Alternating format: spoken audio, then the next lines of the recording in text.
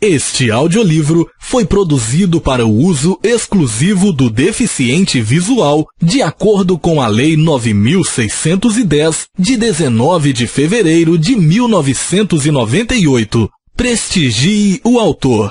Se gostar do livro, compre. Nos visite no site www.tudodebommermo.blogspot.com.br e ouça mais um audiolivro. Nome do livro: Homo Deus, uma breve história do amanhã. Autor: Yuval Noah Harari. Lido por Antônio Sérgio Grell. Descrição de capa. Sobre fundo preto há uma impressão digital verde no centro da capa. A maior parte da digital está nítida, mas uma parcela ao topo está quadriculada, como em pixels de computador. Esta parte tem vários pontos verdes sobre o fundo que se dispersam conforme se distanciam da digital. Em branco, no cabeçalho, está escrito do autor de Sapiens, Yuval Noah Harari. E na metade inferior da capa está o título Homo Deus, uma breve história do amanhã. O logo da editora Companhia das Letras está no canto esquerdo do rodapé, no mesmo tom de verde que a digital. Leitura de contracapa. A guerra se tornou obsoleta, a fome está desaparecendo, a morte é apenas um problema técnico. O futuro visto por um dos grandes pensadores da atualidade, isto é, Homo Deus sobre Sapiens, best-seller com mais de 2 milhões de exemplares vendidos no mundo. Brilhante, provavelmente o melhor livro, e eu já li muitos sobre a história da humanidade. Nunca li nada melhor, e fico triste em pensar nas pessoas que não vão lê-lo. Henning Mankell. Impossível resumir esse livro emocionalmente revelador. Você simplesmente terá de lê-lo. Financial Times trata das maiores questões da humanidade e do mundo moderno. Jared Diamond, autor de Colapso e Armas, Germes, Tura de Orelha. Em Homo Deus, uma breve história do amanhã, Yuval Noah Harari, autor do estrondoso best-seller Sapiens, uma breve história da humanidade, volta a combinar ciência, história e filosofia para entender quem somos e descobrir para onde vamos. Sempre com um olhar no passado e nas nossas origens, Harari investiga o futuro da humanidade em busca de uma resposta tão difícil quanto essencial. Qual será nosso destino na Terra? A princípio, os sinais são animadores. Depois de séculos combatendo a fome, vivemos um momento único em que, a despeito de não ter sido completamente erradicada, hoje morre-se mais de obesidade do que de inanição. Da mesma forma, a guerra, embora ainda exista, mata nos tempos atuais uma fração do que matou até o século XX. E com o avanço da genética, teremos humanos cada vez mais saudáveis e uma expectativa de vida cada vez maior. Segundo algumas previsões, a própria ideia de morte pode estar com os dias contados. Todavia, Quais são as implicações éticas dessas mudanças? O que significa, por exemplo, o fim da fome, se considerarmos a brutalidade com que tratamos milhões de animais para nos alimentar?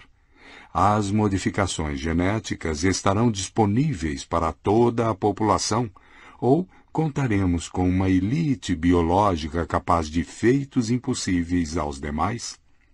O que representará a existência de uma inteligência artificial que gerencie aspectos cada vez mais relevantes da vida e da sociedade?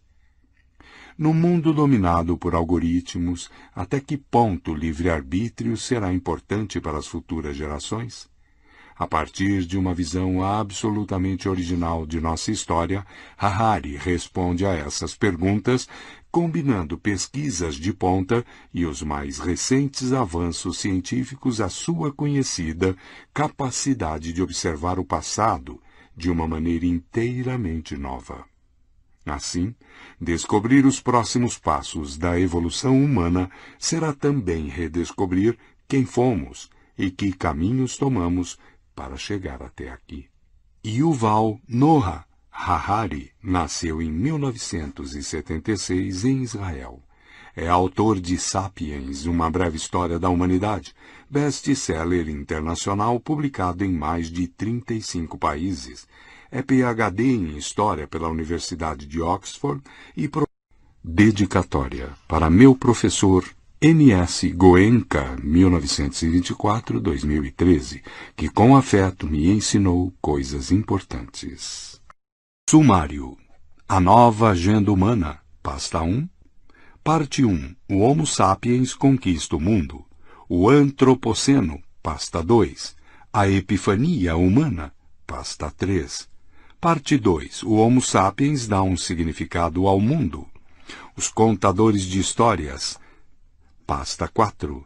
O Estranho Casal, pasta 5. A Aliança Moderna, pasta 6. A Revolução Humanista, pasta 7. Parte 3. O Homo sapiens perde o controle. A bomba relógio no laboratório, pasta 8. O grande desacoplamento, pasta 9. O oceano da consciência, pasta 10. A religião dos dados, pasta 11. Agradecimentos. Pasta 1. 1. A nova agenda humana. No despertar do terceiro milênio, a humanidade acorda, distende os membros e esfrega os olhos.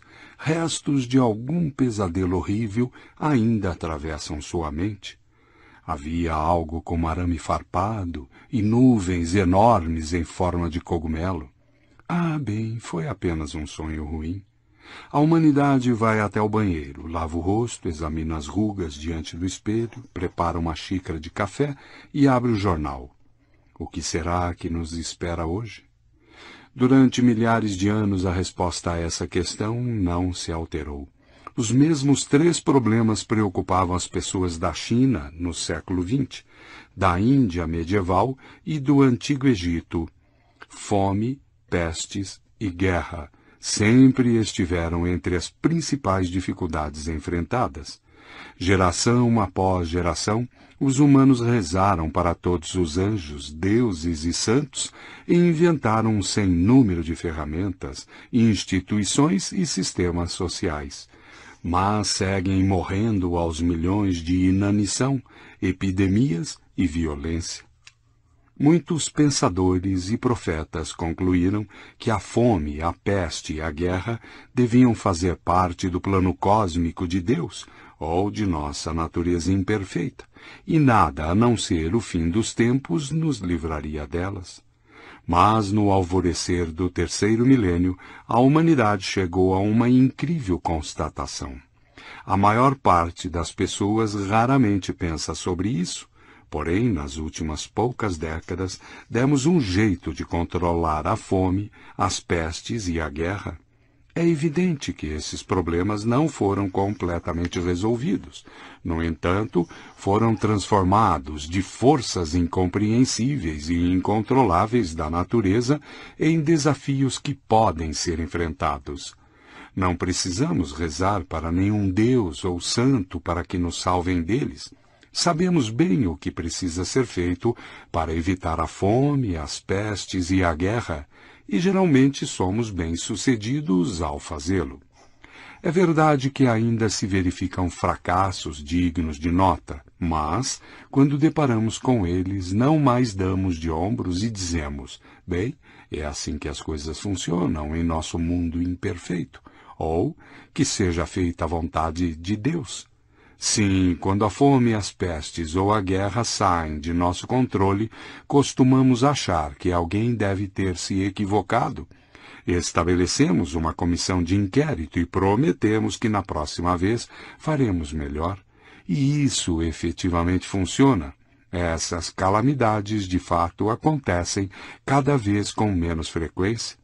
Pela primeira vez na história, hoje morrem mais pessoas que comeram de mais do que de menos. Mais pessoas morrem de velhice do que de doenças infecciosas, e mais pessoas cometem suicídio do que todas as que somadas são mortas por soldados, terroristas e criminosos. No início do século XXI, o ser humano médio tem muito mais probabilidade de morrer empanturrado no McDonald's do que de seca, de ebola ou num ataque do Al-Qaeda. Por isso, apesar de presidentes, executivos e generais ainda terem suas agendas preenchidas por crises econômicas e conflitos militares na escala cósmica da história, o gênero humano pode erguer os olhos e começar a perscrutar novos horizontes. Se realmente a fome, a peste e a guerra estão sob controle, o que irá substituí-las como prioridade na agenda humana? Como bombeiros em um mundo sem incêndios, o gênero humano no início do século XXI deve fazer a si mesmo uma pergunta sem precedente: o que vamos fazer conosco? Num mundo saudável, próspero e harmonioso, o que vai exigir nossa atenção e nossa engenhosidade? Essa pergunta torna-se duplamente urgente em razão dos novos e imensos poderes que a biotecnologia e a tecnologia da informação estão nos oferecendo. O que vamos fazer com todo esse poder? Antes de responder a essa pergunta, precisamos nos estender um pouco mais sobre a fome, a peste e a guerra. A informação de que as controlamos pode chocar muitas pessoas, para quem essa alegação pode soar ultrajante, extremamente ingênua ou talvez insensível. E quanto aos bilhões de pessoas que sucateiam suas vidas sobrevivendo com menos de dois dólares por dia? E quanto à crise da AIDS na África ou às guerras que estão sendo travadas na Síria e no Iraque? Para abordar esses temas preocupantes, examinemos de perto o mundo no início do século XXI, antes de explorar a agenda humana para as próximas décadas. A linha de pobreza biológica. Comecemos com a fome, que há milhares de anos é o pior inimigo da humanidade. Até recentemente, a maioria dos seres humanos vivia no limite mesmo da linha da pobreza biológica abaixo da qual as pessoas sucumbem à desnutrição e à fome. Um pequeno erro ou um pouco de azar poderiam facilmente constituir-se em sentença de morte para uma família, ou uma aldeia toda. Se chuvas pesadas destruíssem sua colheita de trigo, ou se ladrões levassem seu rebanho de cabras, você e seus entes queridos poderiam passar fome até morrer. Infortúnio ou estupidez em nível coletivos resultam em fome massiva. Quando uma seca rigorosa atingiu o Egito antigo ou a Índia medieval, não raro 5% ou 10% da população perecia. As provisões tornavam-se escassas, o transporte era lento e dispendioso para permitir a importação de comida e os governos eram fracos demais para salvar a situação. Abra um livro de história e provavelmente você vai deparar com relatos terríveis de populações famintas enlouquecidas pela fome. Em abril de 1694, um funcionário do governo francês na cidade de Beauvais descreveu o impacto da fome e dos cada vez mais elevados preços da comida. O distrito todo estava tomado por um número infinito de pobres almas, debilitadas pela fome e pela miséria, cuja morte era provocada pela carência total, porque, não tendo trabalho ou ocupação, não dispunham de dinheiro para comprar pão, buscando prolongar um pouco suas vidas e de algum modo matar a fome, esses desvalidos começaram a comer coisas tão impuras como gatos e carne de cavalos esfolados e atirados em montes de esterco. Outros consumiam o sangue que escorre quando vacas e bois são abatidos, e os restos que os cozinheiros jogam nas ruas. Outros pobres miseráveis comiam urtigas e ervas ou raízes e grama, as quais ferviam na água. Cenas semelhantes ocorriam por toda a França. Temperaturas ruins haviam arruinado as colheitas em todo o reino nos dois anos anteriores, de modo que na primavera de 1694 os celeiros estavam completamente vazios. Os ricos cobravam preços exorbitantes por qualquer alimento que conseguissem acumular, e os pobres morriam em massa. Aproximadamente 2,8 milhões de franceses, 15% da população, morreram de fome entre 1692 e 1694, enquanto o rei Sol, Luís XIV, flertava com sua amante em Versalhes. No ano seguinte, 1695, a fome assolou a Estônia e matou um quinto da população. Em 1696 foi a vez da Finlândia, onde entre um quarto e um terço da população morreu. A Escócia sofreu sob uma fome rigorosa entre 1695 e 1698, e alguns distritos perderam até 20% de seus habitantes. A maioria dos leitores provavelmente sabe qual é a sensação que se tem quando se deixa de almoçar, ou quando se jejua em alguma data religiosa, ou quando se vive em alguns dias o choque de comer apenas vegetais como parte de uma nova e maravilhosa dieta. Mas qual é a sensação de não comer durante dias sem ter ideia de onde achar a próxima migalha de comida? De modo geral, hoje em dia as pessoas não experimentam mais esse tormento excruciante. Nossos antepassados, pobres deles, o vivenciaram bem demais. Quando gritavam a Deus, salvai-nos da fome, era exatamente isso que tinham em mente. Durante os últimos cem anos, desenvolvimentos tecnológicos, econômicos e políticos criaram uma rede de segurança cada vez mais robusta que separa a humanidade da linha biológica da pobreza. Ondas maciças de fome ainda atingem algumas regiões de tempos em tempos, mas são exceções, quase sempre provocadas por políticas humanas e não por catástrofes naturais. Não ocorrem mais surtos de fome por causas naturais, há apenas fomes políticas. Se pessoas na Síria, no Sudão ou na Somália morrem de fome, é porque alguns políticos querem que elas morram. Na maioria das regiões do planeta, é improvável que uma pessoa que perdeu seu emprego e todas as suas posses morra de fome.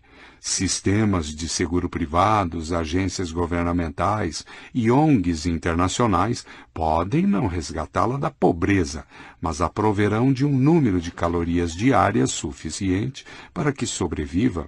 Coletivamente, a rede global de comércio transforma secas e inundações em oportunidades de negócios e possibilita superar a escassez de alimentos de modo rápido e barato. Mesmo quando guerras, terremotos ou tsunamis devastam países inteiros, esforços internacionais para evitar a fome são geralmente bem-sucedidos, embora centenas de milhões de pessoas ainda passem fome quase todos os dias. Na maioria dos países, o número de mortes por inanição é muito pequeno. A pobreza certamente causa muitos outros problemas de saúde, e a má nutrição reduz a expectativa de vida até mesmo nos países mais ricos. Na França, por exemplo, 6 milhões de pessoas, cerca de 10% da população, padecem de insegurança nutricional. Acordam cada manhã sem saber se terão algo para comer no almoço frequentemente vão dormir com fome e as refeições que conseguem obter são desequilibradas e pouco saudáveis. Amido, açúcar e sal em excesso e, por outro lado, carência de proteínas e vitaminas.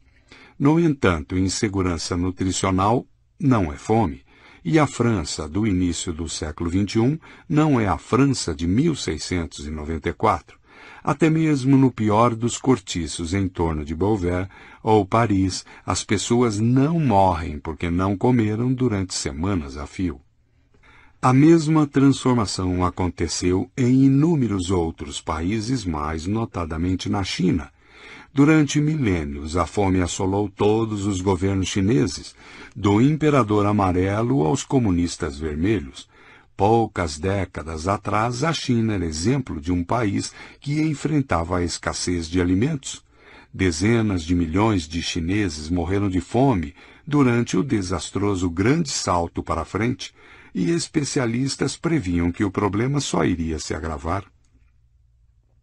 Em 1974, realizou-se em Roma a primeira Conferência Mundial sobre Alimentação e os delegados foram apresentados a cenários apocalípticos.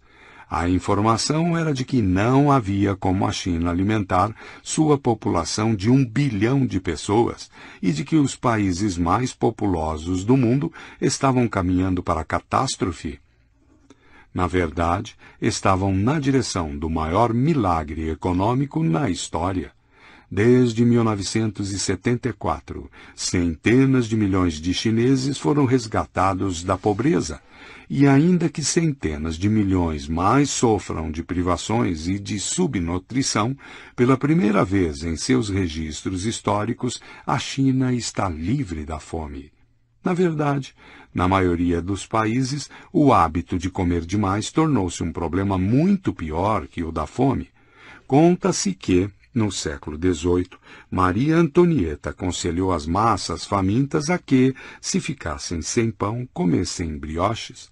Os pobres hoje estão seguindo literalmente esse conselho, enquanto os moradores ricos de Beverly Hills, nos Estados Unidos, comem saladas de alface e tofu no vapor com quinoa, nos cortiços e guetos os pobres se empanturram com bolinhos recheados, salgadinhos artificiais, hambúrgueres e pizzas.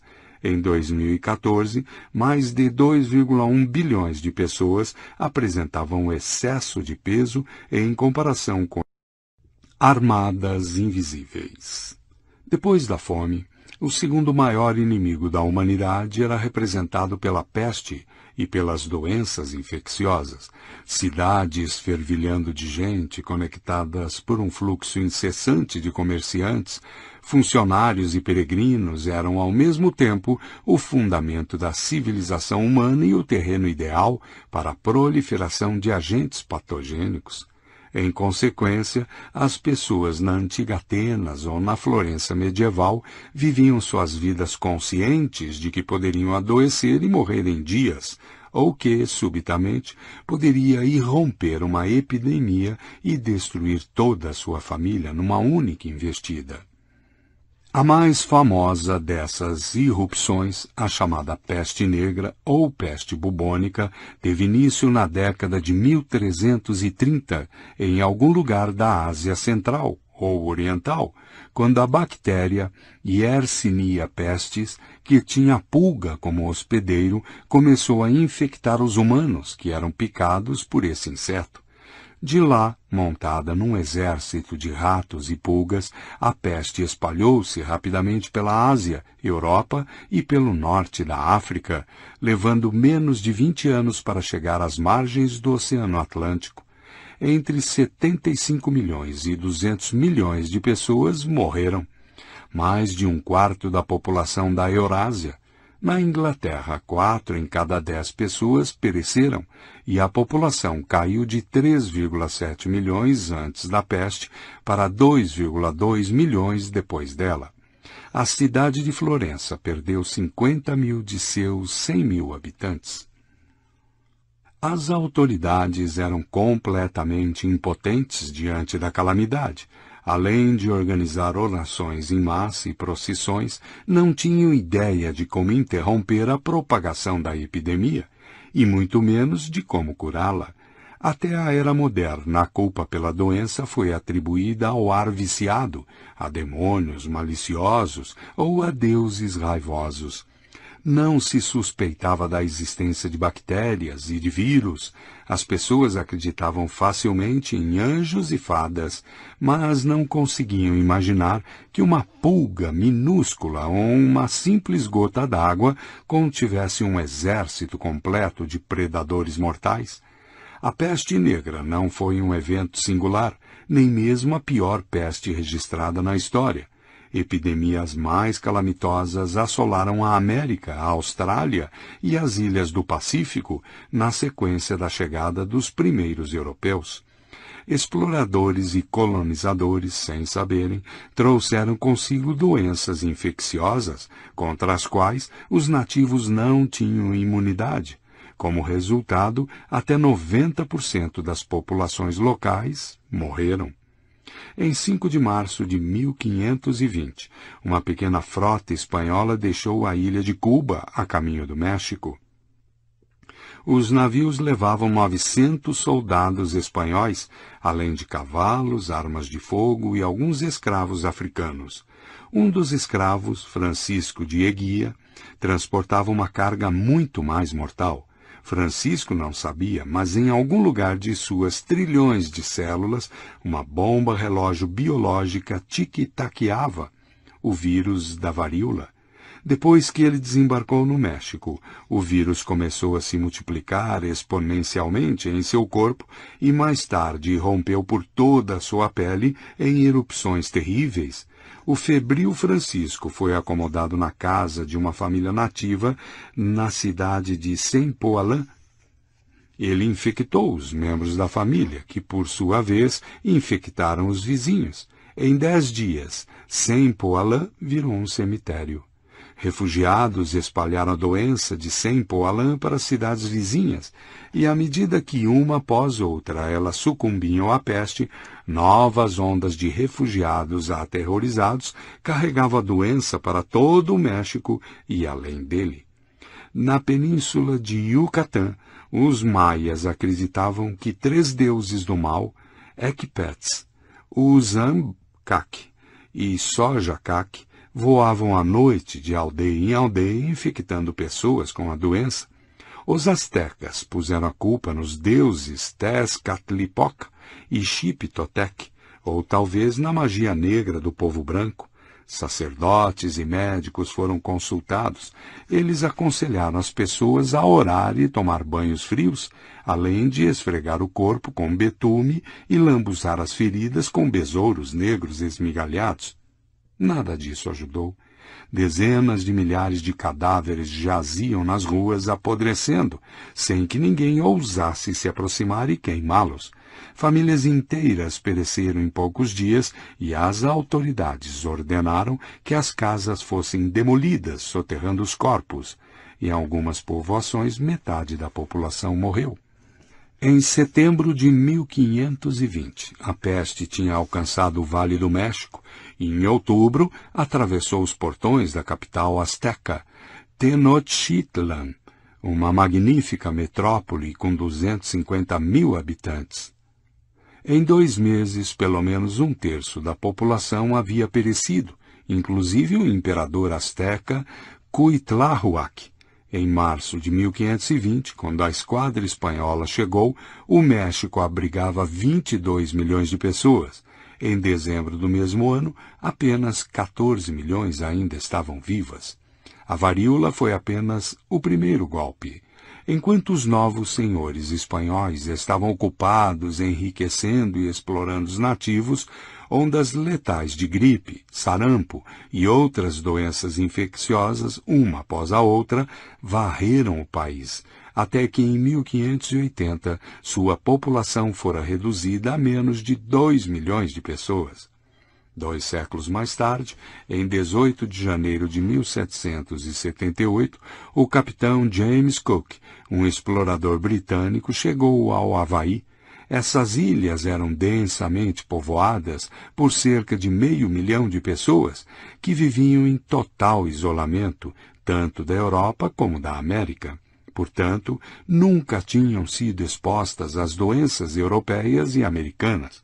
O capitão Cook e seus homens introduziram os primeiros patógenos de gripe, tuberculose e sífilis no Havaí. Visitantes europeus subsequentes acrescentaram o tifo e a varíola. Em 1853, só restavam ali 70 mil sobreviventes. Epidemias continuaram a matar dezenas de milhões de pessoas em pleno século XX. Em janeiro de 1918, soldados nas trincheiras do norte da França começaram a morrer aos milhares de um tipo especialmente virulento de gripe, denominado gripe espanhola. A linha de frente da guerra era o ponto final da mais eficiente rede de suprimento global que o mundo tinha visto até então. Homens e munições jorravam da Grã-Bretanha, dos Estados Unidos, da Índia e da Austrália. O petróleo era enviado do Oriente Médio, grãos e carne chegavam da Argentina, a borracha vinha da Malásia e o cobre do Congo. Em troca, todos receberam a gripe espanhola. Em poucos meses, cerca de meio bilhão de pessoas, um terço da população global, foi infectado com o vírus. Na Índia, ele dizimou 5% da população, 15 milhões de pessoas. Na ilha do Tahiti, 14% dos habitantes morreram. Em Samoa, 20%. Nas minas de cobre do Congo, um em cada cinco trabalhadores pereceu. No total, a pandemia matou entre 50 milhões e 100 milhões de pessoas em menos de um ano. A Primeira Guerra Mundial matou 40 milhões de 1914 a 1918. Além desses tsunamis epidêmicos que atingiram o gênero humano a cada poucas décadas, houve ondas menores, porém mais regulares, de doenças infecciosas que todo ano matavam milhões. Crianças com baixa imunidade eram particularmente suscetíveis, daí a frequente designação de doenças infantis. Até o início do século XX, cerca de um terço das crianças morria de uma combinação de desnutrição e doença. Durante o último século, a humanidade ficou ainda mais vulnerável a epidemias graças à combinação de dois fatores: aumento da população e meios de transporte mais eficientes. Uma metrópole moderna como Tóquio ou Kinshasa oferece aos patógenos um terreno de caça mais rico do que a Florença medieval ou a Tenochtitlan de 1520. E a rede global de transporte é hoje mais eficiente do que em 1918. Um vírus espanhol pode chegar ao Congo ou ao Tahiti em menos de 24 horas. Seria de esperar, portanto, que vivêssemos num inferno epidemiológico com sucessivas pragas letais. No entanto, tanto a incidência como o impacto das epidemias decresceram dramaticamente nas últimas décadas. Particularmente, a mortalidade infantil global é a mais baixa de todos os tempos. Menos de 5% das crianças morrem antes de chegar à idade adulta. No mundo desenvolvido, a taxa é de menos de 1%. Esse milagre se deve às conquistas sem precedentes da medicina no século XX, que nos proveu de vacinas e antibióticos, com higiene e infraestrutura médica muito melhores. Por exemplo, uma campanha global de vacinação antivariólica foi tão bem sucedida que, em 1979, a Organização Mundial da Saúde, OMS, declarou que a humanidade tinha vencido e que a varíola fora erradicada. Foi a primeira epidemia que os humanos conseguiram varrer da face da Terra. Em 1967, a varíola havia infectado de tempos em tempos, ficamos alarmados com a irrupção de uma nova praga potencial, com a Síndrome Respiratória Aguda Grave, na sigla em inglês SARS. Em 2002, 3, a gripe aviária em 2005, a gripe suína em 2009, 10 e o ebola em 2014 mas graças a contramedidas eficientes, esses incidentes resultaram até agora num número comparativamente menor de vítimas. A SARS, por exemplo, suscitou de início temores de uma nova peste negra, mas provocou a morte de menos de mil pessoas no mundo inteiro.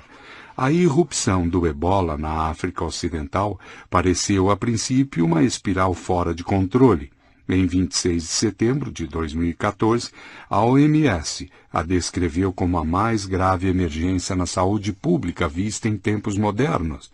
Contudo, no início de 2015, a epidemia tinha sido refreada e em janeiro de 2016 a OMS a declarou erradicada.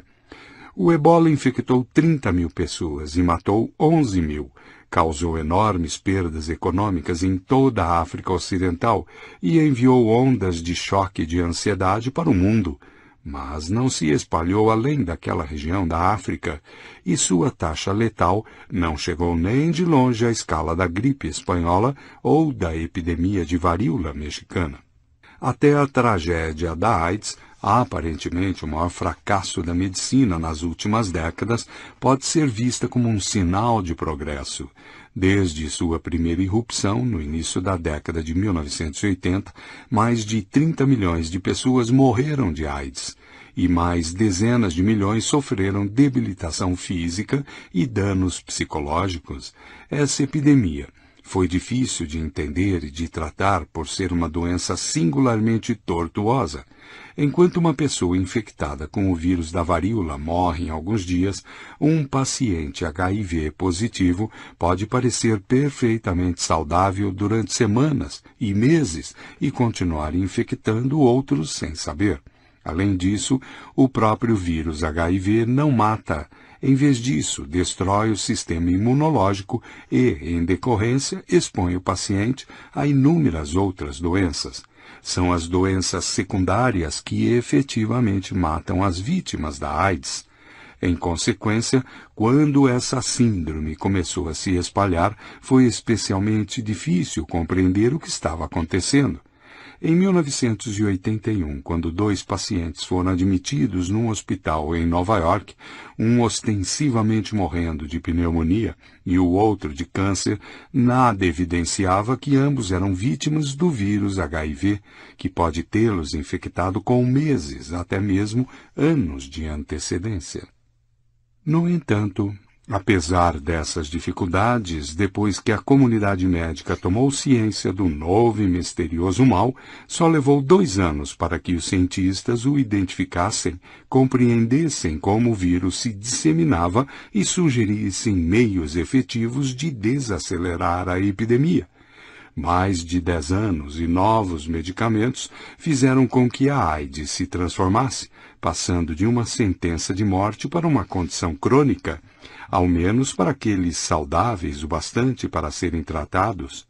O que teria acontecido se a AIDS tivesse eclodido em 1581 e não em 1981? Muito provavelmente ninguém naquela época teria imaginado o que causava a epidemia, como se transmitia de uma pessoa a outra, ou como poderia ser detida, muito menos como curá-la. Em tais condições, essa síndrome poderia ter matado proporções muito maiores da raça humana, igualando e talvez até superando a peste negra. Apesar do horrendo dano causado pela AIDS e a despeito dos milhões que morrem a cada ano de doenças infecciosas há muito estabelecidas, como a malária, as epidemias representam uma ameaça muito menor à saúde do homem do que representaram no milênio anterior. A imensa maioria das pessoas morre de enfermidades não infecciosas, como o câncer e doenças cardiovasculares ou simplesmente de velhice. A propósito, o câncer e as doenças cardiovasculares não são, é claro, doenças novas. Elas remontam à antiguidade. No passado, contudo, era relativamente reduzido o número de pessoas que viviam tempo bastante para morrer por causa delas. Muitos temem que essa vitória seja apenas temporária e que algum primo desconhecido da peste negra esteja nos aguardando na próxima esquina. Ninguém pode assegurar que pragas não tornarão a acontecer, mas há boas razões para acreditar que, na corrida armamentista entre médicos e germes, os médicos estão na frente. Novas doenças infecciosas estão aparecendo, principalmente como resultado de mutações eventuais nos genomas dos patógenos.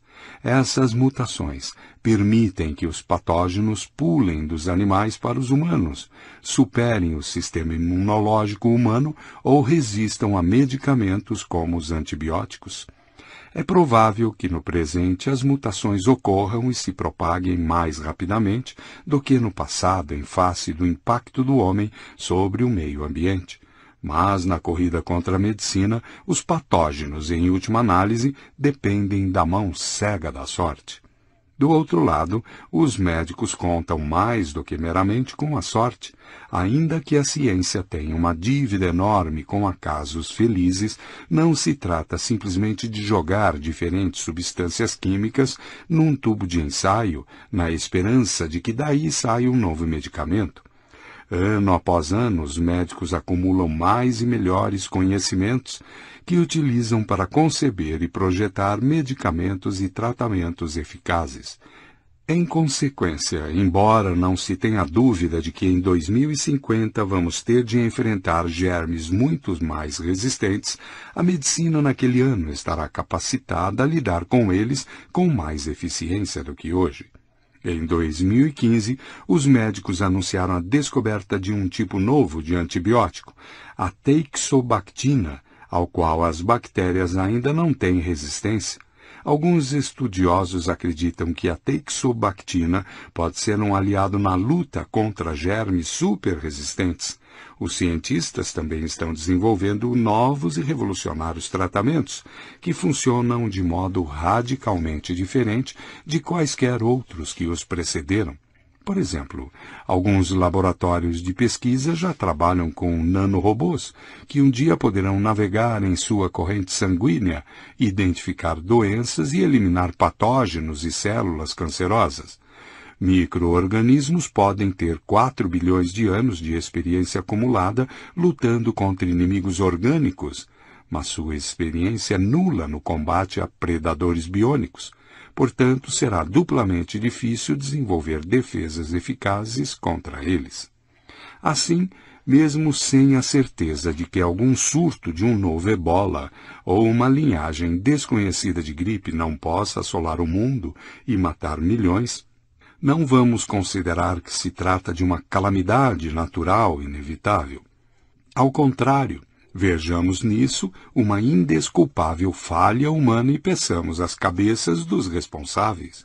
No fim do verão de 2014, durante algumas semanas terríveis, pareceu que o ebola estava levando a melhor sobre as autoridades encarregadas da saúde global.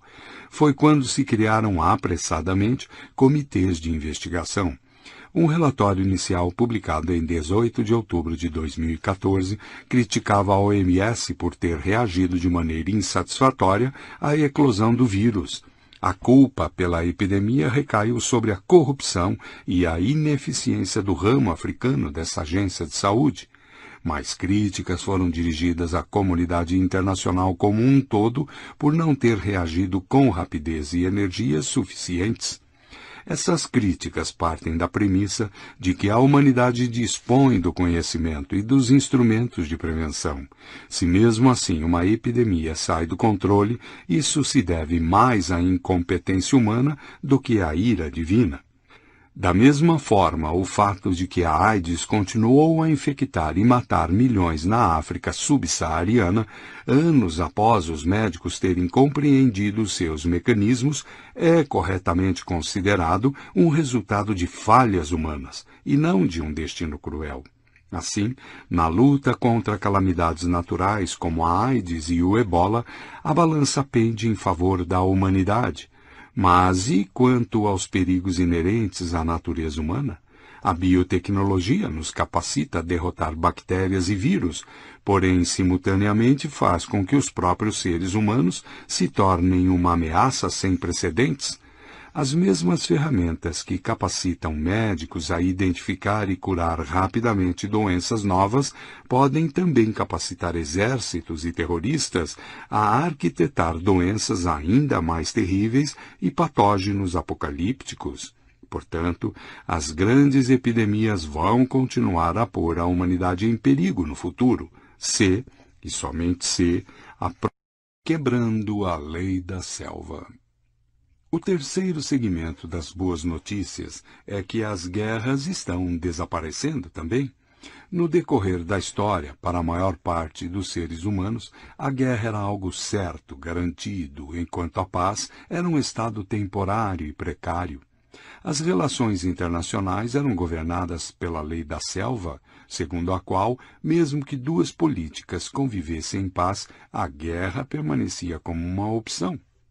Por exemplo, embora em 1913 houvesse paz entre a Alemanha e a França, era óbvio que uma poderia cair no pescoço da outra em 1914 quando políticos, generais, homens de negócios e cidadãos comuns faziam planos para o futuro, sempre deixavam em aberto a possibilidade de uma guerra. Da Idade da Pedra Era do Vapor, do Ártico ao Saara, cada pessoa na Terra sabia que a qualquer momento os vizinhos poderiam invadir seu território, derrotar seu exército, chacinar seu povo e ocupar sua terra. Durante a segunda metade do século XX, a lei da selva finalmente foi quebrada, se é que não foi suspensa. Na maior parte das regiões, as guerras eram mais raras, enquanto nas antigas sociedades agrícolas a violência humana foi a causa de 15% de todas as mortes. Durante o século XX, a violência provocou apenas 5% dos óbitos, e no início do século XXI foi responsável por cerca de 1% da mortalidade global. Em 2012, aproximadamente 56 milhões de pessoas morreram no mundo inteiro. 720 mil morreram em razão da violência humana. Guerras mataram 120 mil pessoas. O crime matou outras 500 mil. Em contrapartida, 800 mil cometeram suicídio e um milhão e meio morreram de diabetes. O açúcar é mais perigoso do que a pólvora. Mais importante ainda é perceber que, para um segmento cada vez maior da humanidade, a guerra se tornou inconcebível. Pela primeira vez na história, quando governos, corporações e indivíduos privados avaliam o futuro imediato, Muitos não pensam na guerra como um acontecimento provável. As armas nucleares tornaram a guerra entre as superpotências um ato louco de suicídio coletivo e, com isso, forçaram as nações mais poderosas da Terra a encontrar meios alternativos e pacíficos de resolver conflitos. Simultaneamente, a economia global abandonou as bases materiais para se assentar no conhecimento. Antes, as principais fontes de riqueza eram os recursos materiais, como minas de ouro, campos de trigo e poços de petróleo. Hoje, a principal fonte de riqueza é o conhecimento. E embora se possam conquistar poços de petróleo na guerra, não se pode conquistar conhecimento dessa maneira. Desde que o conhecimento se tornou o mais importante recurso econômico, a rentabilidade da guerra declinou e as guerras tornaram-se cada vez mais restritas àquelas regiões do mundo, como o Oriente Médio e a África Central, nas quais as economias ainda são antiquadas, baseadas em recursos materiais. Em 1998, fazia sentido para Ruanda tomar e pilhar as minas de coltan do vizinho Congo, porque era grande a demanda por esse mineral metálico para a fabricação de smartphones e laptops, e o Congo contava com 80% das reservas mundiais. Ruanda ganhava 240 milhões de dólares por ano com o coltan pilhado para um país pobre, como é o caso de Ruanda, era muito dinheiro. Em contrapartida, não faria sentido a China invadir a Califórnia para tomar o Vale do Silício, pois, mesmo que os chineses pudessem ser bem-sucedidos no campo de batalha, não existem minas de silício para pilhar no Vale do Silício. Em vez disso, os chineses ganharam bilhões de dólares como resultado de sua cooperação com gigantes da alta tecnologia, tais como Apple e Microsoft, comprando softwares dessas empresas e fabricando produtos para elas. O que Ruanda ganhou no ano inteiro de pilhagem do coltan congolês, os chineses ganharam num único dia de comércio pacífico. Em consequência, a palavra paz adquiriu um novo significado. As gerações anteriores pensavam na paz como ausência temporária de guerra. Hoje, a vislumbramos como a implausibilidade da guerra. Em 1913, quando se falava que havia paz entre a França e a Alemanha, o que se queria dizer era que, no presente, não há uma guerra entre esses países, mas ninguém sabe o que nos aguarda no próximo ano. Quando hoje se afirma que há paz entre a França e a Alemanha, sabe-se que é inconcebível, em quaisquer circunstâncias previsíveis, eclodir uma guerra entre essas duas nações. Uma paz assim prevalece não apenas entre a França e a Alemanha, mas entre a maioria, conquanto não todos, dos países. Não existe um cenário para que uma guerra séria ecloda no ano que vem entre a Alemanha e a Polônia, entre a Indonésia e as Filipinas, ou entre o Brasil e o Uruguai. Essa nova paz não é apenas uma fantasia hippie. Governos sedentos de poder e corporações gananciosas também contam com ela. Quando a Mercedes-Benz planeja suas estratégias de vendas na Europa Oriental, descarta a possibilidade de que a Alemanha conquiste a Polônia uma corporação que importa mão de obra barata das Filipinas não está preocupada com a possibilidade de que a Indonésia invada as Filipinas no ano que vem. Quando o governo brasileiro se reúne para discutir o orçamento do próximo ano, é inimaginável que o ministro da Defesa do país se levante de sua cadeira, dê um soco na mesa e grite: Esperem um momento. E se quisermos invadir e conquistar o Uruguai, vocês não levaram isso em consideração. Temos de reservar cinco bilhões de dólares para financiar essa conquista. Claro que há uns poucos lugares nos quais o ministro da Defesa ainda fala coisas do tipo, assim como há regiões em que a nova paz não conseguiu assentar raízes. Falo disso com propriedade, pois vivo em uma dessas regiões. Mas estas são exceções. Não há garantia, é claro, de que a nova paz se mantenha indefinidamente, assim como as armas nucleares a princípio a tornaram possível, da mesma forma desenvolvimentos tecnológicos podem criar um cenário para formas inéditas de guerra. Em particular, uma guerra cibernética pode desestabilizar o mundo ao conceder a pequenos países e grupos não estatais a capacidade de lutar com eficácia contra superpotências. Quando os Estados Unidos combateram o Iraque em 2003, levaram o caos a Bagdá e a Mossul, mas nenhuma única bomba foi lançada sobre Los Angeles ou Chicago. No futuro, no entanto, um país como a Coreia do Norte ou Irã poderia utilizar bombas lógicas para interromper a transmissão de energia na Califórnia, explodir refinarias no Texas e fazer trens colidir em Michigan. Bombas lógicas são códigos de software maliciosos plantados em tempos de paz e operados à distância. É altamente provável que esses códigos já tenham sido contaminados em redes que controlam instalações vitais de infraestrutura nos Estados Unidos e em muitos outros países. Contudo, não se deve confundir capacidade com motivação. Embora introduza novos meios de destruição, a guerra cibernética não cria necessariamente incentivos para que sejam usados. Durante os últimos 70 anos, a humanidade quebrou não apenas a lei da selva, como também a lei de Chekhov. É famosa a declaração de Anton Chekhov de que se uma arma aparece no primeiro ato de uma peça, Desde 1945, entretanto, a humanidade aprendeu a resistir à tentação a arma que apareceu no primeiro ato da Guerra Fria nunca mais foi disparada. Estamos acostumados a viver em um mundo de bombas que não foram lançadas e de mísseis que não foram disparados, e nos tornamos especialistas em quebrar tanto a lei da selva como a de Chekhov. Se essas leis alguma vez funcionarem conosco, a culpa terá sido nossa, e não de nosso inexorável destino.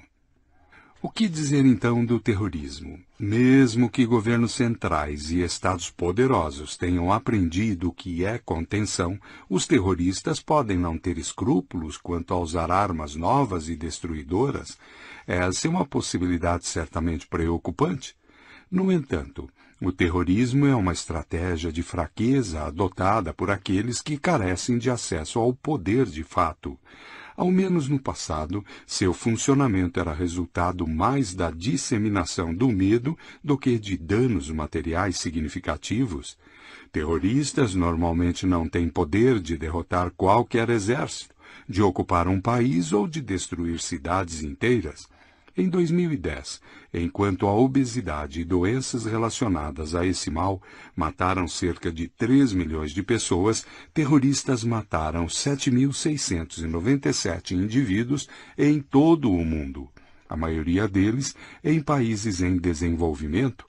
Para um estadunidense ou europeu mediano, a Coca-Cola representa um perigo muito mais letal do que a Al-Qaeda. Como então terroristas conseguem dominar as manchetes e mudar a situação política em todo o mundo, provocando nos inimigos uma reação desmedida?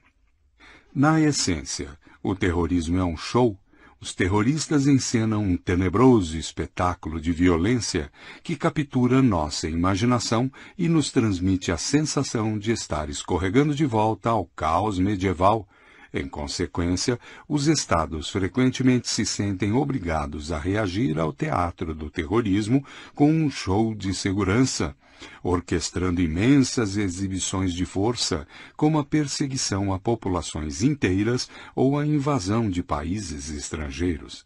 Na maioria dos casos, essa reação exacerbada representa um perigo muito maior à nossa segurança do que aquele decorrente de atentados terroristas. Terroristas são como uma mosca tentando destruir uma loja de porcelanas. A mosca é tão fraca que não é capaz de deslocar uma única xícara de chá. Então, ela encontra um touro, entra em sua orelha e começa a zunir. O touro fica louco de medo e de raiva e destrói a loja de porcelanas. Foi isso que aconteceu no Oriente Médio na última década os fundamentalistas islâmicos jamais conseguiriam sozinhos derrubar Saddam Hussein. Em vez disso, enfureceram os Estados Unidos com o ataque de 11 de setembro e os Estados Unidos destruíram a loja de porcelanas médio oriental para eles. Agora os fundamentalistas florescem nas ruínas. Sozinhos, os terroristas são fracos demais para nos arrastar de volta à Idade Média e restabelecer a lei da selva podem nos provocar, mas no fim tudo depende das reações que apresentamos. Se a lei da selva entrar em vigor novamente, não será por culpa de terroristas. Fome, pestes e guerra provavelmente continuarão a reivindicar milhões de vítimas nas próximas décadas. No entanto, não são mais tragédias inevitáveis além da compreensão e do controle de uma humanidade impotente. Em vez disso, tornaram-se desafios que podem ser manipulados. Isso não ameniza o sofrimento de milhões de seres humanos assolados pela pobreza, dos milhões que sucumbem todo ano à malária, à AIDS e à tuberculose, ou dos milhões enredados na armadilha de violentos círculos viciosos na Síria, no Congo ou no Afeganistão. A mensagem não é de que a fome, as pestes e a guerra desapareceram completamente da face da terra, nem de que devíamos parar de nos preocupar com elas.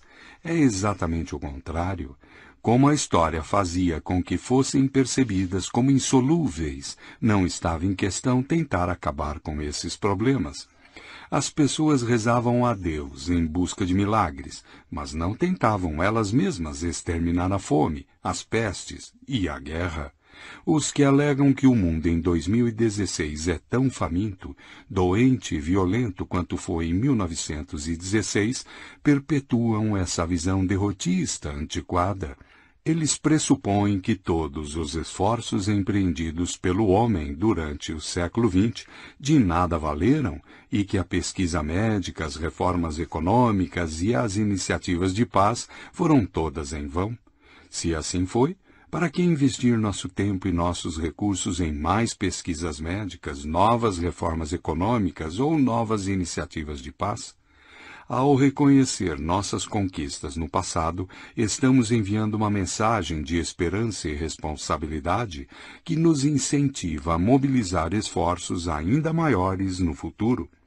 Tendo em vista nossas realizações no século XX, se o sofrimento com a fome, as pestes e a guerra perdurar, não será possível atribuir nenhuma culpa à natureza ou a Deus. Somos dotados da capacidade de fazer as coisas melhorarem e de reduzir ainda mais a incidência do sofrimento. Porém, o reconhecimento da magnitude de nossas conquistas traz consigo outra mensagem. A história não tolera o vazio. Se as ocorrências de fome, pestes e guerra estão decrescendo, algo está destinado a tomar seu lugar na agenda humana. Temos que pensar com cautela a esse respeito. Caso contrário, poderemos deparar com uma vitória total nos velhos campos de batalha só para sermos pegos completamente desprevenidos em frentes novas. Quais são os projetos que vão substituir a fome, as pestes e a guerra no topo da agenda humana do século XXI? Um projeto central consiste em proteger a humanidade e o planeta como um todo dos perigos inerentes ao nosso poder. Conseguimos controlar a fome, as pestes e a guerra, graças enormemente a um fenomenal crescimento econômico que nos provê de alimento, medicina, energia e matérias-primas abundantes. Mas esse mesmo crescimento desestabiliza o equilíbrio ecológico do planeta de maneiras que só estamos começando a investigar. O gênero humano atrasou-se no reconhecimento desse perigo e até agora pouco fez para combatê-lo a despeito de todos os discursos sobre poluição, ameaça global e mudança climática, a maioria dos países ainda terá de fazer sérios sacrifícios econômicos e políticos para melhorar a situação. Quando chega o momento de optar entre crescimento econômico e estabilidade ecológica, políticos, executivos e eleitores sempre preferem o crescimento. No século XXI, teremos de fazer melhor do que isso se quisermos evitar a catástrofe. Por qual outra causa a humanidade deverá se empenhar? Ficaríamos satisfeitos em simplesmente contar nossas bênçãos, manter a fome, as pestes e a guerra sob controle e proteger o equilíbrio ecológico? Este poderia ser realmente o caminho mais sábio de ação mas parece ser pouco provável que o gênero humano o siga. Raramente nos satisfazemos com o que já temos. A reação mais comum da mente humana a uma conquista não é a satisfação, e sim o anseio por mais. Os seres humanos estão sempre em busca de algo melhor, maior, mais palatável. Quando estivermos de posse de novos e imensos poderes, e quando a ameaça da fome, das pestes e da guerra por fim for afastada, o que faremos? O que farão o dia inteiro cientistas, investidores, banqueiros e presidentes? Escrever poesia? O sucesso alimenta a ambição e nossas conquistas recentes estão impelindo o gênero humano a estabelecer objetivos ainda mais ousados, depois de assegurar níveis sem precedentes de prosperidade, saúde e harmonia, e considerando tanto nossa história pregressa como nossos valores atuais, as próximas metas da humanidade serão provavelmente a imortalidade, a felicidade e a divindade reduzimos a mortalidade por inanição, a doença e a violência. Objetivaremos agora superar a velhice e mesmo a morte. Salvamos pessoas da miséria abjeta. Temos agora de fazê-las positivamente. Os últimos dias da morte. No século XXI, é provável que os humanos façam um lance sério para a aquisição da imortalidade. A luta contra a velhice e a morte será tão somente a continuação da luta, consagrada pelo tempo contra a fome e a doença, e uma manifestação do valor supremo da cultura contemporânea. A valorização da vida humana. Somos constantemente lembrados de que ela é o que há de mais sagrado no universo. Todos dizem isso. Professores nas escolas, políticos nos parlamentos, advogados nos tribunais e atores nos palcos de teatros. A Declaração Universal dos Direitos do Homem, adotada pela Organização das Nações Unidas, ONU após a Segunda Guerra Mundial e que talvez seja o que há de mais próximo que temos de uma Constituição global, declara categoricamente que o direito à vida é o valor fundamental da humanidade, por se constituir em uma clara violação desse direito, a morte é um crime contra a humanidade e temos de travar uma guerra total contra ela. Durante a história, religiões e ideologias não santificaram a vida em si mesma, santificaram sempre algo que está acima ou além da existência terrena e, consequentemente, foram bem tolerantes com a morte. De fato, algumas delas mostraram-se bastante afeiçoadas ao anjo da morte, uma vez que o cristianismo, o islamismo e o hinduísmo insistiam que o significado de nossa existência dependia da sina no pós-vida. Elas consideravam a morte como parte vital e positiva do mundo.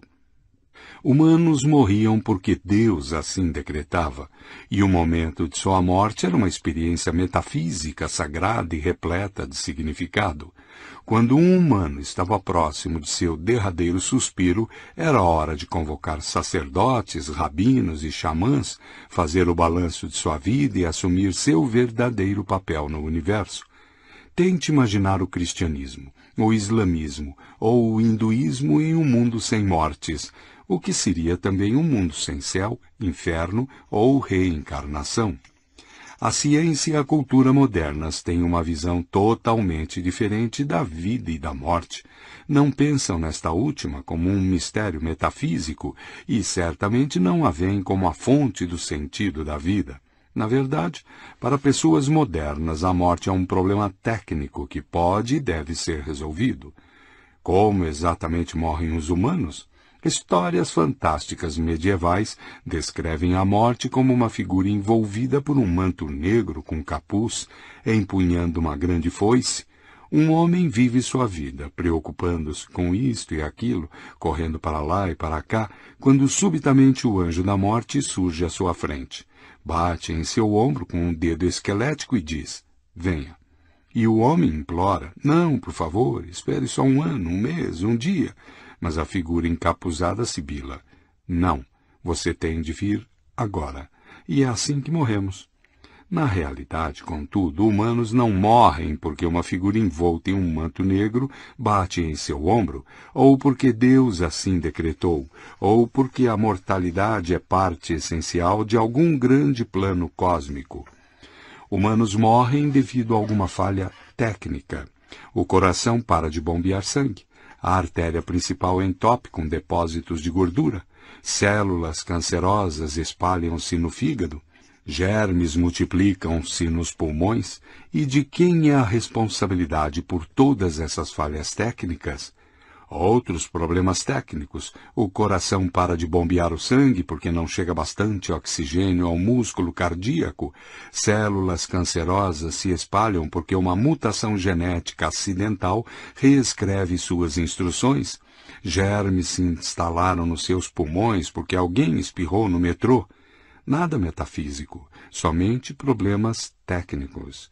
E todo problema técnico tem uma solução técnica. Não é preciso esperar pela volta de Cristo à Terra para superar a morte. Alguns nerds num laboratório podem fazer isso. Se a morte era tradicionalmente a especialidade de sacerdotes e teólogos, hoje são os engenheiros que estão assumindo o caso. As células cancerosas podem ser mortas por meio de quimioterapia ou por nanorobôs os germes nos pulmões podem ser extintos com o uso de antibióticos. Se o coração parar de bater, é possível fortificá-lo com medicamentos e choques elétricos. E se isso não funcionar, pode-se realizar o implante de um coração novo. É verdade que no momento não dispomos de solução para todos os problemas técnicos, mas é exatamente por causa disso que investimos tanto tempo e dinheiro em pesquisa sobre o câncer, germes, a genética e a nanotecnologia. Mesmo os leigos que não estão envolvidos em pesquisas científicas acostumaram-se a pensar na morte como um problema técnico. Quando uma mulher vai ao médico e pergunta, doutor, o que há de errado comigo? Ele poderá responder, bem, você está com uma gripe, ou você tem tuberculose, ou você tem câncer, mas nunca dirá, você tem morte e é generalizada a percepção de que uma gripe, a tuberculose e o câncer são problemas técnicos para os quais algum dia poderemos encontrar a solução técnica. Mesmo quando pessoas morrem num furacão, num acidente de carro ou numa guerra, tendemos a tratar esse evento como uma falha técnica que poderia e deveria ter sido evitada. Se o governo tivesse adotado uma política melhor, se a municipalidade tivesse feito adequadamente seu trabalho, se o comandante militar tivesse tomado uma decisão mais sensata, a morte poderia ter sido evitada. A morte tornou-se um motivo quase automático para processos legais e investigações. Como é possível que tenham morrido? Alguém em algum lugar meteu os pés pelas mãos?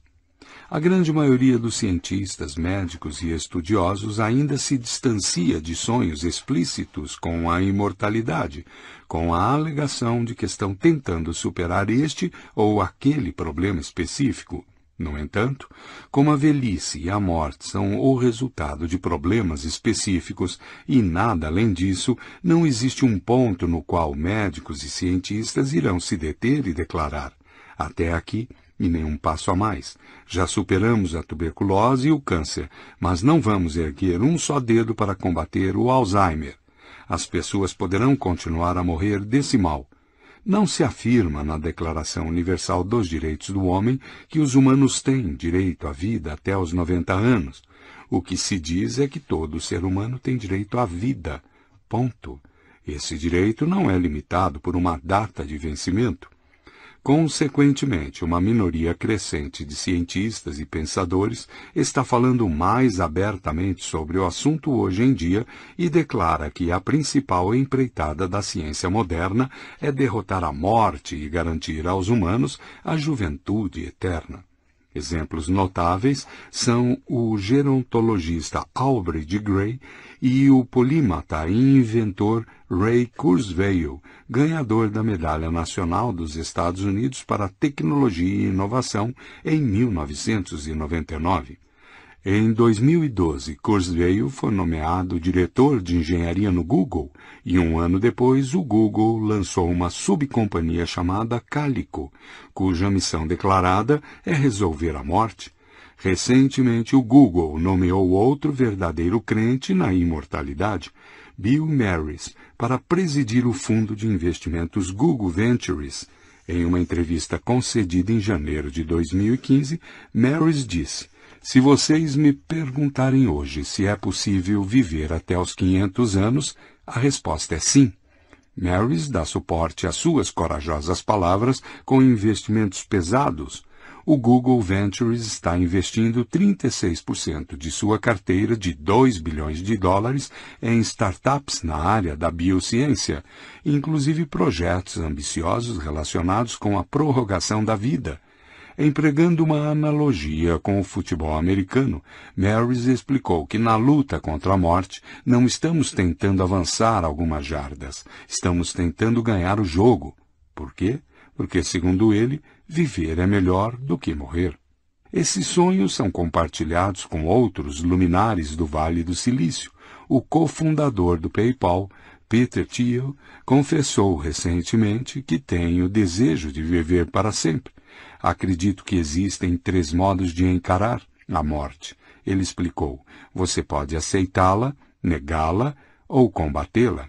Nossa sociedade é dominada por pessoas que estão entre a negação e a aceitação. Eu prefiro combatê-la. Muitos irão rejeitar tais declarações por considerá-las fantasias de adolescentes. No entanto, Thiel deve ser levado muito a sério. um dos mais bem-sucedidos e influentes empreendedores no Vale do Silício, possui uma fortuna pessoal estimada em 2,2 bilhões de dólares. É bem óbvio, igualdade é out, imortalidade é in o desenvolvimento vertiginoso de campos como a engenharia genética, a medicina regenerativa e a nanotecnologia estimulam profecias ainda mais otimistas. Alguns especialistas acreditam que os homens vão vencer a morte por volta de 2200. Outros anunciam que isso acontecerá em 2100. Kurzweil e de Gray ainda são mais confiantes. Eles sustentam que qualquer pessoa que tem um corpo saudável e uma igualmente saudável conta bancária terá em 2050 uma chance séria de imortalidade, enganando a morte uma década por vez. Segundo esses dois estudiosos, a cada dez anos aproximadamente, poderemos ir a uma clínica e receber um tratamento renovador, que não só irá curar doenças, como também regenerar tecidos deteriorados e aumentar a eficácia de mãos, olhos e cérebro. Antes de se realizar o próximo tratamento, os médicos terão inventado uma série de novos medicamentos, atualizações e uma variedade de dispositivos. Se Kurzweil e de Grey estão certos, talvez já haja alguns imortais caminhando a seu lado na rua, ao menos se você estiver andando por Wall Street ou pela Quinta Avenida. Na verdade, eles serão amortais e não imortais. Ao contrário de Deus, os futuros super-homens poderão morrer em alguma guerra ou em um acidente de trânsito. No entanto, é bem provável que isso fará dessas pessoas as mais ansiosas na história. Nós, mortais, arriscamos diariamente nossa vida porque sabemos que ela, de um jeito ou de outro, vai acabar. Assim saímos em jornadas no Himalaia, nadamos no mar e participamos de outras ações perigosas como atravessar a rua ou comer fora. Mas se acreditarmos que podemos viver para sempre, seremos loucos se apostarmos com o infinito. Será que teríamos um começo melhor se adotássemos metas mais modestas, como duplicar a expectativa de vida? No século XX, quase a duplicamos. A expectativa de vida passou de 40 para 70 anos. Assim, no século XXI, poderíamos ao menos tornar possível uma nova duplicação e chegar aos 150. Embora esteja muito aquém da imortalidade, essa conquista iria revolucionar a sociedade humana. De saída, estrutura familiar, matrimônio e relações entre pais e filhos seriam transformados. Hoje em dia, as pessoas ainda esperam estar casadas até que a morte as separe, e boa parte da vida gira em torno de ter e criar filhos. Agora, tentemos imaginar uma pessoa com 150 anos de idade. Se se casasse aos 40, ela ainda teria 110 anos pela frente. Seria realista esperar que um casamento dure 110 anos? Até mesmo os fundamentalistas católicos veriam isso como um obstáculo. Em decorrência, a tendência atual de casamentos em série provavelmente se intensificaria. Uma pessoa que tem dois filhos aos 40 anos terá, quando completar 120, apenas uma lembrança remota dos anos que dedicou à sua criação, um episódio menor em sua longa vida. Difícil dizer que tipo de relação pais e filhos poderia se desenvolver em tais circunstâncias. E quanto às carreiras profissionais? Atualmente, de modo geral, estuda-se para se ter uma profissão da adolescência até pouco mais de 20 anos, depois, passa-se o resto da vida atuando nessa atividade. Obviamente existe um aprendizado mesmo quando se está com 40 ou 50 anos, mas a vida costuma dividir-se em um período de aprendizagem seguido de um período de trabalho. Isso não vai funcionar se as pessoas começarem a viver até os 150 anos, sobretudo em um mundo constantemente sacudido por novas tecnologias. As carreiras serão muito mais longas e será preciso se reinventar de novo e de novo, mesmo aos 90 anos. Ao mesmo tempo, as pessoas não vão se aposentar aos 65 anos, nem vão abrir caminho para a nova geração com suas ideias inovadoras e suas aspirações. Em uma citação famosa, o físico Max Planck afirmou que a ciência avança de funeral em funeral. Ele quis dizer que somente quando uma geração desaparece é que surgem novas teorias com uma chance de erradicar as antigas. E isso se aplica não apenas às ciências. Pense por um momento em seu lugar de trabalho. Não importa se você é um acadêmico, um jornalista, um cozinheiro ou um jogador de futebol. Como você se sentiria se seu chefe tivesse 120 anos, suas ideias tivessem sido formuladas quando a rainha Vitória ainda governava, e sabendo que ele provavelmente permaneceria como seu chefe por mais algumas décadas? Na esfera política, os resultados poderiam ser ainda mais sinistros, você gostaria de ver Vladimir Putin circulando por aí por mais 90 anos? Pensando melhor, se as pessoas vivessem até os 150 anos, Stalin ainda estaria em Moscou, em 2016, governando firme e forte aos 138 anos. O presidente Mao estaria na meia-idade com 123 anos e a princesa Elizabeth estaria esperando sentada para herdar o trono de um Jorge VI com 121 anos, seu filho, o príncipe Charles, não chegaria a reinar antes de 2076. De volta ao domínio da realidade. Estamos muito longe de qualquer certeza de que as profecias de Kurzweil e de de Grey se realizarão em 2050 ou em 2100. Minha opinião pessoal é de que as esperanças de juventude eterna no século XXI são prematuras e quem quer que as leve demasiadamente a sério está sujeito a sofrer um amargo desapontamento. Não é fácil viver com a consciência de que vamos morrer, mas é muito pior acreditar na imortalidade e constatar que tudo se tratava de um equívoco. Embora a duração média de vida tenha duplicado nos últimos 100 anos, não é razoável extrapolar e concluir que podemos duplicá-la novamente para alcançar 150 anos no século seguinte. Em 1900, a expectativa de vida global não excedia os 40 anos, porque jovens morriam de subnutrição, doenças infecciosas e violência. Porém, quem escapava à fome, à peste e à guerra podia viver até os 70 ou 80 anos, que é a duração de vida natural do Homo sapiens. Ao contrário do que em geral se supunha, em séculos anteriores os septuagenários não eram considerados aberrações da natureza. Galileu Galilei morreu com 77 anos, Isaac Newton com 84 e Miguel Ângelo viveu 88 anos, sem ajuda de antibióticos, vacinas ou transplante de órgãos. De fato, mesmo chimpanzés na selva podem ter seis décadas de vida. Na verdade, até o presente, a medicina não prolongou o tempo de vida natural do ser humano em um ano sequer. Sua grande conquista foi nos salvar da morte prematura e permitir que usufruamos da plenitude da existência. Mesmo que o câncer, a diabetes e outros grandes assassinos possam ser vencidos, poderíamos nos estender até os 90 anos, mas isso não seria suficiente para nos levar aos 150, muito menos aos 500 anos. Para isso, a medicina terá não só de realizar a reengenharia das estruturas e dos processos fundamentais do corpo humano, como também descobrir como regenerar órgãos e tecidos. Não está claro se seremos capazes de fazer isso até 2100. Não obstante, toda tentativa frustrada de vencer a morte nos aproxima um passo do alvo e isso vai nos dar esperança e encorajar esforços ainda maiores.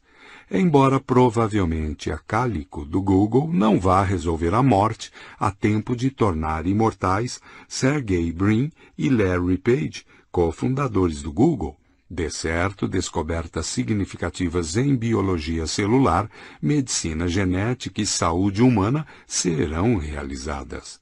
A próxima geração de Googlers poderá iniciar seu ataque à morte a partir de posições mais recentes e mais efetivas.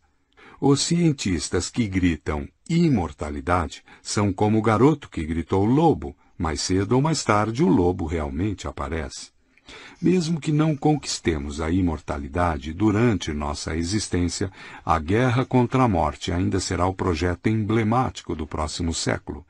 Acrescente a nossa crença na santidade da vida humana, a dinâmica do estamento científico e a estas necessidades da economia capitalista, e a guerra implacável contra a morte parece inevitável. Nosso compromisso ideológico com a vida humana nunca permitirá que simplesmente aceitemos a morte. Enquanto a morte for motivada por alguma coisa, estaremos empenhados em superar suas causas. O Estado científico e a economia capitalista ficarão mais do que felizes em endossar esse empenho. A maior parte de cientistas e banqueiros não se importa com o que estão trabalhando, contanto que isso lhes ofereça a oportunidade de fazer novas descobertas e obter maiores lucros. Pode alguém imaginar um desafio científico maior do que driblar a morte? Um mercado mais promissor do que o da juventude eterna? Se você tem mais de 40 anos, feche os olhos por um minuto e tente se lembrar do corpo que tinha aos 25. Não se concentre em sua aparência, mas acima de tudo em como era senti-lo. Você estaria disposto a pagar quanto pela oportunidade de ter aquele corpo de volta? Sem dúvida, algumas pessoas não se importariam muito com isso, mas haveria muitas outras dispostas a pagar grandes quantias, constituindo um mercado quase infinito. Se tudo isso ainda não é o bastante, o medo da morte, entranhado na maioria dos humanos, confere à guerra contra a morte um ímpeto irresistível. Desde que se conscientizaram de que a morte é inevitável, as pessoas se condicionaram a suprimir o desejo de viver para sempre, ou o refrearam em favor de novas metas.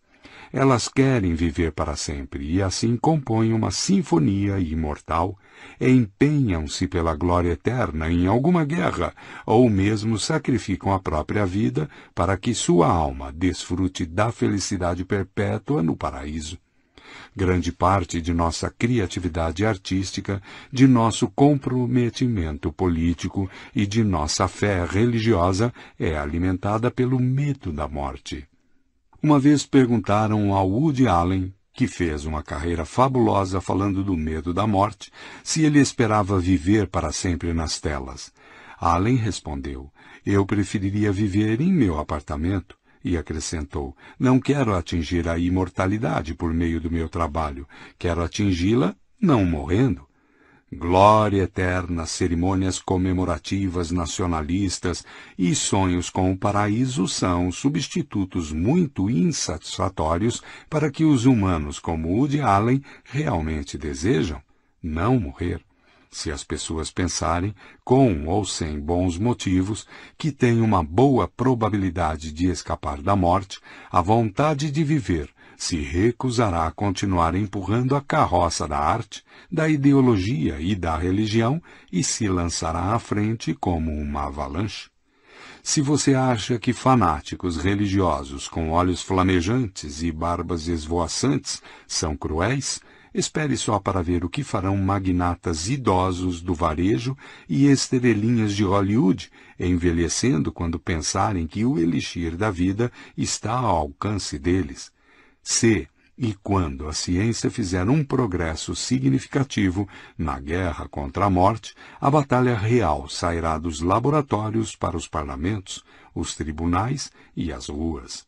Os esforços científicos. O direito à felicidade. O segundo grande projeto na agenda humana será provavelmente encontrar a chave para a felicidade. No decorrer da história, muitos pensadores e profetas e também muitas pessoas comuns definiram a felicidade e não a vida em si mesma como um bem supremo. Na Grécia Antiga, o filósofo Epicuro explicou que o culto a deuses é um desperdício de tempo, que não há existência após a morte e que a felicidade é o único propósito da vida. Embora tenha sido rejeitado na antiguidade, o epicurismo tornou-se a concepção padrão o ceticismo em relação a uma existência pós-vida impele o gênero humano a buscar a imortalidade e, igualmente, a felicidade terrena. Quem gostaria de viver para sempre num tormento eterno? Para Epicuro, a busca da felicidade era uma procura pessoal. Pensadores modernos, em contrapartida, tendem a considerá-lo um projeto coletivo. Sem planejamento governamental, recursos econômicos e pesquisa científica, ninguém conseguirá ir longe na sua busca da felicidade. Se seu país foi dilacerado por uma guerra, se a economia está em crise e se o acesso à saúde é inexistente, é bem provável que você seja infeliz. No final do século XVIII, o filósofo britânico Jeremiah Bentham declarou que o bem supremo é a maior felicidade para o maior número de pessoas. Ele concluiu que o único objetivo meritório do Estado, do mercado e da comunidade científica consistia em incrementar a felicidade global políticos deveriam assegurar a paz, homens de negócios deveriam estimular a prosperidade e aos estudiosos caberia estudar a natureza, não para uma glória maior de um rei, de um país ou de Deus, e sim para que você e eu possamos usufruir uma vida mais feliz. Durante os séculos XIX e XX, embora aparentemente muitos concordassem com a concepção de Bentham, governos, co corporações e laboratórios focaram suas conquistas em metas mais imediatas e bem definidas. Os países avaliavam o sucesso pelo tamanho de seu território, o aumento de sua população e o crescimento do produto interno bruto, PIB, e não pela felicidade de seus cidadãos. Nações industrializadas como Alemanha, França e Japão estabeleceram sistemas gigantescos de educação, saúde e bem-estar social, todos com o objetivo de fortalecer a nação em vez de assegurar o bem-estar individual. As escolas eram guiadas pela missão de produzir cidadãos habilitados e obedientes, que serviriam a nação com lealdade, aos 18 anos, os jovens tinham não só de ser patriotas, como também letrados para que pudessem ler a ordem do dia do brigadeiro e preparar os planos para a batalha do dia seguinte. Tinham de conhecer matemática para calcular a trajetória dos cartuchos de bala na artilharia ou para decifrar o código secreto do inimigo precisavam dominar razoavelmente eletricidade, mecânica e medicina para estarem aptos a operar equipamentos, dirigir tanques e cuidar de companheiros feridos. Quando deixavam o exército, esperava-se que servissem à nação como funcionários, professores e engenheiros, construindo uma economia moderna e pagando muitos impostos. O mesmo se aplicava ao sistema de saúde. No final do século XIX, países como França, Alemanha e Japão começaram a oferecer assistência médica para as massas. Financiavam a vacinação de bebês, dietas balanceadas para crianças e educação física para adolescentes drenaram pântanos fétidos, exterminaram mosquitos e construíram sistemas centralizados de esgoto, o objetivo não era fazer o povo feliz, mas tornar a nação mais forte. O país precisava de soldados e trabalhadores robustos, mulheres saudáveis que dessem à luz mais soldados e trabalhadores e burocratas que chegassem ao escritório pontualmente às oito da manhã, e não de pessoas doentes e acamadas. Até mesmo o sistema de bem-estar foi planejado originalmente tendo em vista o interesse da nação e não dos indivíduos necessitados. Otto von Bismarck, pioneiro na instituição de pensões do Estado e Seguridade Social na Alemanha do fim do século XIX, tinha como objetivo principal garantir a lealdade dos cidadãos e não incrementar seu bem-estar. Lutava-se pelo país aos 18 anos, pagava-se impostos aos 40, porque as pessoas contavam com que o Estado cuidasse delas quando estivessem com 70. Em 1776, os pais fundadores dos Estados Unidos estabeleceram que o direito à busca pela felicidade era um dos três direitos inalienáveis do homem, ao lado do direito à vida e do direito à liberdade. No entanto, é importante observar que a Declaração de Independência dos Estados Unidos garantia o direito de busca da felicidade e não o direito à felicidade em si. Crucialmente, Thomas Jefferson não responsabilizou o Estado pela felicidade de seus cidadãos. Ao contrário, buscou apenas limitar seu poder. A ideia era reservar ao indivíduo um âmbito privado de escolhas, livre da supervisão do Estado. Se eu achar que serei mais feliz me casando com João e não com Maria, morando em São Francisco e não em Salt Lake City, e trabalhando como garçom e não como fazendeiro produtor de laticínios, é meu direito ir em busca da felicidade do meu modo, e o Estado não deve intervir, mesmo que minhas escolhas sejam erradas. Mas nas últimas décadas a situação mudou e a visão de Bentham tem sido levada mais a sério. Cada vez mais se acredita que os imensos sistemas estabelecidos há mais de um século para fortalecer a nação deveriam efetivamente prover felicidade e bem-estar aos cidadãos, como indivíduos.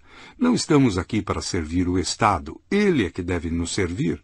O direito de buscar a felicidade, concebido na origem como uma restrição ao poder do Estado, imperceptivelmente ganhou forma de direito à felicidade, como se os seres humanos tivessem o direito natural de serem felizes, e tudo que nos faça ficar insatisfeitos seja uma violação de nossos direitos humanos básicos, de modo que o Estado deveria fazer algo a respeito. No século XX, talvez o principal parâmetro para avaliar o sucesso nacional fosse o PIB per capita. Desse ponto de vista, Singapura, onde cada cidadão produz em média por ano bens no valor de 56 mil dólares, é considerado um país mais bem sucedido do que a Costa Rica, cujos cidadãos produzem em média apenas 14 mil dólares por ano. Porém, atualmente pensadores e até economistas defendem suplementar ou mesmo substituir o PIB pelo FIB, Felicidade Interna Bruta, em inglês GDH, Gross Domestic Happiness. Afinal, o que as pessoas querem? Elas não querem produzir, querem ser felizes. A produção é importante, porque provê a base material para a felicidade, mas ela constitui apenas os meios e não o fim. Em sucessivas pesquisas, os costa-riquenhos registram níveis de satisfação com a vida muito mais elevados do que os dos singapurianos. O que você prefere ser? Um singapuriano altamente produtivo, mas insatisfeito, ou um menos produtivo, porém satisfeito costa-riquenho? Esse tipo de lógica pode levar a humanidade a eleger a felicidade como o segundo objetivo mais importante para o século XXI. A princípio, esse poderia parecer um projeto relativamente fácil. Se fome, pestes e guerra estão desaparecendo, se a humanidade experimenta um período sem precedentes de paz e prosperidade, e se a expectativa de vida está aumentando dramaticamente, não há por que não sermos felizes, certo? Errado. Quando Epicuro definiu a felicidade como o bem supremo, advertiu seus discípulos de que ser feliz exige trabalho duro. Conquistas materiais não proporcionam satisfação por muito tempo. Na verdade, a perseguição cega do dinheiro, da fama e do prazer só torna as pessoas infelizes. Epicuro recomenda, por exemplo, comer e beber com moderação e refrear os apetites sexuais, no longo prazo, uma amizade profunda provoca mais alegria do que uma orgia frenética. Epicuro delineou uma ética do que se deve e não se deve fazer para orientar as pessoas no traiçoeiro caminho para a felicidade. Epicuro aparentemente percebeu que ser feliz não é algo que acontece com facilidade. A despeito de nossas conquistas sem precedentes nas últimas décadas, está longe de ser óbvio que os contemporâneos estejam significativamente mais satisfeitos do que seus ancestrais. Com efeito, como um sinal nefasto, apesar de mais prosperidade, conforto e segurança, a taxa de suicídios no mundo desenvolvido é muito mais elevada do que nas sociedades tradicionais. No Peru, na Guatemala, nas Filipinas e na Albânia, países em desenvolvimento, onde graçam a pobreza e a instabilidade política, uma pessoa em cada cem mil comete suicídio a cada ano. Em países ricos e pacíficos, como Suíça, França, Japão e Nova Zelândia, 20 em cada 100 mil pessoas tiram a própria vida anualmente. Em 1985, a maioria dos sul-coreanos, que então viviam sob uma ditadura autoritária, era pobre, tinha educação precária e era ligada à tradição. Hoje, a Coreia do Sul é uma das principais potências econômicas. Seus cidadãos estão entre os mais instruídos no mundo e usufruem de um regime estável e comparativamente liberal e democrático. Contudo, em 1985, cerca de nove em cada 100 mil coreanos se mataram. No presente, a taxa anual de suicídio mais do que triplicou. É de 30 em cada 100 mil. Existem, é claro, tendências opostas e muito mais encorajadoras. O drástico decréscimo na mortalidade infantil certamente acarretou um aumento da felicidade humana e, em parte, serviu de compensação por todo o estresse da vida moderna.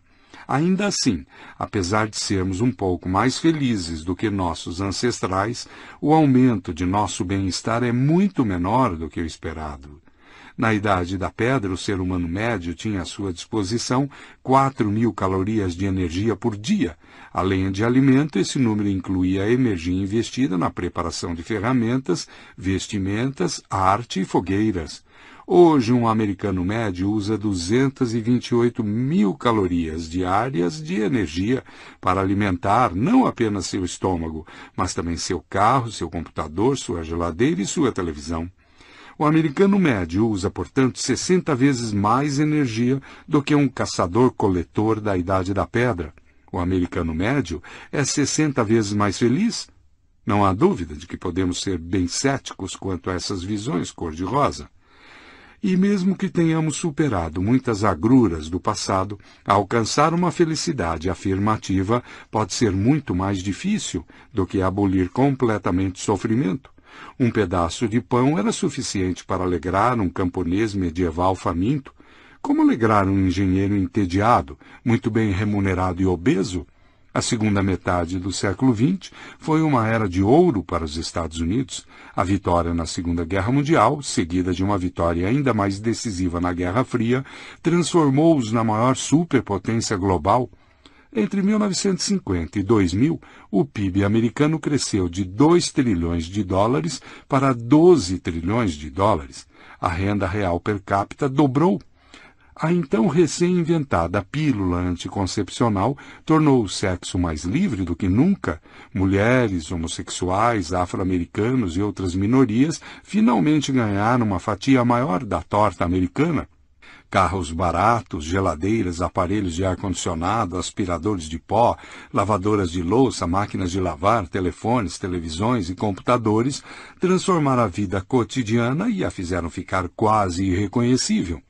Mas estudos revelam que os níveis de percepção subjetiva de bem-estar dos americanos permaneceram mais ou menos os mesmos da década de 1950.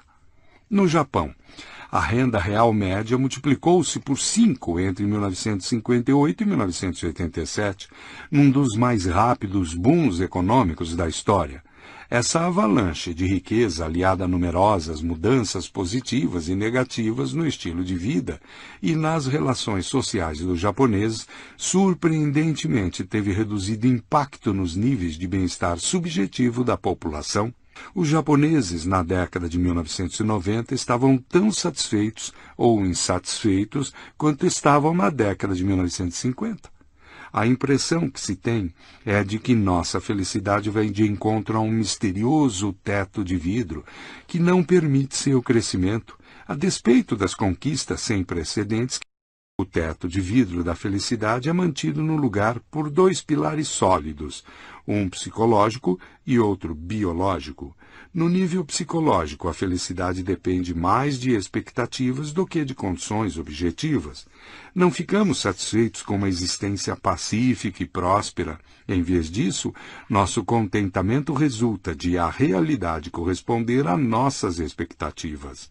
A má notícia é que, à medida que as condições melhoram, nossas expectativas inflam Melhoras dramáticas nas condições como as que a humanidade vem experimentando em décadas recentes se traduzem em expectativas maiores e não em mais contentamento. Se não fizermos alguma coisa quanto a isso, ficaremos insatisfeitos também com nossas conquistas futuras. No nível biológico, tanto nossas expectativas como nossa felicidade são determinadas mais pela bioquímica do que pela situação econômica, social ou política. Segundo Epicuro, ficamos felizes quando desfrutamos de sensações agradáveis e nos sentimos livres das desagradáveis. Jeremiah Bentham, de modo semelhante, sustentava que a natureza deu o domínio sobre o homem a dois senhores, o prazer e a dor. A eles sozinhos determinam tudo o que fazemos, dizemos e pensamos. O sucessor de Bentham, John Stuart Mill, explicou que a felicidade nada é senão o prazer e a libertação da dor, e que, para além de um e de outro, não há nem o bem nem o mal. Aquele que buscar deduzir o bem e o mal de algo diferente, como a palavra de Deus ou interesse nacional, estará tentando enganá-lo e talvez enganando a si mesmo também. Nos tempos de Epicuro, tal discurso seria uma blasfêmia, nos tempos de Bentham e de Mill, era subversão radical. Mas no início do século XXI é ortodoxia científica. Segundo as ciências biológicas, a felicidade e o sofrimento não são mais do que sensações corporais balanceadas de maneiras diferentes. Nunca reagimos a acontecimentos no mundo exterior, somente a sensações que ocorrem em nosso corpo. Ninguém sofre porque perdeu o emprego, porque se divorciou ou porque o governo deu início a uma guerra.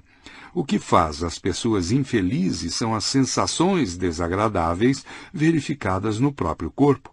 Perder o emprego certamente pode desencadear uma depressão, que é em si um tipo de sensação corporal desagradável. São vários os motivos que podem nos fazer ficar com raiva, porém a raiva nunca é uma abstração. Ela sempre é sentida como uma sensação de calor e tensão no corpo, que é o que a torna tão irritante. Não é à toa que dizemos que estamos ardendo de raiva. Inversamente, de acordo com a ciência, ninguém fica feliz ao conseguir uma promoção, ganhar na loteria ou encontrar o amor verdadeiro. As pessoas ficam felizes como uma coisa, e uma coisa apenas: sensações de prazer no corpo. Imagine que você é Mário Götze, meio-campo da seleção alemã no final da Copa do Mundo de Futebol de 2014 contra a Argentina. Já se passaram 113 minutos e a partida segue sem gols. Faltam apenas sete minutos para a temida decisão por pênaltis. Cerca de 75 mil fãs excitados enchem no estádio do Maracanã, no Rio de Janeiro, e incontáveis milhões assistem ao jogo pela televisão no mundo inteiro.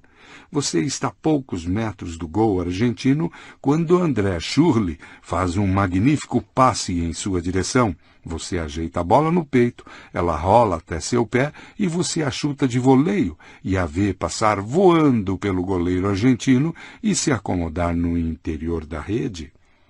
Gol! O estádio entra em erupção como um vulcão.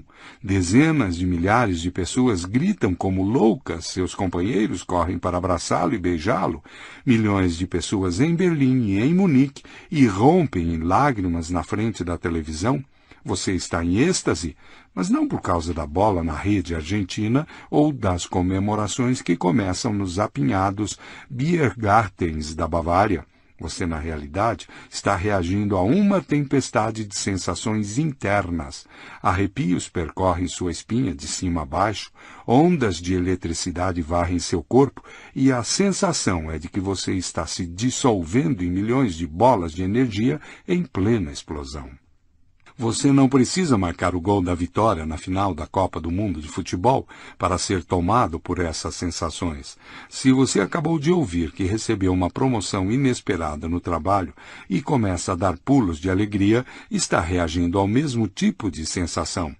As partes mais profundas de sua mente nada sabem de futebol ou de empregos, elas conhecem apenas sensações.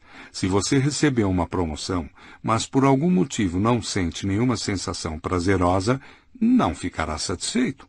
O oposto também é verdadeiro. Se você acabou de ser despedido, ou perdeu um jogo de futebol decisivo, mas está experimentando sensações muito prazerosas, talvez por ter tomado algum comprimido, poderá assim mesmo sentir que está no topo do mundo. A má notícia é que sensações agradáveis passam rapidamente e mais cedo ou mais tarde tornam-se desagradáveis. Nem mesmo marcar o gol da vitória da final da Copa do Mundo de Futebol garante felicidade eterna, Na verdade, a partir daí tudo pode seguir ladeira abaixo. De modo similar, se no ano passado eu ganhei uma promoção inesperada no trabalho, posso até ainda estar ocupando a nova posição, mas as agradáveis sensações que experimentei ao ouvir a notícia desapareceram em poucas horas. Se quiser sentir novamente aquelas sensações maravilhosas, terei de conseguir outra promoção e depois outra. E se não a conseguir, posso ficar ainda mais amargo e enraivecido do que estaria se tivesse continuado a ser um humilde carregador de piano. Essa é a maior falha da evolução. Por gerações incontáveis, nosso sistema bioquímico adaptou-se à necessidade de aumentar nossas probabilidades de sobrevivência e reprodução, não de promover nossa felicidade. O sistema bioquímico recompensa ações que levam à sobrevivência e à reprodução com sensações agradáveis. Mas se trata apenas de um artifício efêmero de venda, nós nos esforçamos para ter comida e um parceiro ou parceira a fim de evitar sensações desagradáveis de fome e de usufruir sabores agradáveis e orgasmos prazerosos. Mas sabores agradáveis e orgasmos prazerosos não duram muito tempo, e se quisermos tornar a senti-los, teremos de sair em busca de mais comida e de parceiros ou parceiras. O que aconteceria se uma mutação rara resultasse na criação de um esquilo que, após comer uma única noz, se tornaria capaz de desfrutar de uma sensação perene de felicidade? Tecnicamente, isso poderia ser feito mediante novas ligações no cérebro do esquilo. Quem sabe isso aconteceu realmente com algum esquilo sortudo milhões de anos atrás? Mas se foi assim, o tal esquilo teve uma vida extremamente feliz e extremamente curta, e esse foi o fim da mutação rara. Pois o feliz animalzinho não teria se dado o trabalho de buscar mais nozes, muito menos um parceiro ou parceira. Os esquilos rivais que sentem fome cinco minutos depois de terem comido uma noz apresentariam mais possibilidades de sobreviver e de transmitir seus genes à geração seguinte. Pela mesma razão, as nozes que nós humanos buscamos reunir, empregos lucrativos, casas espaçosas, parceiros ou parceiras de boa aparência, raramente nos satisfazem por muito tempo. Alguns dirão que isso não é ruim, porque não é o objetivo que nos torna felizes, é a jornada. Escalar o Monte Everest é mais prazeroso do que ficar de pé em seu topo, o flerte e as preliminares são mais excitantes do que o orgasmo em si, e conduzir experimentos inovadores em laboratórios é mais interessante do que receber prêmios e reconhecimento. Mas isso quase não modifica o quadro, indica apenas que a evolução nos controla com uma grande abrangência de prazeres. Às vezes ela nos seduz com sensações de felicidade e tranquilidade, enquanto em outras ocasiões nos empurra adiante com eletrizantes sensações de júbilo e excitação. Quando um animal está em busca de algo que aumente suas probabilidades de sobrevivência e reprodução, por exemplo, alimento, parceiros ou status social, o cérebro produz sensações de vigilância e de excitação que o impelem a fazer esforços ainda maiores, pois elas são muito agradáveis. Num experimento famoso, cientistas conectaram eletrodos ao cérebro de ratos, os quais permitiam aos animais criar sensações de excitação simplesmente apertando um pedal.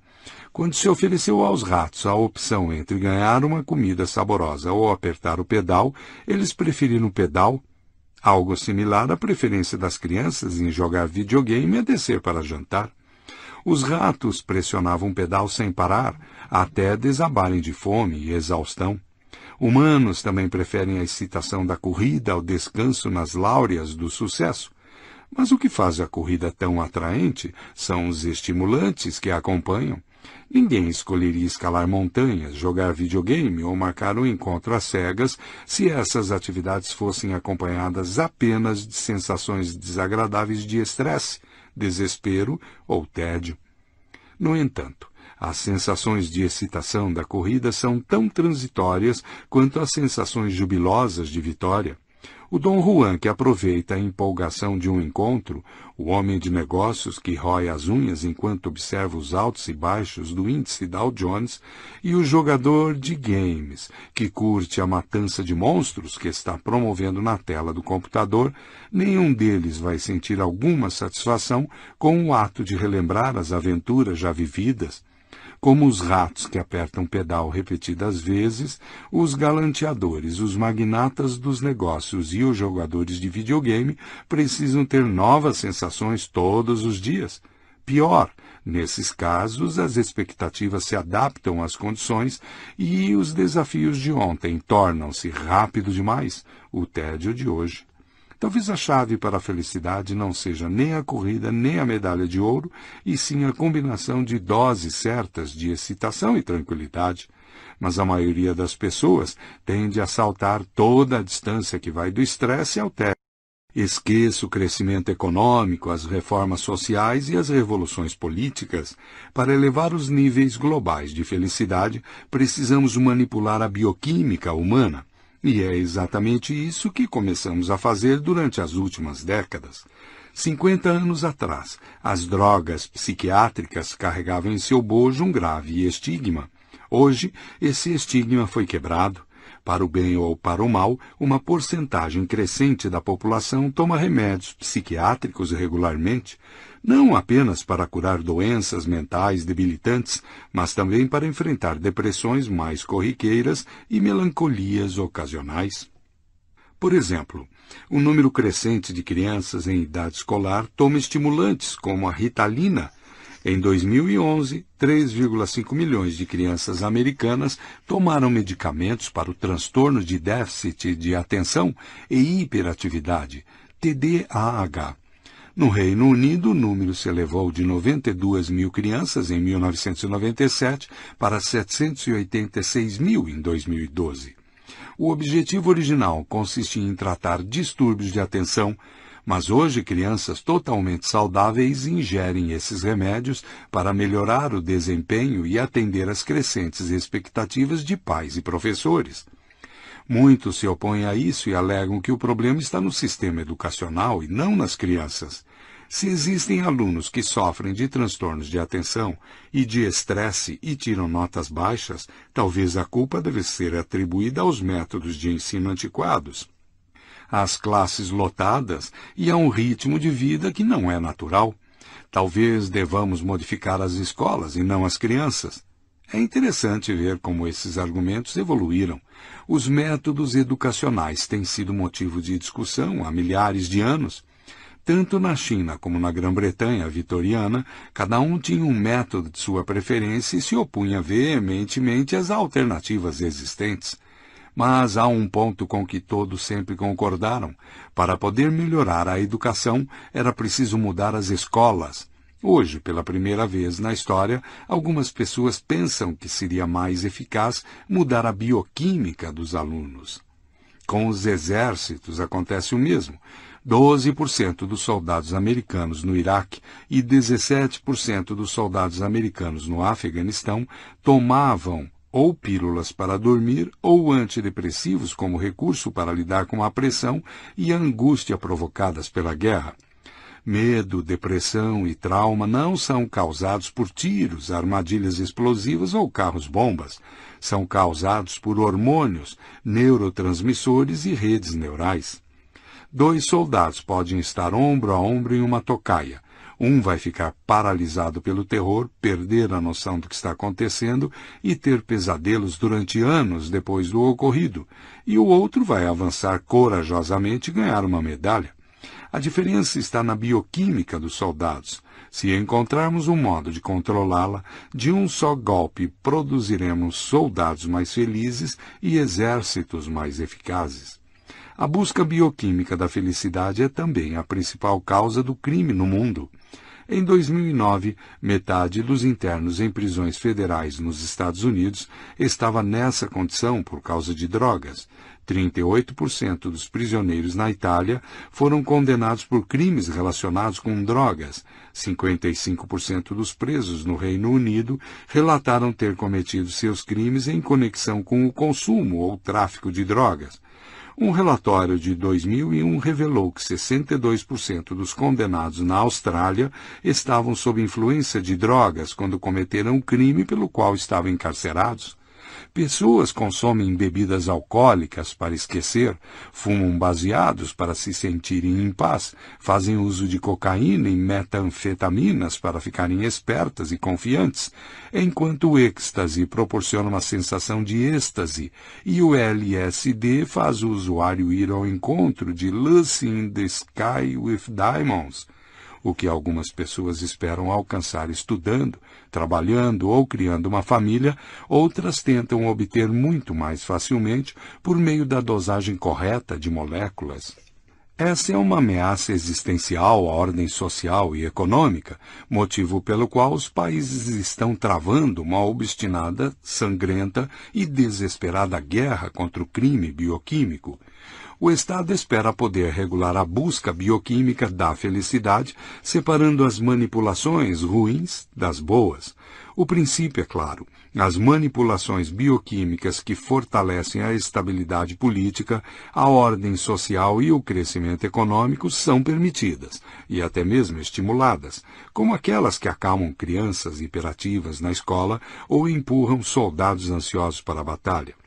Manipulações que ameacem a estabilidade e o crescimento são banidas.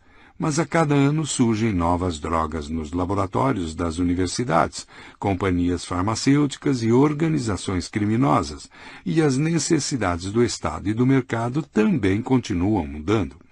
À medida que se acelera a busca bioquímica da felicidade, reconfigura a política, a sociedade e a economia, e fica cada vez mais difícil mantê-la sob controle.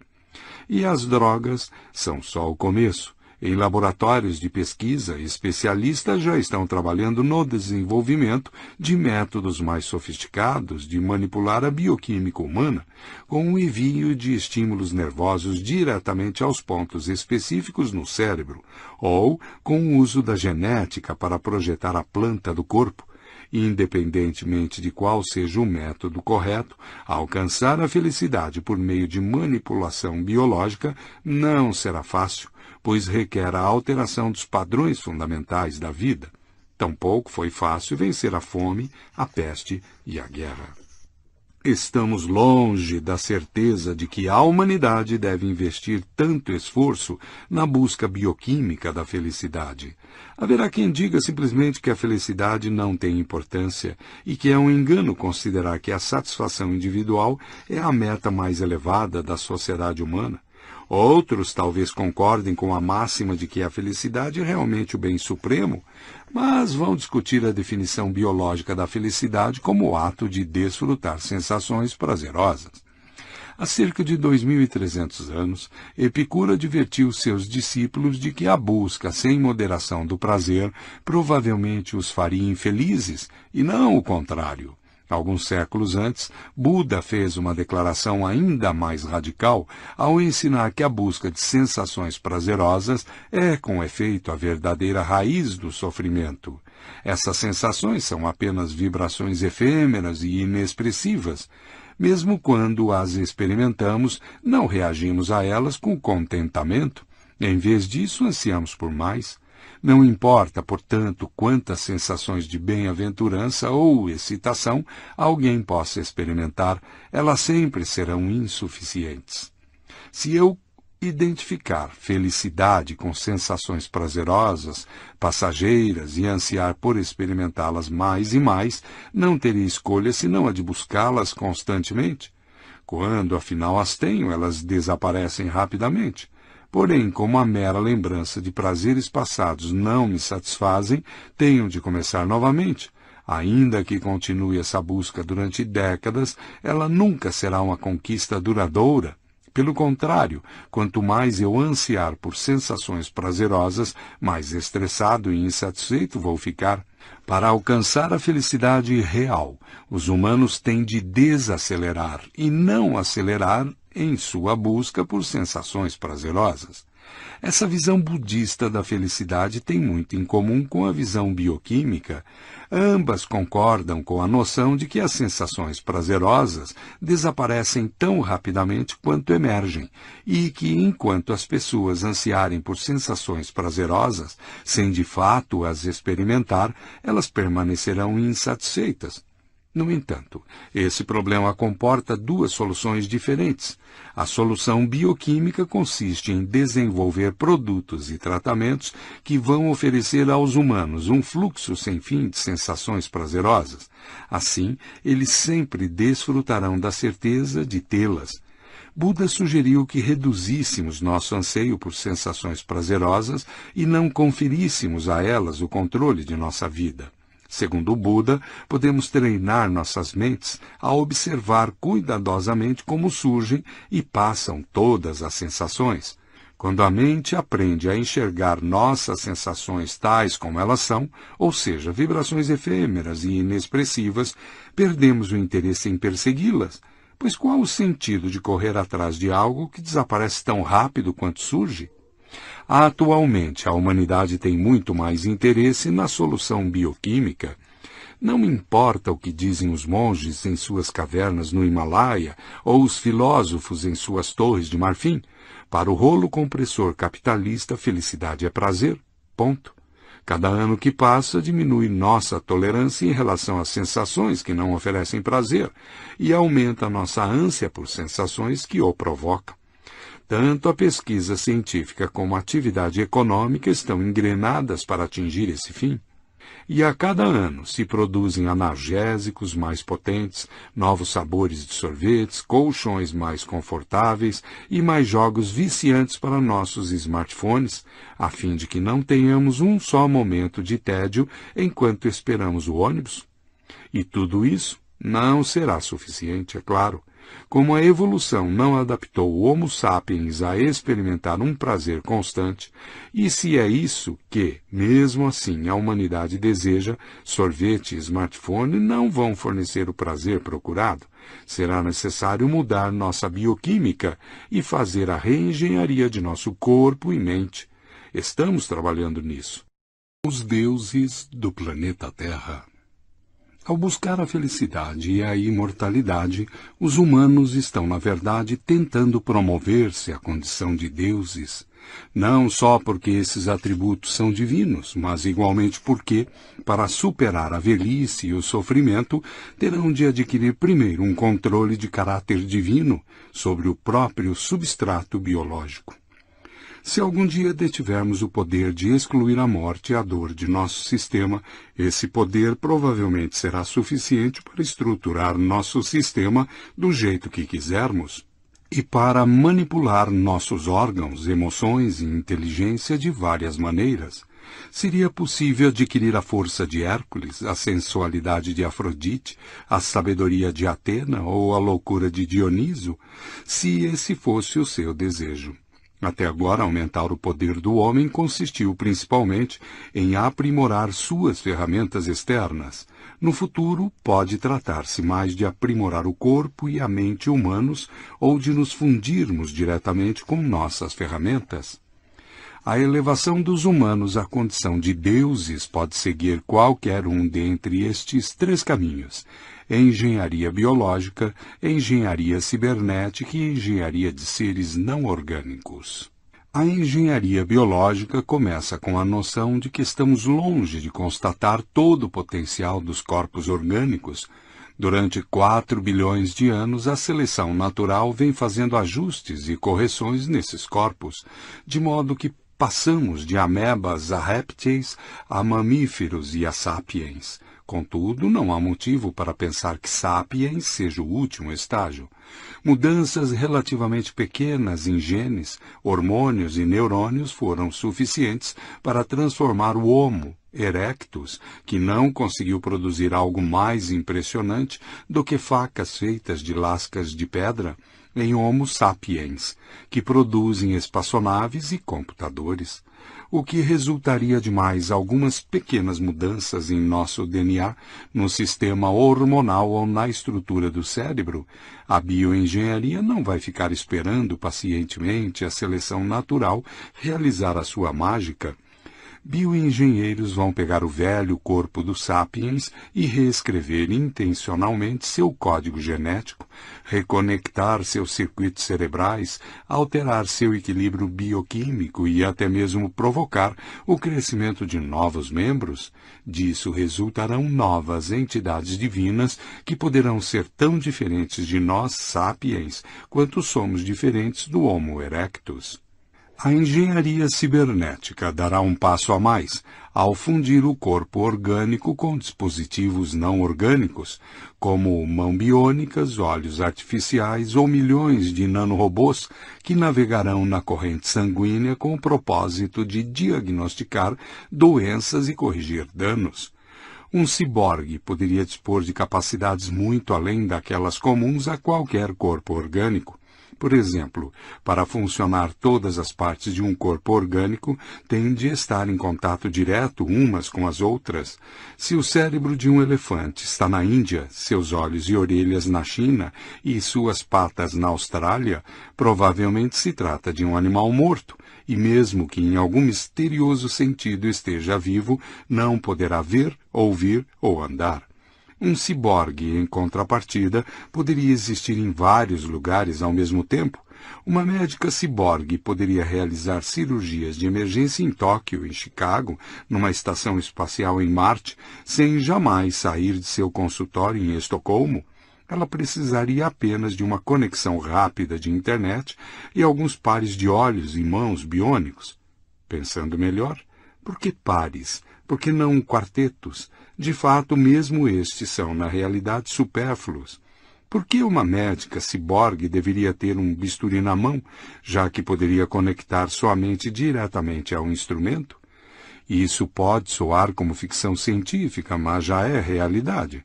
Recentemente, macacos aprenderam a controlar mãos e pés biônicos desconectados do corpo por meio de eletrodos implantados no cérebro, Pacientes com paralisia são capazes de movimentar membros biônicos ou de operar computadores apenas com a força do pensamento.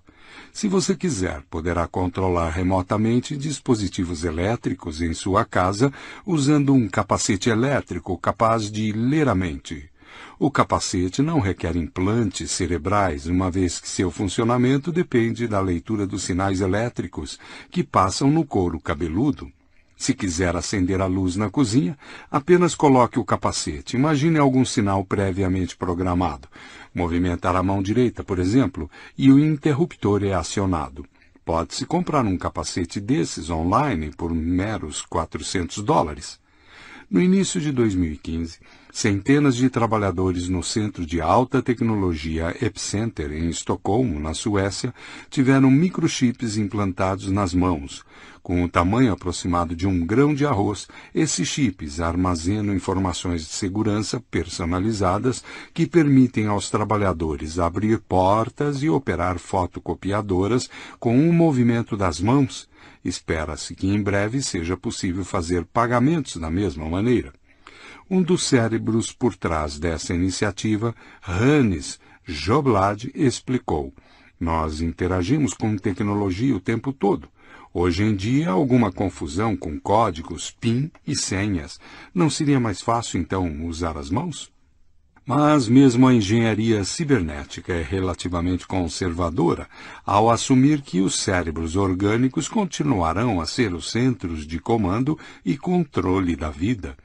Uma abordagem mais ousada dispensa totalmente as partes orgânicas, com a expectativa de dominar a engenharia de seres completamente não orgânicos. Redes neurais serão substituídas por softwares inteligentes que poderiam surfar em mundos virtuais e não virtuais, livres das limitações da química orgânica. Depois de quatro bilhões de anos perambulando no reino dos compostos orgânicos, a vida eclodirá na vastidão do reino inorgânico e assumirá formas que não podemos vislumbrar mesmo em nossos sonhos mais loucos. Afinal, esses sonhos ainda são produto da química orgânica. Sair fora do reino orgânico poderia permitir que a vida finalmente saísse do planeta Terra também. Durante quatro bilhões de anos, a vida permaneceu confinada a este minúsculo fragmento de planeta, porque a seleção natural fez todos os organismos serem totalmente dependentes de condições exclusivas desta rocha voadora. Nem mesmo as bactérias mais resistentes podem sobreviver em Marte. Uma inteligência artificial não orgânica, em contraste, vai achar que é muito mais fácil colonizar outros planetas. A substituição da vida orgânica por seres inorgânicos pode, portanto, ser a semente de um futuro império galáctico, governado por símiles de Mr. Dados e não por Darth Vader. Não sabemos para onde esses caminhos podem nos levar nem que aparência terão nossos descendentes divinoides. Predizer o futuro nunca foi fácil, e biotecnologias avançadas podem dificultar essa empreitada. Por mais difícil que seja prever o impacto de novas tecnologias em campos como transportes, comunicação e energia, tecnologias para o aprimoramento de seres humanos representam um tipo de desafio totalmente distinto como podem ser usadas para transformar mentes e desejos humanos, pessoas que têm mentes e desejos atuais não podem, por definição, compreender suas implicações. Por milhares de anos, reviravoltas tecnológicas, econômicas, sociais e políticas fizeram parte da história, mas algo permaneceu constante. A humanidade por isso ainda conseguimos nos reconhecer nas páginas da Bíblia, nos textos de Confúcio ou nas tragédias de Sófocles e Eurípides. Esses clássicos foram criados por humanos como nós e sentimos que eles falam a nosso respeito. Em produções teatrais modernas, Édipo, Hamlet e Otelo poderiam vestir jeans e camisetas e ter contas no Facebook, mas seus conflitos emocionais seriam os mesmos dos da peça original.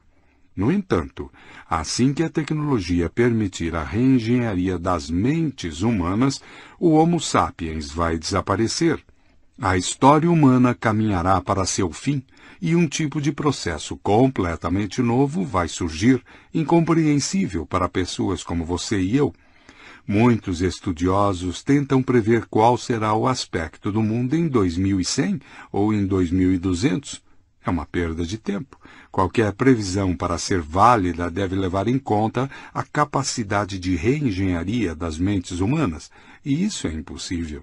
Há muitas respostas sensatas para a pergunta: o que pessoas com mentes como as nossas fariam com a biotecnologia?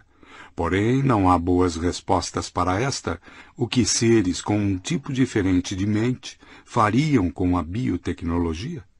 Tudo o que podemos dizer é que pessoas como nós provavelmente usariam a biotecnologia na reengenharia das próprias mentes, e que nossas mentes atuais não conseguem captar o que pode acontecer depois. Mesmo que os detalhes sejam obscuros, podemos ter uma noção correta da direção geral da história. No século XXI, o terceiro grande projeto da humanidade será adquirir poderes divinos de criação e destruição e elevar o Homo sapiens à condição de Homo Deus. Esse terceiro projeto, obviamente, engloba os dois primeiros e é por eles alimentado. Queremos ter a capacidade de fazer a reengenharia de nosso corpo e mente, acima de tudo para escapar à velhice, à morte e à infelicidade. Mas, uma vez dispondo disso, o que mais poderíamos fazer com tal capacidade? Assim, bem podemos pensar que a nova agenda humana, na realidade, consiste em um só projeto com muitos ramos, alcançar a divindade. Se isso não soa científico ou se parece totalmente excêntrico, é porque com frequência as pessoas entendem mal o sentido da divindade. Divindade não é uma vaga qualidade metafísica e não é o mesmo que onipotência. Quando se fala em elevar humanos à condição de deuses, a ideia diz mais respeito aos deuses gregos ou aos devas hindus do que a um Pai celestial bíblico e onipotente. Nossos descendentes ainda teriam seus pontos fracos, suas imperfeições e limitações, assim como Zeus e Indra tiveram os seus mas seriam capazes de amar, odiar, criar e destruir numa escala muito maior do que a nossa. No decorrer da história, acreditou-se que a maioria dos deuses não era onipotente, mas possuía supercapacidades específicas, tais como a de projetar e criar seres vivos, transformar o próprio corpo, controlar o meio ambiente e o clima, ler mentes e se comunicar à distância, movimentar-se a velocidades muito altas e, obviamente, escapar da morte e viver infinitamente. Os seres humanos estão tratando de adquirir todas essas capacidades e outras mais. Certas aptidões tradicionais, que durante milênios foram consideradas divinas, tornaram-se tão comuns que quase não pensamos nelas. Hoje, uma pessoa mediana se move e se comunica a grandes distâncias com muito mais facilidade do que antigos deuses gregos, hindus ou africanos. Por exemplo, o povo Igbo da Nigéria acredita que, no início, Chukwu, o deus da criação, quis fazer as pessoas imortais. Ele mandou um cão dizer aos humanos que deveriam borrifar o corpo dos mortos com cinzas, e com isso o corpo voltaria à vida. Infelizmente, o cão estava cansado e demorou-se no caminho. O impaciente Shukyu enviou então uma ovelha, dizendo-lhe que se apressasse em levar essa importante mensagem. Mas, quando chegou a seu destino, a ofegante ovelha confundiu as instruções e disse aos humanos que enterrassem seus mortos.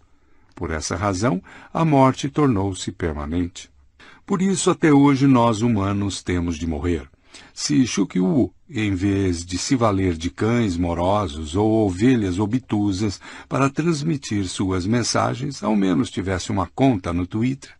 Em antigas sociedades agrícolas, a maioria das religiões não girava em torno de questões metafísicas e do pós-vida, mas da mundana questão de aumentar a produção agrícola. Assim, o Antigo Testamento nunca promete nenhuma recompensa ou punição após a morte.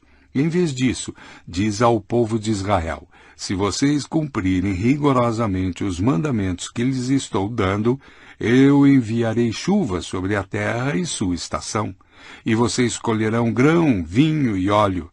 Eu lhes proverei pasto nos campos para seu gado, e vocês comerão e se fartarão. Tenham cuidado. De outro modo, seus corações os enganarão e vocês se voltarão para servir outros deuses e os cultuar a ira de Deus arderá contra vocês de tal modo que ele conterá os céus e não choverá. A terra não concederá seu produto e vocês serão rapidamente desprovidos da boa terra que o Senhor está prestes a lhe dar. Deuteronômio, capítulo 11, versículos 13 e 17. Atualmente, cientistas podem fazer muito melhor do que o Deus do Antigo Testamento, graças a fertilizantes artificiais, inseticidas industriais e safras geneticamente modificadas, a produção agrícola hoje ultrapassa as mais altas expectativas que os antigos agricultores tinham de seus deuses. E o ressecado Estado de Israel não teme mais que alguma divindade irada contenha os céus e detenha todas as chuvas, pois os israelenses construíram recentemente uma imensa usina de dessalinização na costa do Mediterrâneo, de modo que já podem extrair água potável do mar. Até agora estávamos competindo com os deuses da antiguidade na criação de ferramentas cada vez melhores. Num futuro não tão distante, poderíamos criar super-humanos capazes de exceder os deuses antigos, não em suas ferramentas, mas em suas faculdades corporais e mentais. Se e quando chegarmos lá, no entanto, a divindade terá se tornado tão corriqueira quanto o cyberespaço, uma maravilha das maravilhas que já consideramos como certa.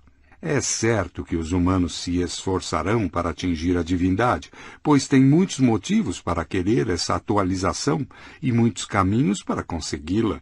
Mesmo que um caminho promissor se revele um beco sem saída, rotas alternativas permanecerão abertas. Por exemplo, talvez descubramos que o genoma humano é complicado demais para ser manipulado com seriedade, mas isso não impede o desenvolvimento de interfaces entre cérebro, computador, nanorobôs ou inteligência artificial. Não é preciso entrar em pânico, contudo, pelo menos não imediatamente. A elevação dos sapiens a um nível superior será mais um processo histórico gradual do que um apocalipse hollywoodiano. O Homo sapiens não vai ser exterminado por um levante de robôs é mais provável que sua atualização ocorra passo a passo, fundindo-se no processo com robôs e computadores, até que nossos descendentes olhem para trás e se deem conta de que não são mais o tipo de animal que escreveu a Bíblia, construiu a grande muralha da China e riu das graças de Charles Chaplin.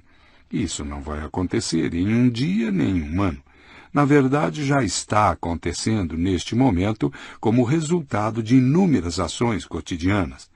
Todo dia, milhões de pessoas decidem dar a seu smartphone um pouco mais de controle sobre suas vidas, ou experimentam uma droga antidepressiva nova e. Alguém pode, por favor, pisar nos freios? Explicações tranquilas à parte, muitas pessoas entram em pânico quando ouvem falar dessa possibilidade. Elas estão felizes de seguir as recomendações de seus smartphones ou de tomar qualquer droga prescrita por seu médico, mas, quando ouvem falar de humanos elevados à categoria de super-humanos, dizem: espero estar morto antes que isso aconteça. Uma amiga me disse uma vez o que o que mais teme quanto a envelhecer é tornar-se irrelevante, uma mulher nostálgica incapaz de compreender o mundo à sua volta ou de contribuir para ele. É isso que tememos coletivamente, como espécie, quando ouvimos falar de super-humanos. Sentimos que em um mundo assim nossa identidade, nossos sonhos e até nossos temores serão irrelevantes e não teremos mais nada com que contribuir o que quer que você seja hoje, um jogador de cricket e hindu devoto ou uma ambiciosa jornalista lésbica, no mundo pós-atualização, você se sentiria como um caçador do Neandertal em Wall Street? Você não teria uma sensação de pertencimento? Os Neandertais não tinham de se preocupar com o Nasdaq, já que estavam protegidos dele por dezenas de milhares de anos. No entanto, o mundo como o entendemos hoje pode entrar em colapso em décadas. Não podemos contar com a morte para nos salvar da irrelevância. Mesmo que os deuses não caminhem por nossas ruas em 2100, a tentativa de elevar o Homo sapiens provavelmente tornará o mundo irreconhecível ainda neste século. A pesquisa científica e os desenvolvimentos tecnológicos estão se processando em um ritmo muito mais rápido daquele que a maioria de nós pode compreender.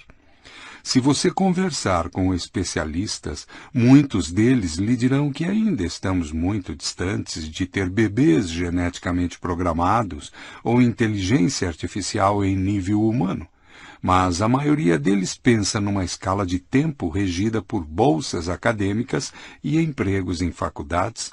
Portanto, muito distante, pode significar 20 anos e nunca pode denotar nada mais que 50 anos. Lembro o dia em que deparei com a internet pela primeira vez. Foi em 1993, quando eu cursava o ensino médio. Fui com alguns companheiros visitar um amigo chamado Ido, hoje um cientista de computação. Queríamos jogar ping-pong. Ido era aficionado de computadores e antes de abrir a mesa de ping-pong insistiu em nos mostrar a mais recente maravilha de sua área. Conectou um cabo telefônico ao seu computador e pressionou algumas teclas. Por um minuto tudo o que conseguimos ouvir foram rangidos, guinchos, zumbidos e depois silêncio. Não tinha dado certo. Nós resmungamos e protestamos, mas Ido tentou mais uma vez, e outra, e outra. Finalmente ele deu um grito e anunciou que tinha conseguido conectar seu computador ao computador central da universidade, que ficava ali perto. E o que tem no computador central? perguntamos. Bem, ele admitiu, ainda não tem nada, mas dá para pôr todo tipo de coisas lá. Como o quê? perguntamos. Não sei. Ele disse todo tipo de coisas. Isso não soava muito promissor. Vamos jogar ping-pong. E nas semanas seguintes, nos divertimos com um novo passatempo, fazendo graça da ridícula ideia de Ido. Isso foi mais ou menos de 25 anos atrás, em relação ao momento em que escrevo. Quem sabe o que vai se passar em 25 anos a partir de agora? É por isso que, cada vez com mais frequência, indivíduos, organizações, corporações e governos estão pensando muito seriamente na busca da imortalidade, da felicidade e de poderes divinos. Companhias de seguro, fundos de pensão, sistemas de saúde e ministérios de fazenda estão horrorizados com o salto na expectativa de vida humana. As pessoas estão vivendo muito mais do que se esperava e não há dinheiro suficiente para pagar sua aposentadoria e os tratamentos médicos de que necessitam. Os 70 anos ameaçam tornar-se os novos 40 e especialistas defendem a elevação da idade de aposentadoria e a reestruturação do mercado de trabalho quando nos damos conta da rapidez com que nos aproximamos do grande desconhecido e de que não podemos contar nem mesmo com a morte para nos proteger disso, nossa reação é esperar que alguém pise nos freios para nos desacelerar. Mas não podemos pisar nos freios por diversas razões. Primeiro, ninguém sabe onde os freios estão. Embora alguns especialistas conheçam bem os desenvolvimentos em algum campo, como é o caso da inteligência artificial, da nanotecnologia, de megadados ou da genética, Ninguém é especialista em tudo. Ninguém, portanto, é capaz de ligar todos os pontos e enxergar o quadro completo. Os diversos campos influenciam uns aos outros de maneiras tão intricadas que mesmo as mentes mais avançadas não conseguem prever como descobertas em inteligência artificial podem impactar a nanotecnologia ou vice-versa. Ninguém consegue absorver todas as recentes descobertas científicas. Ninguém é capaz de predizer qual será o aspecto da economia global daqui a dez anos. E ninguém tem uma pista de para onde estamos indo nessa carreira desabalada. Como ninguém compreende o sistema como um todo, ninguém pode fazê-lo parar. Segundo, se alguém de algum modo conseguir pisar nos freios, nossa economia vai entrar em colapso, assim como a sociedade. Como será explicado em um capítulo adiante, a economia moderna precisa de um crescimento constante e por tempo indefinido para sobreviver. Se o crescimento parar, a economia não vai se ajustar num patamar mais baixo, num equilíbrio aconchegante. Ela se despedaçará é por isso que o capitalismo nos incentiva a buscar a imortalidade, a felicidade e a divindade. Há um limite para o número de sapatos que podemos calçar, para o número de carros que podemos guiar e para os dias de férias que podemos usufruir. Uma economia construída sobre um crescimento perpétuo apresenta uma necessidade interminável de projetos, tais como a busca da imortalidade, da felicidade e da divindade. Bem, mesmo com uma necessidade sem fim de projetos, por que não se fixar na felicidade e na imortalidade, deixando de lado a amedrontadora questão dos poderes sobre-humanos, porque eles são inseparáveis dos outros dois? Quando se desenvolvem pernas biônicas que permitem a paraplégicos caminhar novamente, a mesma tecnologia pode ser aprimorada para pessoas saudáveis. Quando se descobre como deter a perda de memória dos idosos, os mesmos tratamentos poderiam ser aplicados para melhorar a memória dos jovens. Não existe uma linha que separa claramente a cura do aprimoramento. A medicina quase sempre atua salvando pessoas de se posicionarem abaixo dos padrões existentes, mas as mesmas ferramentas e o mesmo know-how podem mais tarde ser usados para elevá-los. O Viagra começou como um tratamento para problemas de pressão sanguínea. Para surpresa e deleite da Pfizer, acabou se revelando como uma droga que também pode se sobrepor à impotência ele permitiu a milhões de homens recuperar aptidões sexuais normais, mas não demorou muito para que homens que não enfrentavam problemas de impotência passassem a usar a mesma pílula para elevar o padrão e adquirir uma potência sexual que não tinham antes. O que acontece com drogas específicas pode acontecer também com campos inteiros da medicina. A cirurgia plástica moderna surgiu na Primeira Guerra Mundial, quando Harold Gillies começou a tratar de lesões faciais no Hospital Militar de Aldershot. Quando a guerra terminou, os cirurgiões descobriram que aquelas técnicas poderiam transformar narizes perfeitamente saudáveis, mas feios, em espécimes mais bonitos. Embora a cirurgia continuasse a ajudar os doentes e os lesionados, cada vez mais atenção foi dedicada ao aprimoramento do saúde. Mesmo poderia acontecer com a engenharia genética. Se um bilionário declarasse abertamente o desejo de criar uma prole superinteligente, haveria clamor público. Mas isso não vai acontecer desse modo mas provavelmente vamos deslizar por uma encosta escorregadia que tem início com pais cujo perfil genético poria seus filhos em alto risco de serem portadores de doenças genéticas fatais. Eles, então, realizam a fertilização in vitro e testam o DNA do óvulo fertilizado. Se tudo estiver em ordem, ótimo. Mas se o teste de DNA revelar mutações indesejadas, o embrião é destruído. Mas por que arriscar fertilizando um único óvulo? Melhor seria fertilizar vários, de maneira que, ainda que se três ou quatro fossem defeituosos, haveria pelo menos um bom. Quando esse procedimento de seleção in vitro se tornar aceitável e barato, seu emprego poderá se disseminar. Mutações constituem um risco onipresente. Todas as pessoas carregam em seu DNA algumas mutações danosas e alelos que estão aquém da condição ótima. A reprodução sexual é uma loteria. Uma anedota famosa e provavelmente apócrifa conta de uma conversa em 1923 entre o Prêmio Nobel de Literatura Anatole France e a bela e talentosa dançarina Isadora Duncan. Debatendo o então popular movimento pela eugenia, Duncan disse: Imagine só uma criança com a minha beleza e o seu cérebro. France retrucou: Sim, mas imagine uma criança com a minha beleza e o seu cérebro.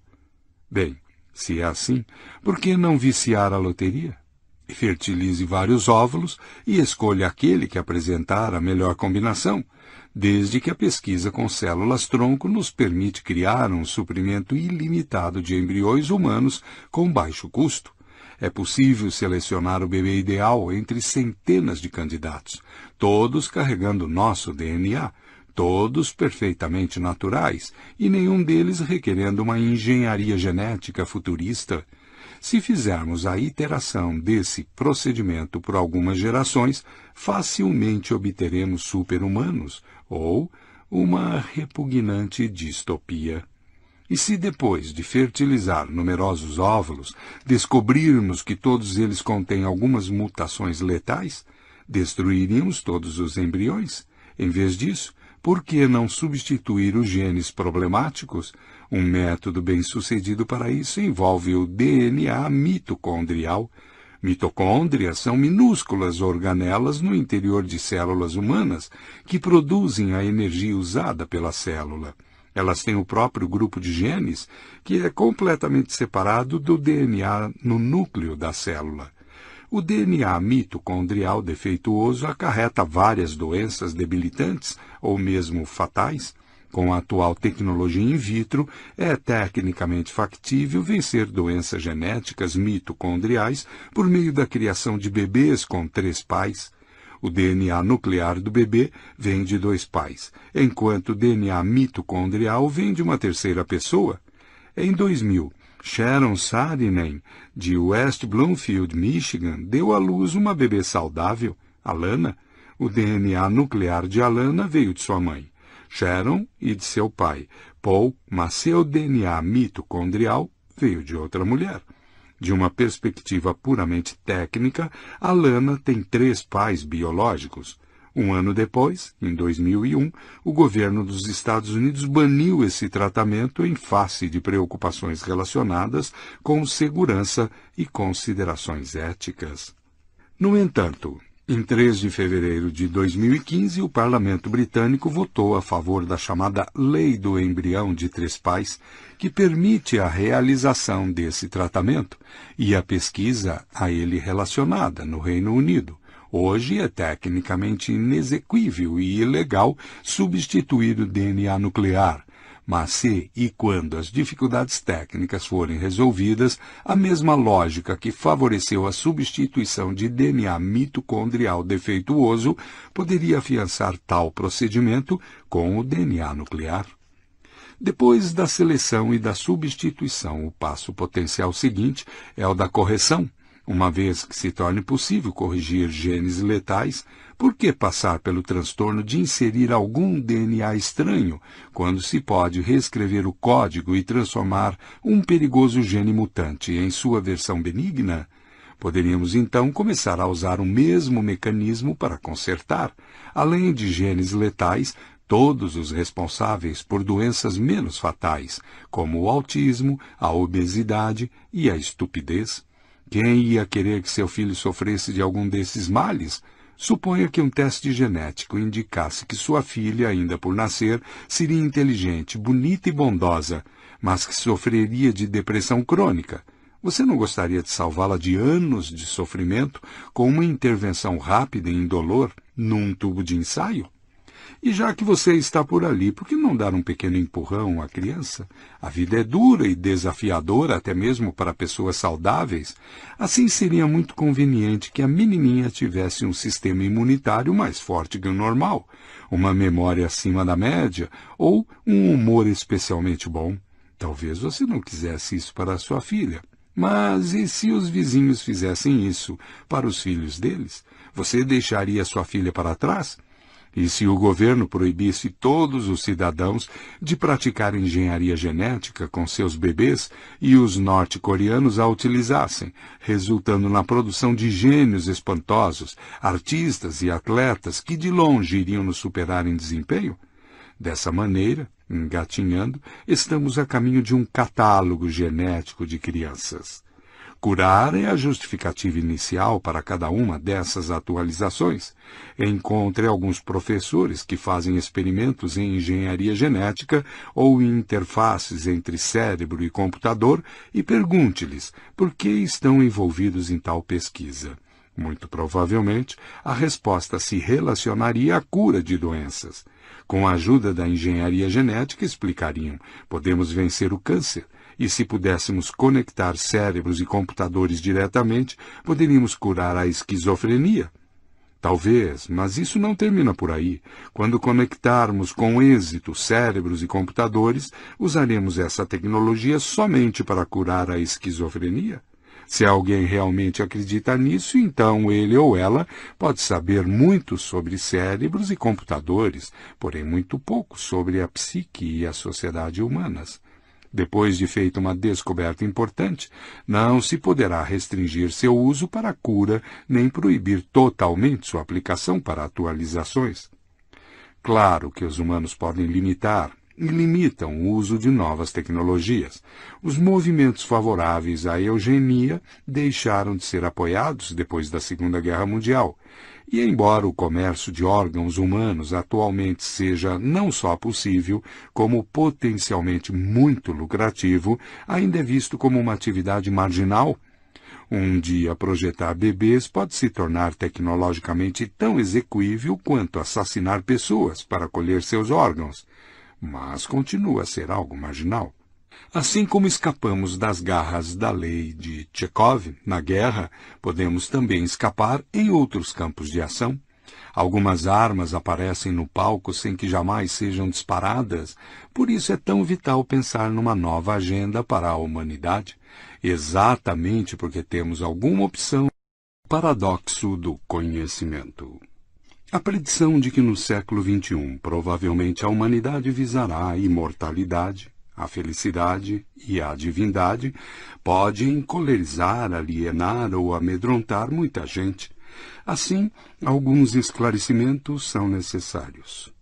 Primeiro, não é isso que a maioria das pessoas efetivamente fará no século XXI. Provavelmente desempenharemos um papel menor, se é que teremos algum papel, nesses projetos. Mesmo que a fome, a peste e a guerra se tornem menos prevalentes, bilhões de humanos que vivem em países em desenvolvimento e em localidades esquálidas continuarão a ter de lidar com a pobreza, a doença e a violência mesmo quando as elites estiverem em busca de juventude eterna e poderes divinos. Isso parece ser patentemente injusto. Pode-se então alegar que, enquanto uma única criança morrer de desnutrição ou um só adulto for morto na guerra do tráfico, a humanidade deve concentrar todos os seus esforços no combate a esses inimigos. Apenas quando a última espada for convertida em arado, poderemos voltar nossas mentes para a próxima grande causa. Mas a história não funciona assim. A agenda dos que vivem em palácios é diferente da dos que vivem em barracos, e não é provável que isso vá mudar no século XXI. Segundo o que se tem aqui é uma previsão histórica e não um manifesto político. Mesmo desconsiderando a sina dos que vivem em favelas, não estamos certos, longe disso, de que devamos visar a imortalidade, a felicidade e a divindade. A adoção desses projetos específicos pode ser um grande erro. Entretanto, a história está cheia de grandes equívocos. Considerando o que fizemos no passado e nossos valores atuais, é provável que saiamos em busca da felicidade, da divindade e da imortalidade, mesmo que isso acabe por nos matar. Terceiro, sair em busca de uma coisa não é o mesmo que obtê-la. A história, não raro, é moldada por esperanças exageradas. A história da Rússia no século XX foi significativamente moldada pela tentativa comunista de superar a desigualdade, mas não foi bem sucedida. Minha previsão está focada no que o gênero humano vai tentar alcançar no século XXI e não no que vai conseguir alcançar. Nossa futura economia, sociedade e política serão moldadas pela tentativa de superar a morte. Daí não se segue, porém, que em 2100 sejamos imortais. Quarto e mais importante, essa predição é menos uma profecia e mais um modo de discutir nossas escolhas atuais. Se essa discussão nos fizer optar por algo diferente, de modo que a predição se demonstre errada, melhor ainda, de que vale fazer predições se elas não forem capazes de provocar nenhuma mudança? Alguns sistemas complexos, como o clima, são contrários a nossas predições. O processo do desenvolvimento humano, em contrapartida, reage a elas. De fato, quanto melhores nossas predições, mais reações elas criam. Paradoxalmente, enquanto acumulamos mais dados e incrementamos nosso poder de computação, os eventos tornam-se mais desenfreados e inesperados. Quanto mais sabemos, menos somos capazes de predizer. Imagine, por exemplo, que um dia especialistas decifrem as leis básicas da economia. Quando isso acontecer, bancos, governos, investidores e clientes começarão a usar esse novo conhecimento para atuar de maneiras novas e diferentes a fim de obter vantagem sobre seus competidores. Pois para que serve um novo conhecimento se não para levar a novos comportamentos? Mas uma vez que as pessoas mudem sua maneira de se comportar, as teorias econômicas tornam-se obsoletas. Podemos saber como a economia funcionou no passado, porém não entendemos mais como funcionam no presente, e muito menos no futuro. Esse não é um exemplo hipotético. Em meados do século XIX, Karl Marx chegou a brilhantes insights econômicos, com base neles, predisse a ocorrência de um conflito crescente e violento entre o proletariado e os capitalistas, que terminaria com a inevitável vitória dos primeiros e com o colapso do sistema capitalista. Marx tinha certeza de que a revolução começaria em países que tinham liderado a revolução industrial, como Grã-Bretanha, França e Estados Unidos, e se espalharia pelo resto do mundo. Marx esqueceu-se de que os capitalistas sabem ler. No início, só um punhado de discípulos o levou a sério e leu seus escritos. No entanto, quando essas primeiras fagulhas socialistas ganharam adesões e poder, os capitalistas ficaram alarmados. Eles também leram atentamente Das Kapital, adotando muitos instrumentos e conceituações da análise marxista. No século XX, todo mundo, de pivetes na rua a presidentes, adotou uma abordagem marxista da economia e da história.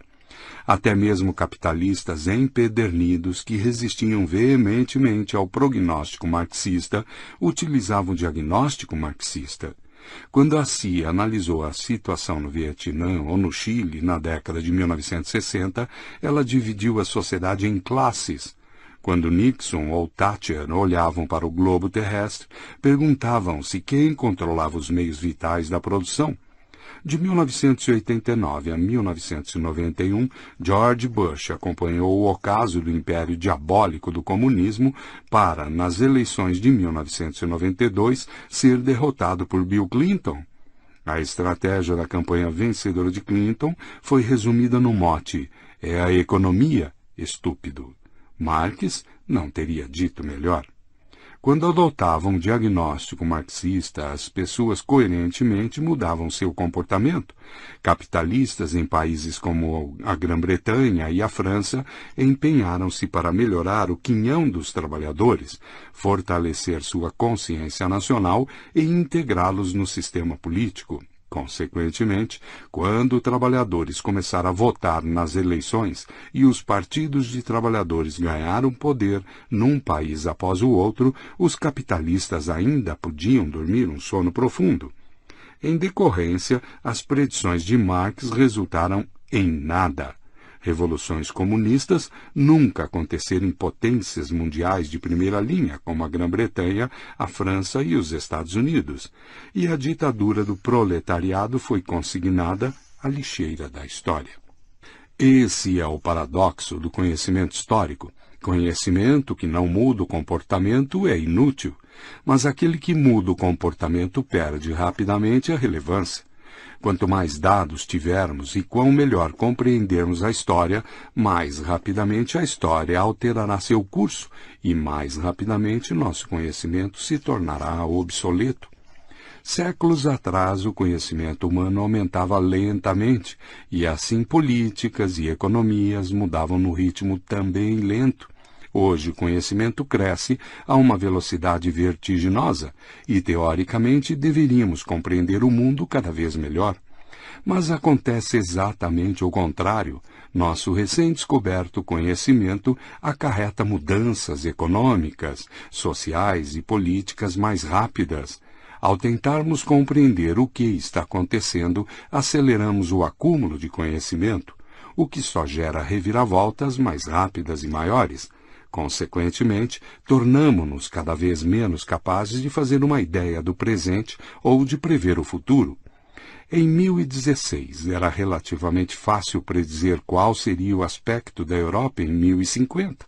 Claro, dinastias poderiam cair, invasões de desconhecidos poderiam acontecer e desastres naturais poderiam ocorrer mas estava claro que em 1050 a Europa ainda seria governada por reis e sacerdotes, que seria uma sociedade agrícola que a maioria de seus habitantes seria de camponeses e que fomes, pestes e guerras continuariam a ceifar muitas vidas. Em contraste, em 2016 não temos ideia de qual será o aspecto da Europa em 2050 não somos capazes de dizer que tipo de sistema político ela terá, como estará estruturado seu mercado de trabalho, nem mesmo que tipo de corpo terão seus habitantes. Uma breve história dos gramados. Se a história não segue regras estáveis e se não somos capazes de predizer seu curso futuro, por que estudá-la? Parece frequentemente que o principal objetivo da ciência é predizer o futuro. Espera-se que os meteorologistas prevejam se o tempo amanhã será de chuva ou de sol. Os economistas deveriam saber se a desvalorização da moeda evitará ou precipitará uma crise econômica. Bons médicos deveriam antecipar se a quimioterapia ou a radioterapia terão mais sucesso na cura do câncer de pulmão. Da mesma forma, pede-se a historiadores que examinem as ações de nossos antepassados para que possamos repetir suas decisões sensatas e evitar seus erros. Mas quase nunca as coisas funcionam assim, simplesmente porque o presente é muito diferente do passado. É perda de tempo estudar as táticas de Aníbal na Segunda Guerra Púnica para aplicá-las na Terceira Guerra Mundial. O que funcionou bem nas batalhas de cavalaria não será necessariamente muito útil. Isso é especialmente verdadeiro no que diz respeito à história, embora historiadores ocasionalmente arrisquem fazer profecias, sem muito sucesso. O estudo da história visa, acima de tudo, nos tornar cientes de possibilidades que talvez não levássemos em consideração. Historiadores estudam o passado não para poder repeti-lo, e sim para poder se libertar deles. Cada um de nós e todos nós nascemos numa determinada realidade histórica, governada por normas e valores específicos e conduzida por um sistema econômico e político ímpar. Vemos essa realidade como fato consumado e a achamos natural, inevitável e imutável. Esquecemos que nosso mundo foi criado numa cadeia de eventos acidental e que a história configurou não apenas a tecnologia, a política e a sociedade, mas também nossos pensamentos, temores e sonhos. A mão fria do passado emerge do túmulo de nossos ancestrais, nos agarra pelo pescoço e nos força a olhar na direção de um único futuro, Sentimos essa constrição desde o momento em que nascemos e assim presumimos que ela é parte natural e inescapável do que somos. Portanto, raramente tentamos nos livrar dela para antever futuros alternativos. O estudo da história tem o objetivo de nos livrar dessa submissão ao passado ele nos permite voltar a cabeça para mais de uma direção e começar a perceber possibilidades inimagináveis para nossos antepassados. Ao observar a cadeia acidental de eventos que nos trouxe até aqui, nos damos conta de como nossos pensamentos e sonhos ganharam forma. E podemos começar a pensar e sonhar de modo diferente. O estudo da história não dirá qual deve ser nossa escolha, mas ao menos nos dará mais opções. Movimentos que buscam mudar o mundo frequentemente começam com a reescrita da história, permitindo reimaginar o futuro. Se você quer que trabalhadores façam uma greve geral, que as mulheres assumam que são donas do próprio corpo ou que minorias oprimidas exijam direitos políticos, o primeiro passo é recontar sua história. A nova história vai explicar que nossa situação atual não é nem natural nem eterna. As coisas uma vez já foram diferentes. O mundo injusto que conhecemos hoje foi criado apenas por uma série de eventos ocasionais. Se agirmos com sabedoria, poderemos mudar este mundo e criar um mundo melhor. É por isso que marxistas recontam a história do capitalismo, que feministas estudam a formação das sociedades patriarcais e que afro-americanos rememoram os horrores do tráfico negreiro. O objetivo não é perpetuar o passado, e sim libertar-se dele. O que é verdadeiro para as grandes revoluções sociais é igualmente verdadeiro para o micronível da vida cotidiana. Um jovem casal que constrói para si uma casa nova talvez peça ao arquiteto um lindo gramado no jardim da frente. Por que um gramado? Porque gramados são bonitos e é a possível resposta. Mas por que eles acham isso? Porque existe uma história por trás desse desejo. Os caçadores-coletores da Idade da Pedra não plantavam gramados na entrada de suas cavernas. Nenhuma pradaria verde dava boas-vindas a quem visitava a Acrópole de Atenas, o Capitólio em Roma, o Templo Judaico em Jerusalém ou a Cidade Proibida em Beijing. A ideia de criar um gramado na entrada de residências privadas e edificações públicas nasceu nos castelos de aristocratas franceses e ingleses no final da Idade Média. No início da Era Moderna, esse costume enraizou-se e tornou-se uma marca registrada da nobreza. Gramados bem cuidados exigiam terra e muito trabalho, particularmente antes de haver cortadores de grama e irrigadores de água automáticos. E em troca, não produziam nada que tivesse valor material, nem mesmo podiam servir de pasto, porque os animais comeriam e esmagariam a grama.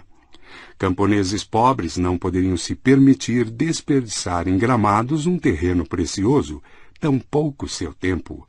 Portanto, a despojada relva na entrada dos castelos representava um sinal de status inconfundível. Ela proclamava ostensivamente a todo passante: Sou tão rico e poderoso, tenho tantos acres e servos, que posso me permitir essa extravagância verde. Quanto maior e mais bem arranjado o gramado, mais poderosa era a dinastia. Quem fosse visitar um duque e visse que seu gramado estava em mau estado, saberia que se tratava de um nobre em dificuldades. O precioso gramado era muitas vezes o cenário para importantes comemorações e eventos sociais, e em todas as outras ocasiões o acesso a ele era rigorosamente proibido. Até hoje, em inúmeros palácios, prédios governamentais e lugares públicos, um aviso severo anuncia: é proibido pisar na grama. Em Oxford, onde estudei, o pátio era todo formado por um grande e atraente gramado, sobre o qual só era permitido caminhar ou sentar num único dia do ano. Em qualquer outro dia, ai do pobre estudante cujo pé profanasse a santa relva. Palácios reais e castelos ducais fizeram do gramado um símbolo de autoridade, no final da Era Moderna, quando reis eram derrubados e duques guilhotinados, os novos presidentes e primeiros ministros conservaram os gramados. Parlamentos, cortes supremas, residências presidenciais e outros edifícios públicos cada vez mais proclamavam seu poder em uma fileira após a outra de bem cuidados canteiros verdes. Simultaneamente, os gramados conquistaram o mundo dos esportes. Durante milhares de anos, os humanos praticaram jogos em quase todo tipo de terreno imaginável, do gelo ao deserto. Mas nos últimos dois séculos, os jogos realmente importantes, como no futebol e no tênis, são disputados em gramados. Contanto, é claro, que se tenha dinheiro. Nas favelas do Rio de Janeiro, a futura geração do futebol brasileiro chuta remedos de bolas na areia e na sujeira Contudo, em bairros abastados, filhos de gente rica se divertem em gramados meticulosamente tratados.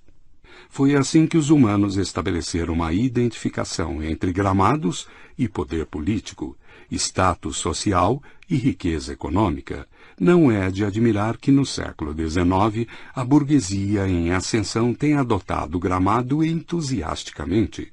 No início, somente banqueiros, advogados e industriais podiam permitir tais luxos em suas residências. Mas quando a Revolução Industrial aumentou a presença da classe média e fez surgirem o cortador de grama e o aspersor automático de água, milhões de famílias puderam permitir-se ter um relvado em casa nos subúrbios americanos, gramados limpos e bem cuidados deixaram de ser luxo de gente rica e passaram a ser vistos como uma necessidade da classe média. Foi então que o novo rito foi acrescentado à liturgia suburbana, Após os serviços da manhã de domingo na igreja, muita gente com devoção vai aparar seus gramados. Caminhando pelas ruas, você rapidamente verifica qual a riqueza e a situação de cada família pelo tamanho e pela qualidade de seu gramado.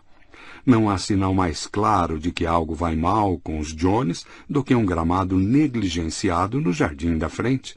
A grama é atualmente, depois do milho e do trigo, o cultivo mais disseminado nos Estados Unidos, e a indústria dos gramados, plantas, esterco, cortadores de grama, aspersores, jardineiros, fatura bilhões de dólares a cada ano. O gramado não é uma mania restrita a europeus e americanos. Até mesmo pessoas que nunca visitaram o Vale do Loire podem ver presidentes dos Estados Unidos fazendo discursos no gramado da Casa Branca, jogos de futebol importantes sendo disputados em estádios verdes e Homer e Bart Simpson discutindo de quem é a vez de cortar a grama.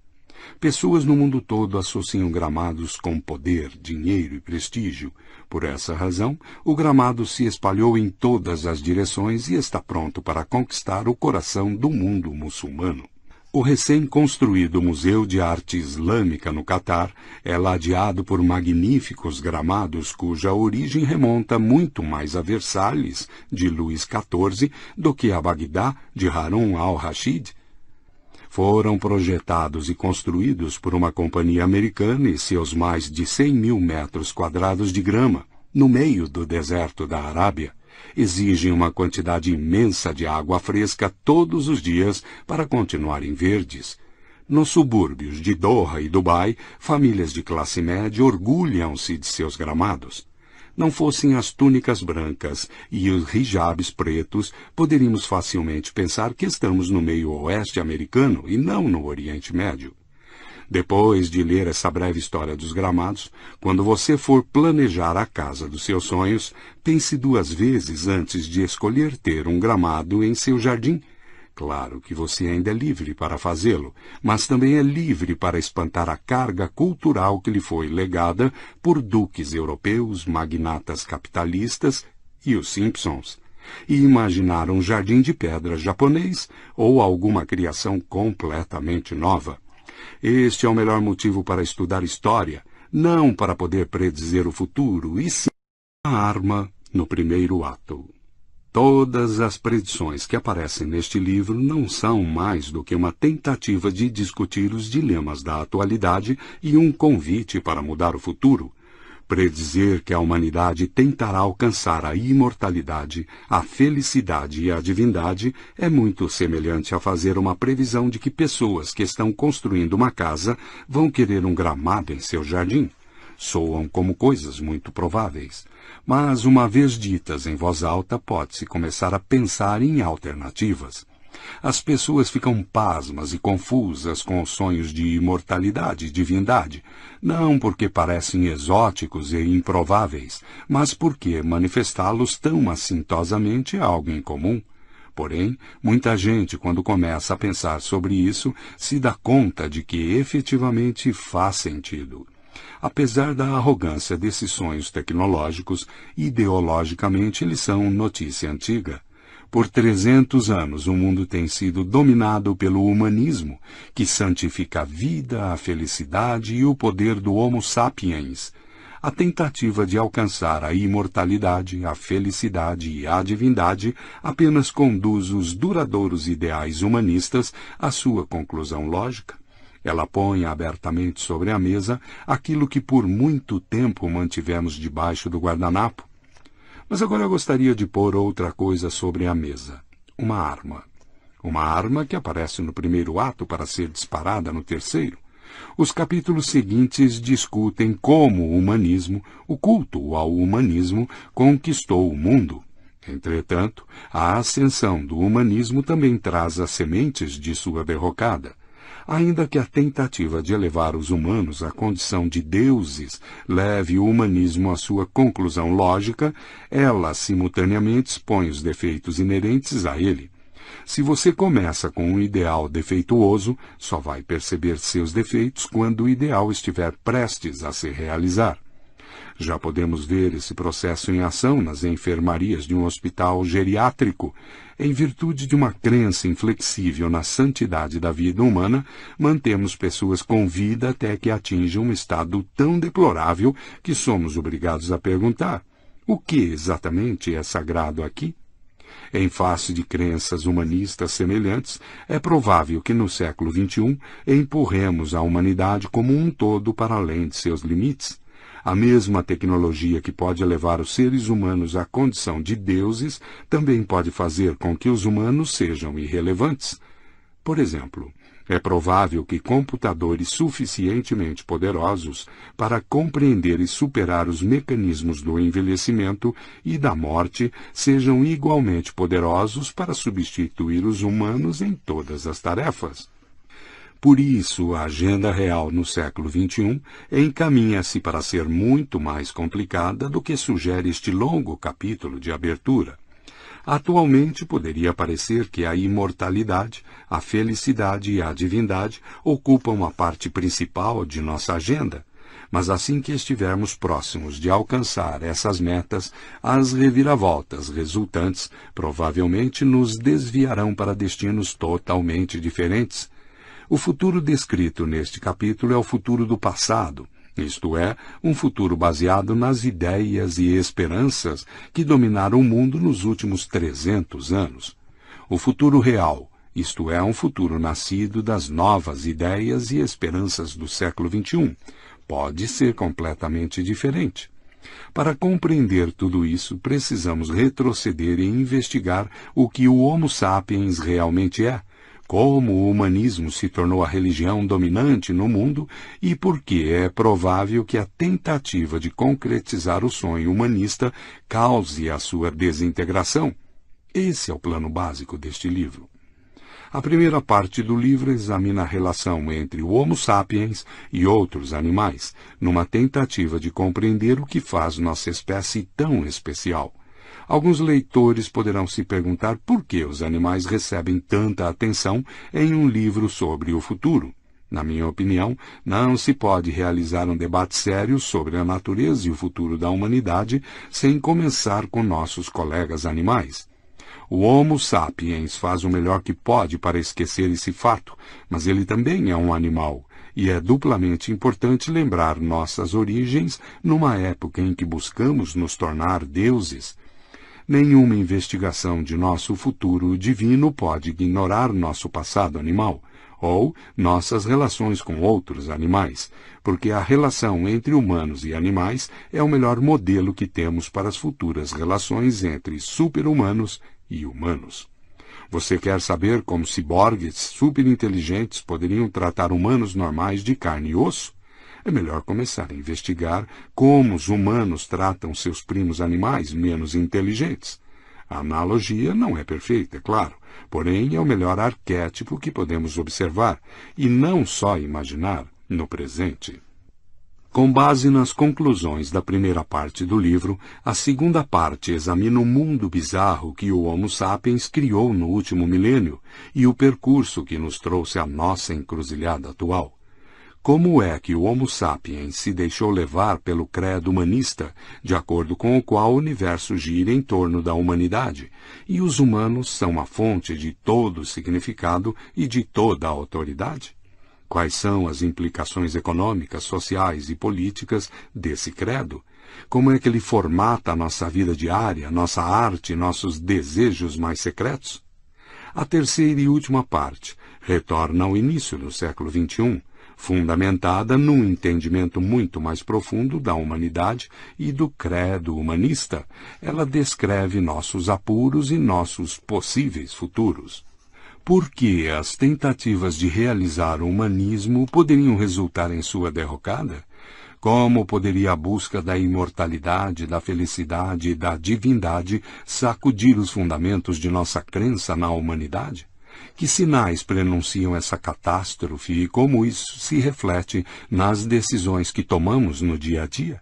E se o humanismo realmente está em perigo, o que poderia ocupar seu lugar?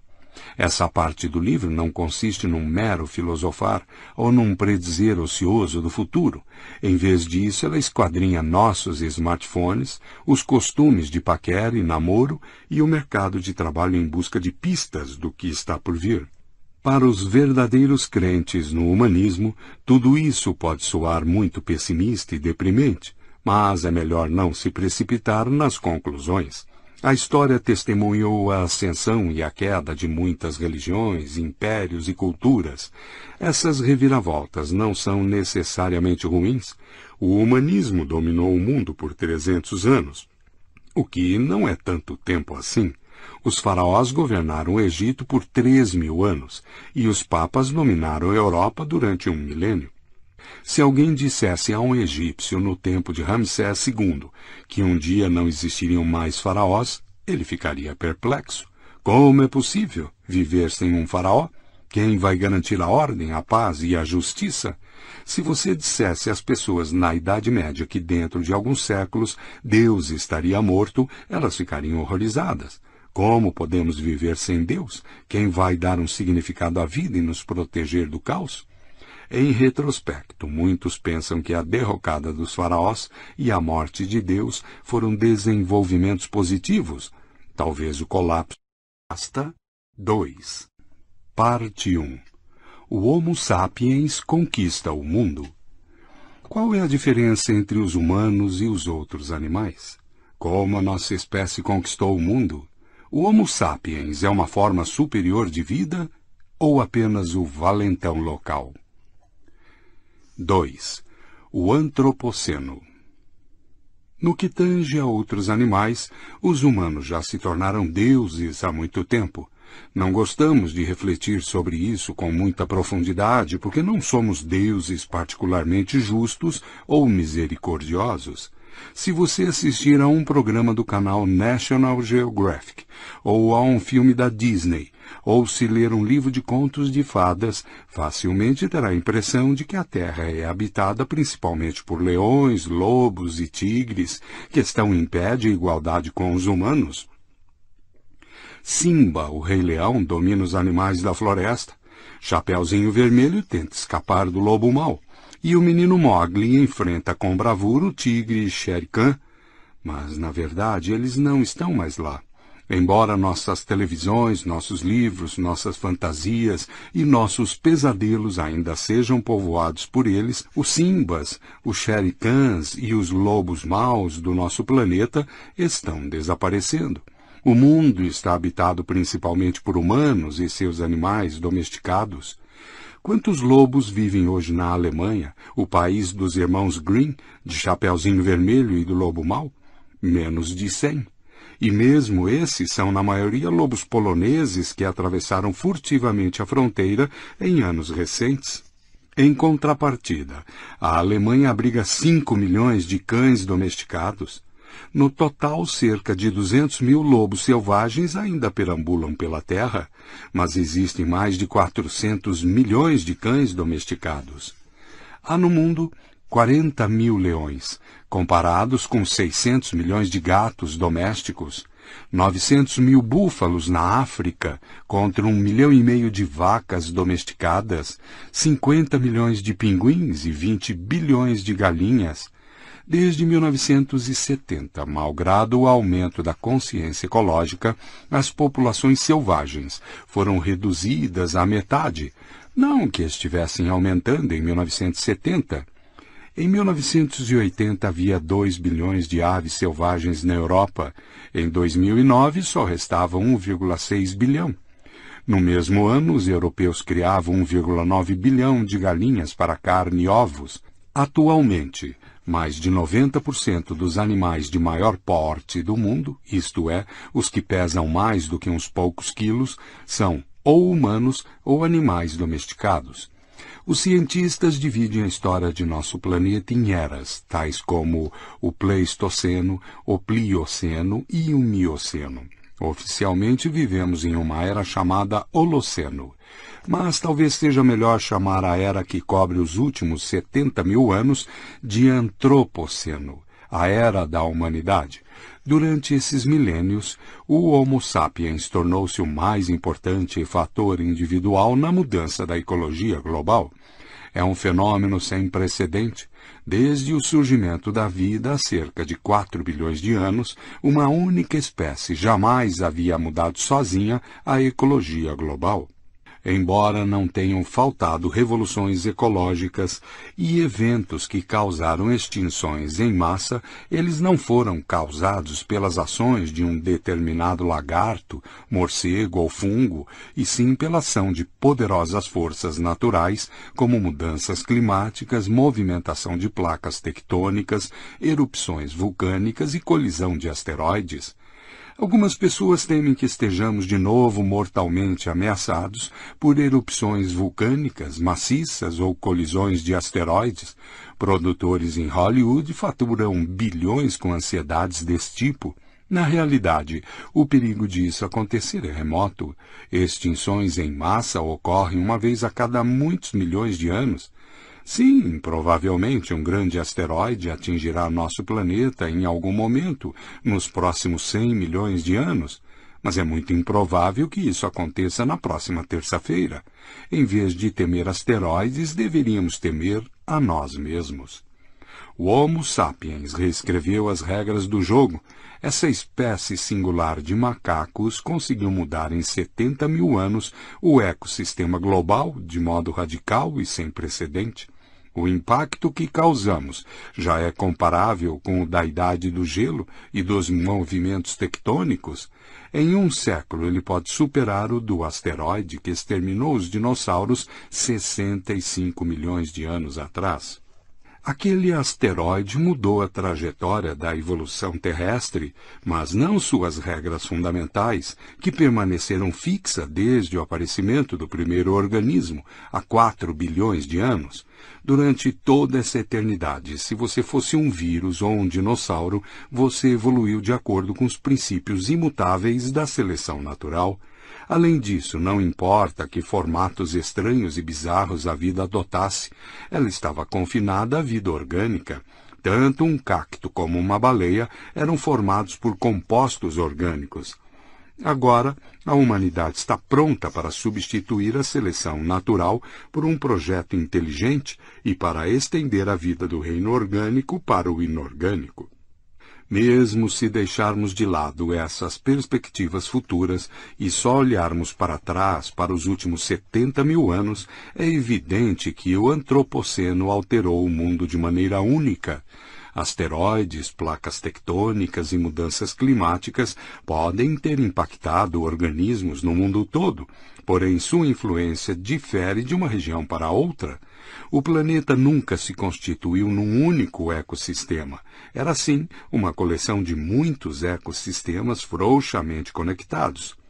Quando movimentos tectônicos juntaram a América do Norte à América do Sul, eles levaram à extinção a maior parte dos marsupiais sul-americanos, mas não exerceram nenhum efeito prejudicial no canguru australiano. Quando a última era do gelo atingiu seu clímax, 20 mil anos atrás, medusas no Golfo Pérsico e medusas na Baía de Tóquio tiveram, nos dois casos, de se adaptar ao novo clima. Entretanto, como não havia conexão entre as duas populações, cada uma reagiu distintamente, evoluindo em direções diferentes. Em contrapartida, o Sapiens rompeu as barreiras que dividiam o globo em zonas ecológicas independentes, no Antropoceno, o planeta tornou-se pela primeira vez uma unidade ecológica. Austrália, Europa e América continuaram com seus climas e topografias diferentes. Contudo, os humanos fizeram com que organismos espalhados por todo o mundo se combinassem numa base regular, independentemente da distância e da geografia. O que começou como um punhado de embarcações de madeira tornou-se uma torrente de aviões, petroleiros e gigantescos navios cargueiros que cruzam os oceanos e unem cada ilha e continente. Consequentemente, a ecologia dos australianos, por exemplo, não pode mais ser compreendida sem levar em conta os mamíferos europeus e os micro-organismos americanos que inundam suas costas e seus desertos ovelhas, milho, ratos e vírus da gripe que os humanos levaram para a Austrália durante os últimos 300 anos são hoje muito mais importantes para a sua ecologia do que os cangurus e koalas nativos. No entanto, o antropoceno não é um fenômeno recente. Já há dezenas de milhares de anos, quando se espalharam do leste da África para os quatro cantos do mundo, nossos antepassados da Idade da Pedra modificaram a flora e a fauna de todo o continente e toda a ilha em que se estabeleceram. Eles levaram à extinção todas as outras espécies humanas no mundo, 90% dos animais de grande porte da Austrália, 75% dos grandes mamíferos da América e aproximadamente 50% de todos os grandes mamíferos terrestres do planeta. E tudo isso antes de plantar o primeiro campo de trigo, criar a primeira ferramenta de metal, escrever o primeiro texto ou cunhar a primeira moeda.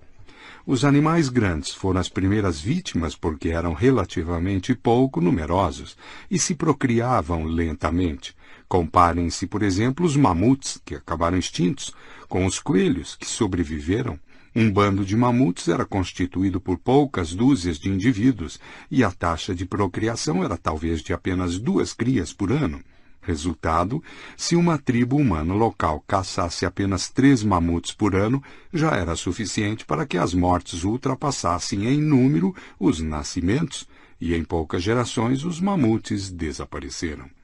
Os coelhos, por sua vez, se reproduzem como coelhos. Mesmo que os humanos caçassem centenas deles a cada ano, isso não seria suficiente para levá-los à extinção. Não que nossos antepassados tivessem planejado varrer os mamutes da face da terra. Na verdade, eles não estavam cientes das consequências de suas ações. A extinção dos mamutes e de outros animais de grande porte pode ter sido brusca numa escala de tempo evolutiva, mas foi lenta e gradual em termos humanos. Pessoas não viviam mais do que 70 ou 80 anos e o processo de extinção se estendeu por séculos. O antigo sapiens provavelmente não percebeu nenhuma conexão entre a caça anual ao mamute, durante a qual eram mortos não mais de dois ou três mamutes, e o desaparecimento desses gigantes peludos. No melhor dos casos, algum ancião nostálgico pode ter dito filhos da serpente. Segundo evidências antropológicas e arqueológicas, os antigos caçadores-coletores eram animistas, isto é, não acreditavam na existência de uma distância necessária entre os humanos e os outros animais. O mundo, isto é, o vale local e as cadeias de montanhas ao redor, pertencia a todos os seus habitantes, e todos seguiam um conjunto de regras comuns. Essas regras envolviam uma negociação incessante entre todos os seres aos quais concerniam. As pessoas falavam com animais, árvores e pedras, e também com fadas, demônios e fantasmas. Dessa rede de comunicações emergiam os valores e as normas que comprometiam igualmente humanos, elefantes, carvalhos e assombrações. Essa visão animista do mundo ainda orienta algumas comunidades de caçadores-coletores que sobreviveram na era moderna. Uma delas é representada pelo povo Nayaka, que vive nas florestas tropicais no sul da Índia. O antropólogo Deni Navé, que estudou os Nayaka durante vários anos, relata que, quando um deles caminha pela floresta e depara com um animal perigoso, como um tigre, uma serpente ou um elefante, dirige-se ao animal e diz: Você vive na floresta. Eu também vivo na floresta. Você veio até aqui para comer, e eu vim até aqui para juntar raízes e tubérculos. Não vim aqui para machucá-lo. Uma vez, um nayaka foi morto por um elefante macho que era chamado de o elefante que sempre caminha sozinho. Os Nayaka recusaram-se a ajudar os funcionários do Departamento Florestal Indiano na captura do animal. Eles explicaram a Navé que aquele elefante era muito chegado a outro elefante macho com o qual sempre andava. Um dia o Departamento Florestal capturou esse segundo elefante e o elefante que sempre caminha sozinho passou a demonstrar um comportamento raivoso e violento. Como se sentiria se sua esposa fosse tirada de você? Foi exatamente isso que aquele elefante sentiu.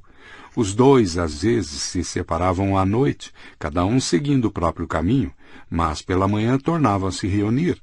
Naquele dia o elefante viu seu camarada cair, estirado no chão.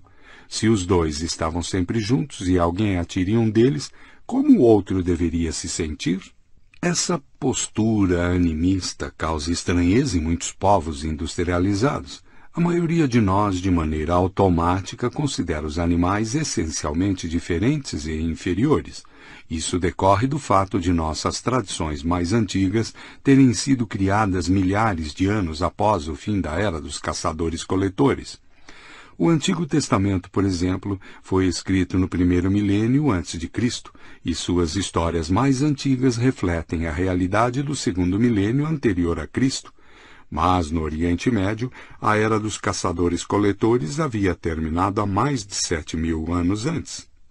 Não surpreende, portanto, que a Bíblia rejeite crenças animistas e que sua única história com essa característica apareça logo no início, como uma ameaça de calamidade. A Bíblia é um longo livro repleto de milagres, eventos assombrosos e maravilhas. Entretanto, a única ocasião em que o animal entabula uma conversa com o ser humano é quando a serpente incita a Eva a comer do fruto proibido do conhecimento. A mula de Bilam também pronuncia algumas palavras, porém ela está apenas transmitindo uma mensagem de Deus. No jardim do Éden, Adão e Eva viveram como coletores. A expulsão do paraíso tem uma semelhança notável com a revolução agrícola. Em vez de permitir a Adão que continue a coletar frutas silvestres, um Deus irado o condena a comer o pão com o suor de seu rosto. Talvez não seja coincidência, então, o fato de os animais na Bíblia só falarem com humanos na era pré-agrícola do Éden. Que lições a Bíblia extrai desse episódio? Que não se devem dar ouvidos a serpentes e que geralmente é melhor evitar falar com animais e plantas. Isso só pode levar ao desastre. Mas a história bíblica tem camadas mais profundas e mais antigas de significado. Na maioria das línguas semitas, Eva significa serpente, ou mesmo serpente fêmea. O nome de nossa mãe bíblica ancestral oculta um mito animista arcaico, segundo o qual as serpentes não são nossas inimigas, e sim nossas antepassadas. Muitas culturas animistas acreditam que os humanos descendem de animais, inclusive de serpentes e outros répteis.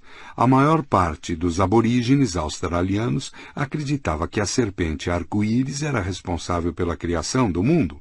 Os povos Aranda e Dieri sustentavam que suas tribos especificamente eram originárias de lagartos ou serpentes primordiais que foram transformados em humanos. Na verdade, os ocidentais modernos também acham que evoluíram de répteis. Nosso cérebro é construído em volta de um cerne reptiliano, e a estrutura de nossos corpos corresponde essencialmente à de répteis modificados.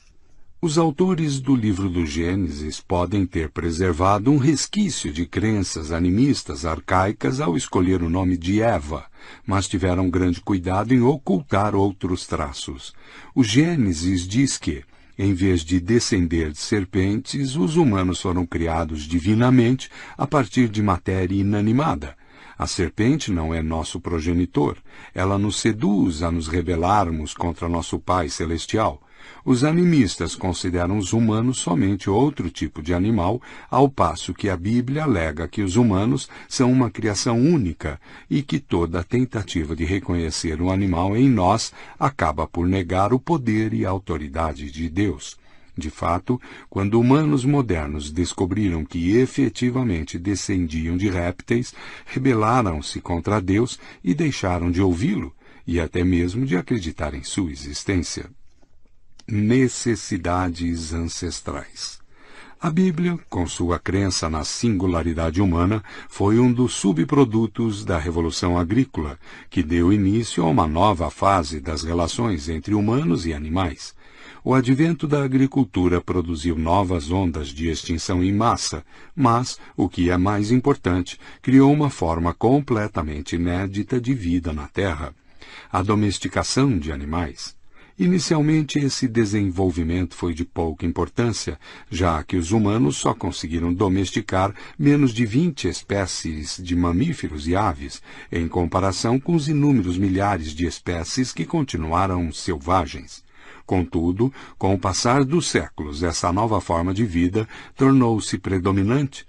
Hoje, mais de 90% de todos os animais de grande porte estão domesticados.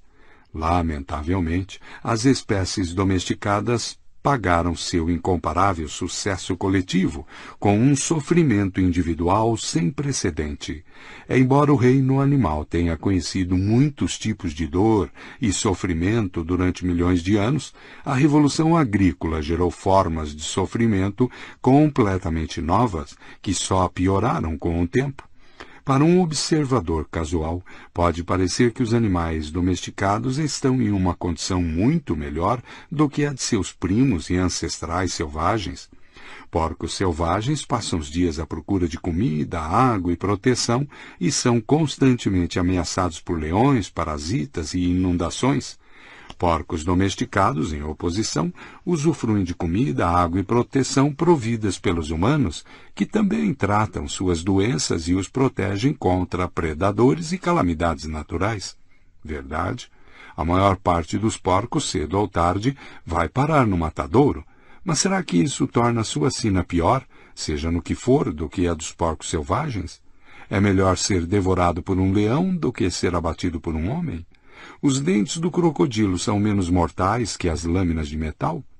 O que torna a sina dos animais de fazenda domesticados particularmente difícil não é exatamente o modo como eles morrem, mas, acima de tudo, o modo como eles vivem. Dois fatores opostos moldam as condições de vida desses animais desde os tempos antigos até hoje: os desejos dos humanos e as necessidades dos animais.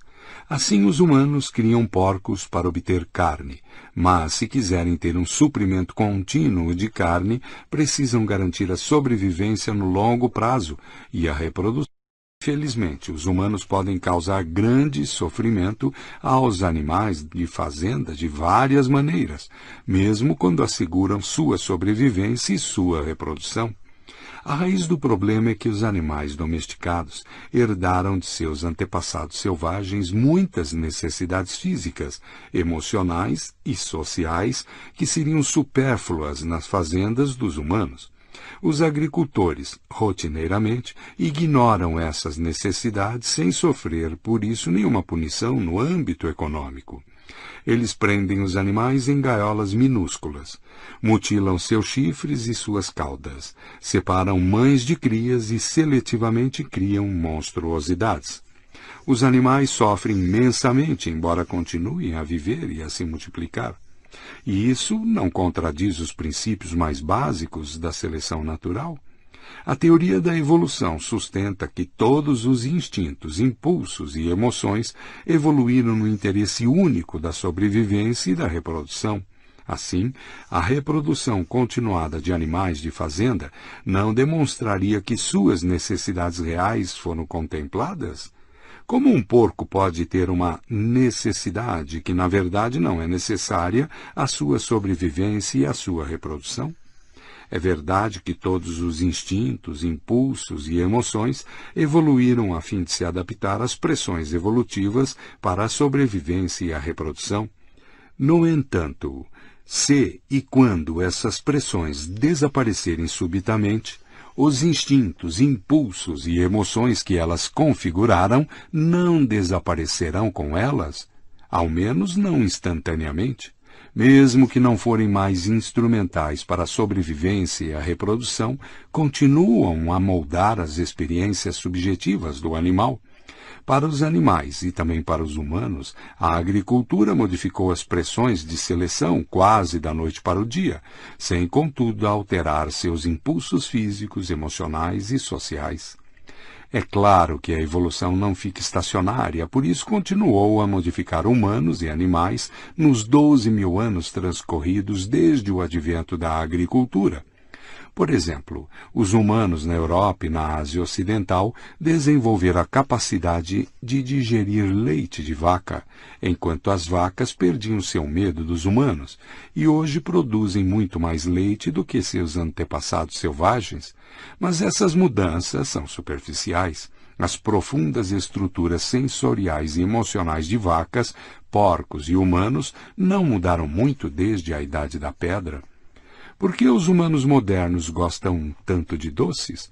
Não porque no início do século XXI tenhamos de nos empanturrar de sorvete, de chocolate para poder sobreviver, e sim porque, quando nossos antepassados, na Idade da Pedra, deparavam com frutas doces e mel, o mais sensato a fazer era comer o quanto pudessem e o mais rapidamente possível, porque os jovens dirigem com imprudência, envolvem-se em discussões violentas e hackeiam sites confidenciais na internet? Porque estão seguindo antigas imposições genéticas que podem ser inúteis e até contraproducentes na atualidade, mas que faziam sentido em termos evolucionários 70 mil anos atrás. Um jovem caçador que arriscava sua vida caçando um mamute ofuscava todos os seus competidores e obtinha a mão da beldade local. Hoje estamos impregnados de seus genes viris. Exatamente a mesma lógica evolutiva modela a vida de porcos, porcas e leitões em fazendas, controladas por humanos. Para poder sobreviver e se reproduzir em ambiente selvagem, javalis precisavam percorrer vastos territórios, familiarizar-se com seu meio ambiente e acautelar-se contra armadilhas e predadores. Além do mais, tinham de comunicar-se e cooperar com seus camaradas da mesma espécie, formando grupos complexos dominados por matriarcas velhas e experientes. Consequentemente, as pressões evolutivas criaram javalis selvagens e javalis fêmeas ainda mais selvagens. Animais sumamente inteligentes, caracterizados por uma curiosidade vívida e fortes impulsos para socializar, brincar, vagar e explorar o entorno. Uma porca que nascesse de alguma mutação rara que a fizesse indiferente a seu meio ambiente ou a outros porcos do mato teria pouca probabilidade de sobreviver ou se reproduzir. Os descendentes dos javalis, os porcos domesticados, herdaram sua inteligência, sua curiosidade e suas aptidões sociais. Assim como javalis, os porcos domesticados se comunicam usando uma rica variedade de sinais vocais e olfativos. Porcas mães reconhecem o grunhido singular de seus leitões, e leitões com dois dias de idade já diferenciam os chamados de sua mãe do de outras porcas. O professor Stanley Kurtz, da Universidade Estadual da Pensilvânia, treinou dois porcos, chamados Hamlet e Omelette, para manejar com o focinho um controle especial.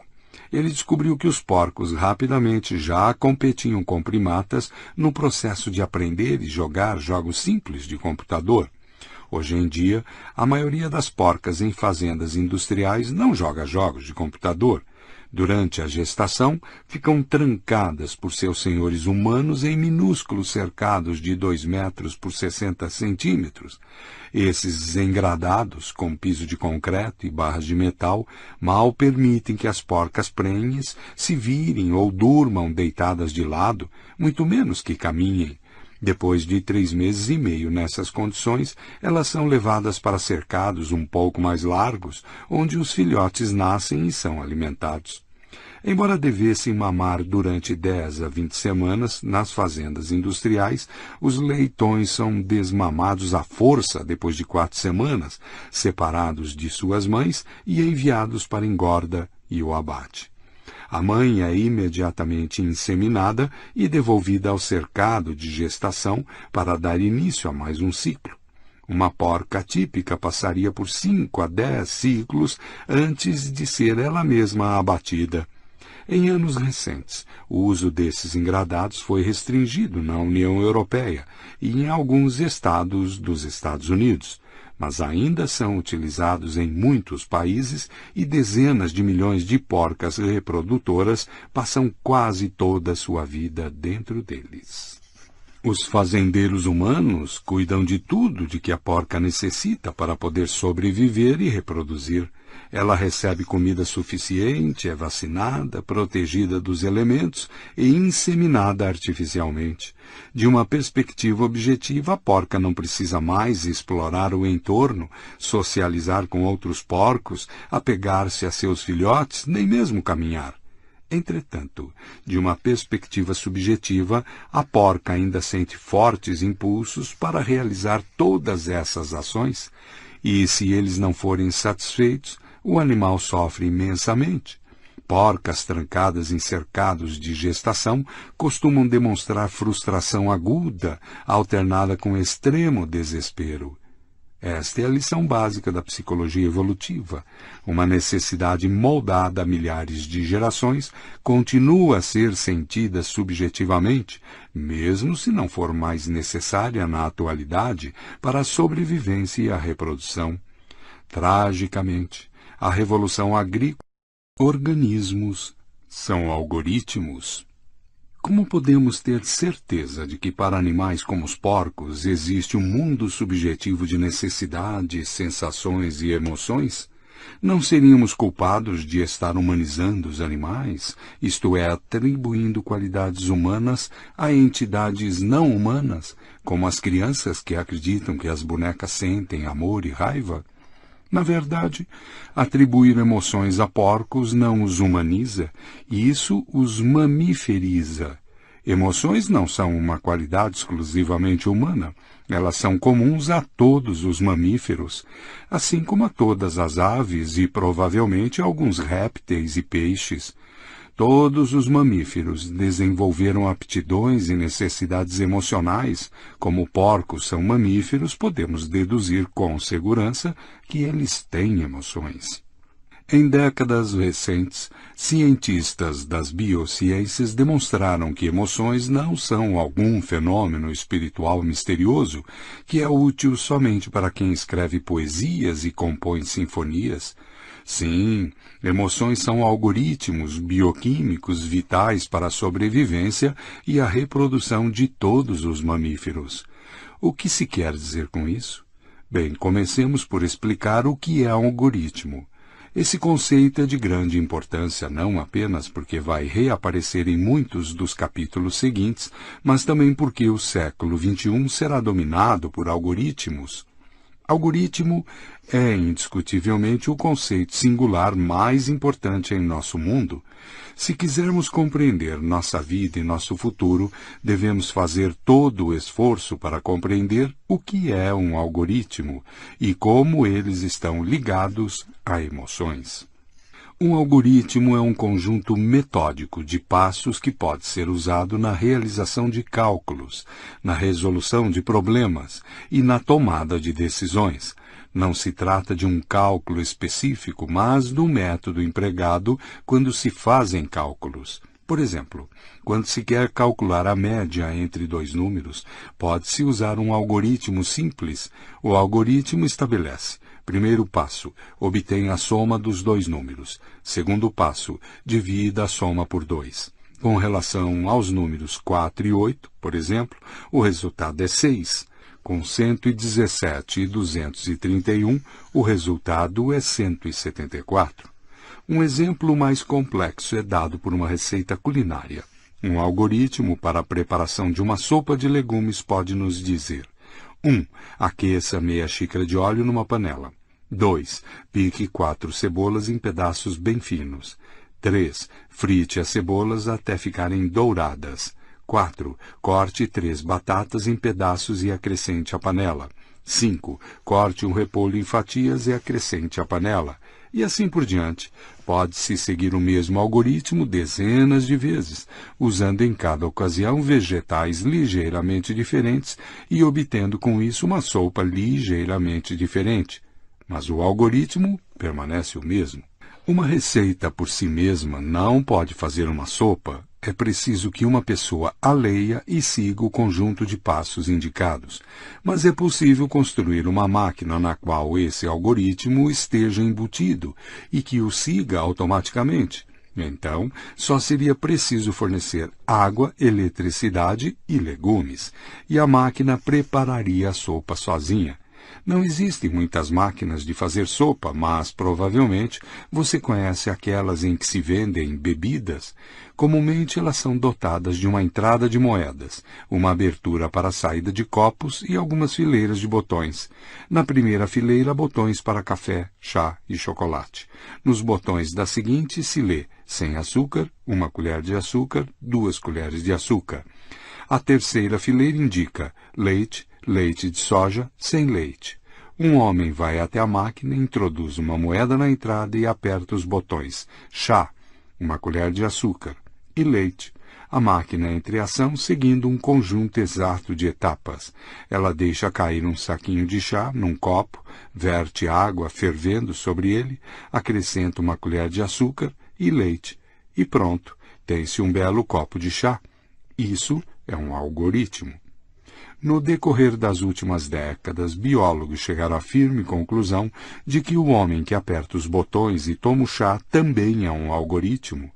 Um algoritmo muito mais complicado do que a máquina que prepara as bebidas, sem dúvida, mas ainda assim um algoritmo.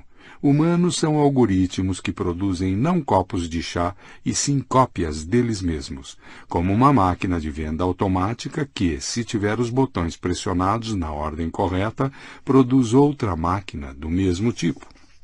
Os algoritmos que controlam as máquinas de venda automática funcionam mediante engrenagens mecânicas e circuitos elétricos. Os algoritmos que controlam humanos funcionam mediante sensações, emoções e pensamentos. E o mesmo tipo de algoritmo controla porcos, babuínos, lontras e galinhas. Considere, por exemplo, o seguinte problema de sobrevivência. Um babuíno observa um cacho de bananas pendente numa árvore, mas também percebe que um leão armou uma emboscada nas proximidades. Ele deveria arriscar a vida pelas bananas? A situação se reduz ao problema matemático de cálculo de probabilidades. A probabilidade de o babuíno morrer de fome se não comer as bananas contra a probabilidade de o leão agarrá-lo. Para poder resolver esse problema, o babuíno deve levar em consideração alguns dados. A que distância estou das bananas? A que distância está o leão? Quão rápido o leão é capaz de correr? O leão está acordado ou dormindo? Parece estar com fome ou saciado? Quantas bananas há ali? São grandes ou pequenas? Estão verdes ou maduras? Em acréscimo a esses dados externos, ele também deve considerar uma informação referente às condições de seu corpo. Se está faminto, faz sentido arriscar tudo pelas bananas, não importam quais sejam as probabilidades. Se ao contrário ele acabou de comer e as bananas são só gulodice, por que assumir o risco? Para poder pesar e balancear todas essas variáveis e probabilidades, o babuíno precisa de algoritmos muito mais complicados do que aqueles que controlam as máquinas de venda automáticas. A recompensa por fazer os cálculos corretos é correspondentemente maior, é a própria sobrevivência. Um babuíno tímido, cujos algoritmos superestimam os perigos, vai morrer de fome e os genes que configuraram esses algoritmos covardes vão perecer com ele. Um babuíno temerário, cujos algoritmos subestimam os perigos, acabará como presa do leão e seus afoitos genes tampouco conseguirão chegar à próxima geração. Esses algoritmos são submetidos a um constante controle de qualidade por seleção natural, Somente os animais que calculam corretamente as probabilidades deixam uma prole. Mas tudo isso ainda é muito abstrato. Como um babuíno calcula probabilidades? Com certeza ele não tira um lápis de trás da orelha, um caderninho de um bolso traseiro e com uma calculadora começa a fazer cálculos envolvendo velocidade de corridas e níveis de energia. Na verdade, todo o corpo do babuíno é uma calculadora. Aquilo que chamamos de sensações e emoções são, com efeito, algoritmos. O babuíno sente fome, sente medo e treme quando vê o leão, mas sente a boca cheia de água quando olha para as bananas. Numa fração de segundos, ele experimenta uma tempestade de sensações, emoções e desejos.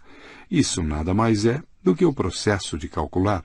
O resultado será representado por alguma forma de sentimento, o babuíno, de repente, sentirá seu ânimo fortalecido, seus pelos arrepiados, seus músculos tensos, seu peito vai se expandir, ele vai respirar fundo e avante.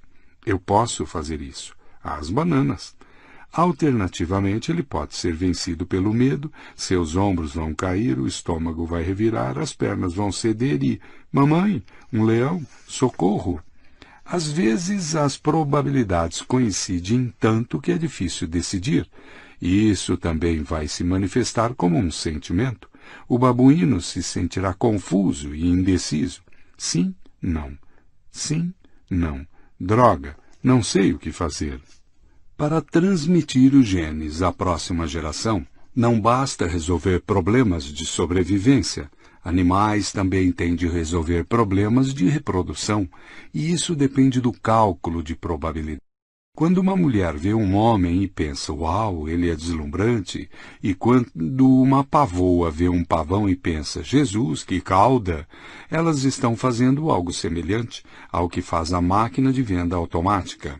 Quando a luz refletida do corpo do macho atinge suas retinas, algoritmos extremamente poderosos, aprimorados por milhões de anos de evolução, entram em ação. Em poucos milissegundos, os algoritmos convertem minúsculas insinuações que vêm da aparência externa do macho em probabilidades de reprodução e chegam à conclusão. Tudo indica que este macho é muito saudável e fértil, com excelentes genes. Se eu cruzar com ele, é provável que minha prole também usufrua de boa saúde e excelentes genes. Obviamente, essa conclusão não é expressa em palavras ou em números, mas na ardente excitação da atração sexual. Pavoas e a maior parte das mulheres não fazem esses cálculos com papel e lápis, elas só os sentem. Até mesmo os laureados com o Prêmio Nobel de Economia tomam apenas uma fração de suas decisões usando caneta, papel e uma calculadora. 99% de nossas decisões, inclusive as escolhas mais importantes da vida, referentes a cônjuges, carreiras e habitats, são tomadas por algoritmos altamente sofisticados que chamamos de sensações, emoções e desejos como esses algoritmos controlam a vida de todos os mamíferos e de todas as aves, e provavelmente de alguns répteis e peixes, quando humanos, babuínos e porcos sentem medo, processos neurológicos similares têm lugar em áreas cerebrais similares. Portanto, é provável que humanos amedrontados, babuínos amedrontados e porcos amedrontados passem por experiências semelhantes. Há diferenças também, é claro. Porcos não parecem experimentar os extremos de compaixão e de crueldade que caracterizam o Homo sapiens, nem o sentimento de admiração que domina por completo o homem quando ele contempla a infinitude do céu estrelado. É provável que haja igualmente exemplos do contrário, ou seja, de emoções suínas desconhecidas do homem, mas não sou capaz de nomear alguma, por razões óbvias. No entanto, uma emoção essencial é aparentemente compartilhada por todos os mamíferos, a ligação entre a mãe e sua cria. Na verdade, é o que dá aos mamíferos seu nome. A palavra mamífero vem do latim mama, que significa seio. As mães mamíferas amam tanto suas crias que lhes permitem sugar de seu próprio corpo. Os filhotes mamíferos, por sua vez, sentem um desejo irresistível de se juntar às suas mães e ficar perto delas. Na natureza, leitões, bezerros e cãezinhos que não conseguem ficar junto às suas mães raramente sobrevivem por muito tempo. Até recentemente isso valia para filhos de humanos também. Inversamente, uma porca, uma vaca ou uma cadela que, devido a alguma mutação rara, não cuide da sua própria cria, poderá viver uma vida longa e confortável, mas seus genes não passarão para a próxima geração.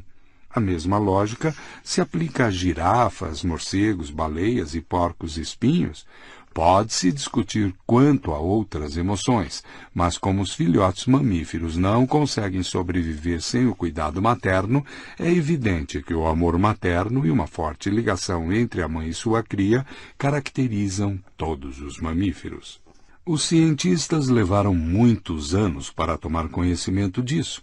Não muito tempo atrás, os psicólogos duvidavam da importância da ligação emocional entre pais e filhos, até mesmo no caso dos humanos. Na primeira metade do século XX, a despeito das teorias freudianas, a escola behaviorista, então predominante, alegava que as relações entre pais e filhos eram moldadas por uma retroalimentação de cunho material que os filhos necessitavam principalmente de alimento, proteção e cuidados médicos, e que as crianças se ligavam a seus pais apenas porque estes lhes proviam essas necessidades materiais. Crianças que demandavam calor, abraços e beijos eram tidas como mimadas Especialistas em puericultura divertiam que crianças que eram abraçadas e beijadas por seus pais se tornariam adultos carentes, egoístas e inseguros.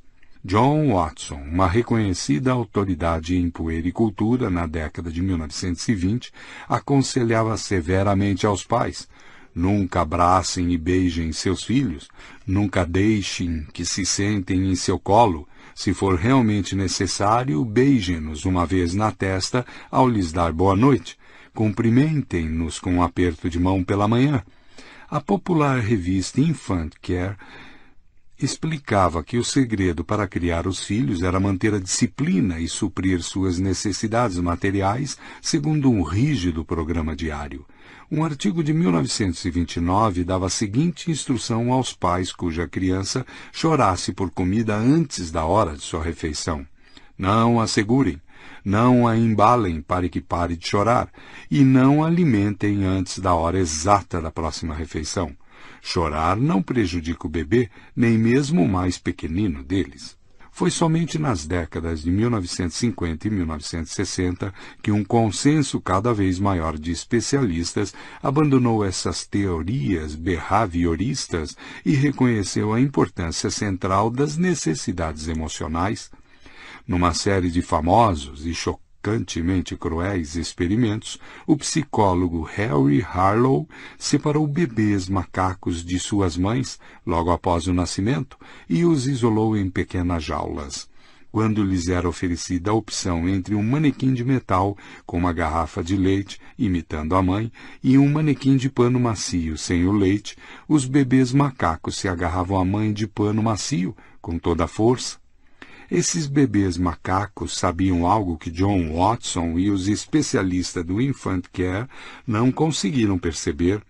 Os mamíferos não podem viver apenas de alimento, eles precisam igualmente de ligações emocionais.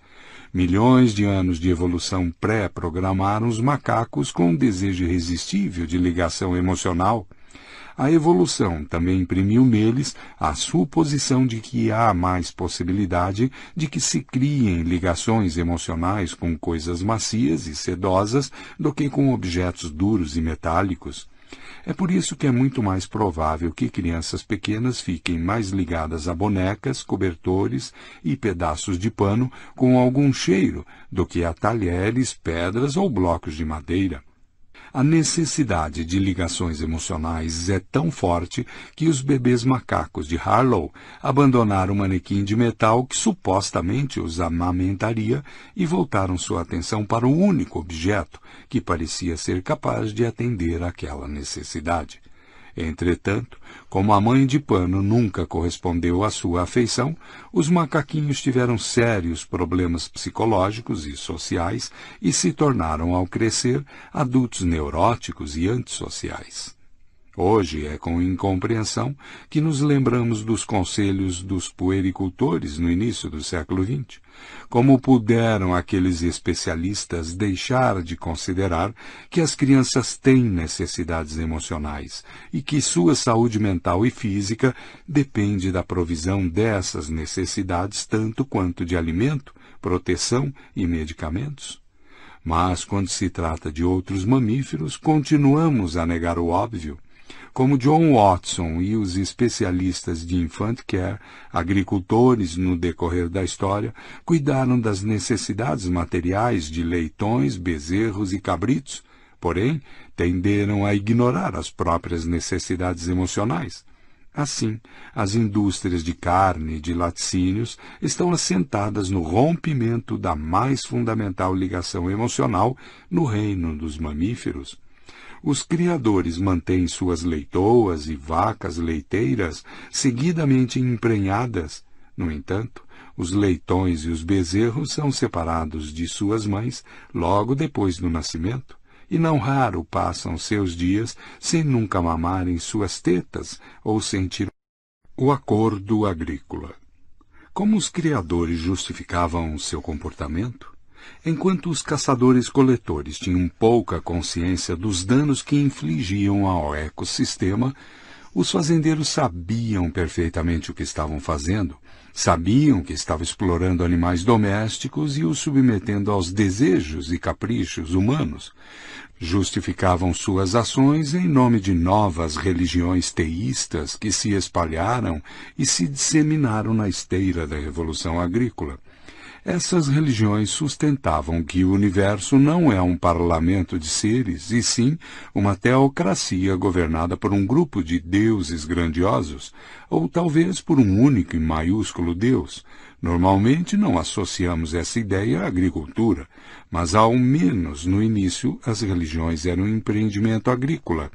A teologia, a mitologia e a liturgia de religiões como o judaísmo, o hinduísmo e o cristianismo giravam a princípio em torno das relações entre humanos, plantas domesticadas e animais em fazendas de criação.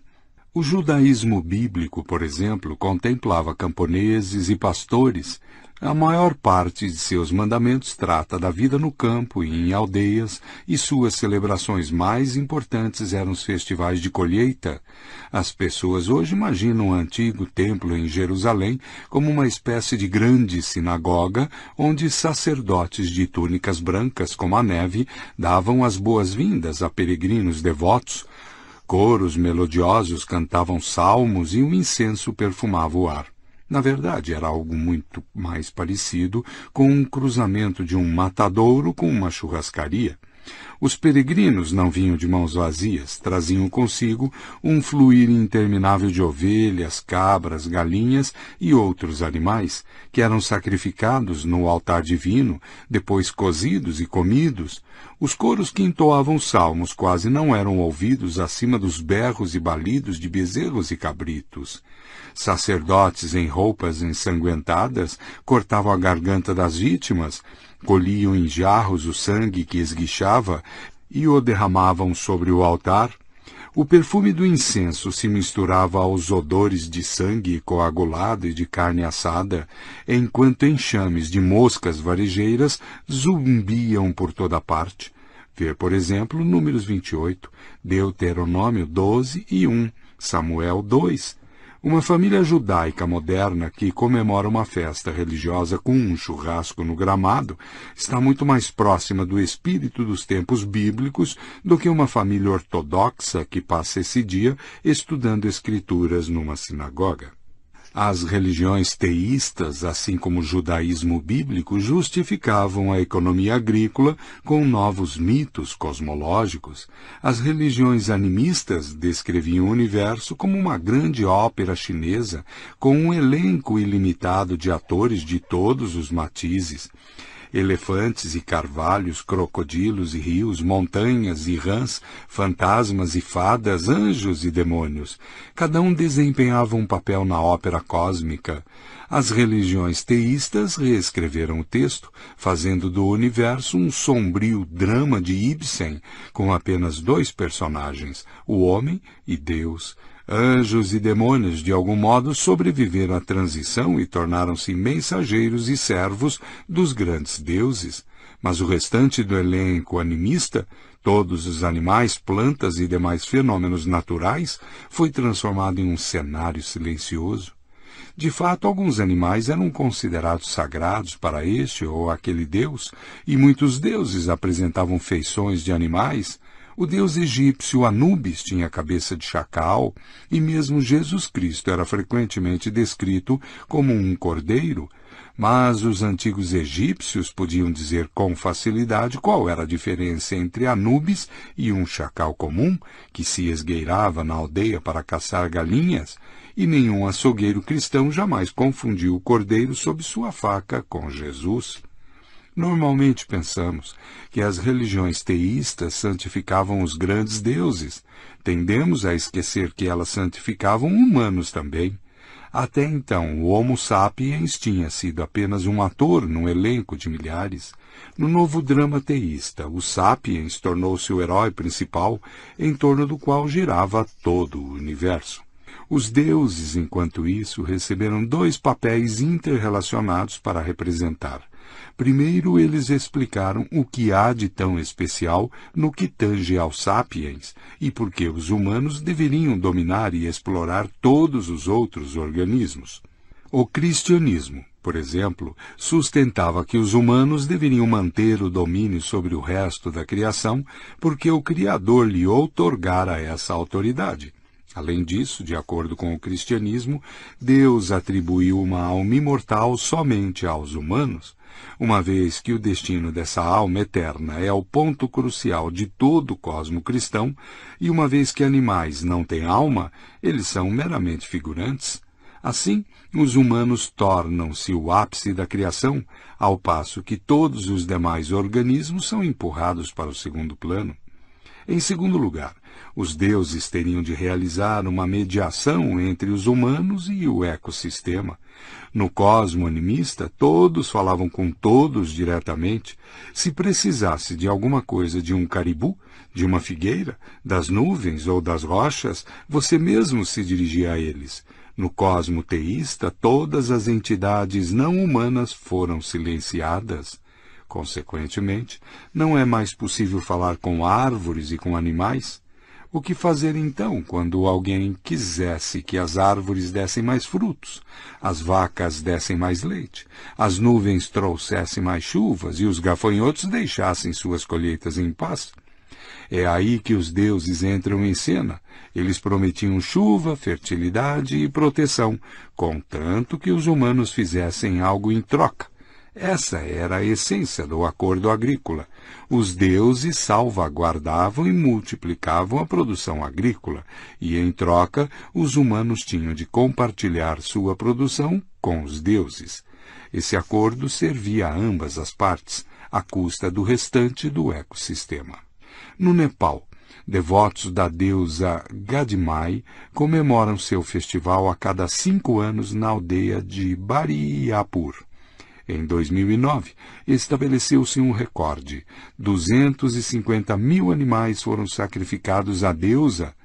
Um motorista local explicou a um jornalista britânico visitante: Se queremos algo e viemos aqui com uma oferenda à deusa, em cinco anos todos os nossos sonhos estarão realizados. Grande parte da mitologia teísta explica os detalhes sutis desse acordo. A epopeia mesopotâmica de Gilgamesh conta que, quando os deuses enviaram dilúvio para destruir o mundo, quase todos os humanos e animais pereceram. Só então os precipitados deuses se deram conta de que não restara ninguém para lhes fazer sacrifícios. Ficaram loucos de fome e de aflição. Felizmente, uma família humana tinha sobrevivido graças à previsão do deus Enki, que instruíra o Pio Utnapishtim a se abrigar numa grande arca de madeira na companhia de seus parentes e de uma coleção representativa de animais. Quando as águas do dilúvio baixaram e esse Noé mesopotâmico saiu de sua arca, a primeira coisa que fez foi sacrificar alguns animais aos deuses, então continua a epopeia. Todos os grandes deuses correram para lá. Os deuses farejaram sabor, os deuses farejaram doce sabor, os deuses enxamearam como moscas em torno da oferenda. A história bíblica do dilúvio, escrita mais de mil anos depois da versão mesopotâmica, também relata que imediatamente após deixar a arca, Noé construiu um altar para o Senhor e, tomando alguns de seus animais limpos e de suas aves limpas, ele sacrificou sobre ele oferendas ardentes. O Senhor sentiu o agradável aroma e disse consigo mesmo: Nunca mais amaldiçoarei a terra por causa dos humanos. Gênesis, capítulo 8, 20, versículo 1. A história do dilúvio tornou-se o mito fundador do mundo agrícola. É possível, obviamente, atribuir-lhe um efeito mais ambiental. As interpretações tradicionais o veem como uma prova da supremacia humana e da inutilidade dos animais. Segundo essas interpretações, Noé foi instruído a salvar o ecossistema inteiro para poder proteger os interesses comuns de deuses e humanos, e não os interesses dos animais. Organismos não humanos não têm valor intrínseco e existem somente para nosso benefício. Afinal, quando o Senhor viu quão grande se tornara a iniquidade da raça humana, ele decidiu varrer da face da terra a raça humana que criei, e com eles os animais, as aves e as criaturas que rastejam no solo. Pois arrependo-me de tê-los criado. Gênesis 6, 7. A Bíblia acha que é perfeitamente correto destruir todos os animais como punição pelos crimes do Homo sapiens, como se a existência de girafas, pelicanos e joaninhas tivesse perdido todo o propósito em razão do mau comportamento dos humanos. A Bíblia não conseguiria imaginar um cenário no qual Deus se arrependesse de ter criado o Homo sapiens, varresse esse macaco pecaminoso da face da terra e depois passasse a eternidade se divertindo com os trejeitos de avestruzes, cangurus e pandas. As religiões teístas, entretanto, adotam certas crenças amigáveis em relação aos animais. Os deuses conferiram ao homem autoridade sobre o reino animal, mas essa autoridade carrega algumas responsabilidades. Por exemplo, aos judeus foi ordenado permitir que os animais descansem no Shabat e, na medida do possível, evitar causar-lhes sofrimentos desnecessários. Contudo, sempre que os interesses entravam em conflito, os dos humanos se sobrepunham aos dos animais. Um conto talmúdico relata que, a caminho do matadouro, um bezerro fugiu e buscou refúgio com o rabi Yehuda Hanassi, um dos fundadores do judaísmo rabínico.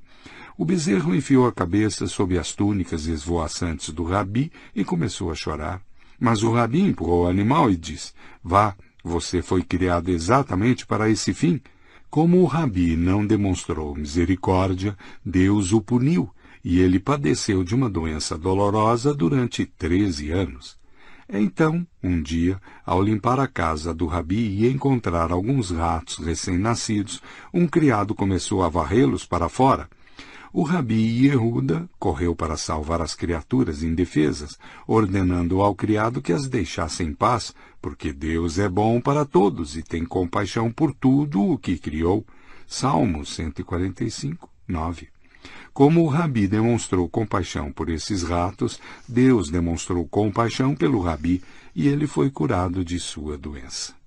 Outras religiões, particularmente o jainismo, o budismo e o hinduísmo, demonstraram grande empatia pelos animais.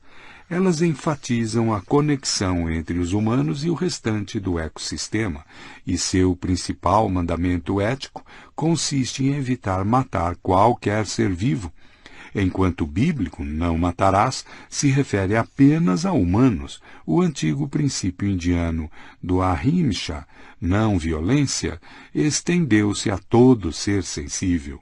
Monges jainistas são especialmente cuidadosos com relação a isso, eles sempre cobrem suas bocas com um pano branco para não inalar nenhum inseto, e sempre que caminham levam uma vassoura para delicadamente varrer toda formiga ou besouro de seu caminho.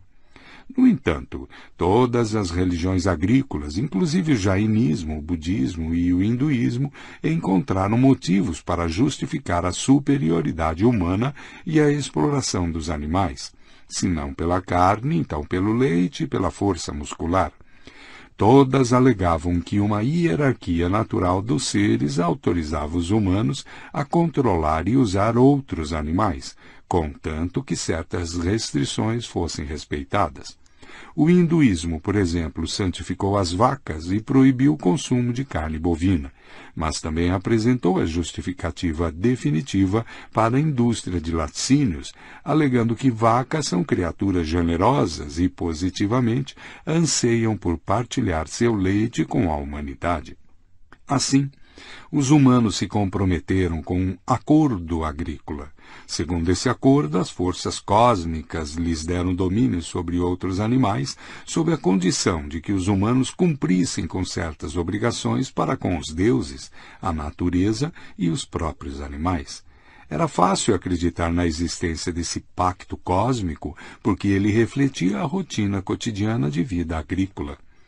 Caçadores-coletores não se viam como seres superiores porque raramente tinham consciência do impacto que provocavam no ecossistema. Um grupo típico, com algumas dezenas de membros, estava cercado por milhares de animais selvagens, e sua sobrevivência dependia de saberem compreender e respeitar os desejos desses animais. Coletores de alimento tinham de se perguntar constantemente com o que sonhavam os veados e no que pensavam os leões. Sem isso, não conseguiriam caçar o veado nem escapar aos leões. Os agricultores, em contraste, viviam num mundo controlado e moldado pelos sonhos e pensamentos humanos.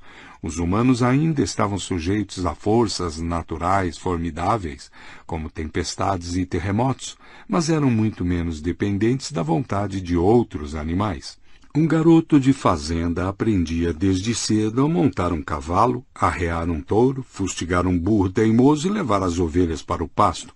Era fácil e tentador acreditar que essas atividades do dia a dia refletiam ou a ordem natural das coisas ou a vontade dos céus. A Revolução Agrícola foi assim uma revolução tanto econômica quanto religiosa novos tipos de relações econômicas emergiram juntamente com novos tipos de crenças religiosas que justificavam a exploração brutal de animais.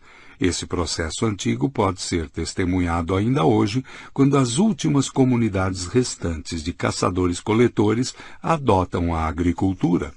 Nos anos recentes, os caçadores-coletores Nayaka, do sul da Índia, adotaram algumas práticas agrícolas como a de criação de gado, de galinhas e o cultivo do chá.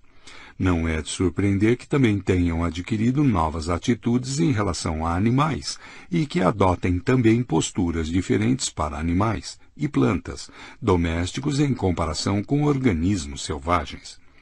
Na língua naiaca, um ser vivo possuidor de uma personalidade única é chamado de mansan.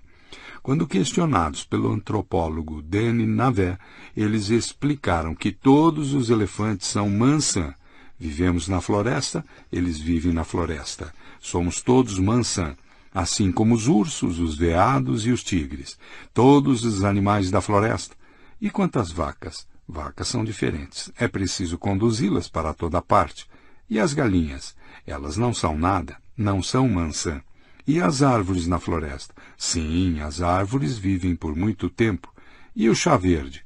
Ora, esse eu cultivo para vender as folhas de chá e comprar o que preciso na loja. Não, eles não são maçã. A degradação de animais, de seres conscientes que merecem respeito à mera condição de propriedade, raramente ficou só no caso de vacas e galinhas. A maior parte das sociedades agrícolas começou a tratar várias classes de pessoas como se fossem também propriedade. No Antigo Egito, na Israel bíblica e na China medieval, era comum escravizar humanos, torturá-los e executá-los, até mesmo devido a transgressões banais. Assim como camponeses não consultam vacas e galinhas sobre como conduzir a fazenda, governantes nem sequer sonhavam impedir aos camponeses suas opiniões quanto a como governar o reino. E quando grupos étnicos ou comunidades religiosas entravam em conflito, frequentemente se desumanizavam reciprocamente. Descrever os outros como animais subhumanos era o primeiro passo para tratá-los como tais. A fazenda agrícola tornou-se, assim, o protótipo de novas sociedades que incluíam os empolados senhores, 500 anos de solidão. O surgimento da ciência e da indústria modernas trouxe consigo a revolução seguinte nas relações entre homens e animais. Durante a Revolução Agrícola, a humanidade silenciou animais e plantas e transformou a grande ópera animista num diálogo entre o homem e deuses. No decorrer da Revolução Científica, a humanidade silenciou também os deuses. O mundo transformou-se em um one-man show. O gênero humano estava sozinho num palco vazio, falando consigo mesmo, negociando com ninguém e adquirindo poderes enormes sem nenhuma obrigação. Depois de decifrar as leis mudas da física, da química e da biologia, o gênero humano agora faz com elas o que quiser. Quando um caçador antigo ia para a savana, ele pedia ajuda ao touro selvagem e o touro pedia algo ao caçador. Quando o antigo fazendeiro queria que suas vacas produzissem muito leite, pedia ajuda a um Deus celestial grandioso e o Deus estipulava suas condições. Quando a equipe de avental branco do Departamento de Pesquisa e Desenvolvimento da Nestlé quer aumentar a produção de laticínios, ela estuda genética e os genes nada pedem em troca. Mas, assim como os caçadores e os agricultores, os profissionais de pesquisa e desenvolvimento também têm seus mitos. O mais famoso deles descaradamente plagiou a lenda da árvore do conhecimento e o jardim do Éden, mas transfere a ação para o jardim da Woolsthorpe Manor, em Lincolnshire. Segundo esse mito, Isaac Newton estava sentado ali, sob uma macieira, quando uma maçã madura caiu em sua cabeça. Newton começou a se perguntar por que a fruta caiu direto para baixo e não para os lados ou para cima. Esse questionamento levou a descobrir a gravidade e as leis da mecânica newtoniana. A história de Newton vira um mito da árvore do conhecimento, de cabeça para baixo. No jardim do Éden, a serpente dá início ao drama, tentando os humanos ao pecado, e com isso desfere sobre eles a ira de Deus. Adão e Eva são um joguete para a serpente, para Deus. Em contrapartida, no jardim de Woolsthorpe, o homem é o agente único, embora o próprio Newton fosse um cristão profundamente religioso que dedicava muito mais tempo ao estudo da Bíblia do que às leis da física, a revolução científica que ele ajudou a desencadear delegava a Deus um papel secundário. Quando os sucessores de Newton se puseram a escrever seu mito do Gênese, não usaram nem Deus nem a serpente. O jardim de Woolsthorpe é conduzido pelas leis cegas da natureza e a iniciativa de decifrá-las é estritamente humana. A história pode ter começado com uma maçã que cai na cabeça de Newton, mas a maçã não fez isso de propósito. No mito do Jardim do Éden, os humanos são punidos por sua curiosidade e por seu desejo de adquirir conhecimento. Deus os expulsa do paraíso no mito do jardim de Woolsthorpe, ninguém pune Newton. Acontece exatamente o contrário. Graças à sua curiosidade, o gênero humano adquire uma compreensão melhor do universo, fica mais poderoso e dá um passo adiante em direção ao paraíso tecnológico. Um sem número de professores em todo o mundo reconta o mito de Newton para estimular a curiosidade, sugerindo que basta adquirir conhecimento para sermos capazes de criar o paraíso aqui na Terra. Na verdade, Deus está presente até mesmo no mito de Newton. O próprio Newton é Deus, quando a biotecnologia, a nanotecnologia e outros frutos da ciência amadurecerem, o Homo sapiens alcançará poderes divinos e fechará o círculo de volta à árvore do conhecimento bíblica. Os antigos caçadores-coletores foram somente outra espécie de animal. Os agricultores consideravam-se o ápice da criação. Os cientistas vão nos elevar à categoria de deuses. Enquanto a Revolução Agrícola deu origem às religiões teístas, a Revolução Científica fez nascerem as religiões humanistas, nas quais humanos substituem deuses. Os teístas cultuam Theos, Deus em grego, e os humanistas cultuam humanos. A ideia fundamental das religiões humanistas, como o liberalismo, o comunismo e o nazismo, é que o Homo sapiens tem uma essência única e sagrada, fonte de todo sentido e de toda autoridade no universo. Tudo o que acontece no cosmos é considerado bom ou mal de acordo com o impacto que exerce sobre o Homo sapiens. O teísmo justificava a agricultura tradicional em nome de Deus, ao passo que o humanismo justifica a moderna lavoura industrial em nome do homem. A lavoura industrial santifica as necessidades, os caprichos e as vontades humanos, descartando todo o resto. A lavoura industrial não tem verdadeiro interesse em animais, os quais não compartilham a santidade na natureza humana. E os deuses não lhes são úteis, porque a ciência e a tecnologia modernas conferem aos humanos poderes que excedem em muito os dos antigos deuses. A ciência permite que companhias modernas sujeitem vacas, porcos e galinhas a condições mais extremas do que as que prevaleciam nas sociedades agrícolas tradicionais. No Egito Antigo, no Império Romano ou na China medieval, os humanos só tinham uma compreensão rudimentar da bioquímica, da genética, da zoologia e da epidemiologia. Consequentemente, sua capacidade de manipulação era limitada. Naqueles tempos, porcos, vacas e galinhas andavam livremente entre as casas e procuravam tesouros comestíveis nos montes de lixo ou na mata próxima. Se um camponês ambicioso tivesse de confinar milhares de animais em compartimentos superpovoados, disso resultaria provavelmente uma epidemia mortal que acabaria com todos os animais e também com muitos aldeões. Nenhum sacerdote, xamã ou deus poderia evitá-la. No entanto, depois que a ciência moderna decifrou os segredos das epidemias, dos patógenos e dos antibióticos, gaiolas, redis e chiqueiros industriais tornaram-se factíveis. Com a ajuda de vacinas, medicamentos, hormônios, pesticidas, sistemas de ar-condicionado centrais e comedouros automáticos, atualmente é possível compactar dezenas de milhares de porcos, vacas ou galinhas em fileiras bem arrumadas de gaiolas abarrotadas e produzir carne, leite e ovos com uma eficácia sem precedentes. Em anos recentes, quando se começou a repensar as relações entre humanos e animais, essas práticas passaram a ser alvo de críticas crescentes. Demonstramos um interesse inédito no destino das chamadas formas inferiores de vida, talvez porque estejamos a ponto de nos tornar uma se e quando programas de computador atingirem uma inteligência sobre-humana e um poder jamais visto, deveremos valorizar esses programas mais do que valorizamos os humanos?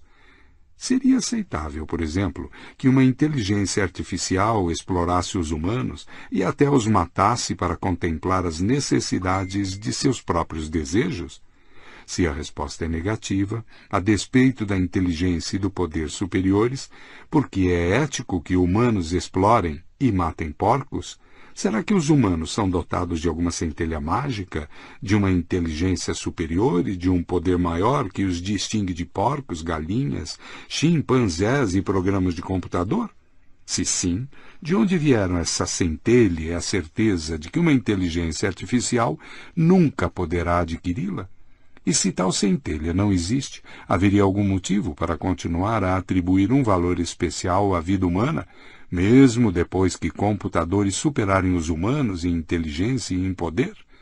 Com efeito, o que há nos humanos que nos faz tão inteligentes e poderosos? E qual é a probabilidade de que entidades não humanas venham a rivalizar conosco e nos ultrapassar? No próximo capítulo, examinaremos a natureza e o poder do Homo sapiens, não somente para abordar com mais profundidade. 3. 3. A epifania humana. Não há dúvida de que o Homo sapiens é a espécie mais poderosa do mundo, o Homo sapiens também gosta de pensar que usufrui de um status moral superior e que o valor da vida humana é muito maior que a de porcos, elefantes ou lobos. Isso é menos óbvio. Será que poder implica direitos? Será que a vida humana é mais preciosa que a vida dos suínos simplesmente porque o coletivo humano é mais poderoso do que o coletivo suíno? Os Estados Unidos são muito mais poderosos do que o Afeganistão isso implica que a vida dos americanos tem valor intrínseco maior do que a vida dos afegãos?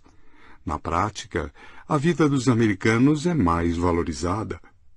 Investe-se muito mais dinheiro na educação, na saúde e na segurança de um americano médio do que na vida de um afegão médio.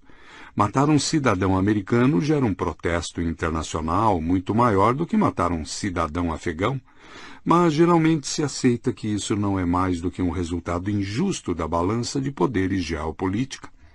O Afeganistão pode ter muito menos influência do que os Estados Unidos, porém a vida de uma criança nas montanhas de Tora Bora é considerada em cada detalhe tão sagrada quanto a vida de uma criança em Beverly Hills. Em contrapartida, quando privilegiamos crias humanas em detrimento de leitões, queremos acreditar que isso reflete algo mais profundo do que uma balança de poder ecológica. Queremos acreditar que a vida humana é superior em algum aspecto fundamental. Nós, sapiens, adoramos dizer a nós mesmos que nos beneficiamos de alguma qualidade mágica, que não só explica nosso imenso poder, como também oferece uma justificativa moral para nosso status privilegiado. Qual seria essa singular epifania humana? A resposta monoteísta tradicional é que só os sapiens são dotados de almas eternas, enquanto o corpo se degenera e decompõe a alma continua numa jornada em direção à redenção ou à danação e experimentará ou a perene alegria do paraíso ou uma eternidade de sofrimento no inferno. Como os porcos e os outros animais não têm alma, eles não fazem parte desse drama cósmico, vivem apenas alguns anos, então morrem e desaparecem no nada. Devemos, portanto, cuidar muito mais de nossas almas humanas eternas do que de porcos efêmeros. Não se trata de um conto de fadas de jardim de infância, mas de um mito extremamente poderoso que continua a moldar a vida de bilhões de humanos e animais no início do século XXI. A crença de que os seres humanos têm almas eternas, ao passo que animais são apenas corpos evanescentes, constitui-se no pilar central de nossos sistemas legal, político e econômico. Isso explica por que, por exemplo, é perfeitamente aceitável que humanos matem animais para se alimentar, ou mesmo só como divertimento. No entanto, nossas descobertas científicas mais recentes contradizem completamente o mito monoteísta. Com efeito, experimentos em laboratório confirmam a acurácia de uma parte do mito. Como dizem as religiões monoteístas, os animais não têm alma. Todos os cuidadosos estudos e os minuciosos exames não conseguiram descobrir nenhum traço de alma em porcos, ratos ou macacos rezos mas os mesmos experimentos laboratoriais desmontam a segunda e mais importante parte do mito monoteísta, o de que os humanos têm sim uma alma. Cientistas submeteram Homo sapiens a dezenas de milhares de experimentos bizarros, examinaram cada recanto de nossos corações e cada sulco em nossos cérebros. Contudo, até agora não descobriram nenhuma epifania mágica a evidência científica de que, ao contrário dos porcos, os humanos têm alma é igual a zero. Se isso fosse tudo, bem poderíamos alegar que os cientistas só precisam continuar a procurar. Se ainda não acharam a alma, é porque não procuraram com bastante cuidado. Entretanto, as ciências biológicas duvidam da existência da alma, não só devido à inexistência de evidência, mas também porque o simples conceito de alma contradiz os princípios fundamentais da evolução. Essa contradição é responsável pelo ódio desenfreado que a teoria da evolução desencadeia nos monoteístas devotos. Quem tem medo de Charles Darwin? De acordo com uma pesquisa Gallup de 2012, apenas 15% dos americanos pensam que o Homo sapiens evoluiu somente pela seleção natural, sem nenhuma intervenção divina. 32% sustentam que os humanos podem ter evoluído de formas de vida anteriores num processo que levou milhões de anos, mas que Deus orquestrou todo esse espetáculo. 46% acreditam que Deus criou os humanos em sua forma atual em algum momento dos últimos 10 mil anos, exatamente como relata a Bíblia. Passar três anos numa faculdade não exerce nenhum impacto na formação dessas opiniões. A mesma pesquisa descobriu que, entre os graduados com bacharelado, 46% acreditam na história bíblica da criação enquanto apenas 14% pensam que os humanos evoluíram sem nenhuma supervisão divina. Mesmo entre os que têm mestrado e doutorado, 25% acreditam na Bíblia, ao passo que apenas 29% acreditam somente a seleção natural, a criação de nossa espécie. Embora as escolas não estejam, evidentemente, fazendo um bom trabalho no ensino da evolução, os fanáticos religiosos ainda insistem que ela não deveria ser ensinada.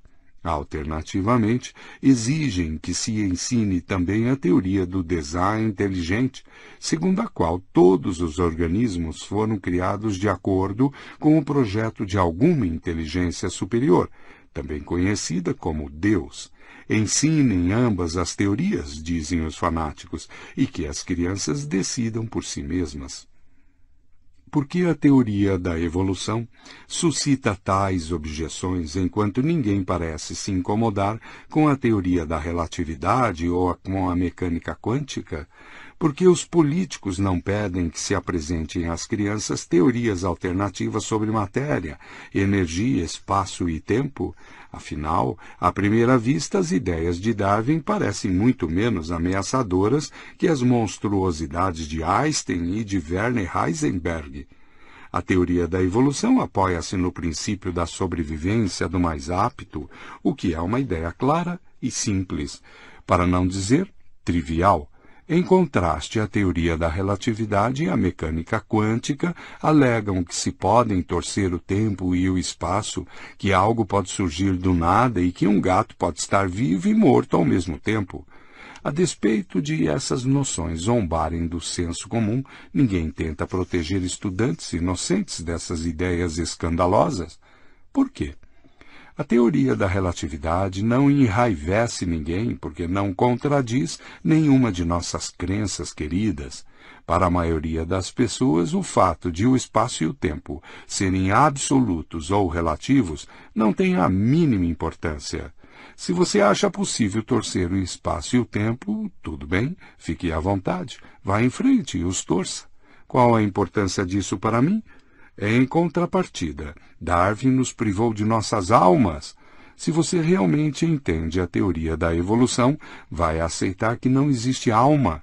Essa é uma ideia terrível não só para cristãos e muçulmanos devotos, como também para muitas pessoas antigas não adeptas de um dogma religioso claro mas que, não obstante, querem acreditar que cada humano possui uma essência individual eterna que permanece imutável no decorrer da vida e que pode sobreviver intacta até mesmo à morte.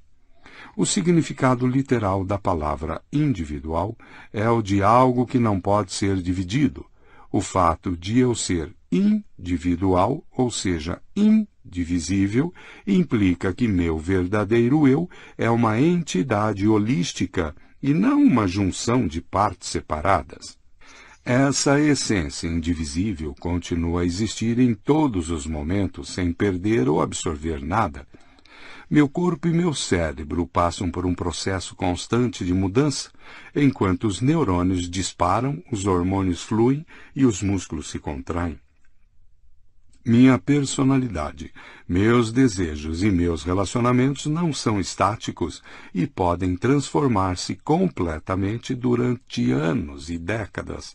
Mas, acima disso, eu permaneço a mesma pessoa desde o nascimento até a morte, e com sorte além da morte também. Infelizmente, a teoria da evolução rejeita a ideia de que o meu eu verdadeiro é uma essência indivisível, imutável e potencialmente eterna. De acordo com a teoria da evolução, todas as entidades biológicas, de elefantes e carvalhos a células e moléculas de DNA, são compostas de partes menores e mais simples que incessantemente se combinam e se separam. Elefantes e células evoluíram gradativamente, como resultado de novas combinações e divisões. Algo que não pode ser dividido ou mudado não pode ter vindo a existir por intermédio da seleção natural. O olho humano, por exemplo, é um sistema extremamente complexo, formado por numerosas partes menores, como o cristalino, a córnea e a retina. O olho não surgiu do nada, já completo com todos esses componentes. Ele evoluiu em passos minúsculos no decorrer de milhões de anos. Nosso olho é muito semelhante ao olho do Homo erectus, que viveu um milhão de anos atrás é um tanto menos semelhante ao olho do Australopithecus, que viveu há cinco milhões de anos. É muito diferente do olho do Driolestes, que viveu há 150 milhões de anos. e parece não ter nada em comum com os organismos unicelulares que habitavam nosso planeta centenas de milhões de anos atrás. Mas até mesmo organismos unicelulares dispunham de minúsculas organelas que permitiam aos microorganismos distinguir a luz da escuridão e se moverem em direção a uma ou a outra. O caminho que levou de sensores tão arcaicos ao olho humano foi longo e sinuoso. Porém, se você dispõe de uma reserva de centenas de milhões de anos, certamente poderá percorrê-lo por inteiro, passo a passo. Poderá fazer isso porque o olho é composto de muitas partes diferentes. Se a cada algumas gerações uma pequena mutação alterasse levemente uma dessas partes, digamos, a córnea se tornasse um pouco mais encurvada, após milhões de gerações, essas mudanças poderiam resultar num olho humano. Se o olho fosse uma entidade holística desprovida de quaisquer partes, nunca poderia evoluir por seleção natural. É por isso que a teoria da evolução não pode aceitar o conceito de alma, se por alma entendemos algo indivisível, imutável e potencialmente eterno. Tal entidade não poderia resultar de uma evolução passo a passo. A seleção natural pode produzir um olho humano, porque os olhos têm partes, mas a alma não. Se a alma do sapiens evoluísse passo a passo a partir da alma do erectus, quais exatamente seriam esses passos? Há alguma parte da alma que é mais desenvolvida no sapiens do que no erectus, mas a alma não tem partes. Pode-se alegar que as almas humanas não evoluem. Um belo dia elas aparecem em toda a completude de sua glória. Porém, quando é que esse belo dia aconteceu? Quando olhamos bem de perto a evolução do gênero humano. É embaraçosamente difícil encontrá-lo. Todo humano passa a existir como resultado da inseminação de um óvulo feminino por um esperma masculino. Pense no primeiro bebê a possuir uma alma. Ele era muito semelhante a seu pai e sua mãe, exceto pelo fato de ter uma alma e os pais não. Nosso conhecimento de biologia pode explicar o nascimento de um bebê cuja córnea seja ligeiramente mais curva do que a córnea de seus pais. Uma pequena mutação no único gene poderia acarretar isso. Mas a biologia não poderia explicar o nascimento de um bebê que possui uma alma eterna de pais que não têm nem sombra de uma. Será que uma única mutação ou mesmo diversas mutações, seria suficiente para dar a um animal uma essência infensa a quaisquer mudanças, inclusive a morte? Portanto, a existência de almas não pode se encaixar na teoria da evolução. Evolução quer dizer mudança, e ela é incapaz de produzir entidades perenes que o mercado de ações não tem consciência. Outra história utilizada para justificar a superioridade humana é a de que todos os animais sobre a Terra, somente o Homo sapiens tem uma mente consciente. Mente é algo muito diferente de alma. A mente não é uma entidade eterna, mística, nem é um órgão, como olho ou cérebro. É sim um fluxo de experiências subjetivas, como a dor, o prazer, a raiva e o amor. Essas experiências mentais são feitas de sensações, emoções e pensamentos interconectados, que lampejam por um breve momento e imediatamente desaparecem. Depois, outras experiências cintilam e se desfazem, surgem por um instante e logo morrem. Quando refletimos sobre isso, não raro tentamos distribuir as experiências em categorias distintas, como sensações, emoções e pensamentos mas na realidade elas estão todas mescladas. Essa coleção frenética de experiências constitui o fluxo da consciência. Diferentemente da alma eterna, a mente tem muitas partes, muda constantemente e não há motivo para pensar que seja eterna. A alma é uma história que algumas pessoas aceitam e que outras rejeitam. O fluxo da consciência, em oposição, é a realidade concreta que testemunhamos diretamente a cada momento. É o que há de mais certo no mundo. Não se pode duvidar de sua existência, mesmo quando, consumidos pela dúvida, perguntamos a nós mesmos: experiências subjetivas existem? Podemos estar certos de que estamos experimentando uma, em forma de dúvida. O que são exatamente as experiências conscientes que constituem o fluxo da mente? Toda experiência subjetiva apresenta duas características fundamentais: sensação e desejo. Robôs e computadores não têm consciência porque, a despeito de suas muitas aptidões, não sentem nada e não anseiam por nada. Um robô pode ter um sensor de energia que sinaliza a seu processador central quando a bateria está para se esgotar. O robô pode então ir em direção a uma tomada elétrica, conectar-se e recarregar sua bateria. Contudo, no decorrer desse processo, ele não experimenta coisa alguma. Em contraste, um ser humano cuja energia foi exaurida sentirá fome e ansiará por interromper essa sensação desagradável. Por isso dizemos que humanos são seres conscientes e os robôs não são. Por isso é crime fazer pessoas trabalharem até desabarem de fome e de exaustão, enquanto fazer robôs trabalharem até que suas baterias se descarreguem não encerra um opróbrio moral. E quanto aos animais? São conscientes? Têm experiências subjetivas? É aceitável que se obrigue um cavalo a trabalhar até cair de exaustão? Como já foi observado, as ciências biológicas afirmam atualmente que todos os mamíferos e todas as aves, e pelo menos alguns répteis e peixes, apresentam sensações e emoções. Contudo, as teorias mais recentes sustentam também que sensações e emoções são algoritmos de processamento de dados bioquímicos já sabemos que robôs e computadores processam dados sem ter nenhuma experiência subjetiva. Será que isso funciona da mesma maneira com os animais? Realmente, mesmo nos humanos, muitos circuitos cerebrais, sensoriais e emocionais podem processar dados e desencadear ações de modo completamente inconsciente.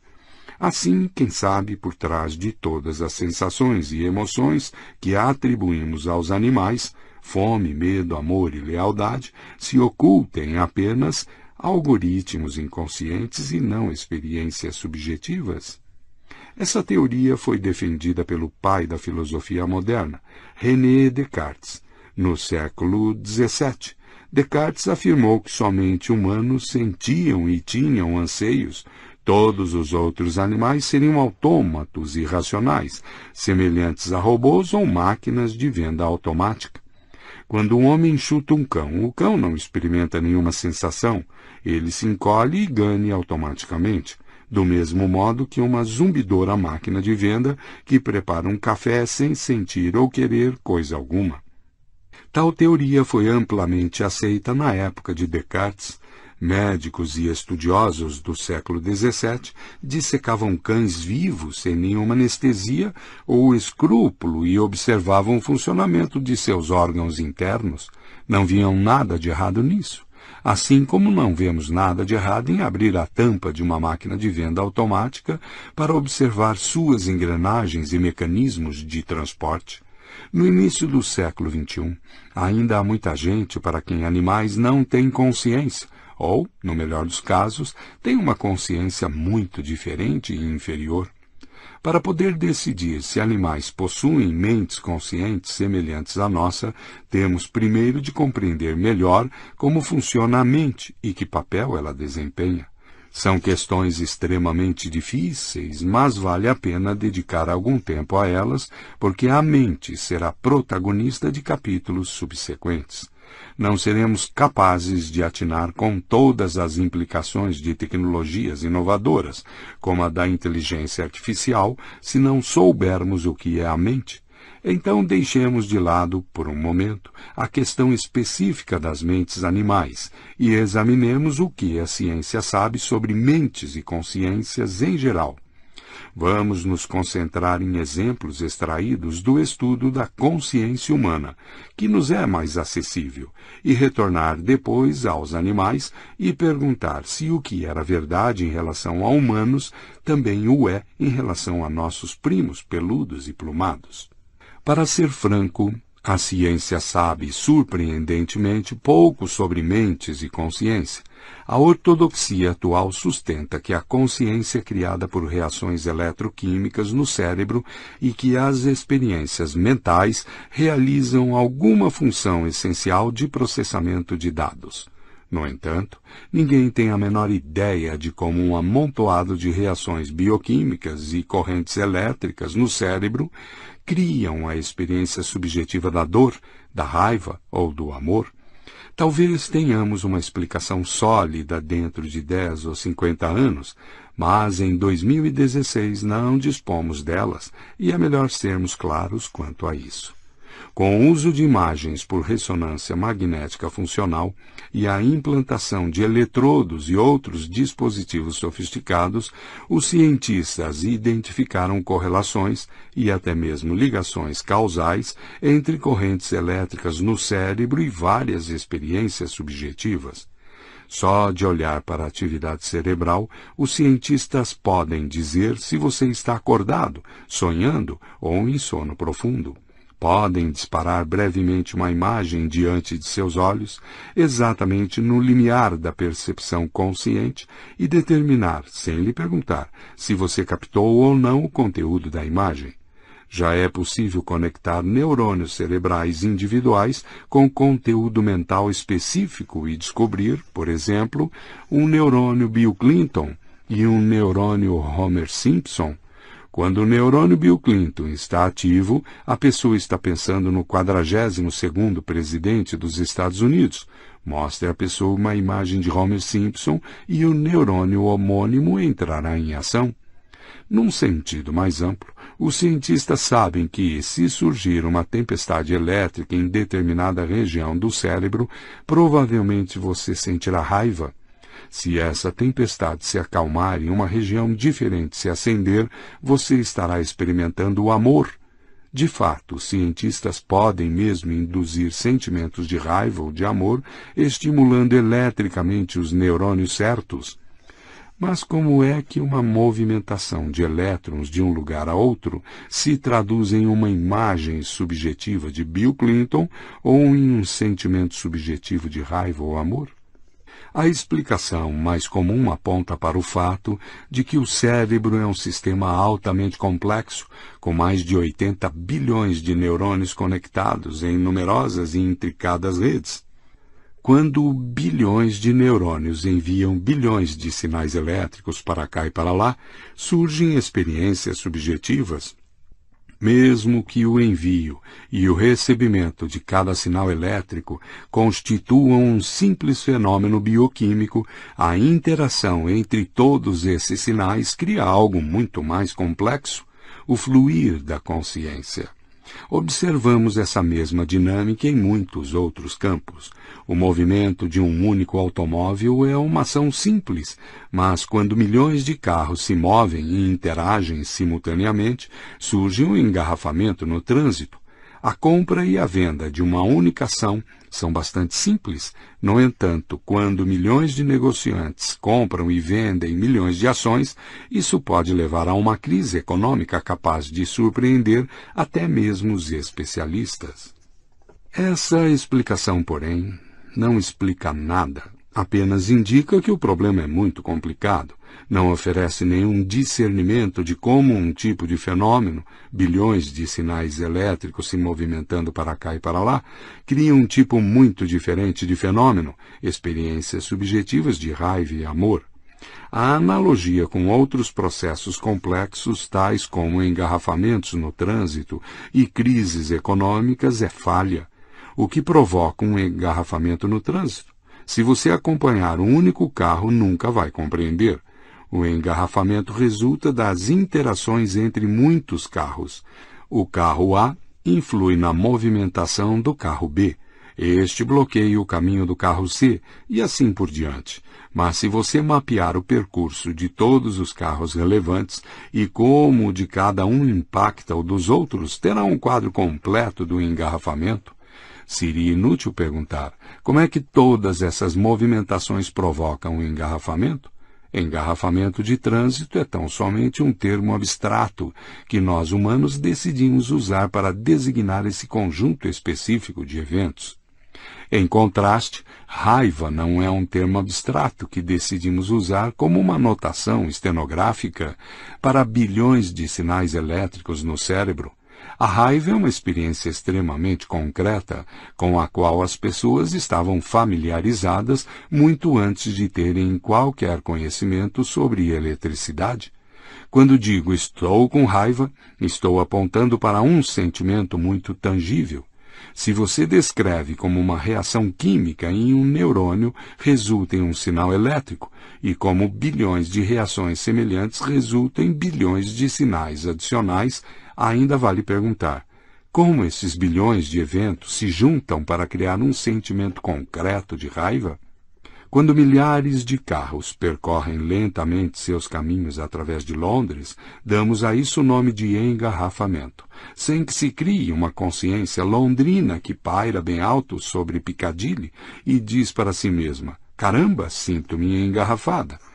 Quando milhões de pessoas vendem bilhões de ações, chamamos isso de crise econômica, mas nenhum grande espírito de Wall Street resmunga: merda, estou em crise. Quando trilhões de moléculas de água se aglutinam no céu, nós chamamos isso de nuvem, mas nenhuma nuvem surge conscientemente para anunciar: sinto-me chuvosa. Como é então que, quando bilhões de sinais elétricos se movimentam pelo meu cérebro, surge uma mente com a sensação estou furioso? A essa altura, em 2016, não temos a menor ideia a respeito. Então, se esta discussão o deixou confuso e perplexo, você está em ótima companhia. Os melhores cientistas. A equação da vida. Os cientistas não sabem como um conjunto de sinais elétricos cerebrais cria experiências subjetivas. Ainda mais crucial, eles não sabem, em termos evolutivos, qual poderia ser o benefício desse fenômeno. É a maior lacuna que nos separa de nosso entendimento da vida, Humanos têm pés porque durante milhões de gerações os pés permitiram que nossos antepassados caçassem coelhos e fugissem dos leões. Os humanos têm olhos porque, por incontáveis milênios, os olhos permitiram aos que nos antecederam ver para onde o coelho estava indo e de onde o leão estava vindo. Mas por que os humanos têm experiências subjetivas de fome e de medo? Não muito tempo atrás, os biólogos deram uma resposta muito simples. As experiências subjetivas são essenciais à nossa sobrevivência porque, se não sentíssemos fome ou medo, não nos preocuparíamos em caçar coelhos ou fugir de leões. Ao ver um leão, por que um homem foge? Bem, ele se assustou, por isso foge.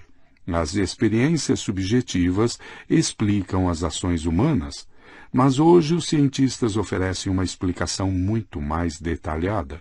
Quando o homem vê um leão, sinais elétricos se movimentam do olho para o cérebro. Os sinais que entram estimulam certos neurônios, que reagem disparando mais sinais. Estes sinais estimulam outros neurônios adiante, que por sua vez disparam seus sinais. Se um número suficiente dos neurônios corretos dispararem a um ritmo rápido bastante, comandos são enviados às glândulas suprarrenais para que inundem o corpo com adrenalina. O coração é instruído a bater mais rápido, enquanto neurônios no centro motor enviam sinais para os músculos da perna, os quais começam a se distender e contrair. Então, o homem sai correndo para fugir do leão. Ironicamente, quanto melhor mapeamos esse processo, mais difícil fica explicar os sentimentos conscientes. Quanto melhor entendemos o cérebro, mais redundante parece ser a mente. Se o sistema inteiro trabalha com sinais elétricos que passam daqui para ali, por que também temos de sentir medo? Se uma cadeia de reações eletroquímicas percorre todo o caminho, a partir das células do olho até a movimentação dos músculos da perna, para que acrescentar experiências subjetivas a ela? O que fazem tais experiências? Incontáveis peças de dominó podem derrubar uma a outra sem a necessidade de experiências subjetivas. Porque os neurônios precisam de sentimentos para poder estimular um ao outro ou para poder informar a glândula suprarrenal que comece a bombear? Na verdade, 99% das atividades do corpo, inclusive os movimentos musculares e as secreções hormonais, ocorrem sem a necessidade de sentimentos conscientes. Então, porque os neurônios, os músculos e as glândulas precisam desses sentimentos no 1% dos casos? Pode-se argumentar que precisamos de uma mente, porque é nela que se armazenam memórias, se fazem planos e onde autonomamente se desencadeiam imagens e ideias completamente novas. A mente não se limita a reagir a estímulos externos. Por exemplo, quando o homem vê um leão, não reage automaticamente à imagem do predador. Ele lembra que no ano anterior um leão devorou sua tia. Ele imagina como se sentiria se um leão o fizesse em pedaços. Ele visualiza a sina de seus filhos que ficarão órfãos. É por isso que foge. Na verdade, muitas reações em cadeia começam por iniciativa da própria mente, e não por algum estímulo externo imediato. Assim, a memória de um ataque de leão ocorrido no passado pode surgir espontaneamente na mente de um homem, fazendo-o pensar no perigo que aqueles animais representam. Ele pode então reunir todas as pessoas da tribo para juntos discutirem novos métodos de afugentar os leões. Mas espere um pouco. Que memórias, ideias e pensamentos são esses? Onde eles existem? Segundo teorias biológicas atuais, nossas memórias, nossas ideias e nossos pensamentos não existem em algum campo superior e imaterial, em vez disso, são também avalanches de sinais elétricos disparados por bilhões de neurônios. Daí que, até mesmo quando concebemos algo relacionado a memórias, ideias ou pensamentos, ainda somos deixados com uma série de reações eletroquímicas que passam por bilhões de neurônios e acabam na ativação de glândulas suprarrenais e dos músculos da perna. Será que existe um único passo nessa longa e sinuosa jornada em que, entre a ação de um neurônio e a reação do próximo, a mente intervém e decide se o segundo neurônio deve disparar ou não? Será que existe alguma movimentação material, mesmo que de um único elétron, causada pela experiência subjetiva de medo e não pela movimentação anterior de alguma outra partícula? Se não existe tal movimentação, e se todo elétron se movimenta porque outro elétron se movimentou antes, por que precisamos experimentar o medo? Não há uma pista quanto a isso. Filósofos resumiram esse enigma numa pergunta capciosa: O que acontece na mente que não acontece no cérebro? Se nada acontece na mente, a não ser o que acontece em nossas redes maciças de neurônios, para que então precisamos da mente? Se algo realmente acontece na mente, acima e além do que acontece na rede neural, onde é que isso acontece? Suponha que eu lhe pergunte o que Homer Simpson acha do escândalo de Bill Clinton e Mônica Lewinsky. Você provavelmente nunca pensou nisso antes. Por isso, sua mente precisa fundir duas lembranças, antes não interrelacionadas, talvez evocando uma imagem de Homer tomando cerveja enquanto assiste ao presidente Clinton pronunciar sua fala. Não tive relações sexuais com aquela mulher. Onde ocorre essa fusão? Alguns neurocientistas alegam que isso acontece na área de trabalho global, criada pela interação de muitos neurônios. Porém, a expressão área de trabalho é apenas uma metáfora. Qual é a realidade por trás da metáfora? Onde realmente se encontram e se fundem as diferentes peças de informação? De acordo com teorias atuais, isso não ocorre em alguma quinta dimensão platônica. Isso ocorre, digamos, onde dois neurônios antes desconectados começam subitamente a disparar sinais um para o outro. Forma-se uma nova sinapse entre o neurônio Bill Clinton e o neurônio Homer Simpson. Mas se é assim, por que precisamos da experiência consciente da memória acima e além do evento físico da conexão entre os dois neurônios? Podemos enunciar a mesma charada em termos matemáticos. O dogma atualmente em vigor sustenta que organismos são algoritmos e que algoritmos podem ser representados por meio de fórmulas matemáticas. Podem-se usar números e símbolos matemáticos para escrever as etapas que a máquina de venda automática cumpre para preparar um copo de chá, bem como as etapas que um cérebro cumpre quando se assusta com a aproximação de um leão. Se é assim, e se as experiências conscientes desempenham alguma função importante, elas têm de ter uma representação matemática, pois são parte essencial do algoritmo. Quando escrevemos o algoritmo do medo e decompomos medo em uma série de cálculos precisos, deveríamos ser capazes de apontar. Aqui, passo número 93 no processamento do cálculo. Esta é a experiência subjetiva do medo. Haverá, contudo, algum algoritmo no imenso reino da matemática que contém uma experiência subjetiva? Até o momento, não temos notícia de tal algoritmo. Não obstante, o vasto conhecimento que adquirimos nos campos da matemática e da ciência da computação, nenhum dos sistemas de processamento de dados que criamos precisa de experiências subjetivas para poder funcionar, e nenhum sente dor, prazer, raiva ou amor. Talvez precisemos de experiências subjetivas para pensar sobre nós mesmos um animal que vaga pela savana enquanto calcula suas probabilidades de sobrevivência e reprodução deve representar para si mesmo suas ações e decisões, e às vezes também comunicá-las a outros animais. Quando tenta criar um modelo das próprias decisões, o cérebro é apanhado numa digressão infinita e abra-cadabra. Para sair desse ciclo, a consciência emerge. Cinquenta anos atrás, isso poderia parecer plausível, mas não em 2016. Várias corporações como Google e Tesla estão desenvolvendo e fabricando automóveis autônomos que já trafegam em nossas vias.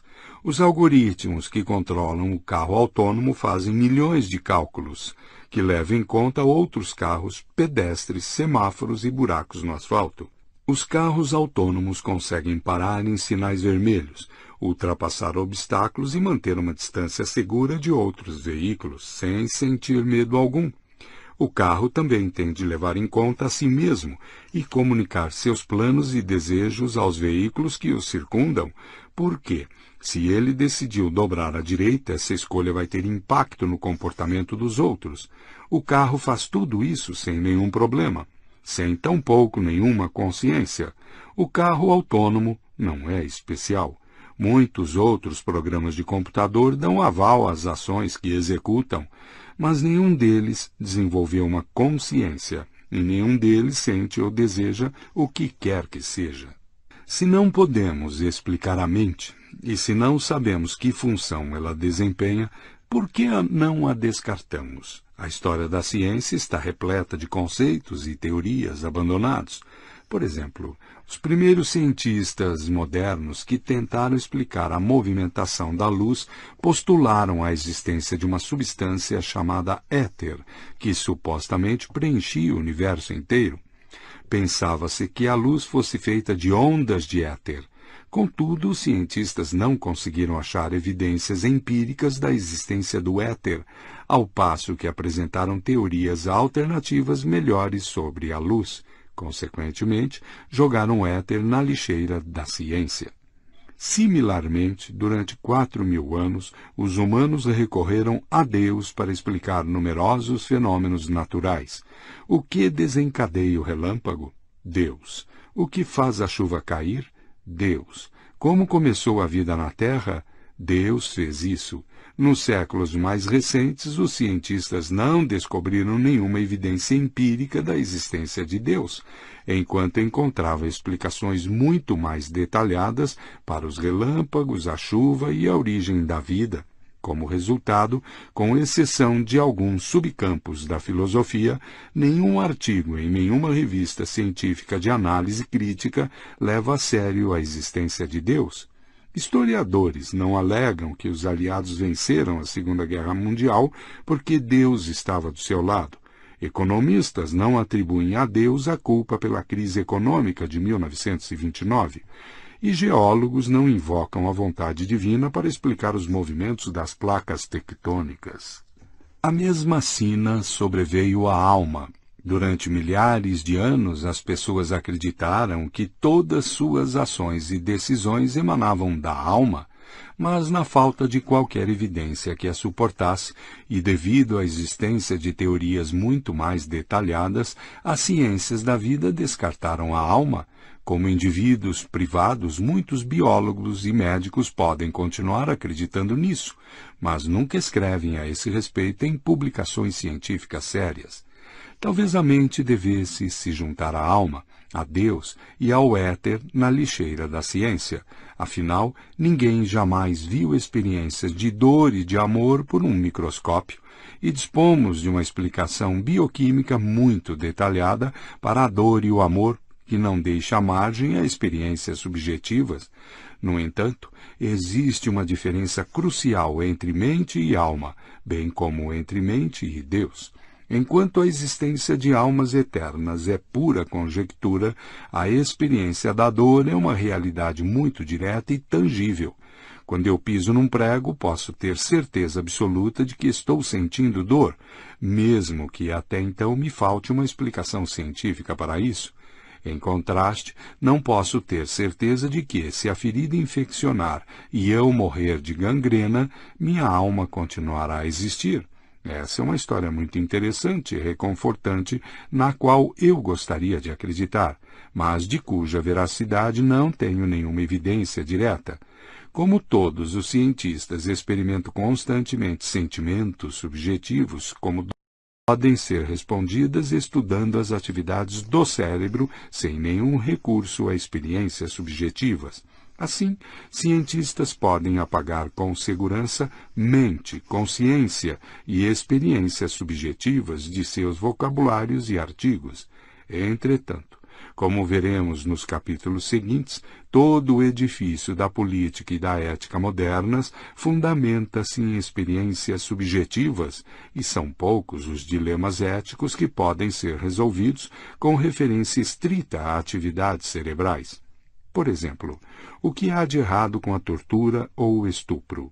Do ponto de vista puramente neurológico, quando o humano é torturado ou estuprado, certas reações bioquímicas acontecem no cérebro e vários sinais elétricos movimentam-se de um agrupamento de neurônios a outro.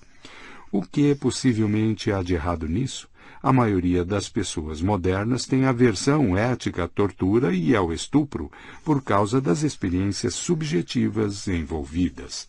Se algum cientista quiser argumentar que experiências subjetivas são irrelevantes, terá o desafio de explicar por que a tortura ou o estupro estão errados sem nenhuma referência a experiências dessa natureza. Finalmente, alguns cientistas admitem que a consciência é real e efetivamente pode ter grande valor moral e político, mas que isso não desempenha nenhuma função biológica. A consciência é o subproduto biologicamente inútil de certos processos cerebrais. Motores a jato roncam ruidosamente, mas o ruído não impele a aeronave para frente. Humanos não precisam de dióxido de carbono, contudo, toda expiração enche o ar ainda mais com esse composto. Da mesma forma, a consciência pode ser uma espécie de poluição mental produzida pelo disparo de redes neurais complexas. Ela não faz nada, apenas está lá. Se for verdade, isso implica que toda dor e todo prazer experimentado por bilhões de criaturas durante milhões de anos são apenas poluição mental. Essa é uma ideia na qual vale a pena pensar, mesmo que não seja verdade, mas é bem surpreendente constatar que, em 2016, trata-se da melhor teoria relativa à consciência que a ciência contemporânea tem a nos oferecer. Talvez as ciências biológicas estejam olhando o problema pelo ângulo errado. Elas creem que a vida consiste tão somente em uma questão de processamento de dados e que organismos são máquinas de calcular e de tomar decisões. No entanto, essa analogia entre organismos e algoritmos pode nos induzir ao erro. No século XIX, os cientistas descreveram cérebros e mentes como se fossem motores a vapor. Por que motores a vapor? Porque era a tecnologia avançada da época que acionava trens, navios e fábricas, de modo que, quando humanos tentavam explicar a vida, assumiam que ela devia funcionar de acordo com princípios análogos. Mente e corpo são feitos de tubos, cilindros, válvulas e pistões que criam e aliviam pressão, produzindo assim movimentos e ações.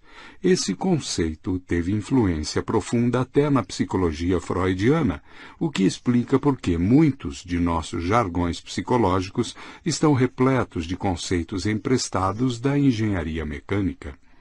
Considere-se, por exemplo, o seguinte argumento freudiano.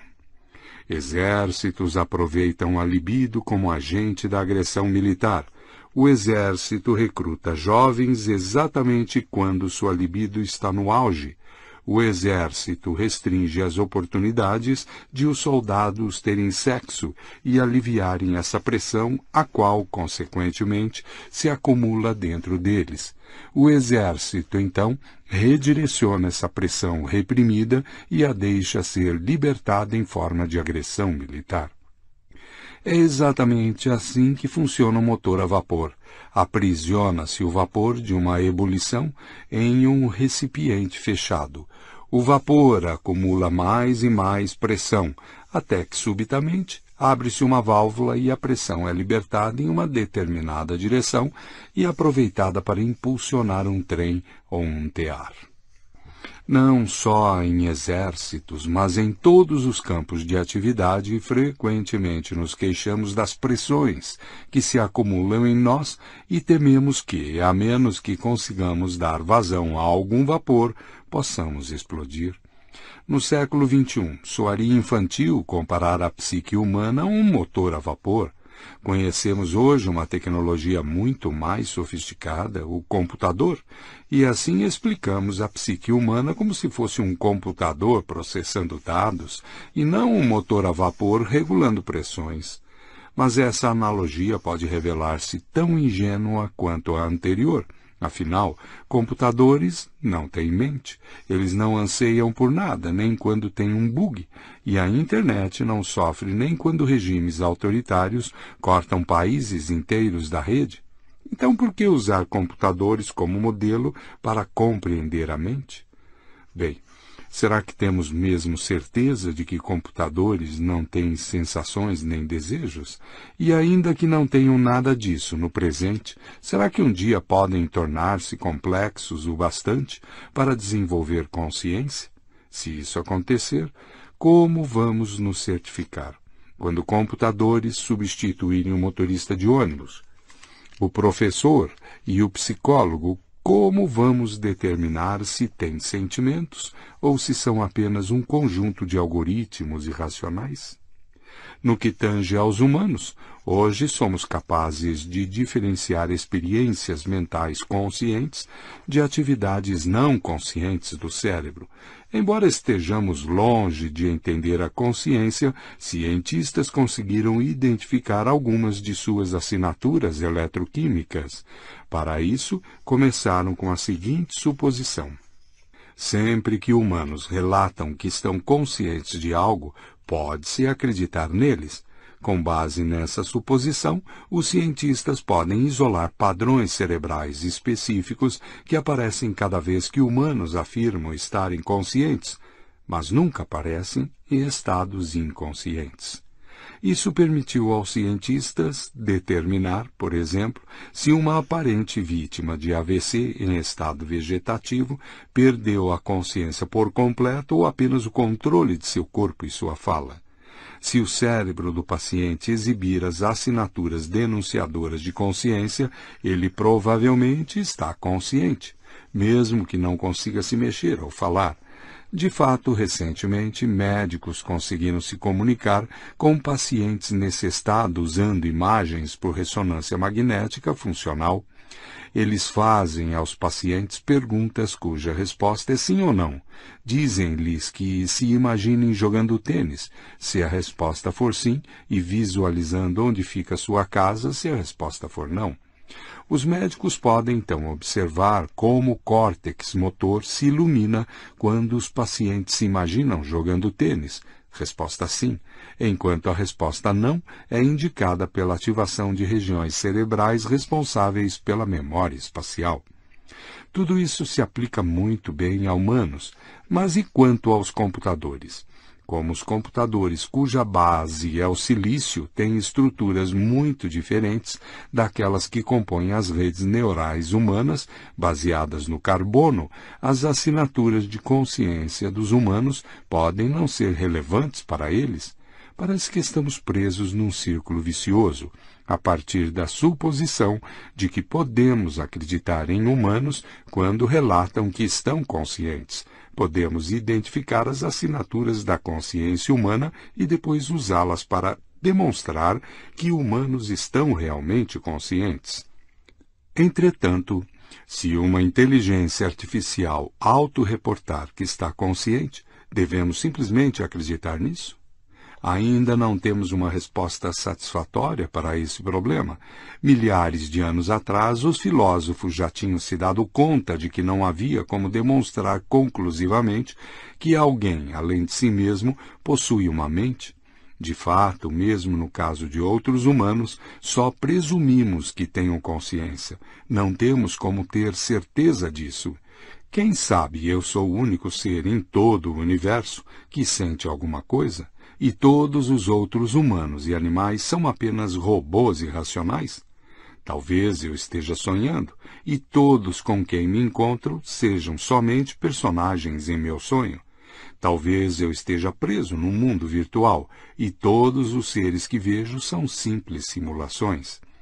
De acordo com o atual dogma científico, tudo o que eu experimento é resultado da atividade elétrica que ocorre em meu cérebro e deveria, portanto, ser teoricamente execuível simular um mundo inteiramente virtual que não me fosse possível distinguir do mundo real. Alguns neurocientistas acreditam que num futuro não tão distante poderemos efetivamente fazer coisas assim. Bem, quem sabe já tenham sido feitas por você. Até onde se sabe, o ano poderia ser 2216 e você é um adolescente entediado imerso num jogo de realidade virtual que simula o mundo primitivo e excitante do início do século XXI. Uma vez ciente da mera execuibilidade desse cenário, a matemática o leva a uma conclusão muito assustadora. Como só existe um mundo real, enquanto o número de mundos virtuais potenciais é infinito, a probabilidade de você estar habitando o único mundo real é quase nula. Nenhuma das descobertas científicas foi capaz de superar esse notório problema de outras mentes. O melhor teste que os estudiosos apresentaram até o momento é o chamado teste de Turing mas ele examina apenas convenções sociais. De acordo com o teste de Turing, para poder determinar se um computador tem mente, você deve se comunicar simultaneamente com um computador e com uma pessoa real, sem saber quem é quem ou o que. Pode fazer as perguntas que quiser, pode jogar jogos, discutir, até mesmo flertar com eles. Use todo o tempo que julgar necessário. Depois você terá de decidir qual é o computador e quem é o humano. Se não conseguir ou se cometer um erro, o computador terá passado pelo teste de Turing e deveríamos tratá-lo como se realmente tivesse uma mente. Contudo, Isso não seria uma prova definitiva, é claro. Reconhecer a existência de outras mentes constitui meramente uma convenção social e legal. O teste de Turing foi inventado em 1950 pelo matemático britânico Alan Turing, um dos pais da era da computação. Turing era homossexual em uma época na qual essa prática era ilegal na Grã-Bretanha. Em 1952, ele foi condenado por praticar atos homossexuais e obrigado a se submeter à castração química.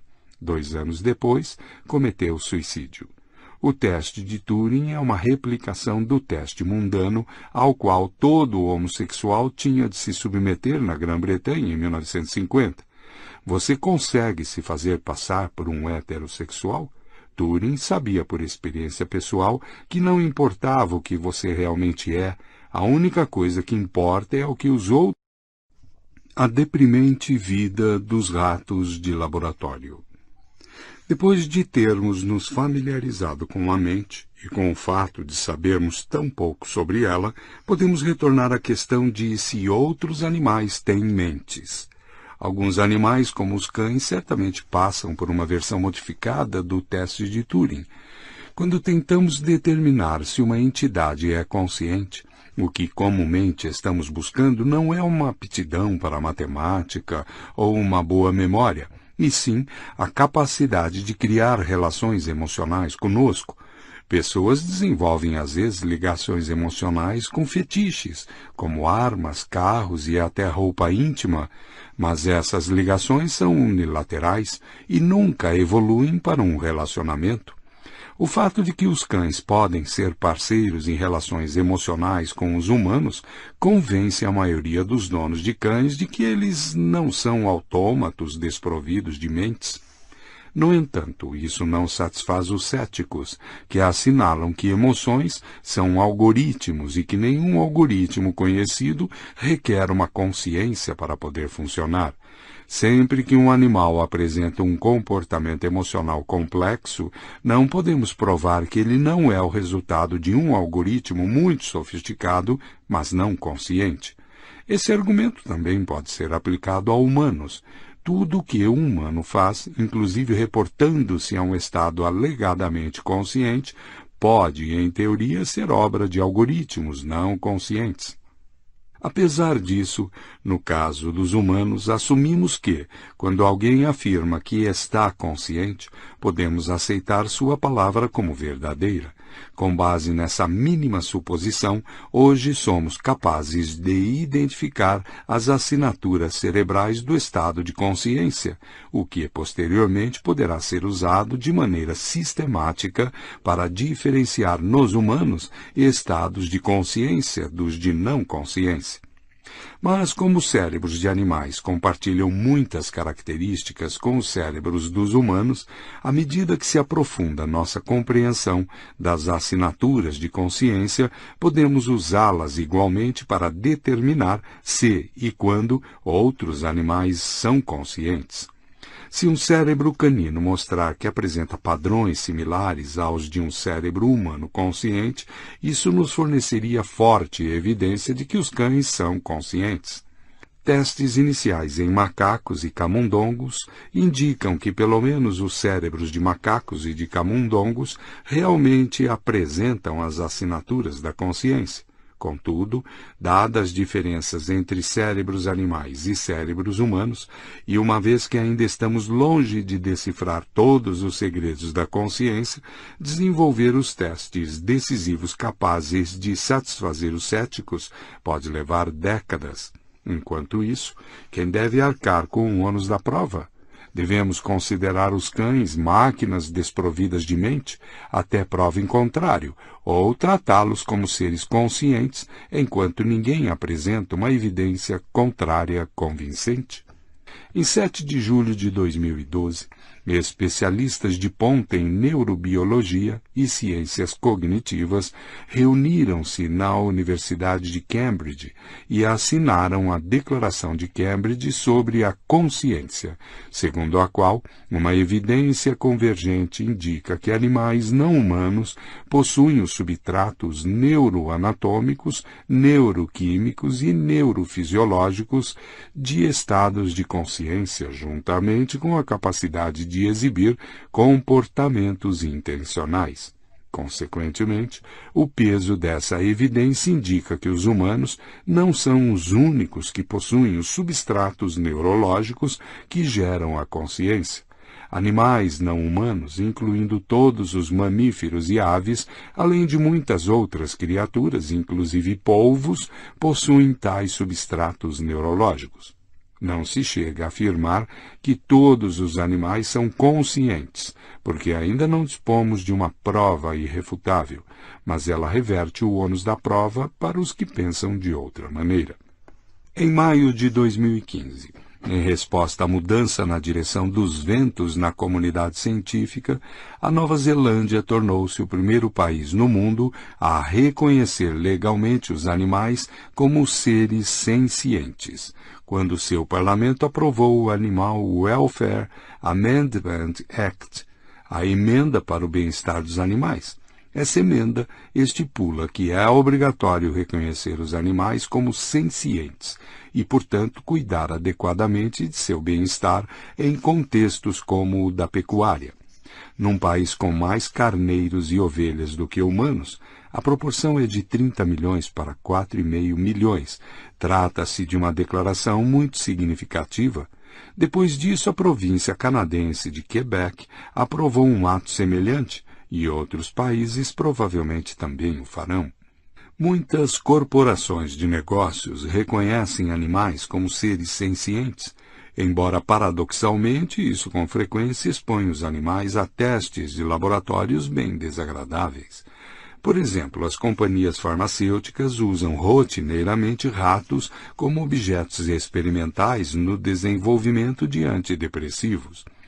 De acordo com um protocolo amplamente utilizado, pegam-se 100 ratos em nome da fidedignidade estatística e põe-se cada um deles em um tubo de vidro cheio d'água.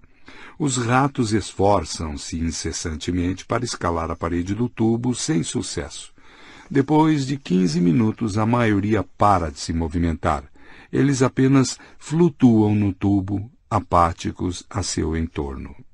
Pegam-se então outros cem ratos que são jogados nos tubos, mas são puxados para fora depois de 14 minutos, pouco antes de estarem prestes a entrar em desespero. Na sequência, eles são secos, alimentados e lhes é concedido um breve descanso e então são jogados no tubo novamente. Na segunda vez, a maioria dos ratos luta durante 20 minutos antes de entregar os pontos. Por que esses seis minutos a mais? Porque a memória do sucesso obtido desencadeia a liberação de algumas substâncias bioquímicas no cérebro que lhes dá esperança e adia o advento do desespero. Se pudéssemos isolar essas substâncias bioquímicas, poderíamos usá-las como antidepressivos para humanos. Mas são muitas as substâncias que inundam o cérebro dos ratos em qualquer dado momento. Como apontar a correta? Para isso, usam-se mais grupos de ratos que nunca participaram do teste antes. Injeta-se em cada grupo determinada substância química que se suspeita seja esperado antidepressivo, Jogam-se os ratos na água se aqueles que forem injetados com a substância A lutarem por apenas 15 minutos antes de ficarem deprimidos, pode-se riscar A da lista. Se ratos que forem injetados com a substância B continuarem esperneando durante 20 minutos, pode-se relatar ao executivo da indústria farmacêutica e aos acionistas que se acertou na loteria. Os céticos poderiam objetar que toda essa descrição humaniza desnecessariamente os ratos. Esses animais não experimentam esperança ou desespero. Às vezes eles se mexem com rapidez, às vezes ficam parados, mas nunca sentem nada. São movidos por algoritmos não conscientes. Mas se for isso, qual o sentido de todos esses experimentos? As drogas psiquiátricas destinam-se a induzir mudanças não só no comportamento humano, mas, sobretudo, no sentimento humano.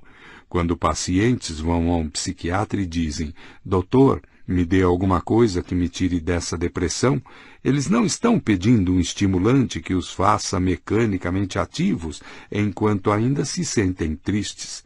Eles querem sentir-se animados. Realizar experimentos com ratos pode ajudar as corporações a desenvolver uma pílula mágica somente com base no pressuposto de que o comportamento dos ratos é acompanhado de emoções semelhantes às dos humanos. E, de fato, esse pressuposto é comum nos laboratórios psiquiátricos.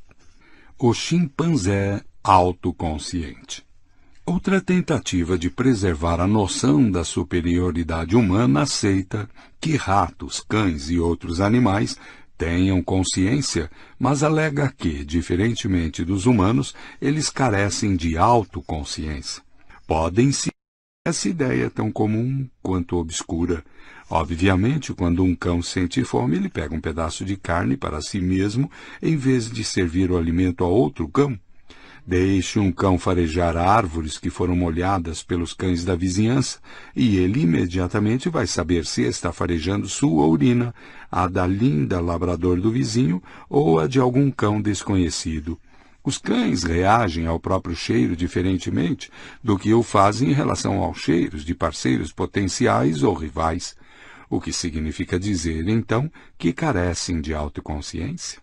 Uma versão mais sofisticada desse argumento dá conta de que existem diferentes níveis de autoconsciência. Apenas os humanos entendem a si mesmos como um eu duradouro que tem um passado e um futuro. Talvez porque somente eles são capazes de usar a língua para poder contemplar experiências passadas e ações futuras. Os outros animais existem num eterno presente, mesmo que pareçam lembrar o passado ou planejar o futuro, estão somente reagindo a estímulos atuais e impulsos momentâneos. Por exemplo, um esquilo, ao esconder nozes para o inverno, não está, na verdade, se lembrando da fome que sentiu no inverno passado, nem está pensando no futuro está só satisfazendo um impulso momentâneo, alheio às origens e propósitos desse impulso. É por isso que até esquilos jovens que ainda não passaram por um inverno e, portanto, não podem se lembrar do que é enfrentar essa estação, escondem suas nozes durante o verão. Mas ainda não está claro porque a língua deveria ser uma condição necessária para se estar ciente dos eventos passados ou futuros, o fato de os humanos a usarem para isso dificilmente seria uma prova. Humanos também usam a língua para expressar seu amor ou seu medo. No entanto, outros animais bem podem experimentar e até expressar amor e medo de forma não verbal. Na verdade, os próprios humanos estão cientes de eventos passados e futuros sem verbalizá-los. Sobretudo quando sonhamos, podemos estar cientes de narrativas inteiramente não verbais, as quais, ao despertar, tentamos descrever em palavras. Vários experimentos indicam que ao menos alguns animais, inclusive aves, como papagaios e gralhas azuis, a Felocoma californica, se lembram de incidentes individuais e se planejam conscientemente para eventualidades futuras. Contudo, é impossível provar isso definitivamente, porque não importa quão sofisticado seja o comportamento exibido por um animal, os céticos sempre poderão alegar que ele resulta de algoritmos inconscientes em seu cérebro e não de imagens conscientes em sua mente. Para ilustrar esse problema, considere o caso de Santino, um chimpanzé macho do zoológico de Furuvik, na Suécia. Para amenizar o tédio em seus domínios, Santino desenvolveu um excitante hobby, jogar pedras nos visitantes. Esse ato em si mesmo não é excepcional. Chimpanzés enraivecidos frequentemente fazem lançamento de pedras, paus e excremento. No entanto, Santino planejou previamente suas ações, Pela manhã, bem cedo, muito antes de zoo abrir para os visitantes, Santino juntou projéteis e os empilhou sem demonstrar nenhum sinal visível de raiva. Guias e visitantes logo aprenderam a se acautelar contra ele, em especial quando estava em cima de sua pilha de pedras. Assim, o animal tinha cada vez mais dificuldade em localizar alvos. Em maio de 2010, Santino reagiu com uma nova estratégia. De manhã cedo, ele tirou fardos de palha da área onde dormia e os colocou junto ao muro, onde comumente os visitantes se agrupam para olhar os chimpanzés. Depois reuniu pedras e as escondeu debaixo da palha. Cerca de uma hora depois, quando os primeiros visitantes se aproximaram, Santino ostentava calma, sem sinais de irritação ou agressão. Somente quando suas vítimas estavam em seu raio de alcance é que Santino, de súbito, tirou as pedras de seu esconderijo e bombardeou os assustados humanos, que debandaram em todas as direções. No verão de 2012, Santino acelerou a corrida armamentista, escondendo pedras não apenas sob fardos de palha, mas também em troncos de árvores, construções e em qualquer outro lugar utilizável como esconderijo. Mas nem mesmo Santino satisfaz os céticos. Como podemos ter certeza de que, às sete horas da manhã, quando vai catar pedras aqui e ali, ele esteja imaginando como vai ser divertido bombardear os visitantes humanos ao meio-dia? Será que Santino é movido por algum algoritmo não consciente, assim como um jovem esquilo esconde nozes para o inverno sem nunca ter experimentado um? Do mesmo modo, afirmam os céticos, um chimpanzé macho que ataca um rival que o feriu semanas antes não está realmente vingando o antigo insulto, está apenas reagindo a um sentimento momentâneo de raiva, cujo motivo está além de sua percepção. Quando uma mãe elefante vê um leão ameaçando seu filhote, ela lança-se à frente e arrisca sua vida, não porque se lembra de que aquela é sua cria amada, a qual ela tem alimentado por meses, e sim porque está sendo impelida por algum insondável senso de hostilidade em relação ao leão. Quando um cão salta de alegria quando seu dono chega em casa, não faz porque está reconhecendo a pessoa que o alimenta e o afaga desde sua infância. Está simplesmente dominado por um êxtase inexplicável. Não podemos provar ou contestar nenhuma dessas alegações, porque na verdade elas são uma variação do problema de outras mentes, como não estamos familiarizados com algoritmos que requeiram consciência, tudo o que um animal se mostre capaz de fazer pode ser visto como produto de algoritmos não conscientes, e não de memórias e planos conscientes. Assim, inclusive no caso de Santino, a verdadeira questão diz respeito ao ônus da prova. Qual será a explicação mais plausível para o comportamento daquele chimpanzé? Deveríamos supor que ele está planejando conscientemente seu futuro e quem discordar que apresente alguma evidência contrária? Ou é mais razoável pensar que o animal é movido por um algoritmo não consciente e tudo o que ele sente conscientemente consiste em um misterioso impulso de colocar pedras sob fardos de palha? E ainda que Santino não se lembre do passado e não imagine um futuro, isso significa de fato que carece de autoconsciência? Afinal, atribuímos aos humanos autoconsciência mesmo quando não estão se ocupando em relembrar o passado ou em sonhar com o futuro. Por exemplo, quando uma mãe humana vê seu filho que começou a andar há pouco tempo, caminhando para uma rua movimentada, ela não se detém para pensar em seu passado ou seu futuro. Assim como a mãe elefante, ela apenas corre para salvar seu filho. Por que não dizer sobre ela o que dizemos sobre a elefanta? Isto é, que quando correu para salvar sua cria do iminente perigo, ela fez isso sem nenhum traço de autoconsciência. O que a guiava era um impulso momentâneo. De modo semelhante, considere um jovem casal se beijando apaixonadamente em seu primeiro encontro, um soldado avançando em meio a pesado fogo inimigo para salvar um companheiro ferido, ou um artista pintando uma obra-prima num frenesi de pinceladas. Nenhum deles se detém para contemplar o passado ou o futuro. Isso significa o cavalo esperto. Em 2010, cientistas realizaram um experimento especialmente tocante com ratos. Eles trancaram um rato numa gaiola minúscula, colocaram-na dentro de um compartimento maior e deixaram que outro rato vagasse livremente por esse compartimento. O rato engaiolado demonstrou sinais de estresse, o que fez com que o rato solto também demonstrasse sinais de ansiedade e estresse. Na maioria dos casos, o rato solto tentava ajudar seu companheiro aprisionado e, depois de várias tentativas, conseguia abrir a gaiola e libertar o prisioneiro. Os pesquisadores repetiram o experimento, dessa vez pondo um chocolate no compartimento.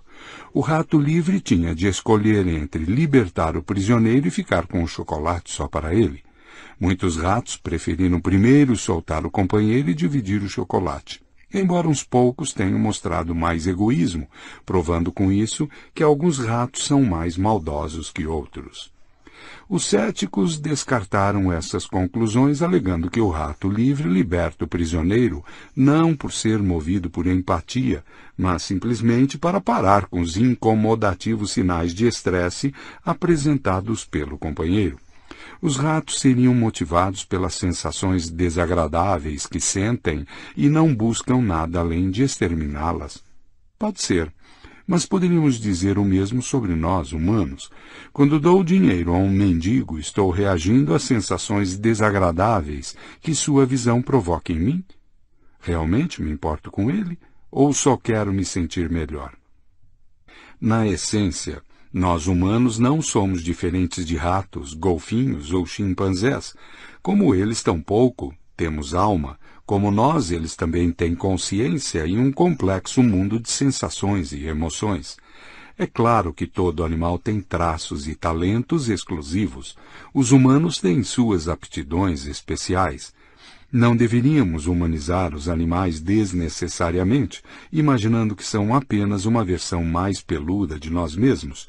Isso não só configura uma ciência ruim, como igualmente nos impede de compreender e valorizar outros animais em seus próprios termos. No começo da década de 1900, um cavalo chamado Hans Esperto tornou-se uma celebridade na Alemanha. Percorrendo cidades e aldeias alemãs, o animal demonstrou um domínio notável da língua alemã e uma habilidade ainda mais notável em matemática. Quando lhe perguntavam, Hans, quanto é quatro vezes três? Ele batia com o casco doze vezes. Quando lhe mostravam uma mensagem escrita com uma pergunta, quanto é vinte menos onze? Hans batia nove vezes com uma precisão prussiana condecorável. Em 1904, a Junta Alemã de Educação designou uma comissão científica chefiada por um psicólogo para examinar a questão. Os treze membros da comissão, que incluíam um gerente de circo e um veterinário, estavam convencidos de que devia se tratar de uma fraude, mas apesar de seus esforços, não conseguiram revelar nenhuma fraude ou subterfúgio mesmo quando separaram Hans de seu dono e as perguntas foram feitas por pessoas totalmente estranhas, a maior parte das respostas estava certa. No ano de 1907, o psicólogo Oscar Fungst deu início a uma nova investigação que finalmente revelou a verdade descobriu-se que Hans obtinha as respostas certas acompanhando atentamente a linguagem corporal e a expressão facial de seus interlocutores. Quando lhe perguntavam quanto era quatro vezes três, ele sabia, de experiências anteriores, que os humanos esperavam que ele batesse com o casco um número específico de vezes. Começava a bater enquanto monitorava atentamente os humanos. À medida que Hans se aproximava do número correto de batidas, os humanos mostravam-se mais tensos, e quando ele dava a batida que correspondia ao número correto, a tensão atingia o clímax.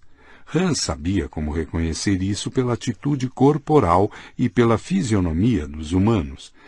Ele então parava de bater e via como a tensão dava lugar à admiração ou ao riso. Hans sabia que tinha acertado. O caso de Hans com frequência é citado como exemplo de como os humanos humanizam erroneamente os animais, atribuindo-lhes aptidões ainda mais espantosas do que as que de fato possuem. A verdade, no entanto, é que a lição a ser tirada é exatamente o oposto.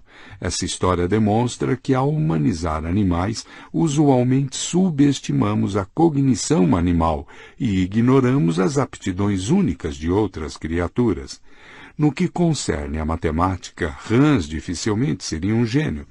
Qualquer garoto de 11 anos faria muito melhor. No entanto, em sua capacidade de deduzir emoções e intenções da linguagem corporal, Hans era verdadeiramente um gênio. Se um chinês me perguntasse em mandarim quanto é quatro vezes três, não haveria a mínima possibilidade de eu acertar batendo com o pé doze vezes, somente como resultado de minha observação de expressões faciais e linguagens corporais. Hans era dotado dessa capacidade porque cavalos normalmente se comunicam entre si por meio de linguagem corporal. Contudo, o que é notável no que diz respeito a esse animal é que ele pôde usar esse método para decifrar as emoções e intenções não só de seus camaradas cavalos, mas também dos não familiares humanos.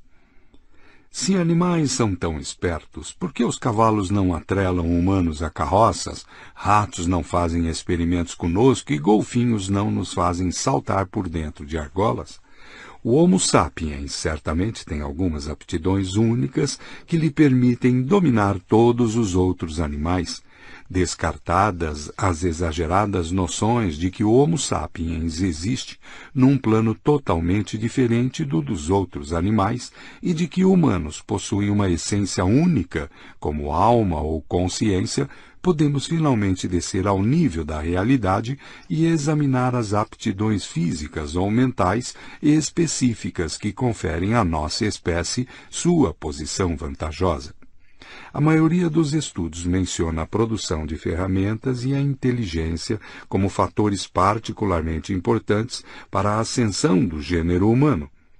A despeito de outros animais também produzirem ferramentas, sem dúvida os humanos os suplantam nesse aspecto. As coisas são menos claras no que diz respeito à inteligência. Dedica-se uma indústria inteira a definir e medir a inteligência, mas estamos longe de chegar a um consenso. Felizmente, não precisamos entrar nesse campo minado, porque não importa como definamos inteligência, está bem claro que nem a inteligência nem a fabricação de ferramentas podem explicar sozinhas a conquista do mundo pelos sapiens. Segundo as definições de inteligência em geral, há um milhão de anos os humanos já eram os animais mais inteligentes então existentes bem como os campeões na fabricação de ferramentas, no entanto, continuavam a ser criaturas insignificantes com reduzido impacto no ecossistema circundante. Obviamente, lhes faltava uma característica chave, que não era nem a inteligência nem a capacidade de fabricar ferramentas. Talvez o gênero humano tenha posteriormente dominado o planeta graças não a algum ingrediente fugidio fundamental, mas tão somente à evolução de uma inteligência ainda maior e até mesmo a uma capacidade mais efetiva de fabricar ferramentas. Não parece que tenha sido assim, porque quando examinamos o registro histórico, não há uma correlação direta da inteligência e da capacidade de fabricar ferramentas com o poder de nossa espécie como um todo.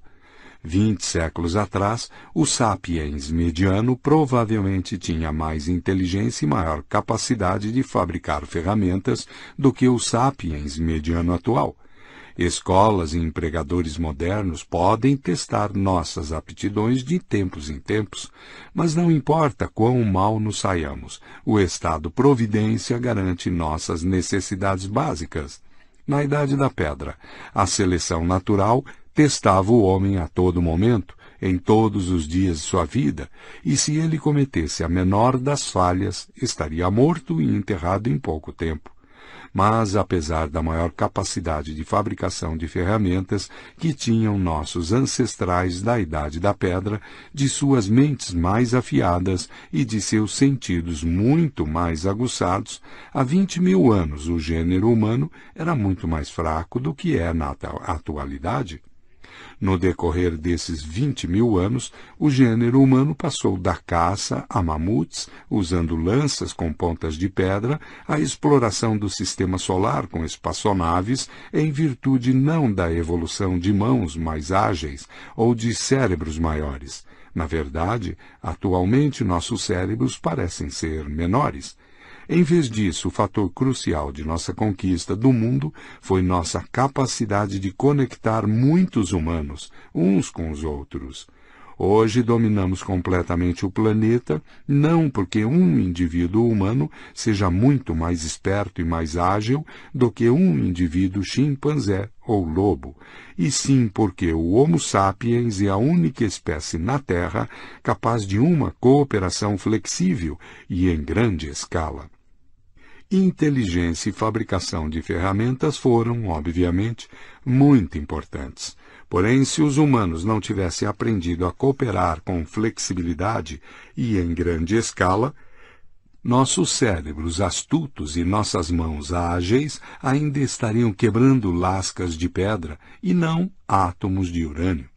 Se cooperação é a chave, como então as formigas e as abelhas não chegaram antes de nós à bomba nuclear, mesmo tendo aprendido a cooperar em escala maciça milhões de anos antes dos humanos? É porque sua cooperação carece de flexibilidade.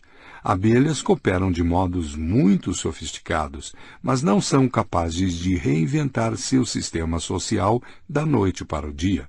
Se uma colmeia depara com uma nova ameaça ou uma nova oportunidade, as abelhas não são capazes, por exemplo, de guilhotinar a rainha e estabelecer uma república. Mamíferos sociais, como elefantes e chimpanzés, cooperam de maneira muito mais flexível do que abelhas, porém só o fazem com um número pequeno de amigos e membros da família. Sua cooperação se baseia em conhecimento pessoal, se eu sou um chimpanzé e você um chimpanzé e eu quero cooperar com você, preciso conhecê-lo pessoalmente. Que tipo de chimpanzé você é? Você é um chimpanzé legal?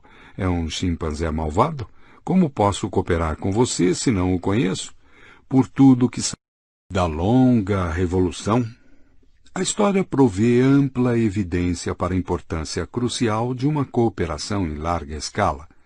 Quase invariavelmente a vitória vai para aqueles que cooperam melhor, não só nas lutas entre Homo sapiens e outros animais, como também em conflitos entre diferentes grupos humanos. Assim, Roma conquistou a Grécia não porque os romanos tivessem cérebros maiores ou técnicas mais efetivas na fabricação de ferramentas, e sim porque eram capazes de cooperar mais eficazmente. Em meio à história, exércitos disciplinados derrotaram com facilidade hordas desorganizadas, e elites unificadas dominaram massas desordenadas. Em 1914, por exemplo, 3 milhões de nobres oficiais e homens de negócios russos agiam como senhores de 180 milhões de camponeses e trabalhadores. A elite russa sabia como cooperar em defesa de seus interesses comuns, enquanto 180 milhões de trabalhadores eram incapazes de se mobilizar com eficácia. De fato, grande parte dos esforços da elite concentrava-se em assegurar que aquelas pessoas no fundo da pirâmide jamais aprendessem a cooperar. Para poder montar uma revolução, números nunca são suficientes. Revoluções comumente são feitas por pequenas redes de agitadores e não pelas massas. Se você quiser desencadear uma revolução, não se pergunte quantas pessoas apoiam minha ideia. A pergunta correta a fazer é: entre os que me apoiam, quantos são capazes de prestar uma colaboração eficaz? A Revolução Russa eclodiu não quando 180 milhões de camponeses se ergueram contra o czar, e sim quando um punhado de comunistas se pôs no lugar certo na hora certa. Em 1917, numa época em que as classes alta e média russas contavam com pelo menos 3 milhões de pessoas, o Partido Comunista era composto de 23 mil membros. Assim mesmo, os comunistas assumiram o controle do vasto Império Russo, porque se organizaram bem quando a autoridade na Rússia escapou das mãos decrépitas do czar e das igualmente trêmulas mãos do governo provisório de Kerensky, os comunistas a agarraram com diligência, empunhando as rédeas do poder como um bulldog cerrando suas mandíbulas num osso. Os comunistas não largaram o osso até o final da década de 1980, uma organização eficaz os manteve no poder durante oito longas décadas, e eles só caíram em razão de uma organização deficiente.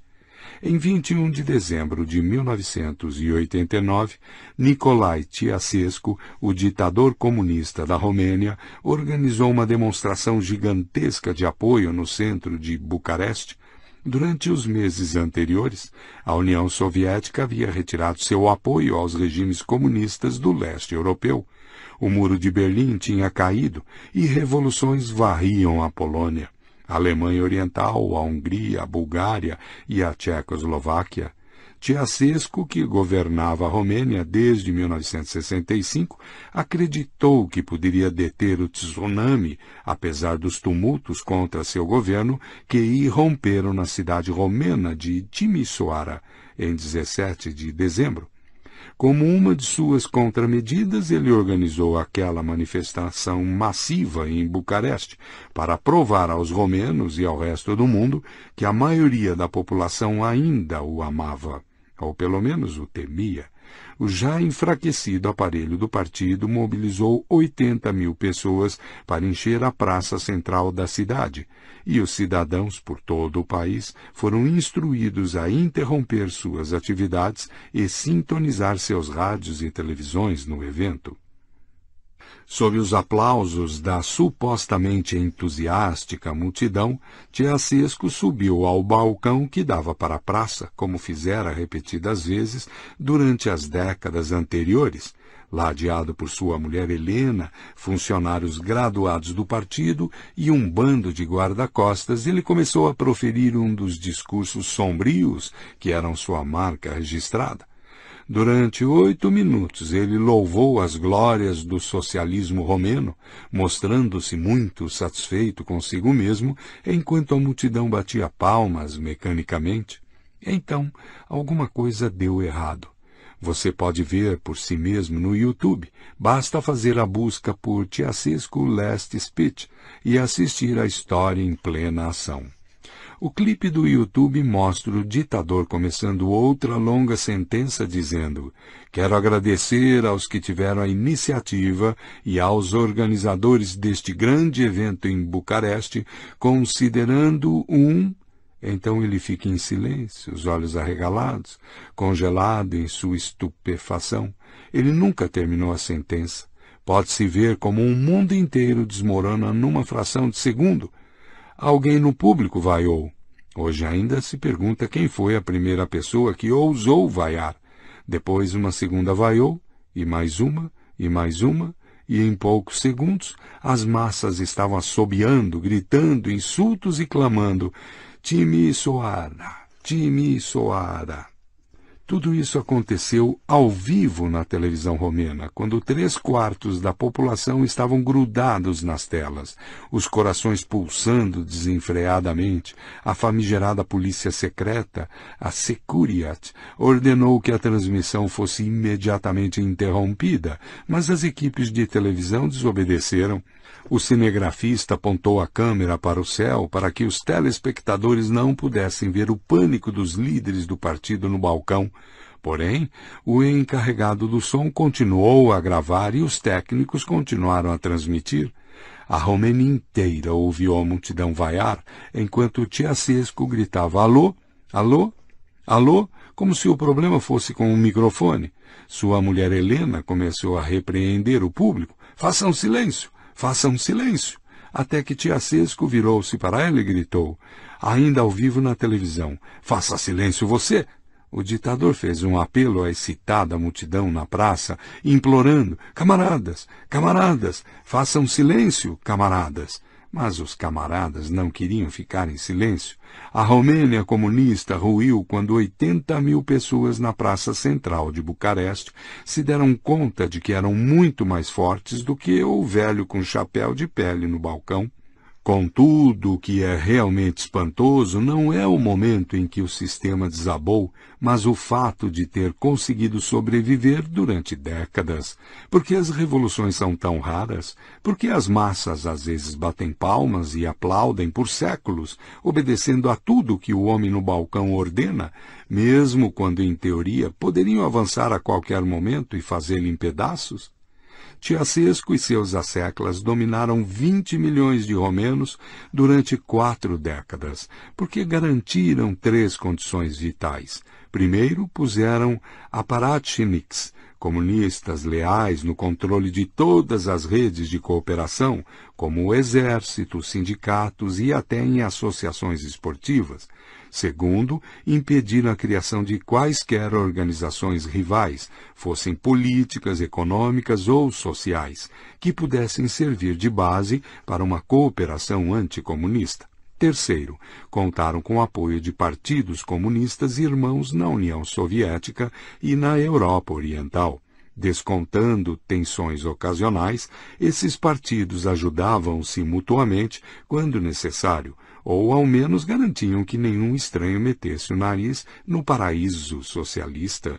Sob tais condições, apesar de todas as dificuldades e todo o sofrimento que a elite governante lhes infligia, os 20 milhões de romenos não se mostraram capazes de organizar uma oposição eficaz. Tiasesco perdeu o poder somente quando essas três condições deixaram de se sustentar. No final da década de 1980, a União Soviética retirou sua proteção e os regimes comunistas começaram a cair como peças de dominó. Em dezembro de 1989, Tiasesco não podia contar com nenhuma assistência de fora. Aconteceu exatamente o contrário. Revoluções nos países vizinhos deram alento à oposição local. Segundo o próprio Partido Comunista, cindiu-se em facções rivais. Os moderados queriam se livrar de Tiasesco e dar início a reformas antes que fosse tarde demais. Terceiro, a organizar a demonstração em Bucareste e transmiti-la ao vivo, o próprio Tiasesco proveu os revolucionários de uma oportunidade perfeita para revelar seu poder e fazer uma demonstração contra ele. Que caminho para disseminar uma revolução seria mais rápido do que mostrá-la na televisão? Mas, quando escorregou das mãos do desastrado organizador que estava no balcão, o poder não passou às massas que se encontravam na praça. Ainda que numerosas e entusiásticas, as multidões não souberam se organizar. Daí que, assim como na Rússia em 1917, o poder passou para um pequeno grupo de agentes políticos cujo único ativo era uma boa organização. A Revolução Romena foi sequestrada pela autoproclamada Frente de Salvação Nacional, que era, na verdade, uma cortina de fumaça para a ala moderada do Partido Comunista. A frente não tinha laços verdadeiros com as multidões em suas demonstrações, integrada por funcionários de hierarquia média do partido, era chefiada por Ion Iliesco, ex-membro da Comitê Central do Partido Comunista e é chefe do Departamento de Propaganda. Iliesco e seus camaradas na Frente de Salvação Nacional se reinventaram como políticos democratas em todo microfone que estivesse disponível, proclamavam que eles eram os líderes da revolução e depois usaram toda a sua experiência e sua rede de asseclas para assumir o controle do país e embolsar seus recursos. Na Romênia comunista, quase tudo pertencia ao Estado, a Romênia Democrática privatizou rapidamente seus ativos, vendendo-os a preços de banana a ex-comunistas, que foram os únicos a perceber o que estava acontecendo e colaboraram entre si para acumular riqueza de maneira escusa. Companhias governamentais que controlavam a infraestrutura nacional e recursos naturais foram vendidas a ex-funcionários comunistas a preços de fim de feira, enquanto os soldados de infantaria do partido compravam casas e apartamentos por centavos. Ion Iliescu foi eleito presidente da Romênia e seus colegas tornaram-se ministros, diretores de bancos e multimilionários. A nova elite romena que controla o país até hoje é composta na maioria por ex-comunistas e suas famílias. As massas que arriscaram pescoço em Timisoara em, e em Bucareste ficaram com as migalhas porque não souberam como cooperar e como criar uma organização eficaz que olhasse por seus interesses. Destino semelhante teve a Revolução Egípcia de 2011. O que a televisão fez em 1989, o Facebook e o Twitter fizeram em 2011.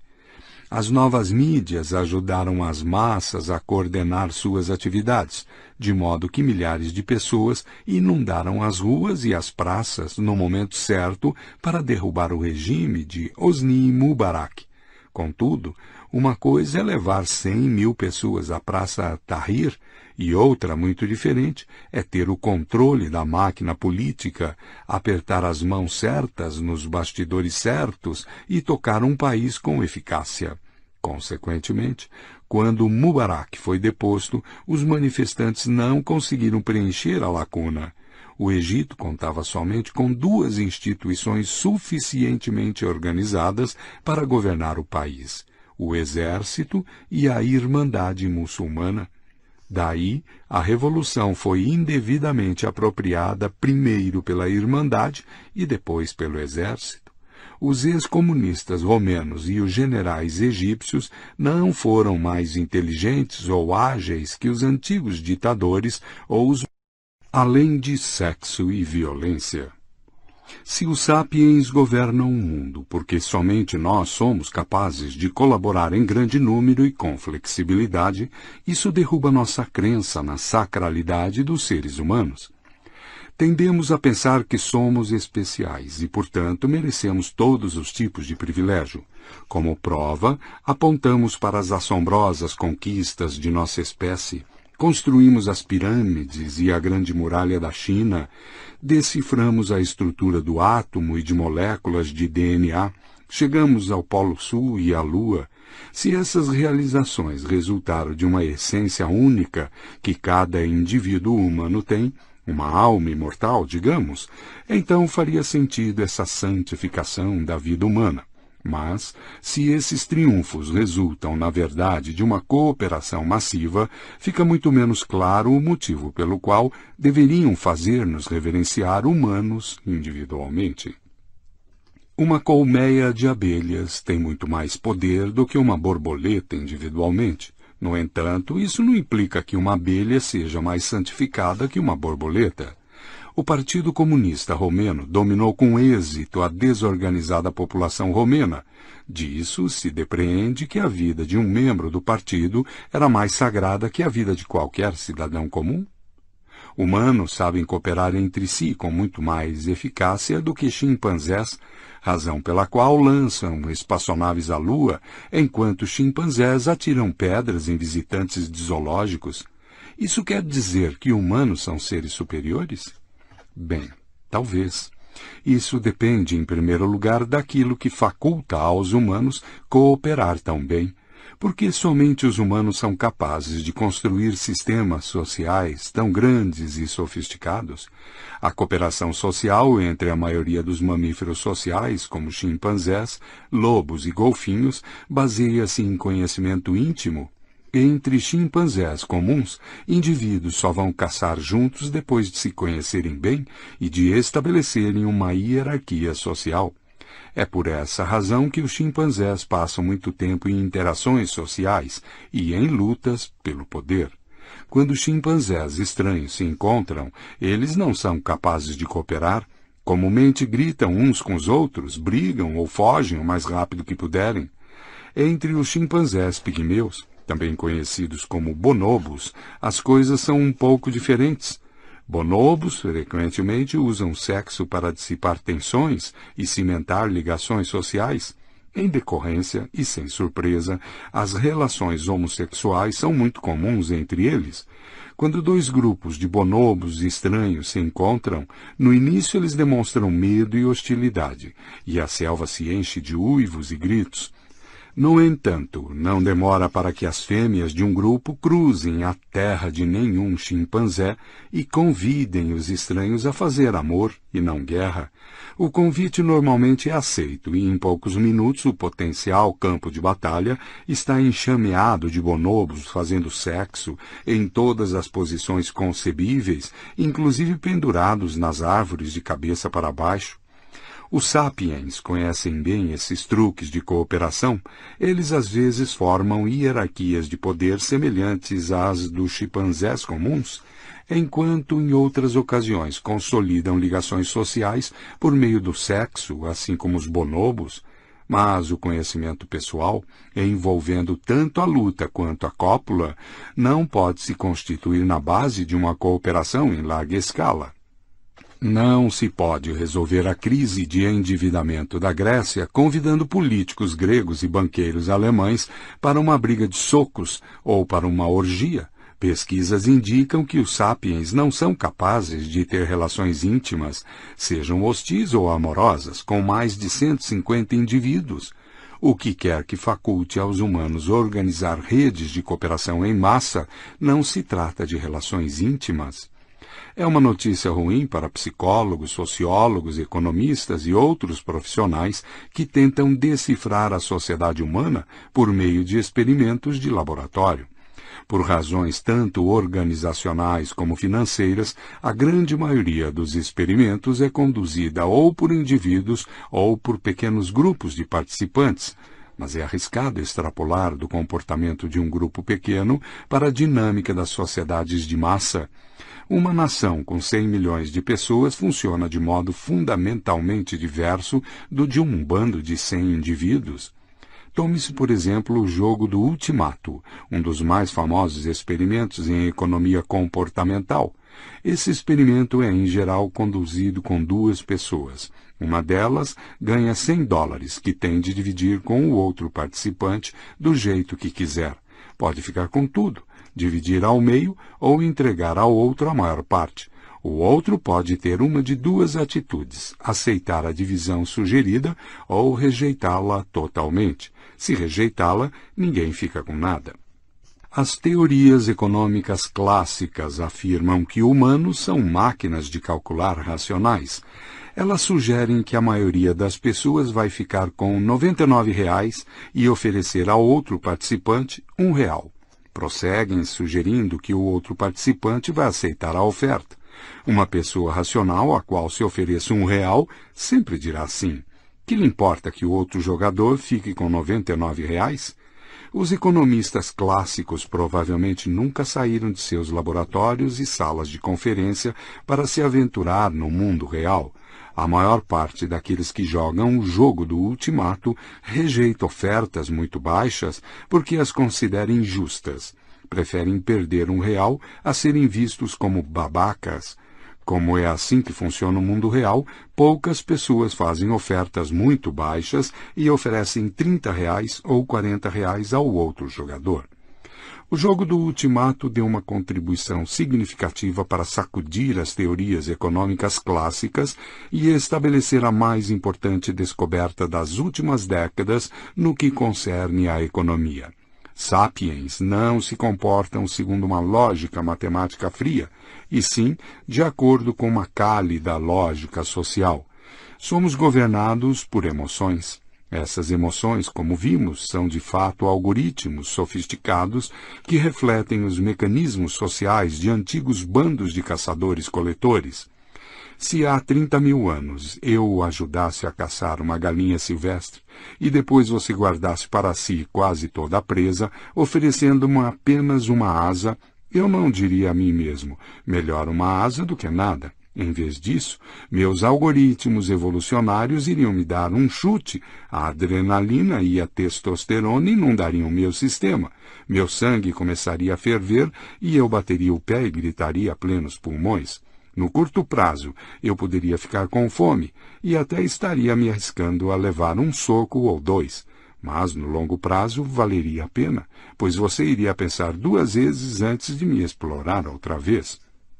Recusamos ofertas injustas porque pessoas que docilmente aceitaram ofertas injustas não sobreviveram à Idade da Pedra. Observações do comportamento de bandos de caçadores-coletores contemporâneos dão suporte a essa ideia. Em geral, são bandos altamente igualitários, o que significa que, quando um caçador volta carregando um veado gordo, todos ganham uma parte. E isso também é verdadeiro em relação aos chimpanzés. Quando um chimpanzé caça um porquinho, os demais membros do grupo se reúnem em volta dele com as mãos estendidas e, comumente, todos ganham um pedaço. Em um experimento recente, o primatologista Franz de Waal pôs dois macacos capuchinhos em duas jaulas adjacentes, de modo que cada um pudesse ver o que o outro estava fazendo. De Waal e seus colegas puseram pequenas pedras em cada jaula e treinaram os macacos a lhes darem essas pedras. Toda vez que um macaco entregava uma pedra, recebia comida em troca. No começo, a recompensa era um pedaço de pepino. Os dois macacos gostaram muito e comeram os pepinos com satisfação. Depois de algumas rodadas, de Vaal passou à fase seguinte do experimento.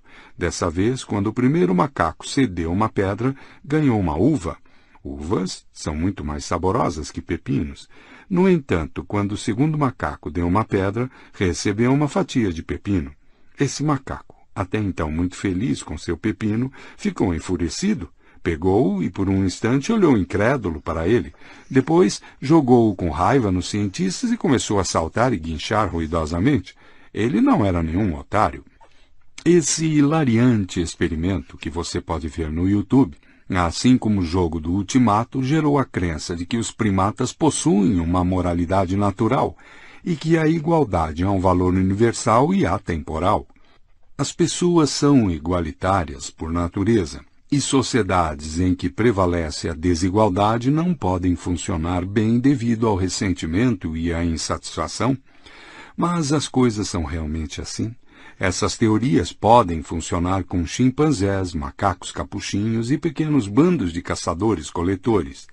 Também funcionam bem no laboratório, onde são testadas em pequenos grupos de pessoas.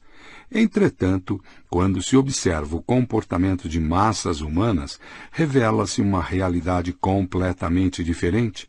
A maior parte dos reinos e impérios humanos foi extremamente desigual, mas muitos foram surpreendentemente estáveis e eficientes. No Egito Antigo, o faraó se refestelava em almofadas confortáveis num belo e suntuoso palácio, usando sandálias douradas e túnicas bordadas com pedras preciosas, enquanto lindas serviçais despejavam uvas doces em sua boca. Pela janela aberta, ele podia ver os camponeses labutando nos campos em seus andrajos sujos sob um sol impiedoso, e feliz seria o camponês que tivesse um pepino para comer ao fim do dia. Mas raramente eles se revoltavam. Em 1740, o rei Frederico II da Prússia invadiu a Silésia, dando início a uma série de guerras sangrentas que lhe granjearam a alcunha de Frederico o Grande transformaram a Prússia numa grande potência e deixaram centenas de milhares de pessoas mortas, aleijadas ou desamparadas. Os soldados de Frederico eram, em geral, recrutas desvalidos, submetidos a uma disciplina férrea e exercícios draconianos. Não era de surpreender que esses soldados não estimassem seu comandante supremo.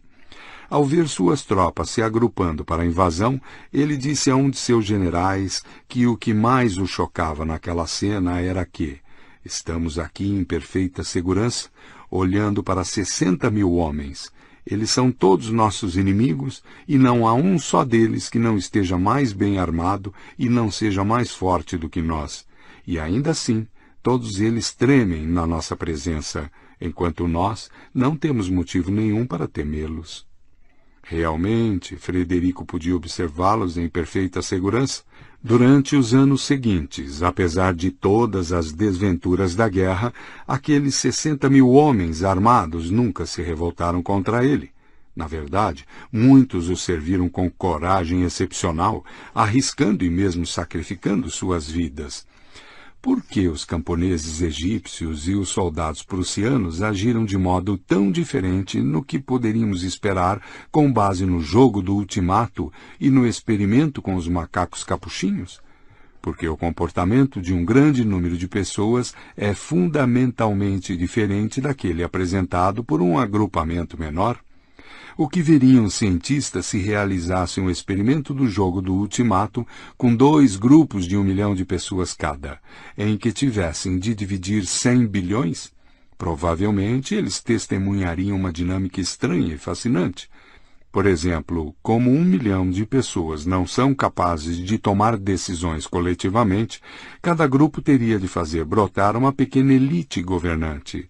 E se uma elite oferecesse a outra 10 bilhões, reservando para si 90 bilhões? Os líderes do segundo grupo poderiam muito bem aceitar essa oferta injusta, injetar a maior parte dos 10 bilhões em suas contas em bancos suíços, enquanto contornavam a rebelião de seus seguidores com uma combinação de punição e recompensa. A liderança poderia ameaçar punir severa e imediatamente os dissidentes, ao passo que prometeria aos submissos e pacientes uma recompensa duradoura no pós-vida. Era isso que acontecia no Egito antigo e na Prússia do século XVIII, e é assim que as coisas ainda funcionam em vários países pelo mundo.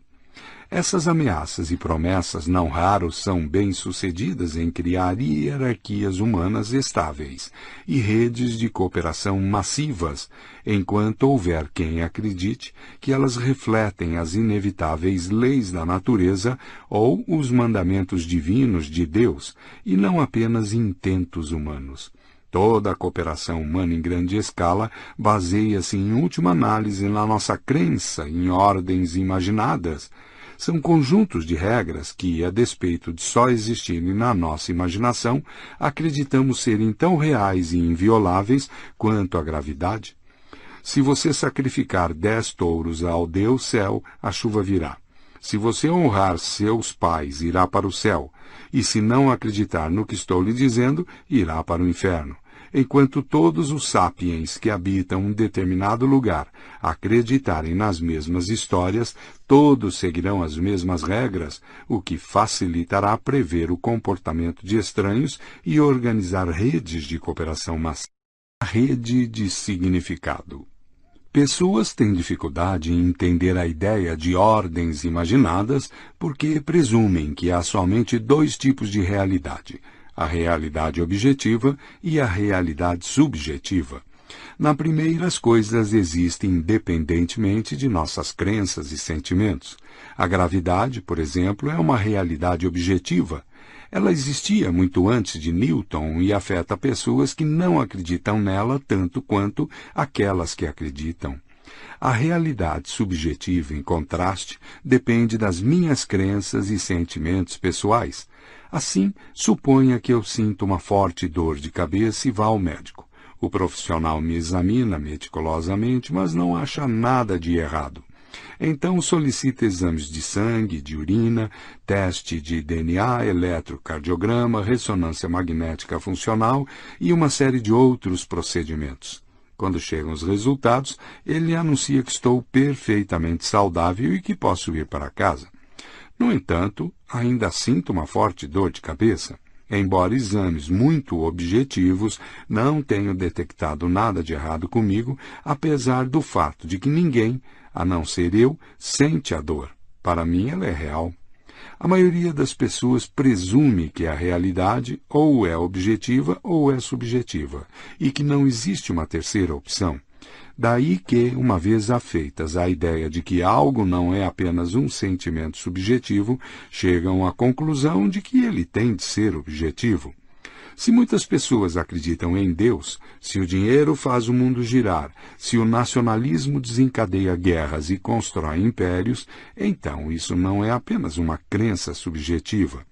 Deus, o dinheiro e as nações devem ser realidades objetivas. Contudo, existe um terceiro nível de realidade, o nível intersubjetivo. As entidades intersubjetivas dependem da comunicação entre humanos e não das crenças e dos sentimentos de humanos individualmente. Muitos dos mais importantes agentes da história são intersubjetivos. O dinheiro, por exemplo, não tem valor objetivo. Não se pode comer, beber ou vestir uma nota de um dólar. Porém, como bilhões de pessoas acreditam que ele tem valor, pode-se usá-lo para comprar alimento, bebidas e roupas. Se o padeiro perder subitamente sua fé na nota de dólar e se recusar a me dar um pão em troca desse pedaço de papel verde, isso não tem muita importância. Basta atravessar alguns quarteirões e ir até o supermercado mais próximo. No entanto, se os caixas no supermercado também se recusarem a aceitar esse pedaço de papel, assim como os feirantes e os vendedores no centro comercial, então o dólar terá perdido seu valor. Os pedaços de papel verde continuarão a existir, é claro, mas sem nenhum valor. Isso efetivamente acontece de tempos em tempos. Em 3 de novembro de 1985, o governo de Myanmar anunciou inesperadamente que notas de 25, 50 e 100 quiats não tinham mais lastro legal. Não foi dada a ninguém a oportunidade de trocar essas notas, e economias de uma vida inteira foram instantaneamente transformadas em pilhas de papel sem valor. Para substituir as notas defuntas, o governo emitiu notas de 75 quiats, alegadamente em homenagem ao 75º aniversário do ditador de Mianmar, o general Ne Win. Em agosto de 1986, foram introduzidas notas de 15 e de 35 quiats, Houve rumores de que o ditador, que alimentava forte crença na numerologia, acreditava que 15 e 35 eram números da sorte. Eles trouxeram pouca sorte a seus portadores. Em 5 de setembro de 1987, o governo subitamente decretou que todas as notas de 35 e 75 quiats não eram mais consideradas dinheiro. O valor da moeda não é a única coisa que pode evaporar quando as pessoas deixam de acreditar nela. O mesmo pode acontecer com leis, deuses e até impérios inteiros. Em determinado momento, eles estão ocupados moldando o mundo, e no momento seguinte não existem mais. Zeus e Hera foram poderosos na bacia do Mediterrâneo, mas hoje não têm autoridade alguma porque ninguém mais acredita neles. Houve um tempo em que a União Soviética poderia destruir toda a raça humana, mas ela deixou de existir num golpe de caneta. Às duas da tarde do dia 8 de dezembro de 1991, numa dacha oficial perto de Viscoli, os líderes de Rússia, Ucrânia e Belarus assinaram um pacto de Bela Veja em que declaravam nós, a República de Belarus, a Federação Russa e a Ucrânia, na qualidade de Estados fundadores da União Soviética, que assinaram o Tratado de União em 1922, estabelecemos, por meio deste, que a União Soviética, como sujeito da lei internacional e como realidade geopolítica, deixa de existir. E assim foi. Não havia mais União Soviética. É relativamente fácil aceitar que o dinheiro é uma realidade intersubjetiva.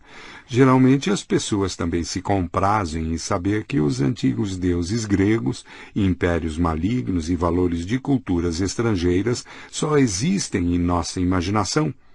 Mas ainda não queremos aceitar que nosso Deus, nossa nação, nossos valores são apenas ficção, porque é isso que dá sentido à nossa vida.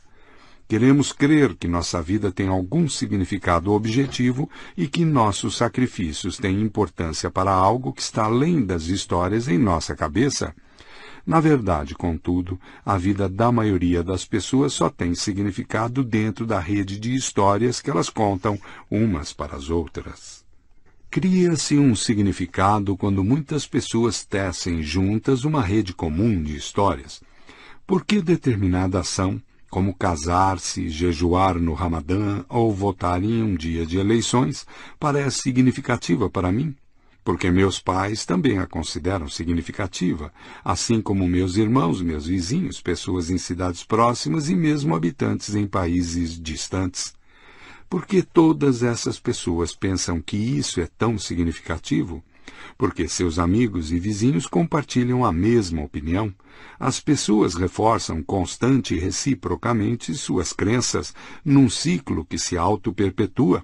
Cada rodada de confirmação mútua estreita ainda mais a teia de significados, até não se ter muita opção a não ser acreditar naquilo em que todos acreditam.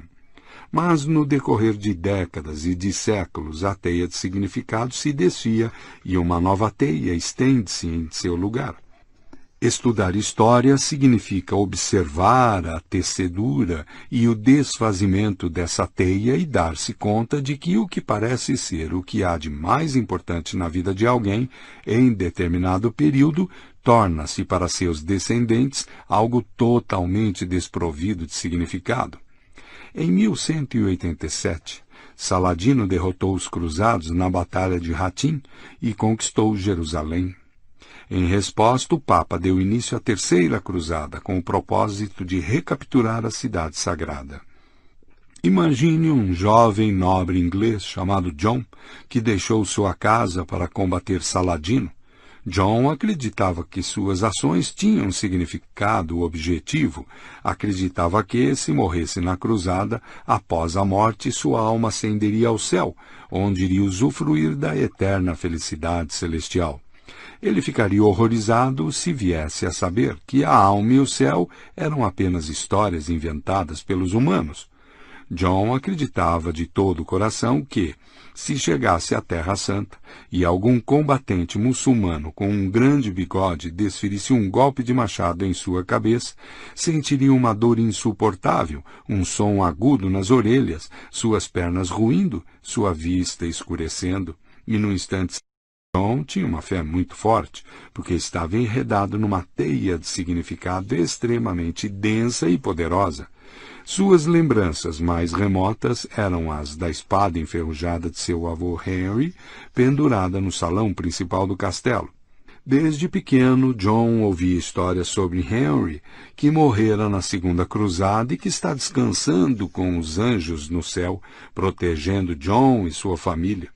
Quando menestréis visitavam o castelo, costumavam entoar canções sobre os bravos cruzados que tinham lutado na Terra Santa. John e a igreja gostava de olhar os vitrais das janelas. Uma delas mostrava Godofredo de Bulhão, montado a cavalo e empalando em sua lança um muçulmano de aparência maligna. Outra mostrava as almas dos pecadores ardendo no inferno. John ouvia atentamente o sermão do sacerdote local, o homem mais instruído que conhecia.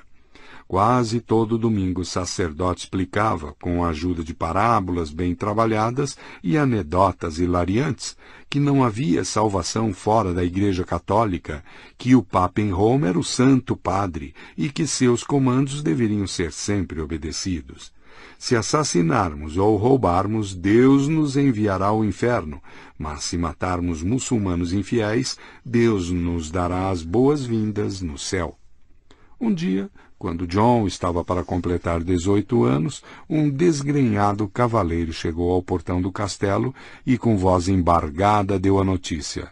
Saladino destruíra o exército cruzado em Hatim. Jerusalém havia caído o Papa tinha declarado uma nova cruzada, prometendo salvação eterna àqueles que nela morressem. Por toda parte as pessoas pareciam estar chocadas e preocupadas, mas o rosto de John iluminou-se com um brilho sobrenatural, e ele proclamou: Vou combater os infiéis e libertar a Terra Santa. Todos fizeram silêncio por um instante e depois sorrisos e lágrimas surgiram no rosto de seus familiares. Sua mãe enxugou os olhos, enlaçou-o em um grande abraço e lhe disse quanto estava orgulhosa dele. Seu pai deu-lhe um poderoso tapa nas costas e disse: Se eu ao menos tivesse a sua idade, filho, juntar-me-ia a você. A honra de nossa família está em jogo. Tenho certeza de que você não nos desapontará. Dois de seus amigos anunciaram que iriam também. Mesmo o adversário jurado de John, o barão que vivia do outro lado do rio, fez-lhe uma visita para lhe desejar boa sorte. Quando John deixou o castelo, aldeões saíram de suas choupanas para lhe dar adeus, e todas as garotas bonitas olhavam emocionadas para o bravo cruzado, que partia a fim de combater os infiéis. Depois que zarpou da Inglaterra para percorrer seu caminho atravessando terras estranhas e distantes, Normandia, Provença, Sicília, a ele se juntaram bandos de cavaleiros estrangeiros, todos com o mesmo destino e a mesma fé quando o exército finalmente desembarcou na Terra Santa e entrou em luta com as hostes de Saladino, John ficou assombrado ao descobrir que até mesmo os malvados sarracenos compartilhavam suas crenças. De fato, eles estavam um pouco confusos, pois pensavam que os cristãos eram os infiéis e que os muçulmanos é que estavam obedecendo às ordens de Deus. Mas também eles aceitavam o princípio básico de que os que lutavam por Deus e por Jerusalém iriam diretamente para o céu quando morressem. Dessa maneira, fio por fio, a civilização medieval estendeu sua teia de significados, apanhando John e seus contemporâneos como se fossem moscas. Para o jovem, era inconcebível que todas essas histórias fossem apenas invencionices, Talvez seus pais e tios estivessem errados, mas também os menestréis e todos seus amigos e as garotas da aldeia, o ilustrado sacerdote, o barão do outro lado do rio, o papa em Roma, os cavaleiros provençais e sicilianos e até os próprios muçulmanos. Seria possível que todos eles estivessem alucinando? E passaram-se os anos. Enquanto historiadores a observam, a teia de significado se desembaraça e outra se estende em seu lugar. Os pais de John morrem, e depois deles todos os seus irmãos e amigos. Em vez de menestréis cantando sobre as cruzadas, a moda em voga é cantar sobre trágicos casos de amor. O castelo da família foi totalmente destruído pelo fogo, e depois de reconstruído não se vê nenhum traço da espada do avô Henry. As janelas da igreja se despedaçaram durante uma tempestade de inverno, e o vidro que substitui o vitral não mais representa Godofredo de Bulhão e os pecadores no inferno.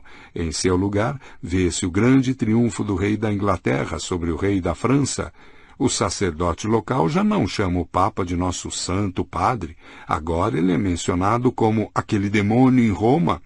Na universidade próxima, os estudiosos estudam os manuscritos dos gregos antigos, dissecam cadáveres e sussurram atrás de portas fechadas que talvez não exista essa coisa de alma. E os anos transcorrem sem parar. Onde uma vez houve um castelo, existe hoje um centro comercial. No cinema local está passando Monty Python em busca do cálice sagrado pela enésima vez. Numa igreja vazia, um vigário entediado fica satisfeito ao receber dois turistas japoneses. Ele dá uma longa explicação sobre o vitral nas janelas, enquanto seus interlocutores sorriem educadamente, assentindo sem entender nada. Na escadaria, no lado de fora, um bando de adolescentes brinca com seus iPhones. Estão assistindo a um remix recém-lançado de Imagine, de John Lennon.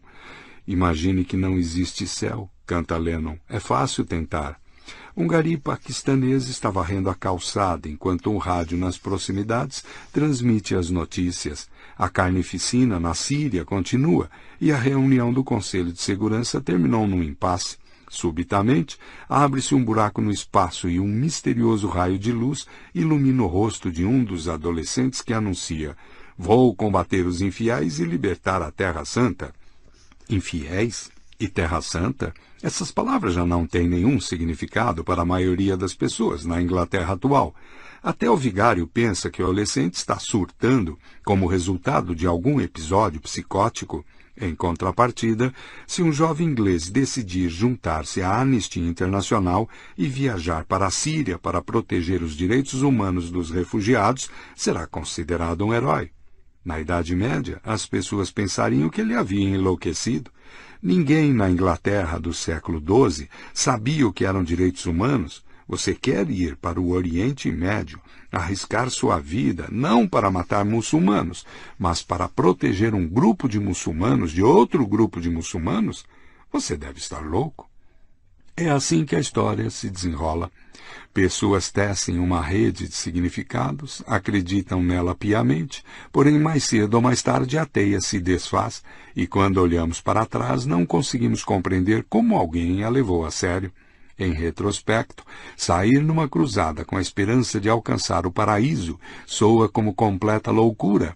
Em retrospecto, a Guerra Fria parece ser ainda mais insana.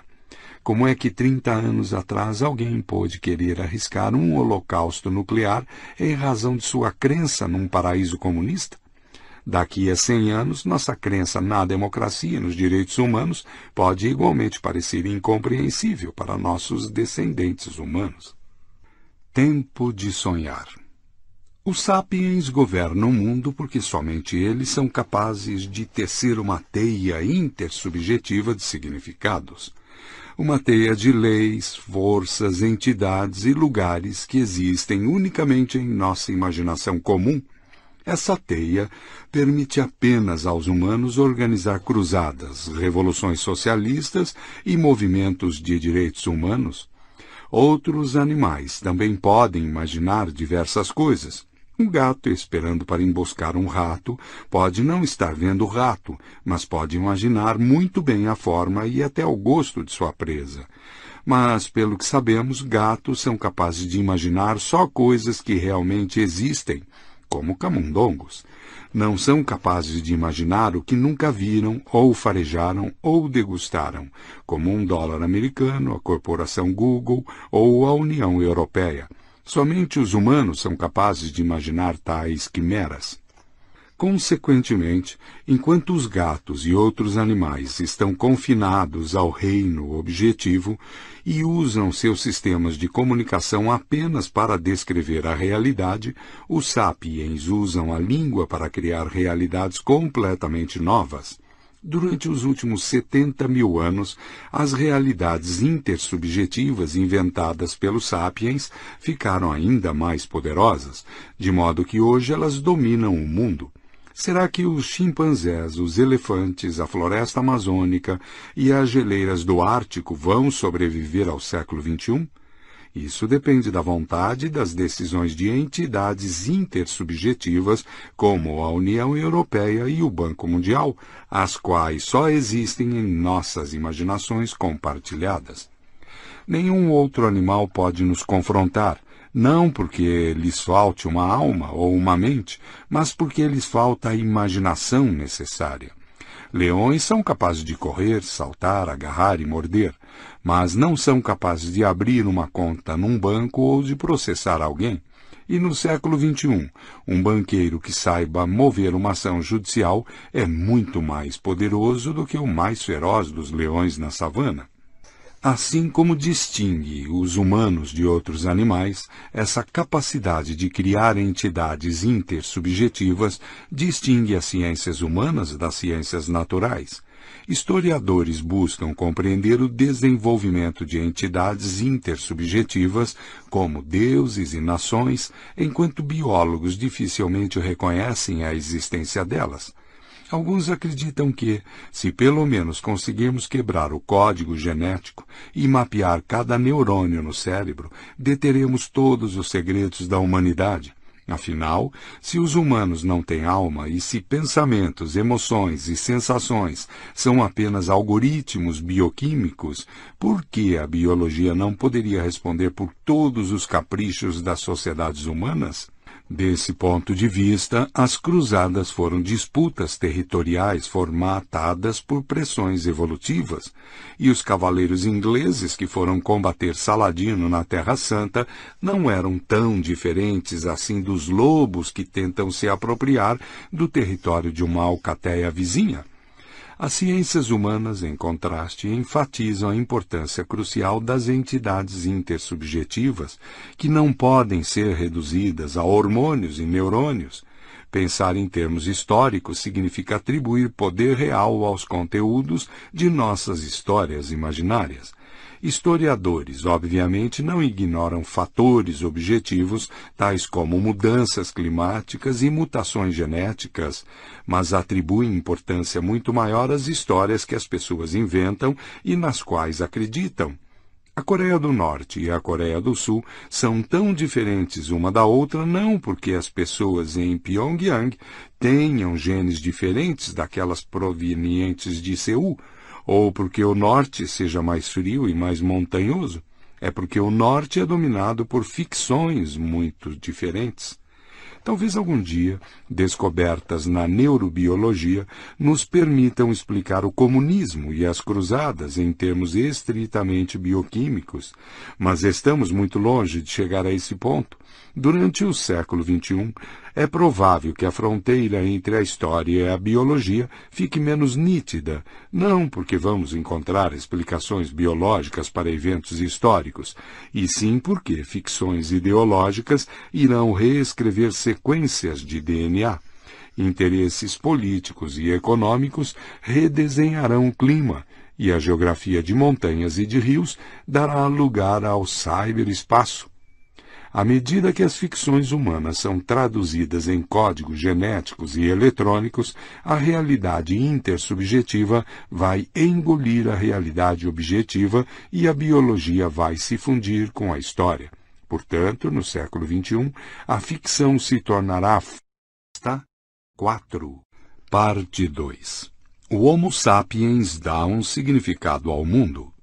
Que tipo de mundo os humanos criaram? Como os humanos ficaram convencidos de que, além de controlar o mundo, lhe dão significado? Como foi que o humanismo, o culto ao gênero humano, se tornou a religião mais importante de todas? 4. Os contadores de histórias. Animais como os lobos e os chimpanzés vivem numa realidade dupla por um lado, estão familiarizados com entidades objetivas externas, como árvores, rochas e rios. Por outro, estão cientes de experiências subjetivas que ocorrem dentro deles, como medo, satisfação e desejo. Os sapiens, em contrapartida, vivem numa realidade com três camadas. Em acréscimo a árvores, rios, medos e desejos, o mundo sapiens também contém histórias sobre dinheiro, deuses, nações e corporações. Com o desenrolar da história, cresce o impacto de deuses, nações e corporações em detrimento de rios, medos e desejos. Ainda há muitos rios no mundo, e as pessoas ainda são motivadas por seus medos e seus desejos. Mas Jesus Cristo, a República Francesa e a Apple represam e refreiam os rios e aprenderam a moldar nossos mais profundos anseios e ânsias. Como é provável que as novas tecnologias do século XXI tornem essas ficções ainda mais poderosas? Para compreender nosso futuro, precisamos compreender como as histórias sobre Jesus Cristo, a República Francesa e Apple adquiriram tamanho poder. Os humanos pensam que fazem história, mas a história comumente gira em torno da teia de histórias ficcionais. As aptidões básicas dos humanos não mudaram muito desde a Idade da Pedra, mas a teia de histórias cresceu e ficou cada vez mais forte, o que impulsionou a história desde a Idade da Pedra até a Idade do Silício. Tudo começou 70 mil anos atrás, quando a revolução cognitiva permitiu que os sapiens começassem a falar de coisas que só existiam na sua imaginação. Nos 60 mil anos seguintes, o Sapiens teceu muitas teias ficcionais, mas elas continuavam a ser pequenas e locais.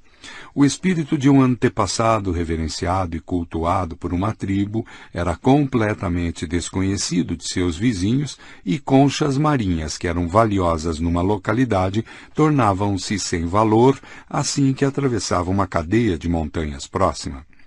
Histórias sobre espíritos ancestrais e conchas valiosas ainda dão aos sapiens enorme vantagem, porque elas permitiram que centenas, às vezes milhares, de sapiens cooperassem efetivamente, o que era muito mais que neandertais ou chimpanzés eram capazes de fazer. Mas enquanto o sapiens permanecesse como caçador-coletor, não poderia cooperar numa escala verdadeiramente massiva, porque seria impossível alimentar uma cidade ou um reino por meio da caça e da coleta. Consequentemente, os espíritos, as fadas e os demônios da Idade da Pedra eram entidades relativamente fracas.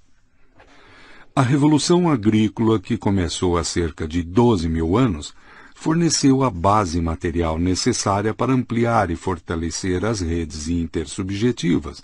O cultivo da terra possibilitou que se alimentassem milhares de pessoas em cidades superpovoadas e milhares de soldados em exércitos disciplinados.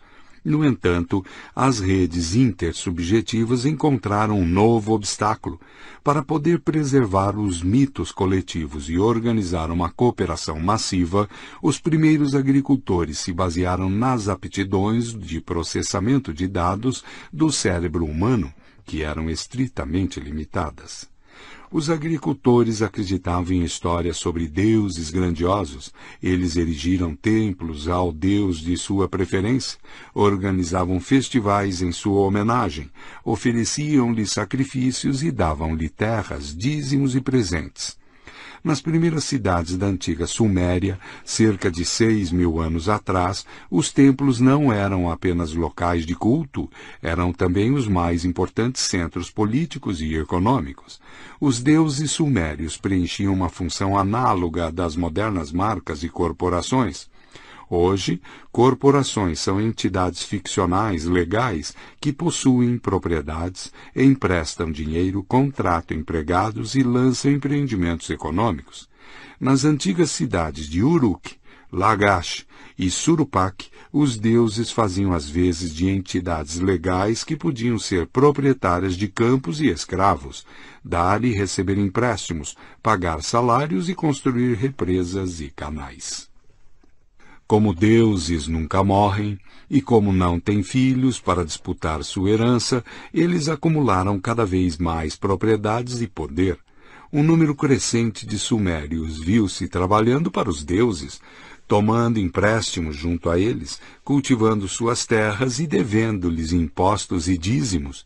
Assim como na São Francisco de hoje, João é empregado da Google, enquanto Maria trabalha para a Microsoft, na antiga Uruk, uma pessoa era empregada pelo grande deus Enki, ao passo que sua vizinha trabalhava para a deusa Inanna. Os templos de Enki e de Inanna dominavam a linha de horizonte de Uruk, e seus logotipos divinos eram a marca de prédios, produtos e roupas.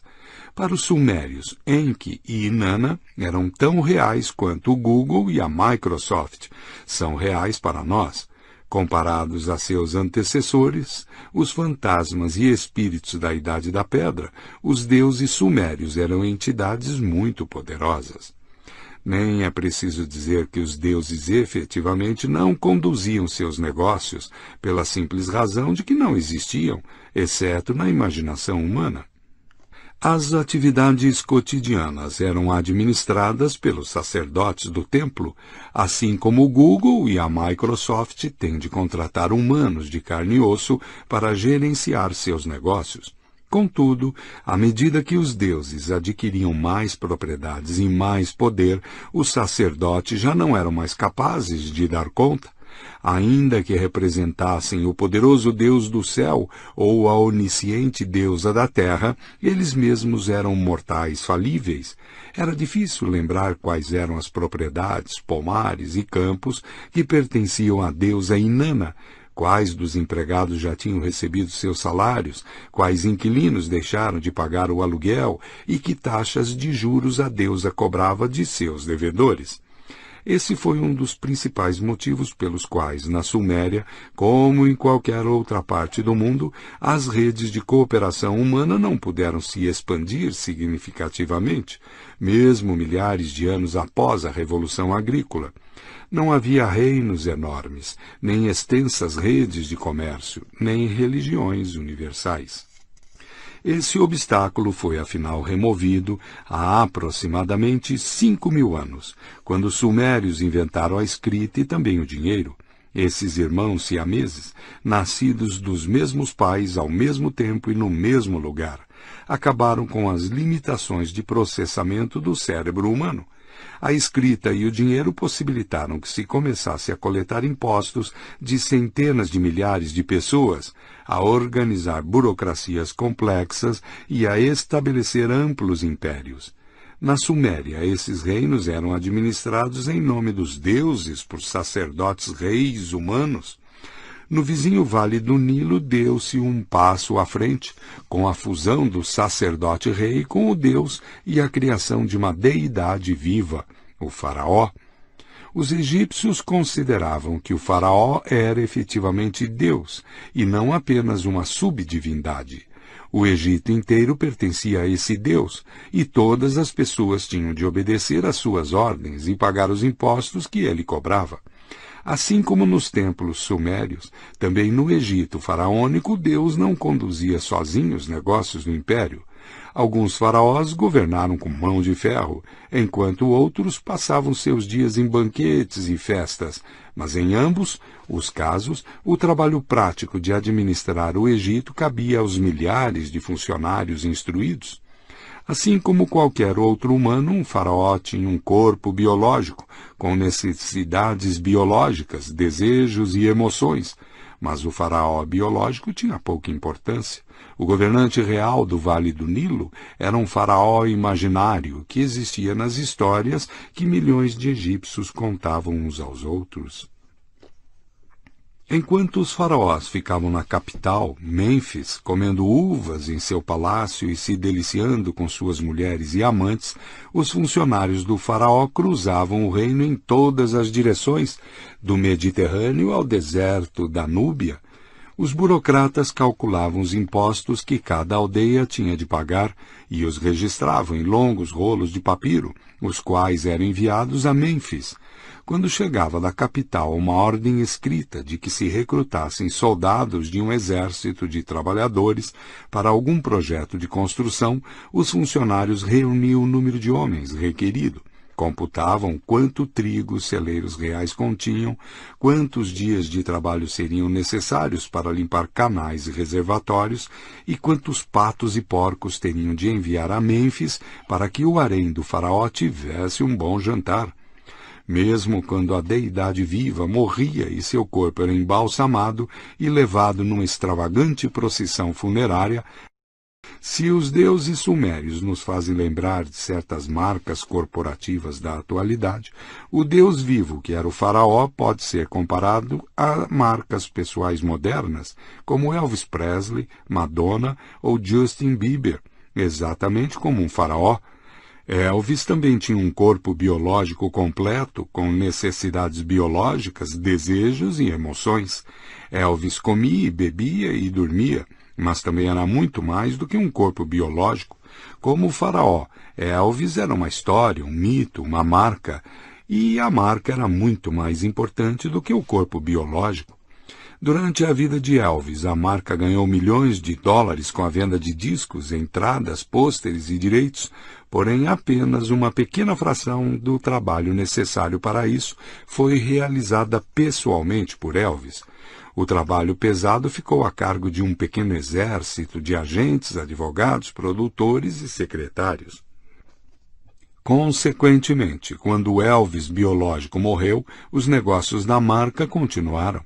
Mesmo hoje em dia, os fãs ainda compram pôsteres e álbuns do rei, estações de rádio seguem pagando direitos e mais de meio milhão de peregrinos fluem todo ano para Graceland, a necrópole do rei em Memphis, Tennessee. Antes da invenção da escrita, as histórias estavam confinadas aos limites da capacidade do cérebro humano. Não era possível inventar histórias excessivamente complicadas das quais as pessoas não conseguiam se lembrar. A escrita, porém, subitamente possibilitou a criação de histórias longas e intricadas que eram armazenadas em tabuletas e em papiros, e não em cabeças humanas. Nenhum egípcio antigo se lembrava de todas as terras do faraó, seus impostos e seus dízimos. Jamais Elvis Presley leu todos os contratos assinados em seu nome. Nenhuma alma viva conhece bem todas as leis e todos os regulamentos da União Europeia, e nenhum banqueiro ou agente da CIA consegue rastrear cada dólar que existe no mundo. Mas todas essas minúcias estão escritas em algum lugar, e uma reunião de documentos relevantes pode definir a identidade e o poder do faraó, de Elvis, da União Europeia e do dólar. Assim, a escrita facultou aos humanos que organizassem sociedades inteiras num modelo algorítmico. Deparamos com o termo algoritmo quando tentamos compreender o que são emoções e como o cérebro funciona e o definimos como uma série metódica de passos que pode ser utilizada para a realização de cálculos, a resolução de problemas e a tomada de decisões. Em sociedades iletradas, as pessoas fazem todos os cálculos e tomam todas as decisões de cabeça. Em sociedades letradas, organizam-se em redes, de modo que cada pessoa é apenas um pequeno passo no imenso algoritmo, e é o algoritmo como um todo que toma as decisões importantes. Essa é a essência da burocracia. Pense no hospital moderno. Quando você chega, alguém da recepção lhe apresenta um formulário padrão e faz um conjunto pré-determinado de perguntas. As respostas são encaminhadas a uma enfermeira, que as compara com o regulamento do hospital para decidir que testes preliminares cabem no caso. Ela mede sua pressão e frequência sanguíneas e tira uma amostra de seu sangue. O médico em serviço examina os resultados iniciais e segue um protocolo estrito para determinar em que enfermaria você será admitido. Ali, você é submetido a outros exames mais minuciosos, como uma radiografia ou uma ressonância magnética, regidas por grossos manuais de procedimentos médicos especialistas analisam os resultados de acordo com bases conhecidas de dados estatísticos para decidir que medicamentos prescrever ou que exames realizar em seguida. Essa estrutura algorítmica faz com que não seja realmente importante quem serão os profissionais em serviço, o tipo de personalidade deles, suas opiniões políticas e seu humor ocasional são irrelevantes. Enquanto seguirem regulamentos e protocolos, eles terão uma boa probabilidade de curar você. Segundo o algoritmo ideal, seu destino está nas mãos do sistema e não nas de mortais de carne e osso que por acaso ocupam este ou aquele posto. O que vale para hospitais vale também para exércitos, prisões, escolas, corporações e antigos reinos. Claro que o Egito antigo era muito menos sofisticado tecnologicamente do que um hospital moderno. Entretanto, o princípio algorítmico era o mesmo. Também no Egito antigo, a maior parte das decisões era tomada não por uma única e sábia pessoa, mas por uma rede de funcionários conectados por inscrições em papiro e em pedra.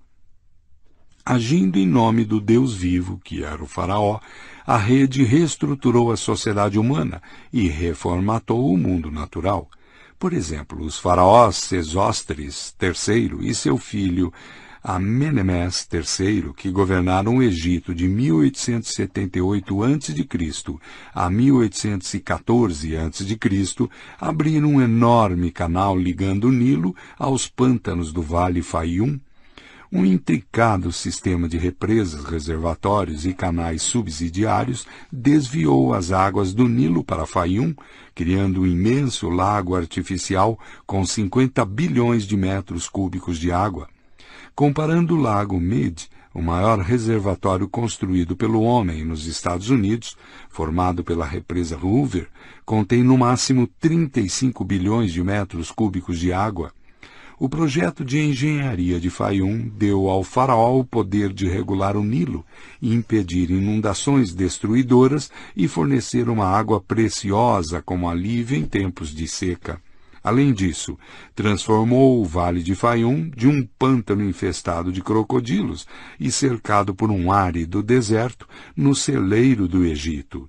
Na margem do novo lago artificial foi construída uma nova cidade chamada Shedet, Os gregos a chamavam de Crocodilópolis, a cidade dos crocodilos. Era dominada pelo templo do deus crocodilo Sobek, que era identificado com o faraó. Estátuas contemporâneas ocasionalmente mostram o faraó exibindo uma cabeça de crocodilo. O templo abrigava um crocodilo sagrado chamado Petsuchus, que se acreditava ser a encarnação viva de Sobek. Assim como o deus vivo Faraó, o deus vivo Petsuchus era alvo dos cuidados afetuosos de sacerdotes em serviço, que provinham prodigamente o sortudo réptil com comida e até brinquedos, e o vestiam com mantos de ouro e coroas incrustadas de pedras preciosas. Afinal, Petsuchus era a marca dos sacerdotes, e a autoridade e a subsistência destes dependiam dele.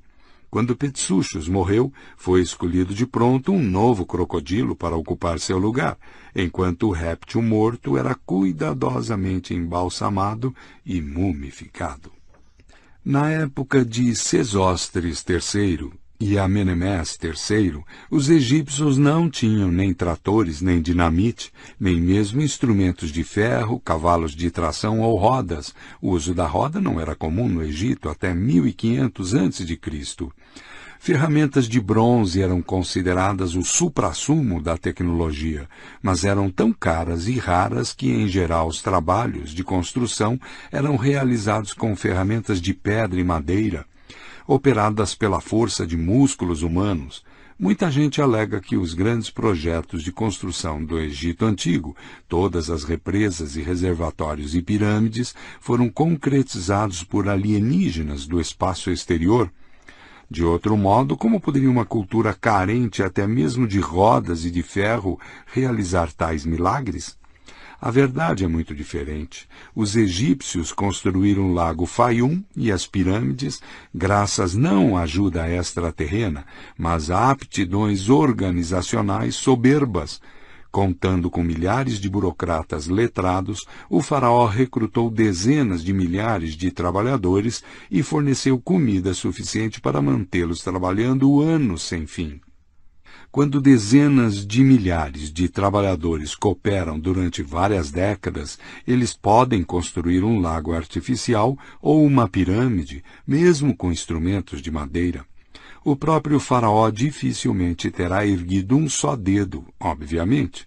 Não era ele quem recolhia os impostos, ele não desenhou nenhum projeto arquitetônico e certamente não pôs as mãos numa pá mas os egípcios acreditavam que somente orações dirigidas ao Deus vivo Faraó e a seu divino patrono Sobek poderiam salvar o vale do Nilo de inundações e secas devastadoras. Eles tinham razão. O faraó e Sobek eram entidades imaginárias, que nada faziam para elevar ou baixar o nível das águas do Nilo, mas milhões de pessoas acreditavam no faraó e em Sobek e cooperaram para construir represas e escavar canais, o que fez com que tanto as inundações como as secas se tornassem raras comparados com os deuses sumérios, e sem mencionar os espíritos da Idade da Pedra, os deuses do Egito antigo eram entidades verdadeiramente poderosas, que fundaram cidades, ergueram exércitos e controlaram a vida de milhões de humanos, vacas e crocodilos. Pode parecer estranho acreditar a entidades imaginárias a construção ou o controle de coisas reais, mas costumamos dizer que os Estados Unidos vivendo de papel. Assim, a escrita facilitou o surgimento de poderosas entidades ficcionais que organizaram milhões de pessoas e reconfiguraram a realidade de rios, pântanos e crocodilos. Simultaneamente, a escrita também fez com que fosse mais fácil aos humanos acreditar na existência dessas entidades ficcionais, porque habituou as pessoas a experimentar a realidade por meio da meditação e de símbolos abstratos. Caçadores-coletores passavam seus dias subindo em árvores à procura de cogumelos e caçando javalis e coelhos. Sua realidade diária consistia em árvores, javalis e coelhos. Camponeses trabalhavam o dia inteiro no campo, arando, colhendo, moendo milho e cuidando dos animais da fazenda. Sua realidade diária era a sensação da terra lamosa sob os pés descalços, o cheiro dos bois puxando os arados e o sabor do pão quente recém-saído do forno. Em contraste, os escribas no Egito antigo dedicavam a maior parte de seu tempo a ler, escrever e fazer cálculos. Sua realidade diária consistia em marcas de tinta em pergaminhos de papiro que determinavam quem era o proprietário de qual campo, quanto custava um boi e qual o tributo anual que os camponeses tinham de pagar. Um escriba podia decidir a sina de uma aldeia inteira com um golpe de seu buril. A grande maioria das pessoas permaneceu iletrada até a era moderna, mas todos os administradores importantes tinham cada vez mais acesso à realidade por meio de textos escritos. Para essa elite letrada, tanto no Egito antigo como na Europa do século XXI, tudo que estiver escrito num pedaço de papel é tão real quanto as árvores, os bois e os seres humanos. Na primavera de 1940, quando os nazistas invadiram a França pelo norte, muitas pessoas da população judaica tentaram fugir do país em direção ao sul. Para cruzar a fronteira, precisavam de vistos da Espanha e de Portugal.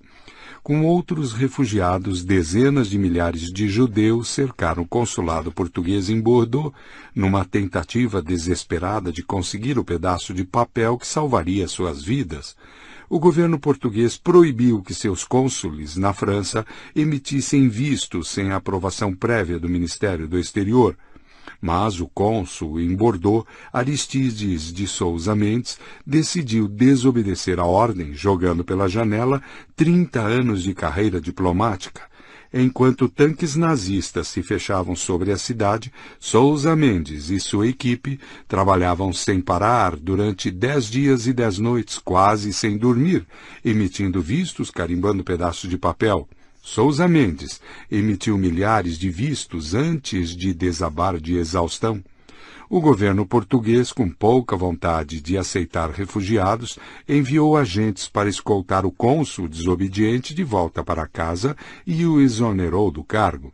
No entanto, funcionários que pouco ligavam para as aflições de seres humanos tinham, não obstante, profunda reverência por documentos, e os vistos que Souza Mendes emitiu desobedecendo às ordens foram respeitadas por burocratas franceses, espanhóis e portugueses, fazendo desaparecer mais de 30 mil pessoas da armadilha mortal nazista.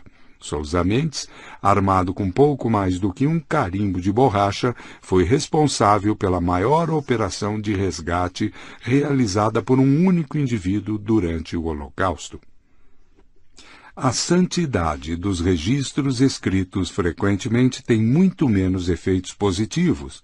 De 1958 a 1961, a China comunista deu o chamado grande salto para frente quando Mao Tse-tung quis transformar rapidamente o país em uma superpotência, com a intenção de usar uma produção excedente de grãos para financiar ambiciosos projetos industriais e militares, Mao ordenou que se duplicasse e triplicasse a produção agrícola dos escritórios do governo em Beijing as exigências impossíveis de Mao desceram a escada burocrática, por intermédio de administradores de província, e percorreram todo o caminho até chegar aos líderes de aldeias.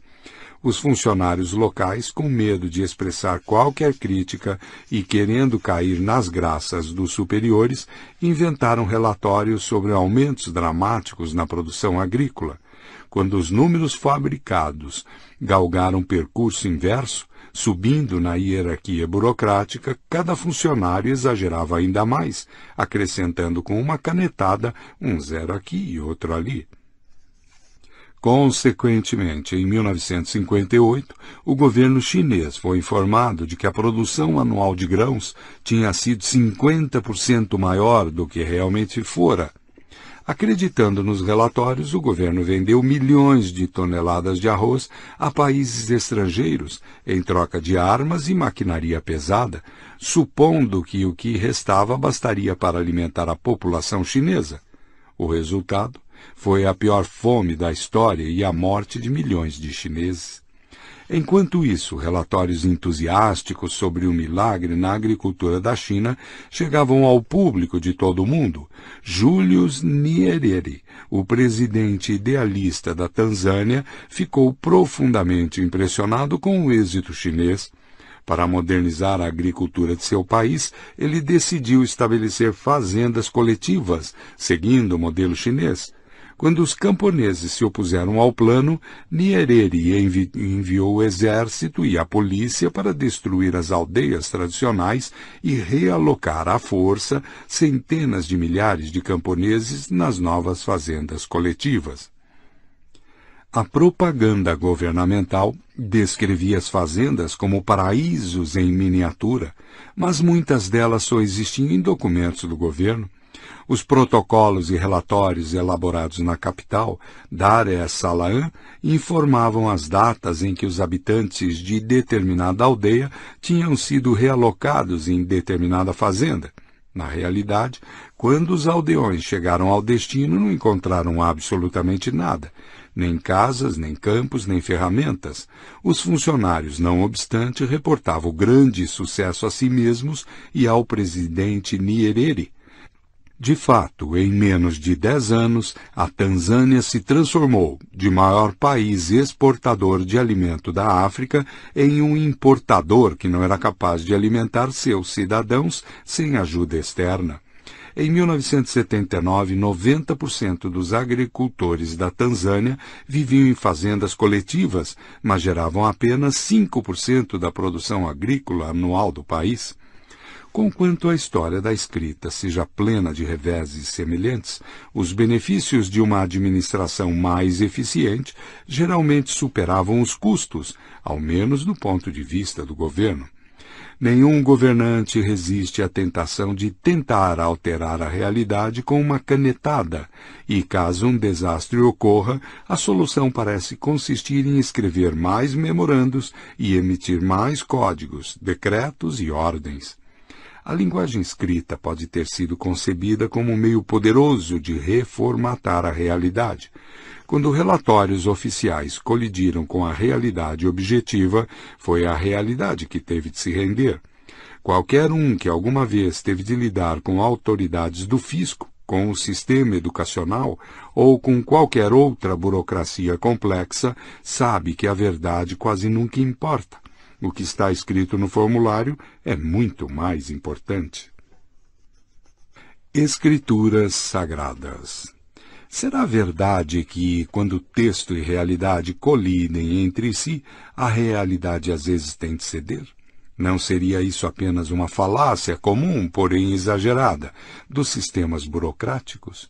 Os burocratas, em geral, a serviço quer do faraó, quer de Mao Tse-tung, são pessoas racionais e certamente teriam feito a seguinte alegação. Empregamos a escrita para descrever a realidade de campos, canais e celeiros. Se a descrição é acurada, tomamos decisões realistas. Se a descrição não é acurada, ela causa fome e rebeliões. Então nós, ou os administradores de algum regime futuro, aprendemos com esse erro e nos empenhamos em produzir descrições mais fidedignas. E assim, com o tempo, nossos documentos tendem a se tornar cada vez mais precisos. Em certa medida isso é verdade, mas deixa de lado uma dinâmica histórica oposta. À medida que acumulam poder, as burocracias se tornam imunes aos próprios erros. Em vez de mudar sua história para se adequar à realidade, elas são capazes de mudar a realidade para adequá-la às suas histórias. No fim, a realidade externa vai coincidir com suas fantasias burocráticas, mas apenas porque foi forçada a isso. Por exemplo, as fronteiras de muitos países africanos não consideram cursos de rios, cadeias de montanhas e rotas de comércio, dividem zonas históricas e econômicas desnecessariamente e ignoram identidades étnicas e religiosas locais. A mesma tribo pode ser dividida entre vários países, enquanto um mesmo país pode incorporar segmentos de numerosos clãs rivais. Esses problemas atormentam países em todo o mundo, mas na África são particularmente acentuados, porque as fronteiras modernas naquele continente não refletem as vontades e as lutas de nações locais. Foram desenhadas por burocratas europeus que nunca pisaram na África. No final do século XIX, várias potências europeias reivindicaram territórios africanos. Temendo que reivindicações conflitantes pudessem levar a uma guerra europeia total, as partes envolvidas reuniram-se em Berlim em 1884 e dividiram o continente como se fosse uma torta. Naquela época, grande parte do interior africano era terra desconhecida para os europeus. Britânicos, franceses e alemães dispunham de mapas precisos das regiões costeiras da África e sabiam exatamente onde os rios Níger, Congo e Zambeze desaguavam no oceano. No entanto, tinham poucas informações sobre o curso desses rios no interior, sobre os reinos e tribos que viviam ao longo de suas margens e sobre a religião, a história e a geografia locais. Isso quase não interessava aos diplomatas europeus. Eles desenrolaram um mapa vazado da África, estenderam-no sobre uma mesa muito bem polida em Berlim, rabiscaram algumas linhas aqui e ali e dividiram o continente entre eles. Quando oportunamente penetraram no interior da África, armados com seu mapa consensual, os europeus descobriram que muitas das fronteiras desenhadas em Berlim dificilmente correspondiam à realidade geográfica, econômica e étnica do continente. Contudo, para evitar divergências renovadas, os invasores mantiveram um acordo e essas linhas imaginárias tornaram-se as fronteiras efetivas das colônias europeias.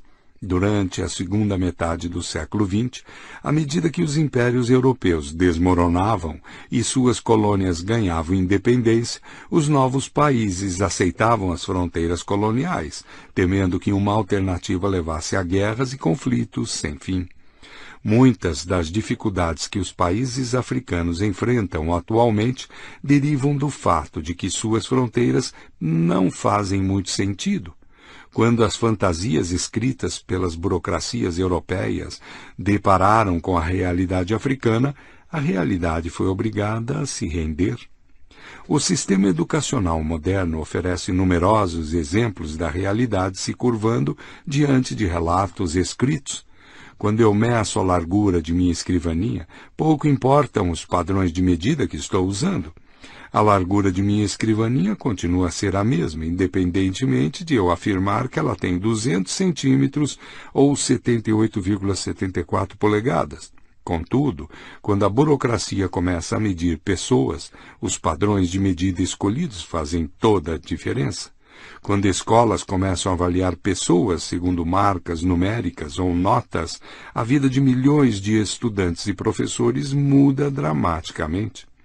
Notas são uma invenção relativamente nova. Caçadores-coletores nunca receberam nota por suas façanhas, e mesmo milhares de anos após a Revolução Agrícola, poucos estabelecimentos educacionais empregavam um sistema preciso de notas.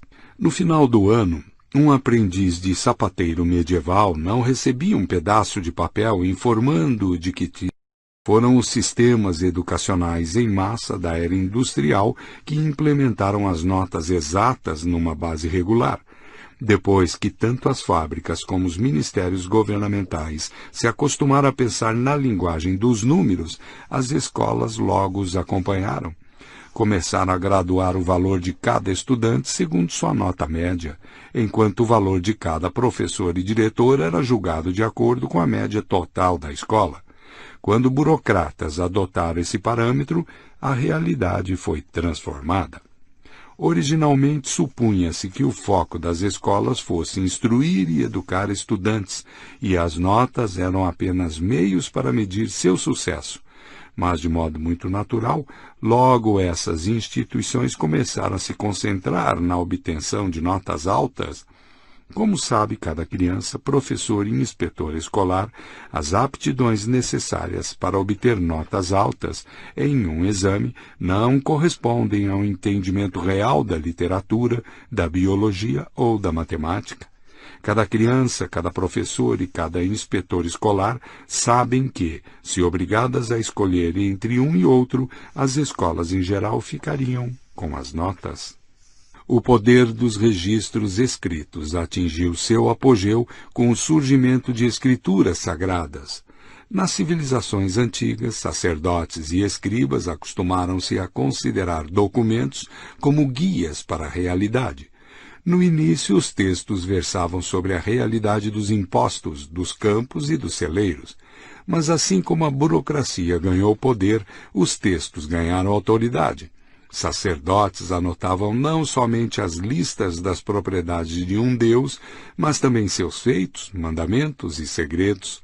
As escrituras resultantes tinham o propósito de descrever a realidade em sua inteireza, e gerações de estudiosos se habituaram a procurar todas as respostas nas páginas da Bíblia, do Corão ou dos Vedas.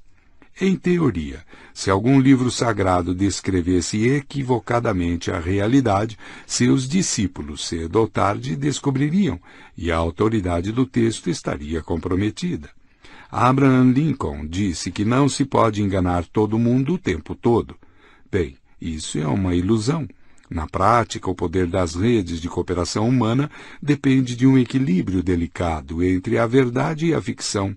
Se você distorce demasiadamente a realidade, isso vai enfraquecê-lo, e você não será capaz de competir com rivais que têm uma visão mais clara. Por outro lado, você não vai conseguir organizar massas de pessoas sem se apoiar efetivamente a alguns mitos ficcionais. Se ficar agarrado à realidade pura sem misturar nela alguma ficção, poucos o seguirão. Se você usasse uma máquina do tempo para enviar uma cientista moderna ao Egito antigo, ela não seria capaz de conquistar poder expondo as ficções dos sacerdotes locais e ministrando palestras aos camponeses sobre evolução, relatividade e física quântica. Evidentemente, se sua cientista conseguisse usar o conhecimento que possui para produzir alguns fuzis e algumas peças de artilharia, ela poderia obter enorme vantagem sobre o faraó e sobre o deus crocodilo Sobek. Mas, para poder extrair minério de ferro, construir fornalhas e fabricar pólvora, seria necessário o trabalho duro de muitos camponeses. Você realmente acha que ela poderia inspirá-los, explicando que energia dividida pela massa é igual ao quadrado da velocidade da luz? Se você pensa assim, está convidado a viajar para o Afeganistão ou para a Síria contemporânea e tentar a sorte.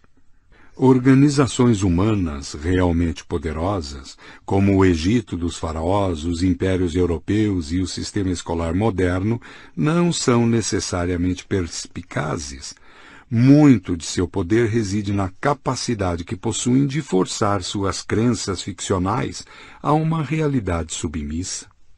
Essa é toda a ideia do dinheiro, por exemplo. O governo emite pedaços de papel sem valor, declara que eles têm valor e depois os usa para computar o valor de todas as outras coisas. O governo tem o poder de obrigar os cidadãos a pagar impostos usando esses pedaços de papel e os cidadãos não têm escolha a não ser fazer uso de pelo menos alguns deles. Consequentemente, essas cédulas tornam-se valiosas, os funcionários do governo têm suas crenças justificadas, e como o governo controla a emissão de papel moeda, seu poder cresce. Se alguém disser em protesto que são apenas pedaços de papel sem valor e agir como se fossem somente isso, não chegará muito longe na vida. O mesmo acontece quando o sistema educacional declara que os exames de admissão constituem o melhor método para avaliar estudantes. O sistema tem autoridade bastante para influenciar tanto nos padrões de admissão em faculdades, como naqueles para contratação em repartições públicas e no setor privado. Os estudantes, portanto, investem todos os seus esforços em conseguir boas notas, Posições cobiçadas são ocupadas por pessoas com notas altas, que naturalmente apoiam o sistema que as levou até lá. O fato de que o sistema educacional controla os exames mais críticos lhe confere mais poder e aumenta sua influência nas faculdades, nas repartições públicas e no mercado de trabalho. Se alguém protestar que o diploma de graduação é apenas um pedaço de papel e agir de acordo com isso, é pouco provável que chegue muito longe na vida. Escrituras sagradas funcionam da mesma maneira. O estamento religioso proclama que o livro sagrado contém as respostas a todas as nossas perguntas. Ele pressiona simultaneamente tribunais, governos e negócios a se comportarem de acordo com o que prega o livro sagrado. Quando uma pessoa sábia lê as Escrituras e depois olha para o mundo, ela constata que existe realmente uma boa coincidência. As Escrituras dizem que você tem de pagar dízimos a Deus. E veja, todos estão pagando. As Escrituras dizem que as mulheres são inferiores aos homens e não podem servir como juízas ou prestar testemunho no tribunal. E veja, realmente não há mulheres juízas e os tribunais rejeitam seu testemunho. As Escrituras dizem que todo aquele que estudar a palavra de Deus terá sucesso na vida. E veja, todos os bons postos de trabalho são ocupados por pessoas que conhecem o livro sagrado de cor. Alguém tão sábio, naturalmente, começará a estudar o livro sagrado e, por ser sábio, se tornará um especialista e será nomeado juiz. Quando se tornar um juiz, não permitirá que mulheres testemunhem em sua corte, e quando escolher seu sucessor, obviamente, será alguém que também conhece bem o livro sagrado. Se alguém protestar que este livro é apenas papel e se comportar de acordo com isso, tal herege não chegará muito longe na vida mesmo quando as Escrituras iludem as pessoas quanto à verdadeira natureza da realidade, elas são capazes de manter sua autoridade durante milhares de anos. Por exemplo, a percepção da história pela Bíblia é fundamentalmente falha, mas conseguiu se disseminar pelo mundo, pois bilhões ainda acreditam nela. A Bíblia propaga uma teoria monoteística da história, alegando que o mundo é governado por uma única e toda poderosa divindade que se preocupa acima de tudo comigo e com minhas ações. Se algo de bom acontece, deve ser uma recompensa por minhas boas ações. Qualquer catástrofe deve ser um castigo por meus pecados. Assim, os antigos judeus acreditavam que se estavam sofrendo por causa da seca, ou se o rei Nabucodonosor da Babilônia tinha invadido a Judéia e exilado seu povo, certamente eram castigos divinos decorrentes de seus pecados. E se Ciro da Pérsia derrotou os babilônios e permitiu que os exilados judeus retornassem para casa e reconstruíssem Jerusalém, Deus, em sua misericórdia, ouviu suas preces de arrependimento a Bíblia não admite a possibilidade de que a seca talvez tenha resultado da erupção de um vulcão nas Filipinas, que Nabucodonosor invadiu a Judéia por conta dos interesses comerciais da Babilônia e que o rei Ciro tinha motivações políticas quando favoreceu os judeus. A Bíblia, da mesma forma, não demonstra nenhum interesse em compreender a ecologia global, a economia babilônica ou o sistema político persa.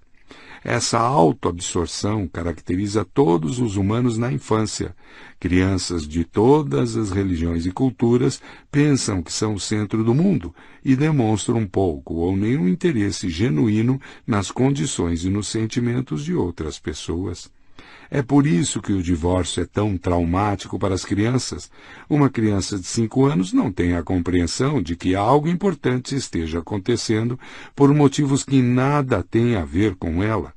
Não importa quantas vezes mamãe e papai lhe digam que são pessoas independentes, com seus próprios problemas e desejos, e que não estão se divorciando por causa dela. A criança não consegue absorver isso está convencida de que tudo é culpa dela. A maioria das pessoas, ao crescer, supera essa ilusão infantil. Monoteístas agarram-se a ela até o dia de sua morte. Como uma criança que pensa que seus pais estão brigando por causa dela, os monoteístas se convencem de que os persas combateram os babilônios por causa deles. Já nos tempos bíblicos, algumas culturas tinham uma percepção bem mais acurada da história. Religiões animistas e politeístas descreviam o mundo como parque de diversões de forças numerosas e diferentes, e não de um único Deus. Consequentemente, para animistas e politeístas, era fácil aceitar que muitos eventos não têm relação comigo ou com minha deidade favorita e que não são nem punição por os meus pecados nem recompensa por minhas boas ações. Historiadores gregos como Heródoto e Tucídides e historiadores chineses como Sima Qian desenvolveram teorias sofisticadas da história que são muito semelhantes a nossas visões modernas. Eles explicaram que guerras e revoluções irrompem devido a uma variedade de fatores políticos, sociais e econômicos. Pessoas podem ser vítimas de uma guerra sem que isso tenha sido provocado por elas, Correspondentemente, Heródoto desenvolveu intenso interesse em compreender a política persa, enquanto Sima Qian estava muito interessado na cultura e na religião dos povos bárbaros da estepe. Estudiosos da atualidade concordam com Heródoto e com Sima Qian, e não com a Bíblia, é por isso que todos os estados modernos investem muito em coletar informações sobre outros países e em analisar as tendências ecológicas, políticas e econômicas globais. Quando a economia dos Estados Unidos vacila, até evangélicos republicanos apontam um dedo acusador para a China e não para os próprios pecados. Mesmo assim, embora Heródoto e Tucídides tenham compreendido a realidade com mais clareza do que os autores da Bíblia, quando essas duas concepções do mundo colidem, a Bíblia vence por nocaute. Os gregos adotaram a visão judaica da história, e não vice-versa, Mil anos depois de Tucídides, os gregos se convenceram de que, se algumas hordas bárbaras estão invadindo, certamente se trata de um castigo divino pelos pecados cometidos.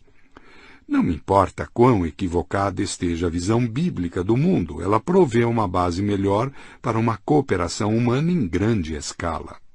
Realmente, mesmo hoje em dia, quando presidentes dos Estados Unidos fazem seu juramento na posse, ele põe a mão sobre a Bíblia. Da mesma forma, em muitos países por todo o mundo, inclusive os Estados Unidos, mas funciona.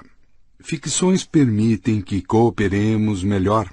O preço que pagamos é que essa mesma ficção também determina os objetivos de nossa cooperação. Assim, sistemas muito elaborados de cooperação podem estar sendo aproveitados para servir a interesses e objetivos ficcionais Consequentemente, pode parecer que o sistema está funcionando bem, mas só se adotarmos seus próprios critérios. Por exemplo, um mulá muçulmano diria: nosso sistema funciona. Hoje há um bilhão e meio de muçulmanos em todo o mundo e mais pessoas estão estudando o Corão e se submetendo à vontade de Alá do que jamais houve. A questão-chave, no entanto, é se esse é o parâmetro correto para medir o sucesso. Um diretor de escola diria: nosso sistema funciona. Durante os últimos cinco anos, as notas dos exames foram 7,3% mais altas. Mas esse seria o melhor modo de avaliar uma escola? O funcionário no Egito antigo diria: nosso sistema funciona. Coletamos mais impostos, cavamos mais canais e construímos pirâmides maiores do que qualquer outro sistema no mundo. É bem verdade, o Egito faraônico era líder mundial em cobrança de impostos, irrigação e construção de pirâmides. Mas é isso que realmente importa? Pessoas têm muitas necessidades materiais, sociais e psicológicas. Não há a menor certeza de que os camponeses no Egito antigo desfrutavam de mais amor ou de relações sociais melhores de que seus ancestrais caçadores-coletores. Em termos de nutrição, saúde e mortalidade infantil, parece que sua vida na realidade era pior um documento datado aproximadamente de 1850 a.C., do reinado de Amenemés III, o faraó que criou o lago Fayum, menciona um homem bem nascido chamado Dua Keti, que levou seu filho Peti para a escola a fim de aprender a ser um escriba. No caminho para a escola, Dua Keti descreveu a vida miserável de camponeses, trabalhadores, soldados e artesãos, como que a encorajar Petit a dedicar toda a sua energia ao estudo, para com isso escapar ao destino infeliz da maioria dos humanos. De acordo com Dua Keti, a vida de um trabalhador rural sem terra é cheia de dificuldades e de miséria. Vestido em farrapos, ele trabalha o dia inteiro até os dedos ficarem cobertos de bolhas. Depois, funcionários do faraó o designam para fazer trabalhos forçados. Em troca de todo o seu trabalho duro, o único pagamento que recebe é a doença. Mesmo que forneça subsistência à sua casa, ficará completamente desgastado e destruído. A sina do camponês que possui alguma terra não é muito melhor. Ele passa os dias carregando água em baldes do rio até o campo. Essa carga pesada encurva seus ombros e cobre seu pescoço de inchaços purulentos. Pela manhã, tem de irrigar seus canteiros de alho poró, à tarde suas tamareiras e ao anoitecer sua plantação de coentro. Finalmente ele desfalece e morre. O texto pode ser propositalmente exagerado, mas não muito. O Egito era o reino mais poderoso da época, porém, para um simples camponês, todo esse poderio significava impostos e trabalho forçado, e não serviços médicos e de seguridade social não era um defeito exclusivo do Egito, descontadas todas as imensas conquistas das dinastias chinesas, dos impérios muçulmanos e dos reinos europeus. Em 1850 depois de Cristo, a vida de um cidadão médio não era melhor e poderia efetivamente ter sido pior do que a vida dos antigos caçadores-coletores. Em 1850, um camponês chinês ou um operário em Manchester trabalhavam braçalmente mais horas do que seus ancestrais caçadores-coletores. Eram atividades fisicamente mais duras e mentalmente menos gratificantes. Sua dieta era menos balanceada. As condições higiênicas eram incomparavelmente piores e doenças infecciosas eram muito mais comuns. Suponha que lhe oferecesse um dos dois pacotes de férias. Pacote da Idade da Pedra, no primeiro dia, passeio de dez horas numa floresta imaculada, acampando para passar a noite numa clareira junto a um rio. No segundo dia, descida ao rio de canoa durante dez horas, acampando na margem de um pequeno lago. No terceiro dia, contato com o povo nativo para aprender como pescar no lago e como encontrar cogumelos no bosque próximo. Pacote proletário moderno. No primeiro dia, trabalho durante dez horas numa poluída fábrica têxtil, passando a noite num prédio abarrotado de apartamentos. No segundo dia, trabalho durante dez horas como caixas na loja de departamentos local, dormindo no mesmo bloco de apartamentos. No terceiro dia, contato com o povo nativo para aprender como abrir uma conta no banco e preencher formulários da hipoteca. Qual pacote você escolheria? Quando vamos avaliar as redes de cooperação humanas, tudo depende do parâmetro e do ponto de vista que adotamos. Julgamos o Egito dos faraós em termos de produção, nutrição ou talvez de harmonia social? Focalizamos a aristocracia, os camponeses simples ou os porcos e crocodilos? A história não é uma narrativa única, mas milhares de narrativas alternativas. Sempre que escolhemos contar uma delas, escolhemos também silenciar outras. As redes de cooperação humanas comumente se avaliam como parâmetros inventados por elas mesmas, e não é de surpreender que não raro se atribuam notas altas. Em particular, redes humanas construídas em nome de entidades imaginárias, como deuses, nações e corporações, normalmente avaliam seus êxitos do ponto de vista da entidade imaginária. Uma religião é bem-sucedida se segue ao pé da letra os mandamentos divinos. Uma nação é gloriosa se promove o interesse nacional. E uma corporação prospera se gera montes e montes de dinheiro. Ao se examinar a história de qualquer rede humana, é recomendável parar de vez em quando e olhar as coisas da perspectiva de alguma entidade real. Como se sabe se uma entidade é real? Muito simples. Apenas pergunte a si mesmo: ela é capaz de sofrer? Quando pessoas derrubam e incendeiam o templo de Zeus, Zeus não sofre. Quando o euro se desvaloriza, o euro não sofre. Quando um banco vai à bancarrota, o banco não sofre. Quando um país é derrotado na guerra, o país na verdade não sofre, é só uma metáfora. Em contraste, quando um soldado é ferido em combate, ele sofre. Quando um camponês faminto não tem o que comer, ele sofre. Quando uma vaca é separada de seu bezerro recém-nascido, ela sofre. E isso é realidade. É claro que nossa crença em ficções pode muito bem vir a causar sofrimento. Por exemplo, a crença em mitos nacionais e religiosos pode provocar a eclosão de uma guerra na qual milhões de pessoas perderão suas casas, seus membros e até suas vidas. A causa da guerra é ficcional, mas o sofrimento é inteiramente real. É por isso que deveríamos nos empenhar em distinguir ficção de realidade. Ficção não é algo ruim. Sem as histórias comumente aceitas sobre dinheiro, estados ou corporações, nenhuma sociedade humana complexa poderia funcionar. Não se pode jogar futebol a menos que cada jogador acredite nas regras comuns inventadas, e não se pode usufruir dos benefícios de mercados e de tribunais sem histórias de um faz de conta semelhante. Mas as histórias são apenas ferramentas. Elas não deveriam se tornar nossos objetivos ou nossos parâmetros. Quando esquecemos que são mera ficção, perdemos o contato com a realidade. Depois começamos a fazer guerras para fazer muito dinheiro para a corporação ou para proteger o interesse nacional. Corporações, dinheiro e nações existem apenas em nossa imaginação. Nós os inventamos para nos servirem, porque chegamos a sacrificar nossas vidas a seu serviço. No século XXI, vamos criar mais ficções poderosas e mais religiões totalitárias do que em qualquer era anterior, com a ajuda da biotecnologia e de algoritmos computacionais, essas religiões não só controlarão nossa existência, minuto a minuto, como serão capazes de configurar nossos corpos, cérebros e mentes e de criar mundos em. 5. 5. O estranho casal.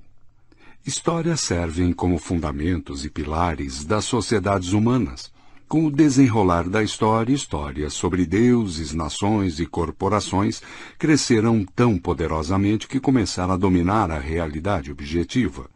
A crença no grande deus Sobek, no mandato do céu ou na Bíblia possibilitou a construção do Lago Fayum, da Grande Muralha da China e da Catedral de Chartres, Infelizmente, a fé cega nas histórias não raro acarretou a concentração dos esforços humanos em incrementar a glória de entidades ficcionais como deuses e nações, em vez de melhorar a vida de seres reais e sencientes. Essa análise ainda se sustenta hoje? À primeira vista, pode parecer que a sociedade moderna é muito diferente dos reinos do Egito antigo ou da China medieval, o surgimento e ascensão da ciência moderna não teriam mudado as regras básicas do jogo humano? Não seria verdadeiro dizer que, apesar da continuada importância de mitos tradicionais, os sistemas sociais modernos cada vez mais se baseiam em teorias científicas objetivas, como a teoria da evolução, que não existia no Egito Antigo ou na China medieval? Podemos argumentar que as teorias científicas são um novo tipo de mito e que nossa crença na ciência não é diferente da antiga crença egípcia no grande deus Sobek. Mas a comparação não se sustenta. Sobek existia apenas na imaginação coletiva de seus devotos. Com efeito, rezar a Sobek ajudou a cimentar o sistema social egípcio, permitindo a construção pelo povo de represas e canais que impediram inundações e secas. Mas as orações por si mesmo não elevaram nem baixaram minimamente o nível das águas do rio Nilo. Em contrapartida, teorias científicas não consistem apenas em um modo de unir pessoas disse que Deus ajuda quem se ajuda. É um modo indireto de dizer que Deus não existe, Mas se nossa crença nele nos inspirar a fazer algo a nós mesmos, isso ajuda. Antibióticos, diferentemente de Deus, ajudam até mesmo os que não se ajudam. Eles curam infecções, quer acreditemos neles ou não. Consequentemente, o mundo moderno é muito diferente do mundo pré-moderno. Faraós egípcios e imperadores chineses fracassaram em derrotar a fome, a peste e a guerra a despeito de milênios de esforço. Sociedades modernas conseguiram fazê-lo em poucos séculos. Não seria isso fruto do abandono de mitos subjetivos em favor de conhecimento científico objetivo? E não podemos esperar que esse processo se acelere nas próximas décadas. À medida que a tecnologia nos capacita a fazer a atualização de humanos, vencer a velhice e encontrar a chave da felicidade, não deveriam as pessoas importar-se menos com deuses, nações e corporações ficcionais e se concentrar em decifrar a realidade física e biológica? Na verdade, as coisas são muito mais complicadas. A ciência moderna certamente mudou as regras do jogo, embora não tenha apenas substituído os mitos pelos fatos. Os mitos continuam a dominar o gênero humano. A ciência só os torna mais fortes. Em vez de destruir a realidade intersubjetiva, a ciência permitirá que ela controle as realidades objetivas e subjetivas de modo mais completo. Graças aos computadores e à bioengenharia, a diferença entre ficção e realidade se tornará indistinta na medida que pessoas reformatam a realidade para que se encaixem em suas ficções prediletas. Os sacerdotes de Sobek imaginaram a existência de crocodilos divinos, enquanto o faraó sonhava com a imortalidade. Na realidade, o crocodilo sagrado era um réptil de pântano muito ordinário, vestido em refinamentos dourados, e o faraó era tão mortal quanto o mais pobre camponês. Após a morte, seu corpo era mumificado com bálsamos de preservação e perfumes olorosos, mas ainda assim continuava tão sem vida quanto um morto pode ser. Os cientistas do século XXI, por sua vez, poderiam ser capazes de engendrar super crocodilos reais e prover a elite humana de juventude eterna aqui na Terra. Em decorrência, o surgimento e a ascensão da ciência tornarão alguns mitos e religiões mais poderosos do que nunca, para entender por que e para enfrentar os desafios do século XXI, deveríamos, portanto, revisitar uma das questões mais perturbadoras entre todas. Como é que a ciência moderna se relaciona com a religião? A impressão que se tem é de que já se disse tudo a ser dito sobre essa questão. Mas, na prática, ciências e religião são como marido e mulher, que após 500 anos de aconselhamento matrimonial não se conhecem. Ele ainda sonha com a Cinderela e ela ainda anseia pelo príncipe encantado, enquanto discutem de quem é a vez de levar o lixo para fora.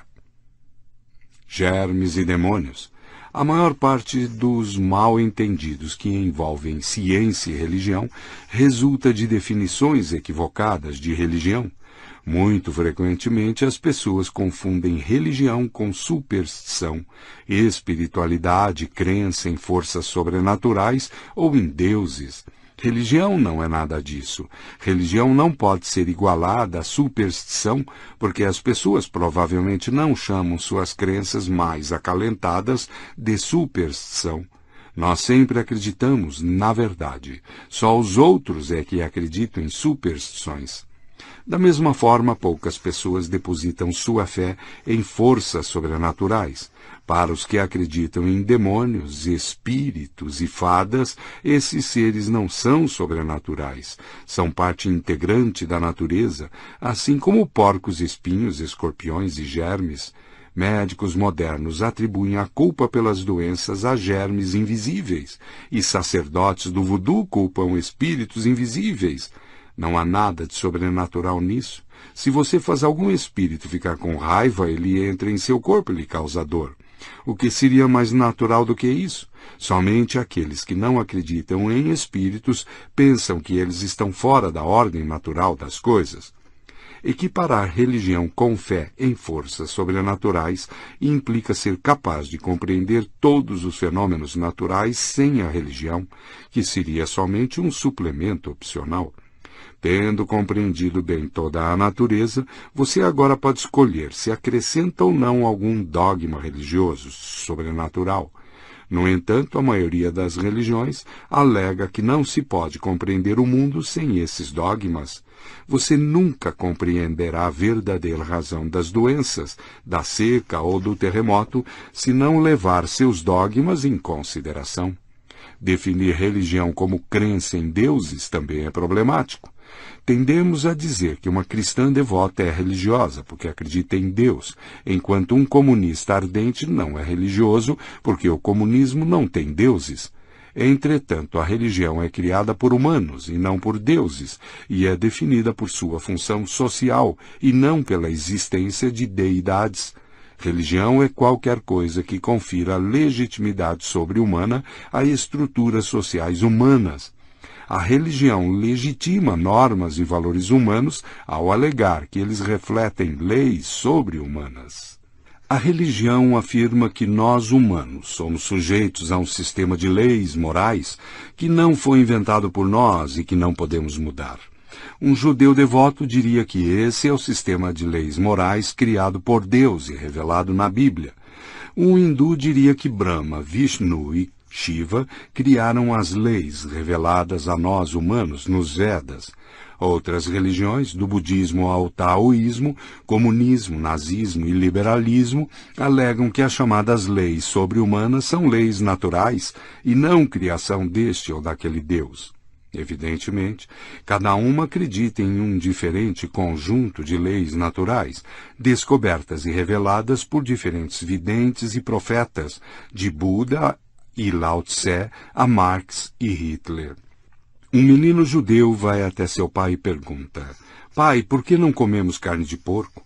O pai alisa pensativamente sua longa barba cacheada e responde: Bem, Yankele, é assim que o mundo funciona. Você ainda é jovem e não vai compreender, mas se comêssemos carne de porco, Deus nos puniria, e isso seria ruim para nós. Essa ideia não é minha, nem mesmo do Rabi. Se o Rabi tivesse criado o mundo, talvez a carne de porco fosse kosher. Mas o Rabi não criou o mundo, foi Deus. E Deus disse, não sei porquê, que não devemos comer carne de porco. E assim não comemos, entendeu? Em 1943, um menino alemão vai até seu pai, um oficial superior da SS, e pergunta: Pai, por que estamos matando os judeus? O pai, calçando suas reluzentes botas de couro, explica: Bem, Fritz, é assim que o mundo funciona. Você ainda é jovem e não vai compreender. Mas se deixássemos os judeus viverem, eles causariam a degeneração e a extinção do gênero humano. Essa ideia não é minha, nem do Führer. Se Hitler tivesse criado o mundo, talvez as leis da seleção natural não se aplicassem a ele, e judeus e arianos poderiam viver em perfeita harmonia. Mas Hitler não criou o mundo, ele somente tratou de decifrar as leis da natureza e nos instruiu a viver de acordo com elas. Se desobedecermos a essas leis, isso acabaria muito mal para nós. Is das klar? Em 2016, um menino britânico vai até seu pai, membro liberal do parlamento, e pergunta: Pai, por que temos de nos preocupar com os direitos humanos dos muçulmanos no Oriente Médio? O pai pousa sua xícara de chá, pensa por um momento e diz: Bem, Duncan, é assim que o mundo funciona. Você ainda é jovem e não vai compreender, mas todos os humanos, até os muçulmanos do Oriente Médio, têm a mesma natureza e usufruem dos mesmos direitos naturais. Essa ideia não é minha, nem é uma decisão do Parlamento. Se o Parlamento tivesse criado o mundo, os direitos universais do homem poderiam ter sido enterrados em algum subcomitê junto com toda aquela tralha da física quântica. Mas o parlamento não criou o mundo, ele apenas tenta lhe dar um sentido, e devemos respeitar os direitos naturais até mesmo dos muçulmanos no Oriente Médio. Ou, logo, nossos próprios direitos também serão violados, e isso acabaria mal para nós. Agora pode ir. Liberais, comunistas e seguidores de outros credos modernos não gostam de descrever os próprios sistemas como religião, porque a identificam com superstição e forças sobrenaturais. Se você disser a comunistas ou liberais que eles são religiosos, eles vão pensar que você os está acusando de acreditar cegamente em sonhos sem fundamento. Na verdade, significa apenas que se trata de pessoas que acreditam em algum sistema de leis morais que não foi inventado pelo homem e ao qual, apesar disso, os humanos devem obedecer. Até onde sabemos, todas as sociedades humanas acreditam nisso. Toda sociedade diz a seus membros que eles devem obedecer a alguma lei moral sobre-humana e que violá-la resultará em uma catástrofe. As religiões se diferenciam nos detalhes de suas histórias, em seus mandamentos concretos e nas recompensas e punições que prometem. Assim, na Europa medieval, a Igreja Católica alegava que Deus não gostava de gente rica. Jesus disse que seria mais fácil um camelo passar pelo buraco de uma agulha do que um rico entrar no reino dos céus. Para ajudar os ricos a entrar no reino de Deus, a Igreja os incentiva a doar muito dinheiro para a caridade, ameaçando os mesquinhos a arder no inferno. O comunismo moderno tampouco gosta dos ricos, mas os ameaça com um conflito de classes neste mundo, e não com enxofre ardente após a morte. As leis comunistas da história são semelhantes aos mandamentos do Deus cristão, uma vez que são forças sobre-humanas que não podem ser modificadas pelos humanos a seu bel prazer. Os humanos podem decidir que vão cancelar amanhã de manhã a regra do impedimento no futebol, porque foram eles que a inventaram e são livres para mudá-la. Contudo, ao menos, segundo Marx, não podemos alterar as leis da história. Não importa o que façam os capitalistas, enquanto continuarem a acumular propriedade privada, acarretarão o conflito de classes e estarão destinados a serem derrotados pelo proletariado em ascensão. Se por acaso você for comunista, poderá alegar que o comunismo e o cristianismo são muito diferentes, porque o primeiro está certo e o segundo está errado. Conflitos de classe realmente são inerentes ao sistema capitalista, mas os ricos não sofrem torturas eternas no inferno depois que morrem. Entretanto, se você deparar com Buda, a afirmação de que a religião é uma ferramenta utilizada para preservar a ordem social e organizar uma cooperação em grande escala pode aborrecer aqueles para a qual ela representa um caminho espiritual. Contudo, assim como a brecha entre religião e ciência é mais estreita do que em geral se pensa, da mesma forma a brecha entre religião e espiritualidade é muito mais ampla. Religião é um trato, enquanto espiritualidade é uma jornada. A religião provê uma descrição completa do mundo e nos oferece um contrato bem definido, com objetivos pré-determinados. Deus existe ele nos disse que nos comportássemos de certas maneiras. Se você obedecer a Deus, será admitido no céu. Se lhe desobedecer, queimará no inferno. A simples clareza desse contrato permite à sociedade definir normas e valores comuns que regulam o comportamento humano. Jornadas espirituais não se assemelham a nada disso. Elas levam as pessoas por caminhos misteriosos, em direção a destinos desconhecidos. A busca geralmente começa com alguma pergunta profunda, tal como: Quem sou eu? Qual é o sentido da vida? O que é o bem? Enquanto a maioria das pessoas simplesmente aceita as respostas pré-definidas fornecidas pelas forças dominantes, aquelas que buscam a espiritualidade não se satisfazem tão facilmente. Estão determinadas a sair em busca da grande questão, aonde quer que isso as leve, e não só a lugares que conhecem bem ou que querem visitar. Assim, para muita gente, os estudos acadêmicos são um trato e não uma jornada espiritual, porque eles nos levam a objetivos pré-determinados aprovados por nossos pais, governos e bancos. Vou estudar três anos, passar nos exames, obter meu bacharelado e me garantir com um emprego seguro e bem pago. Estudos acadêmicos poderiam transformar-se em uma jornada espiritual se as questões com que deparássemos no caminho nos desviassem rumo a destinos inesperados, de cuja existência quase não tínhamos noção no começo. Por exemplo, uma estudante poderia começar a estudar economia com o objetivo de conseguir um emprego em Wall Street Contudo, se esse estudo a induzisse de alguma maneira a ir parar num eremitério hindu ou a dar assistência a pacientes com HIV no Zimbábue, poderíamos chamar isso de jornada espiritual. Por que rotular tal viagem como espiritual? Isso é um legado de antigas religiões dualistas que acreditavam na existência de dois deuses, um do bem e outro do mal. Segundo o dualismo, Deus do bem criou almas puras e eternas que viviam num bem-aventurado mundo do espírito. No entanto, Deus do mal, às vezes chamado de Satã, criou outro mundo, feito de matéria. Satã não sabia o que fazer para que sua criação durasse. Por isso, no mundo da matéria, tudo apodrece e se desintegra. Para insuflar vida em sua criação defeituosa, Satã tentava as almas do mundo puro do espírito e as confinava em seus corpos materiais. Como a alma aprisionada, o corpo decai e posteriormente morre, Satã seduz a alma com delícias corporais, sobretudo com comida, sexo e poder.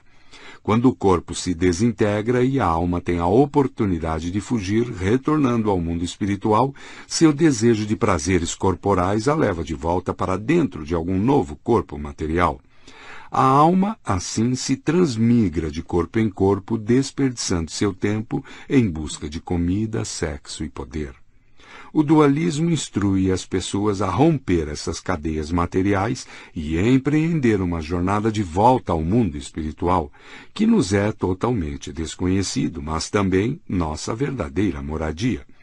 Durante essa busca, temos de rejeitar todas as tentações e tratos materiais, em razão do legado dualista, toda a jornada na qual duvidemos das convenções e dos tratos do mundo terreno e nos aventuremos em direção a um destino desconhecido é chamada de jornada espiritual. Essas jornadas são fundamentalmente diferentes de religiões, porque estas buscam consolidar o mundano, enquanto a espiritualidade busca fugir dele. Com frequência, uma das mais importantes obrigações dos errantes da espiritualidade é desafiar as crenças e convenções das religiões dominantes. No Zen budismo disse: se você deparar com Buda na estrada, mate-o. Isso significa que, quando estiver andando pelo caminho espiritual, se deparar com as ideias rígidas e as leis fixas do budismo institucionalizado, deve livrar-se delas também. Para as religiões, a espiritualidade é uma ameaça perigosa? Tipicamente, as religiões empenham-se para controlar as buscas espirituais de seus seguidores, e muitos sistemas religiosos são desafiados não por pessoas laicas preocupadas com comida, sexo e poder, e sim por buscadores da verdade espiritual que esperavam mais do que esses lugares comuns. Assim, a revolta protestante contra a autoridade da Igreja Católica não foi inflamada por ateus hedonistas, mas por um monge devoto e ascético, Martinho Lutero.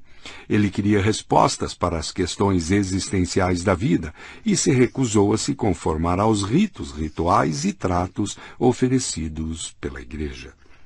Na época de Lutero, a Igreja prometia a seus seguidores alguns acordos realmente muito sedutores. Se você tivesse pecado e temesse a danação eterna no pós-vida, tudo o que precisava fazer era abrir a bolsa e comprar uma indulgência. No início do século XVI, a Igreja empregava mascates da salvação, que perambulavam pelas cidades e aldeias da Europa e vendiam indulgência a preço fixo. Quer um visto de entrada para o céu? Pague dez moedas de ouro. Quer que o vovô Henrique e a vovó Gertrude, já falecidos, se juntem a você lá? Não tem problema, mas isso vai lhe custar trinta moedas. Alega-se que o mais famoso desses mascates, o frade dominicano Johannes Tetzel, dizia que no momento em que a moeda tilinta na caixa de coleta, a alma voa do purgatório para o céu. Quanto mais Lutero pensava a respeito, mais duvidava desse trato e da igreja que o oferecia. Não se pode simplesmente comprar o caminho para a salvação. Não era possível que o Papa tivesse autoridade para perdoar as pessoas por seus pecados e para abrir-lhes as portas do céu. Segundo a tradição protestante, em 31 de outubro de 1517, Lutero caminhou até a Igreja de Todos os Santos, em Wittenberg, levando consigo um longo documento, um martelo e alguns pregos. O documento listava 95 postulados contra práticas religiosas contemporâneas, inclusive contra a venda de indulgências. Lutero pregou o documento na porta da igreja e assim desencadeou a reforma protestante, que conclamava todo cristão que se importava com sua salvação a se rebelar contra a autoridade do Papa e procurar rotas alternativas para o céu. De uma perspectiva histórica, a jornada espiritual é sempre trágica, pois é um caminho solitário, apenas para indivíduos e não para sociedades inteiras.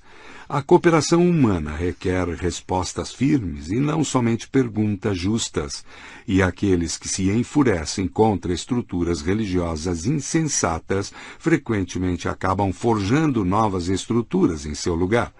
Isso aconteceu com os dualistas, cujas jornadas espirituais se tornaram estamentos religiosos. Isso aconteceu com Martinho Lutero, que depois de desafiar as leis, as instituições e os rituais da Igreja Católica, escreveu novos livros de leis, fundou novas instituições e inventou novas cerimônias.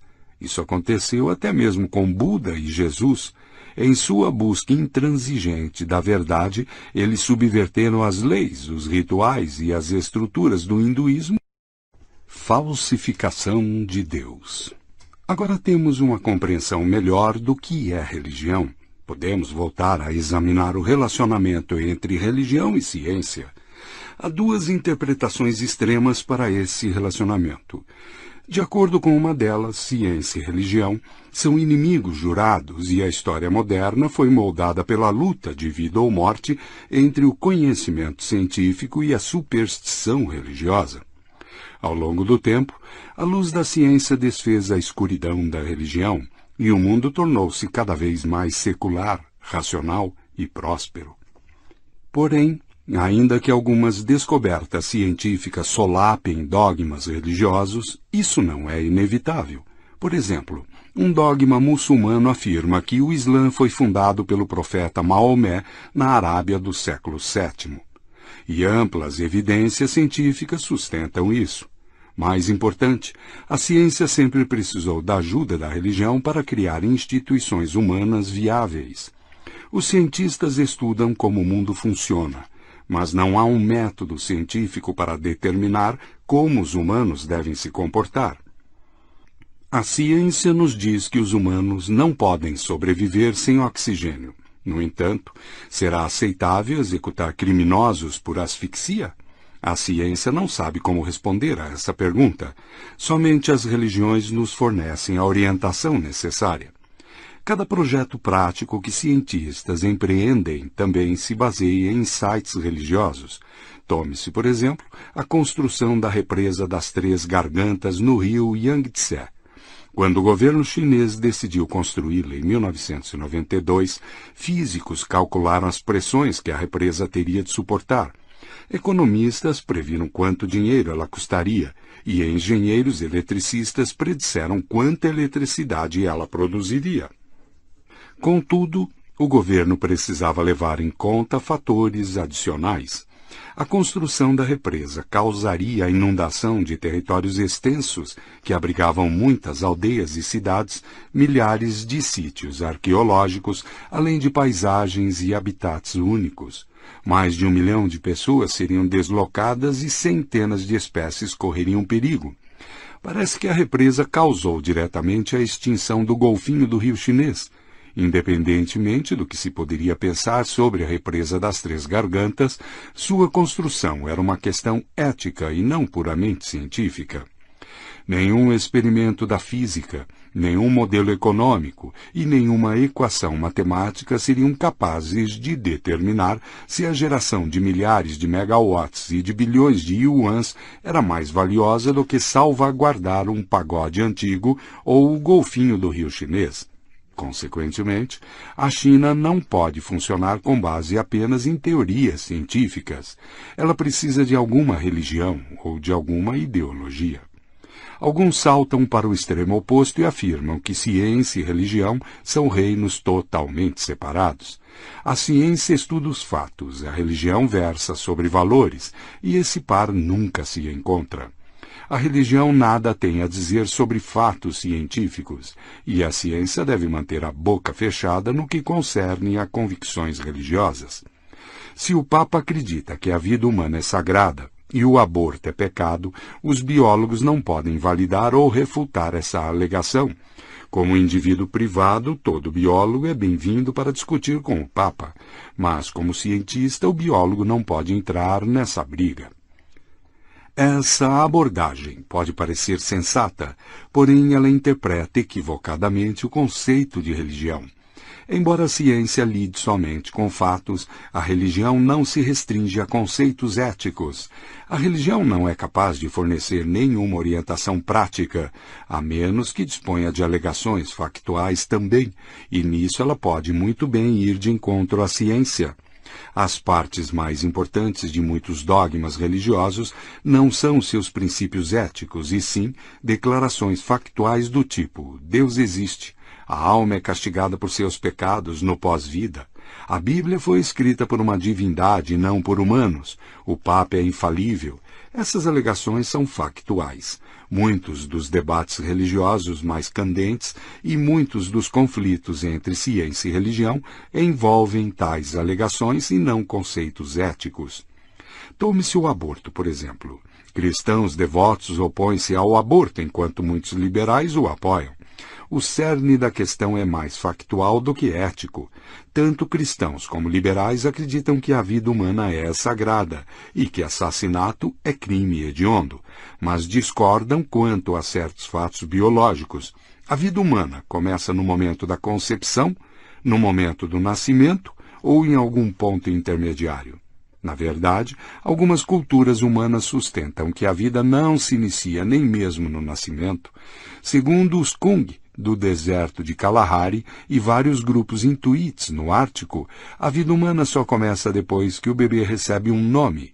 Quando nasce uma criança, os familiares esperam algum tempo antes de lhe darem um nome. Se decidem não ficar com o bebê, porque sofre de alguma deformidade ou por motivos econômicos, eles o matam contanto que o façam antes da cerimônia em que lhe é dado um nome. Esse ato não é considerado assassinato.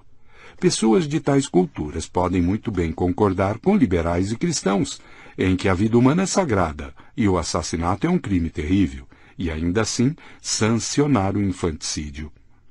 Quando uma religião faz publicidade de si mesma, ela tende a enfatizar os valores belos, mas não raro Deus se esconde nas letras miúdas de declarações factuais. A religião católica se apresenta em seu marketing como a religião do amor e da compaixão universais. Que maravilha! Quem poderia se opor a isso? Por que então nem todos os humanos são católicos? Por que, quando se lêem as letras miúdas, descobre-se que o catolicismo exige também obediência cega ao Papa, que nunca comete erros, mesmo quando ordena a seus seguidores que saiam em cruzadas e queimem hereges na estaca.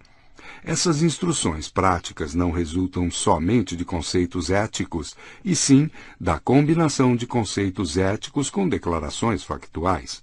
Quando saímos da esfera etérea da filosofia e observamos as realidades históricas, descobrimos que os relatos religiosos quase sempre incluem três partes: Primeiro, conceitos éticos, tais como a vida humana é sagrada. Segundo, declarações factuais como a vida humana começa no momento da concepção. Terceiro, uma combinação de conceitos éticos com declarações factuais que resultem em orientações práticas, tais como o aborto jamais deve ser permitido, mesmo um único dia após a concepção. A ciência não tem autoridade nem capacidade para refutar ou corroborar os conceitos éticos elaborados pelas religiões. Entretanto, os cientistas têm muito a dizer sobre declarações factuais religiosas, por exemplo, os biólogos são mais qualificados que os sacerdotes para responder a questões factuais do tipo: os fetos humanos têm sistema nervoso uma semana após a concepção? Eles podem sentir dor? Para esclarecer melhor essa ideia, examinemos em profundidade um exemplo histórico real sobre o qual raramente se ouve em comerciais religiosos, mas que teve imenso impacto social e político em sua época. Na Europa medieval, os papas desfrutavam de uma autoridade política de longo alcance. Quando um conflito irrompia em algum lugar da Europa, eles invocavam a autoridade para decidir a questão.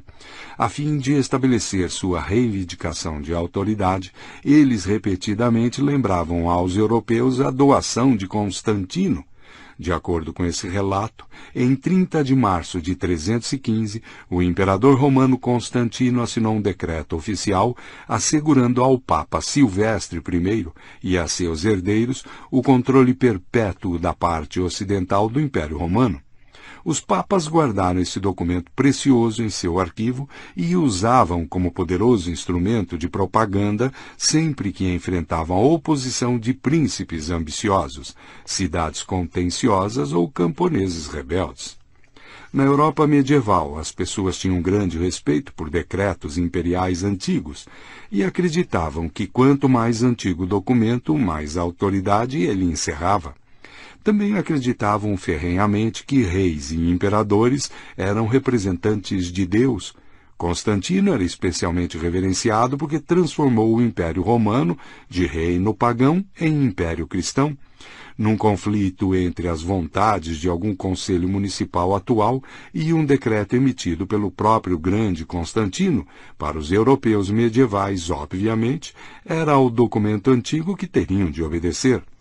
Por isso, sempre que o Papa enfrentava oposição política, ele assinava com a doação de Constantino, exigindo obediência. Não que funcionasse o tempo todo, mas a doação de Constantino era uma pedra fundamental da propaganda papal e da ordem política medieval. Quando se examina atentamente a doação de Constantino, descobrimos que seu relato se divide em três partes distintas. Juízo ético. As pessoas devem respeitar os decretos imperiais antigos mais do que opiniões populares atuais. Declaração factual. Em 30 de março de 315, o imperador Constantino assegurou aos papas o domínio sobre a Europa. Orientação prática. Em 315, os europeus devem obedecer às ordens do Papa. A autoridade ética dos decretos imperiais antigos está longe de ser óbvia. A maioria dos europeus do século XXI pensa que a vontade dos cidadãos atuais prevalece sobre os ditames de monarcas mortos há muito tempo. Contudo, ela não seria capaz de demonstrar aos europeus medievais que os decretos de imperadores antigos são irrelevantes nas disputas políticas contemporâneas. Mas a história da doação de Constantino baseia-se não apenas em conceitos éticos, envolvem também algumas envolve envolve também algumas declarações factuais muito concretas, as quais a ciência é altamente qualificada tanto para confirmar quanto para refutar. Em 1441, Lorenzo Valla, um sacerdote católico e pioneiro da linguística, publicou um estudo científico demonstrando que a doação de Constantino era uma falsificação Vala analisou o estilo gramatical do documento, assim como as várias palavras e termos que continha. Ele demonstrou que o documento incluía palavras que eram desconhecidas no latim do século IV e que muito provavelmente fora forjado cerca de 400 anos após a morte de Constantino. Além disso, a data que consta no documento é 30 de março no ano em que Constantino era cônsul pela quarta vez e Galicano foi cônsul pela primeira vez. No Império Romano, eram eleitos dois cônsules a cada ano, e era costume datar os documentos com os respectivos anos de consulado. Infelizmente, o quarto consulado de Constantino foi em 315, enquanto Galicano foi eleito cônsul pela primeira vez apenas em 317. Se esse documento tão importante realmente tivesse sido escrito no tempo de Constantino, nunca iria conter um erro tão evidente. É como se Thomas Jefferson e seus colegas tivessem datado a Declaração de Independência Americana em 34 de julho de 1776. Hoje, todos os historiadores aceitam que a doação de Constantino foi forjada na corte papal em algum momento do século VIII, mesmo que Vala nunca tenha contestado a autoridade moral de antigos decretos imperiais, sua análise científica comprometeu a orientação prática de que os europeus teriam de obedecer ao Papa. Em 20 de dezembro de 2013, o Parlamento de Uganda aprovou o ato anti-homossexualidade, que criminaliza atividades homossexuais e penaliza algumas com prisão perpétua. Foi inspirado e apoiado por grupos cristãos evangélicos que sustentam que Deus proíbe a homossexualidade. Como prova, citam Levítico 18:22. Não terás relações sexuais com um homem como se tem com uma mulher. Isso é abominável. E Levítico 20:30. Se um homem tem relações sexuais com um homem como se tem com uma mulher, ambos fizeram o que é abominável. Os dois serão mortos, seu sangue estará sobre suas cabeças. Em séculos anteriores, o mesmo relato religioso foi responsável por atormentar milhões de pessoas em todo o mundo. Ele pode ser resumido brevemente como se segue. Juízo ético. Humanos devem obedecer aos mandamentos de Deus. Declaração factual. Há cerca de três mil anos, Deus ordenou aos humanos que evitassem atividades homossexuais. Orientação prática. As pessoas devem evitar atividades homossexuais. Essa história é verdadeira. Cientistas não têm como argumentar contra o conceito de que os humanos devem obedecer a Deus. Pessoalmente, você pode discutir isso. Pode acreditar que os direitos humanos se sobrepõem à autoridade divina. E se as ordens de Deus violam os direitos humanos, não deveríamos ouvi-lo mas não existe experimento científico capaz de resolver essa questão. Em contrapartida, a ciência tem muito a dizer sobre a declaração factual de que três mil anos atrás o Criador do Universo ordenou a membros da espécie Homo sapiens que se abstivessem de atividade sexual entre rapazes, de onde tiramos que essa declaração é verdadeira. O exame da literatura relevante nos mostra que, embora essa declaração seja repetida em milhões de livros, artigos e sites da internet, todas essas repetições baseiam-se em uma única fonte, a Bíblia. Se é assim, um cientista poderia perguntar: quem compôs a Bíblia? E quando? Note-se que se trata de uma questão relacionada a fatos, não a valores. Judeus e cristãos devotos alegam que pelo menos o livro do Levítico foi ditado por Deus a Moisés no Monte Sinai, e desse momento em diante nenhuma só palavra lhe foi acrescentada ou dele apagada. Porém, insistiria o cientista, como podemos ter certeza disso? Afinal, o Papa alegou que a doação de Constantino foi escrita pelo próprio Constantino no século IV quando de fato ela foi forjada 400 anos depois pelos funcionários do Papa. Hoje podemos usar um arsenal de métodos científicos para determinar quem compôs a Bíblia e quando. Cientistas vêm fazendo isso há mais de um século, e se tiver interesse, você poderá ler livros inteiros sobre as descobertas feitas. Para encurtar uma longa história, a maioria dos estudos científicos revisados por cientistas concorda que a Bíblia é uma coleção de numerosos textos diferentes escritos por autores humanos em séculos subsequentes aos eventos que se propõem descrever e que esses textos só foram reunidos num único livro sagrado muito depois dos tempos bíblicos.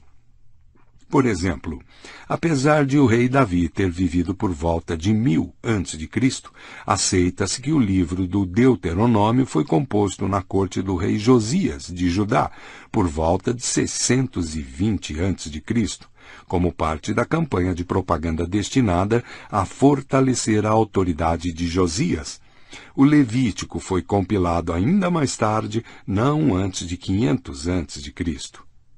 Quanto à ideia de que os judeus da antiguidade preservaram cuidadosamente o texto bíblico, sem acrescentar ou subtrair coisa alguma, os cientistas ressaltam que o judaísmo bíblico não era, de todo, uma religião baseada numa escritura, e sim um culto típico da Idade da Pedra, semelhante ao de muitos de seus vizinhos no Oriente Médio. Não havia sinagogas, gessibás, rabinos, nem mesmo uma Bíblia. Em vez disso, havia rituais elaborados no templo, a maioria dos quais envolvia sacrifício de animais a um ciumento Deus no céu, para que ele abençoasse seu povo com chuvas na estação e vitórias militares. Sua elite religiosa consistia em famílias sacerdotais que deviam tudo à sua origem familiar e nada proezas intelectuais. Os sacerdotes em geral iletrados ficavam ocupados com as cerimônias no templo e dispunham de pouco tempo para escrever ou estudar quaisquer escrituras. Durante o período do Segundo Templo, formou-se gradualmente uma elite religiosa rival. Em parte, devido a influências persas e gregas, os estudiosos judeus que escreviam e interpretavam textos eram cada vez mais preeminentes. Esses estudiosos vieram a ser conhecidos como rabis ou rabinos, e os textos que compilaram foram batizados de a Bíblia. A autoridade rabínica se apoiava nas aptidões intelectuais individuais, e não no berço. O choque entre a nova elite letrada e as antigas famílias sacerdotais foi inevitável. Felizmente para os rabis, os romanos incendiaram Jerusalém e seu templo quando, no ano 70, sufocaram a grande rebelião judaica. Com o templo em ruínas, as famílias sacerdotais perderam sua autoridade religiosa, sua base de poder econômico e sua própria raison d'être.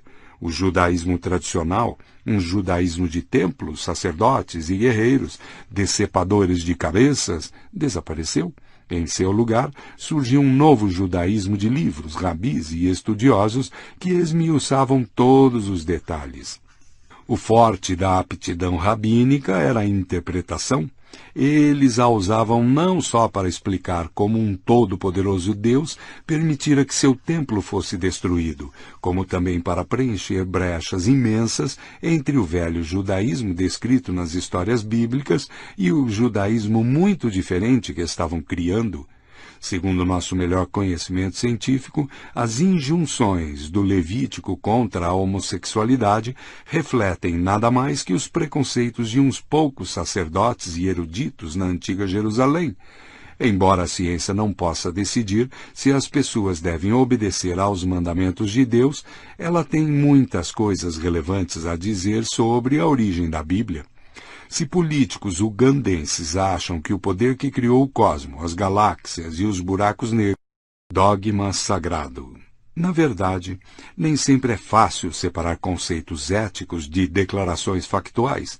Religiões apresentam a tendência irritante de transformar declarações factuais em juízos éticos, criando com isso uma grande confusão e obscurecendo o que deveriam ser debates muito simples. Assim, a declaração factual Deus escreveu a Bíblia muito frequentemente sofre uma mutação para se transformar na injunção ética.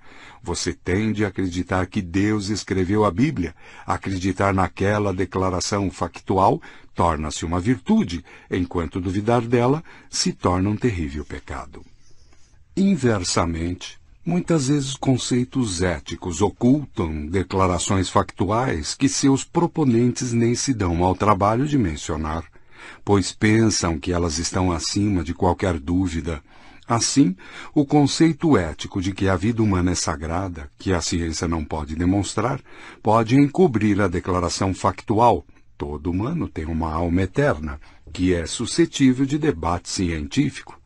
Similarmente, quando nacionalistas americanos proclamam que a nação americana é sagrada, esse aparente conceito ético está de fato presumido na assertiva da declaração factual. Os Estados Unidos são a ponta de lança de grande parte dos avanços morais, científicos e econômicos dos últimos séculos.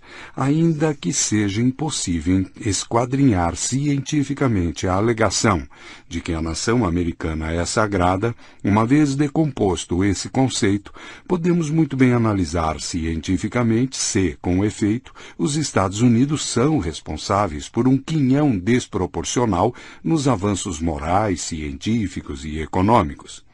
Isso levou alguns filósofos como Sam Harris a alegar que a ciência sempre pode solucionar dilemas éticos, pois os valores humanos sempre ocultam algumas declarações factuais.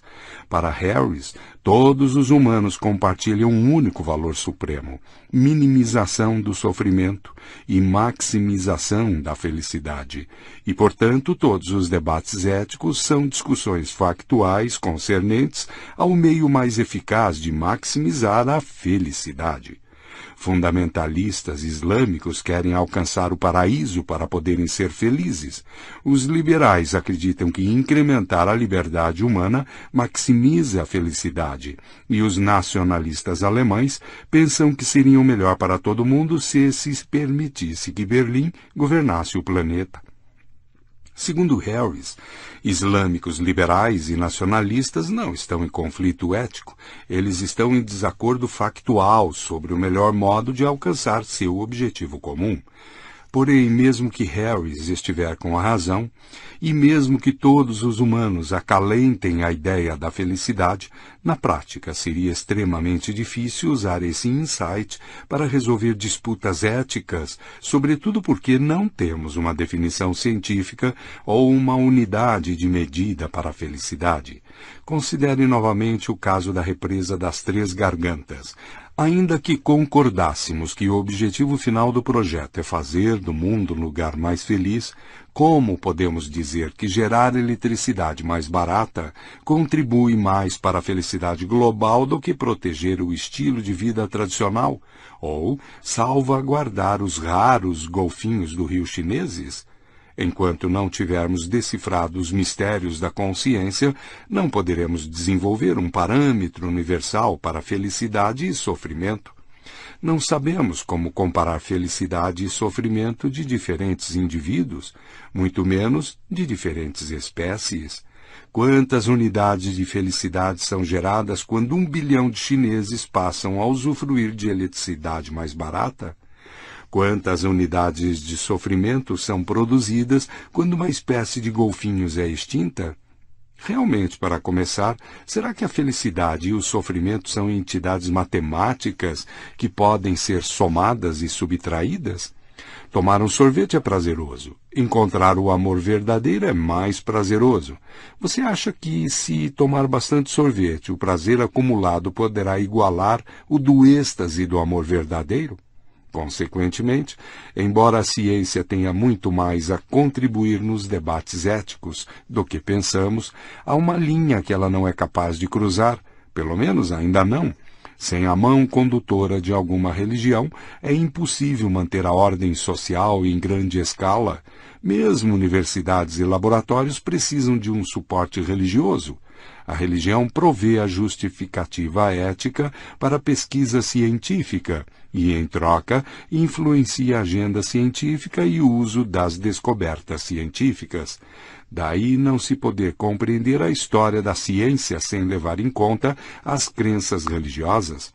Os cientistas raramente estendem-se quanto a esse fato, mas a própria revolução científica começou em uma das sociedades mais dogmáticas, intolerantes e religiosas da história.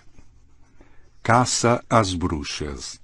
Frequentemente associamos a ciência aos valores do secularismo e da tolerância. Se é assim, a Europa moderna em seu início seria o último lugar no qual se poderia esperar que houvesse uma revolução científica. A Europa, na época de Colombo, Copérnico e Newton, tinha a mais alta concentração de fanatismo religioso do mundo e o mais baixo nível de tolerância.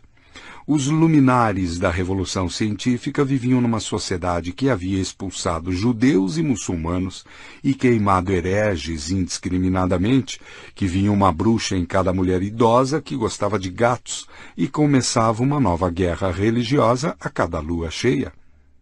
Se você tivesse viajado para o Cairo ou para Istambul por volta de 1600, encontraria metrópoles multiculturais e tolerantes, onde sunitas, xiitas, cristãos ortodoxos, católicos, armênios, coptas, judeus e até mesmo hindus ocasionais viviam lado a lado em relativa harmonia. Embora tivessem seu quinhão de desentendimentos e tumultos, e embora o Império Otomano rotineiramente discriminasse pessoas por razões religiosas, era um paraíso comparado com a Europa. Se depois você viajasse para as contemporâneas Paris ou Londres, encontraria cidades banhadas de extremismo religioso, onde somente os que pertenciam a seitas dominantes podiam viver. Em Londres matavam-se católicos, em Paris matavam-se protestantes. Os judeus havia muito tinham sido expulsos e ninguém em juízo perfeito sonharia em permitir a entrada de muçulmanos. Assim mesmo, a Revolução Científica começou em Londres e Paris e não no Cairo ou em Istambul. Costuma-se descrever a história da era moderna como uma luta entre ciência e religião, na teoria, tanto a ciência como a religião estão interessadas, acima de tudo, na verdade. Porém, como cada uma sustenta uma verdade diferente, estariam fadadas a se chocar. Na verdade, nem a ciência nem a religião se importam muito com a verdade, daí a facilidade com que podem entrar em acordo, coexistir e até mesmo cooperar. A religião está interessada, acima de tudo, em ordem. Tem como objetivo criar e manter uma estrutura social. A ciência está interessada, acima de tudo, no poder. Por meio da pesquisa, tem como objetivo adquirir o poder de curar doenças, fazer guerras e produzir alimento.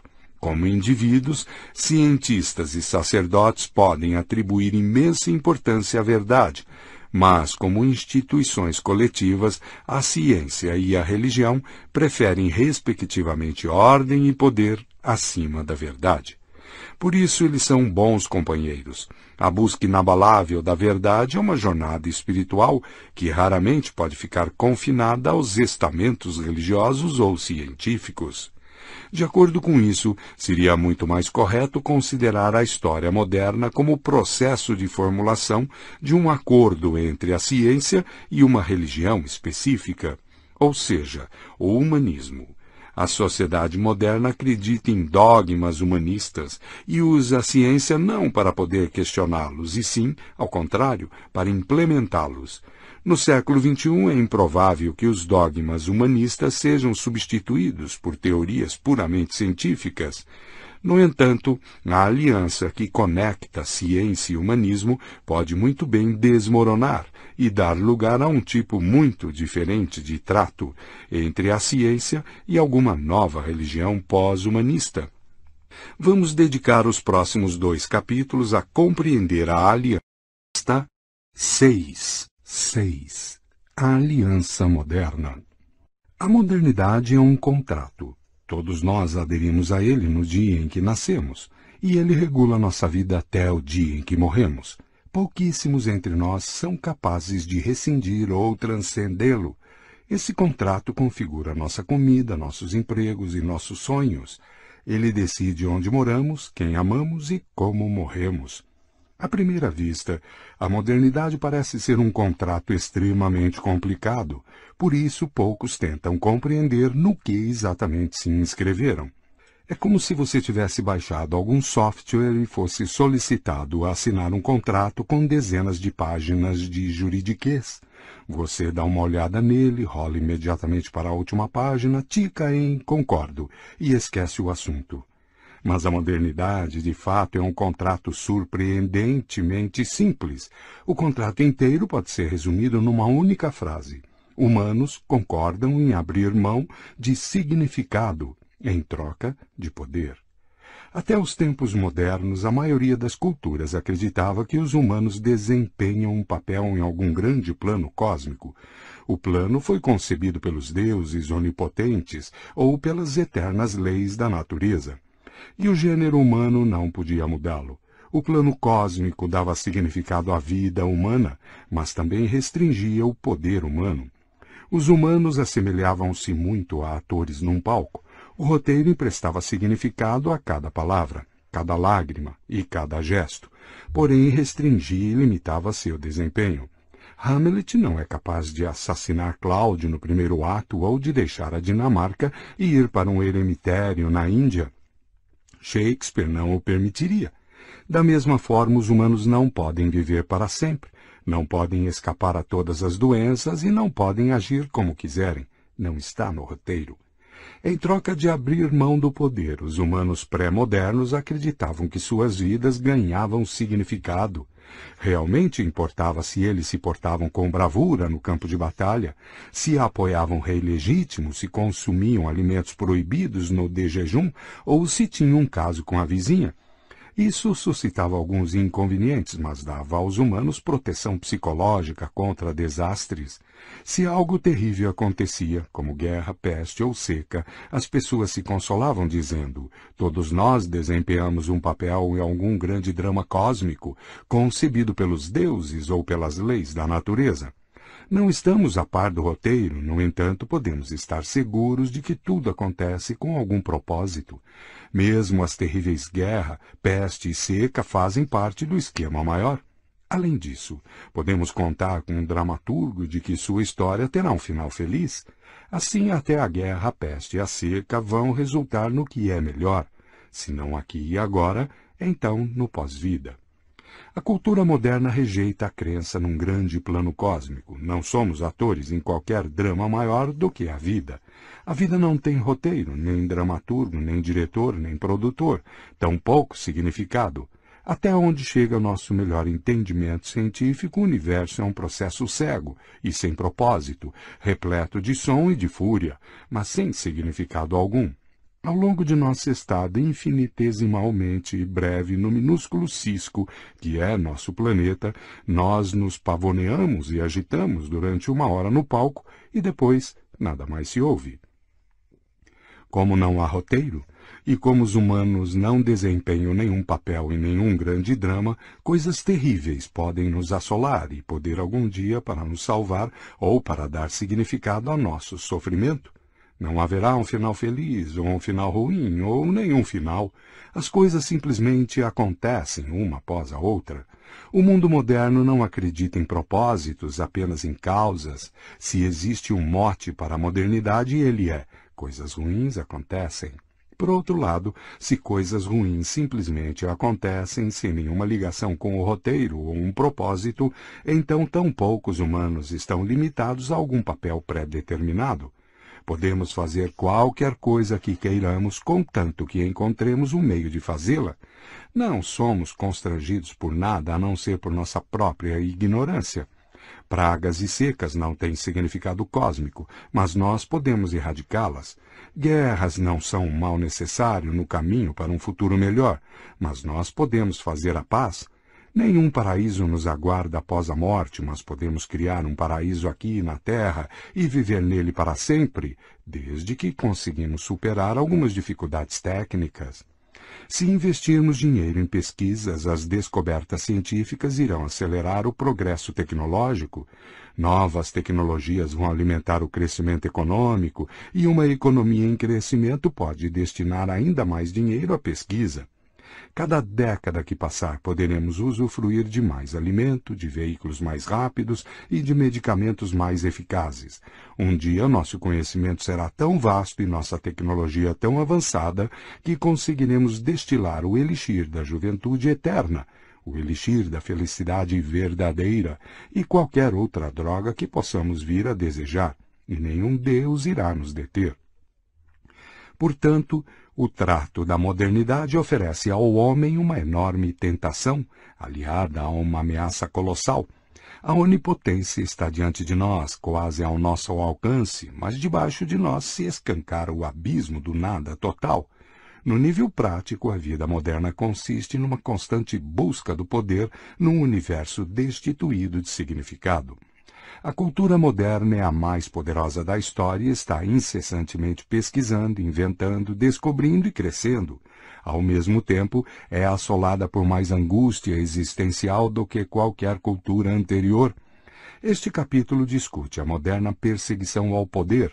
O capítulo seguinte examinará como o gênero humano usa esse poder crescente para, de algum modo, devolver sorrateiramente o significado à infinita vaziez do cosmo. Sim, nós, modernos, prometemos renunciar ao significado em troca do poder. Mas não há ninguém lá fora que nos obrigue a cumprir a promessa. Achamos que somos espertos o bastante para usufruir de todas as benesses do contrato moderno sem pagar um preço por isso. Por que banqueiros são diferentes de vampiros? A perseguição moderna ao poder é alimentada pela aliança entre o progresso científico e o crescimento econômico. Na maior parte da história, a ciência progrediu a passos de tartaruga, enquanto a economia permanecia em profunda estagnação. O crescimento gradual da população humana levou ao aumento correspondente na produção e descobertas esporádicas resultaram às vezes em crescimento per capita, mas foi um processo muito lento. Se no ano 1000, 100 aldeias produziam 100 toneladas de trigo e em 1100, 105 aldeias produziam 107 toneladas de trigo, esse crescimento não mudou o ritmo de vida ou a ordem sociopolítica. Hoje em dia todos estão obcecados por crescimento, porém na era pré-moderna as pessoas eram alheias a isso príncipes, sacerdotes e camponeses supunham que a produção humana era mais ou menos estável, que uma pessoa só poderia enriquecer enganando outra e que era improvável que seus netos fossem desfrutar de um padrão de vida melhor. Essa estagnação resultou em grande medida das dificuldades que envolviam o financiamento de novos projetos, sem um financiamento adequado, não era fácil drenar pântanos, construir pontes e portos, sem falar no desenvolvimento de novas cepas de trigo, na descoberta de novas fontes de energia ou na abertura de novas rotas de comércio. Os financiamentos eram raros porque as pessoas não acreditavam em crescimento, e as pessoas não acreditavam em crescimento porque a economia estava estagnada. A estagnação, portanto, se perpetuava. Suponha que você é, suponha que você viva em uma cidade medieval, tá esquisito. Que você vive, tá bom. Suponha que você vive em uma cidade medieval que sofre surtos anuais de disenteria. Você decide que vai encontrar uma cura. Precisa de financiamento para montar um laboratório, comprar ervas medicinais e substâncias químicas exóticas, pagar o salário de assistentes e viajar para consultar médicos famosos também precisa de dinheiro para se alimentar e a sua família enquanto se ocupa com a realização da pesquisa. Mas você não tem muito dinheiro. Pode procurar o marceneiro, o ferreiro e o padeiro locais e lhes pedir que supram suas necessidades durante alguns anos, com a promessa de que, quando finalmente descobrir a cura e ficar rico, você para, pagará suas dívidas. Infelizmente, o marceneiro, o ferreiro e o padeiro provavelmente não vão aceitar sua proposta. Também precisam alimentar a própria família e não acreditam em medicamentos milagrosos. Não nasceram ontem e em todos esses anos nunca ouviram falar de alguém que houvesse descoberto um remédio para alguma doença temida. Se você quer provisões, tem que pagar em espécie.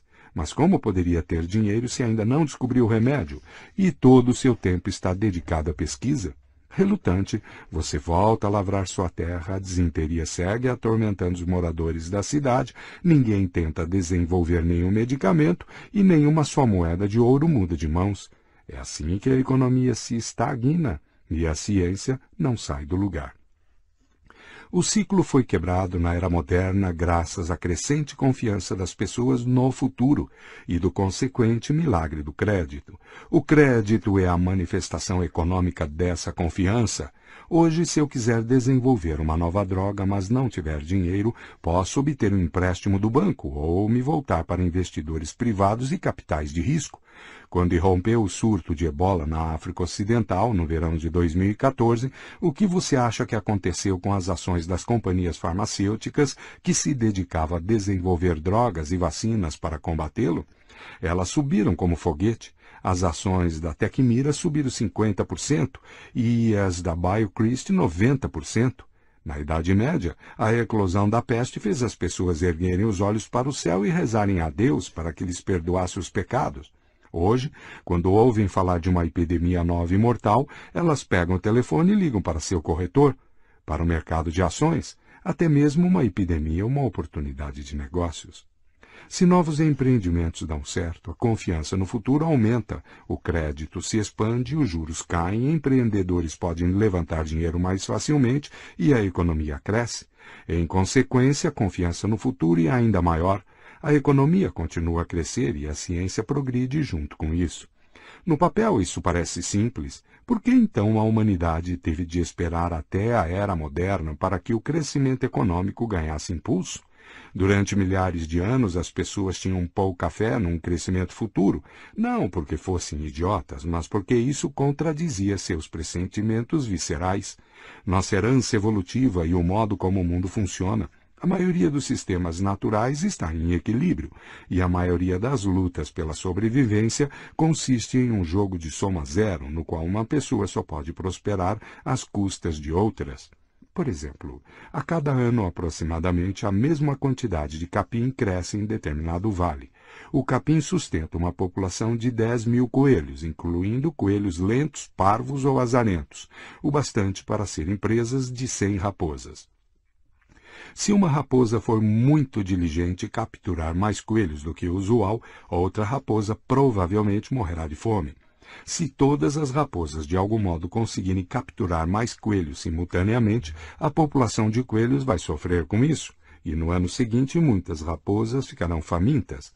Mesmo havendo flutuações ocasionais no mercado de coelhos, no longo prazo as raposas não podem contar com a caça anual de, digamos, 3% de coelhos a mais do que no ano anterior. Algumas realidades ecológicas são mais complexas e nem todas as lutas pela sobrevivência resultam em soma zero. Muitos animais cooperam efetivamente para isso e alguns até fazem empréstimos os mais famosos emprestadores na natureza são os morcegos vampiros. Eles juntam-se no interior das cavernas e toda noite saem voando em busca de suas presas. Quando encontram uma ave adormecida ou um mamífero descuidado, fazem uma pequena incisão em sua pele e sugam seu sangue. Nem todo morcego encontra uma vítima todas as noites. Para lidar com a incerteza, os vampiros emprestam sangue uns aos outros. Um vampiro que não consegue encontrar uma presa volta para casa e pede algum sangue roubado por um amigo mais afortunado. Os vampiros lembram muito bem a quem emprestaram sangue, e se numa ocasião posterior um amigo emprestador voltar para casa sem nada, ele irá procurar seu devedor, que lhe retribuirá o favor. No entanto, diferentemente dos banqueiros humanos, os morcegos vampiros nunca cobram juros. Se o vampiro A emprestou ao vampiro B 10 centilitros de sangue, B pagará com a mesma quantidade. Tampouco eles usam os empréstimos para financiar novos negócios ou incentivar um crescimento no mercado de chupação de sangue. Como o sangue é produzido por outros animais, os vampiros não têm como aumentar a produção. Embora o mercado de sangue tenha altos e baixos, os vampiros não podem presumir que em 2017 haverá 3% de sangue a mais do que em 2000. A torta milagrosa. As pressões evolutivas acostumaram os humanos a ver o mundo como se fosse uma torta estática. Se alguém consegue uma fatia maior da torta, caberá a alguém inevitavelmente uma fatia menor. Uma família ou uma cidade específica podem prosperar, mas o gênero humano como um todo não vai produzir mais do que produz hoje. De acordo com isso, religiões tradicionais como o cristianismo e o islamismo buscam maneiras de resolver os problemas da humanidade com a ajuda dos recursos disponíveis, ou redistribuindo a torta, ou prometendo uma torta no céu. A modernidade, em contrapartida, baseia-se na firme crença de que o crescimento econômico não só é possível, como é absolutamente essencial. Preces, boas ações e meditação podem ser reconfortantes e inspiradoras. Contudo, problemas como a fome, a peste e a guerra só podem ser resolvidos por meio do crescimento. Esse dogma fundamental pode ser resumido numa ideia única e simples. Se você tem um problema, provavelmente está precisando de mais coisas, e para ter mais coisas tem de produzir mais coisas. Políticos e economistas modernos insistem em que o crescimento é vital por três razões principais. Primeiro, quando se produz mais, podemos consumir mais. elevar nosso padrão de vida e supostamente usufruir de uma vida mais feliz. Segundo, à medida que o gênero humano se multiplica, é preciso que a economia cresça, para que ao menos continuemos como estamos. Por exemplo, na Índia, o crescimento populacional é de 1,2% ao ano. Isso quer dizer que se a economia indiana não crescer todo ano ao menos 1,2%, o desemprego vai aumentar, os salários vão cair e o padrão de vida médio vai diminuir. Terceiro, mesmo que os indianos parassem de se multiplicar e mesmo que a classe média indiana se satisfizesse com o padrão atual de vida, o que faria a Índia no que concerne às suas centenas de milhões de cidadãos que vivem na pobreza? Se a economia não crescer e, consequentemente, a torta permanecer do mesmo tamanho, só se poderia dar mais aos pobres tirando algo dos ricos. Isso obrigaria que se fizessem escolhas muito duras e provavelmente causaria muito ressentimento e até violência. Para evitar tais escolhas, o ressentimento e a violência precisa-se de uma torta maior. A modernidade transformou essa ideia de mais coisas numa panaceia aplicável a quase todos os problemas públicos e privados, desde o fundamentalismo islâmico, passando pelo autoritarismo do terceiro mundo, até um casamento fracassado. Se ao menos países como o Paquistão e o Egito pudessem manter uma taxa de crescimento saudável, seus cidadãos viriam a usufruir dos benefícios de carros particulares e geladeiras abarrotadas, e seguiriam o caminho da prosperidade terrena em vez de irem atrás do flautista mágico islâmico.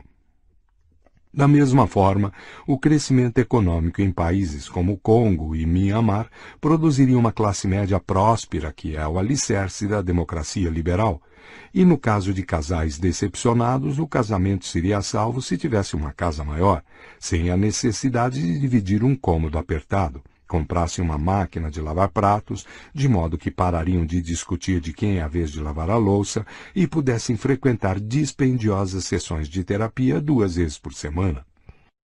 O crescimento econômico tornou-se a junção crucial onde quase todas as religiões, ideologias e movimentos modernos vão se encontrar. A União Soviética, com seu megalomaníaco plano quinquenal, era tão obcecada pelo crescimento quanto mais impiedoso representante do capitalismo predador americano. Assim como cristãos e muçulmanos acreditam no paraíso e só discordam quanto à maneira de chegar lá, durante a Guerra Fria, tanto capitalistas como comunistas acreditavam em criar o paraíso na Terra mediante o crescimento econômico e só discordavam quanto ao método exato. Hoje em dia, revivalistas hindus, muçulmanos devotos, nacionalistas japoneses e comunistas chineses podem declarar sua adesão a valores e objetivos muito diferentes, mas todos eles acreditam que o crescimento econômico é a chave para a realização de seus objetivos díspares Assim, em 2014, o hindu praticante Narendra Modi foi eleito primeiro-ministro da Índia devido principalmente a seu sucesso em incrementar o crescimento econômico em Gujarat, seu estado, e graças ao amplo consenso de que só ele poderia revigorar a pachorrenta economia nacional. Opiniões análogas mantiveram no poder na Turquia desde 2003 o islâmico Recep Tayyip Erdogan, o nome de seu partido, Partido da Justiça e do Desenvolvimento, destaca seu comprometimento com o desenvolvimento econômico, e o governo de Erdogan realmente conseguiu manter taxas impressionantes de crescimento por mais de uma década. O primeiro-ministro do Japão, o nacionalista Shinzo Abe, chegou ao cargo em 2012 com a promessa de arrancar a economia japonesa de duas décadas de estagnação. Suas medidas agressivas e um tanto incomuns para conseguir esse intento receberam o apelido de abeconomia, Enquanto isso, na vizinha China, o Partido Comunista ainda cita da boca para fora os tradicionais ideais marxistas-leninistas, mas na prática é orientado pelas famosas máximas de Deng Xiaoping, segundo as quais o desenvolvimento é a única e dura verdade, e não importa se um gato é preto ou branco, enquanto ele cumprir a tarefa de pegar ratos o que significa, em linguagem simples, faça tudo o que leve ao crescimento econômico, mesmo sabendo que Marx e Lenin não ficariam muito felizes com isso. Em Singapura, como condiz com essa cidade-estado tão pragmática, essa linha de pensamento foi levada ainda mais longe. Os salários ministeriais foram atrelados ao PIB nacional. Quando a economia singapuriana cresce, os ministros ganham um aumento, como se isso fosse tudo a que seu trabalho diz respeito. Essa obsessão pelo crescimento pode soar óbvia, mas só porque vivemos no mundo moderno. Não foi assim no passado. Marajás indianos, sultões otomanos, shoguns Kamakura e imperadores Han raramente ancoraram seus destinos políticos à garantia de crescimento econômico. Modi Erdogan, Abe e o presidente chinês Xi apostaram todas suas carreiras no crescimento econômico porque se trata de um atestado do status quase religioso que o crescimento econômico adquiriu em todo o mundo. De fato, pode não ser errado chamar a crença no crescimento econômico de religião, porque ela pretende resolver, se não todos, muitos de nossos dilemas éticos. Como alegadamente o crescimento econômico é a fonte de todas as coisas boas, isso estimula as pessoas a enterrar as suas discordâncias éticas e a adotar qualquer curso de ações que maximize um crescimento de longo prazo. Então, se a Índia de Modi é a morada de milhares de seitas, partidos, movimentos e gurus, e se conquanto seus objetivos finais possam divergir, todos eles tenham de passar pelo mesmo gargalo do crescimento econômico, por que não juntarem forças enquanto isso? O credo de mais coisas impele indivíduos, empresas e governos a descartar tudo que possa impedir o crescimento econômico, tal como preservar a igualdade social, garantir a harmonia ecológica ou respeitar os pais. Na União Soviética, quando as pessoas pensavam que o comunismo controlado pelo Estado era o caminho mais rápido para o crescimento, tudo que estivesse bloqueando o caminho da coletivização era erradicado, inclusive milhões de kulaks, a liberdade de expressão, e o mar de Aral. Hoje é generalizadamente aceito que alguma versão de capitalismo de livre mercado é um caminho muito mais eficiente para garantir um crescimento de longo prazo. Daí a proteção a fazendeiros ricos e a liberdade de expressão. Mas os habitats ecológicos, as estruturas sociais e os valores tradicionais que se puserem no caminho do capitalismo de livre mercado serão destruídos e desmantelados. Tome-se, por exemplo, uma engenheira de software que ganha 100 dólares por hora trabalhando para uma startup de alta tecnologia. Um dia seu pai sofre um AVC. Ela passa a ter de ajudar nas compras, na cozinha e até mesmo no banho, ela poderia levar o pai para a própria casa, sair mais tarde de manhã, voltar mais cedo ao entardecer e cuidar pessoalmente dele. Tanto a sua renda como a produtividade da startup sofreriam, mas seu pai contaria com os cuidados de uma filha respeitosa e amorosa. Alternativamente, a engenheira poderia contratar uma cuidadora mexicana por 12 dólares a hora para morar com seu pai e suprir todas as necessidades que ele apresentar. Isso significaria que a situação não se alteraria para a engenheira e sua startup, e até mesmo a cuidadora e a economia mexicana se beneficiariam. O que a engenheira deveria fazer? O capitalismo de livre mercado tem uma resposta firme. Se o crescimento da economia exige que afrouxemos laços de família, incentivemos pessoas a viver longe de seus pais e importemos cuidadores do outro lado do mundo, que assim seja. Essa resposta, no entanto, envolve um juízo ético e não uma declaração factual. Sem dúvida, quando algumas pessoas se especializam em engenharia de software, enquanto outras passam seu tempo cuidando de idosos, podemos produzir mais software e dar aos idosos um atendimento mais profissional. Mas será que o crescimento econômico é mais importante do que os laços familiares? Ao ousar fazer esse julgamento ético, o capitalismo de livre mercado cruzou a fronteira do terreno da ciência para o da religião. A maioria dos capitalistas provavelmente não vai gostar da denominação religião.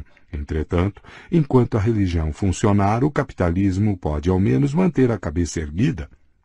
Diferentemente de outras religiões que prometem uma torta no céu, o capitalismo promete milagres aqui na terra e às vezes os realiza. Muito do crédito pela superação da fome e da peste pertence à ardente fé capitalista no crescimento. O capitalismo merece algumas congratulações por ter reduzido a violência humana e incrementado a tolerância e a cooperação.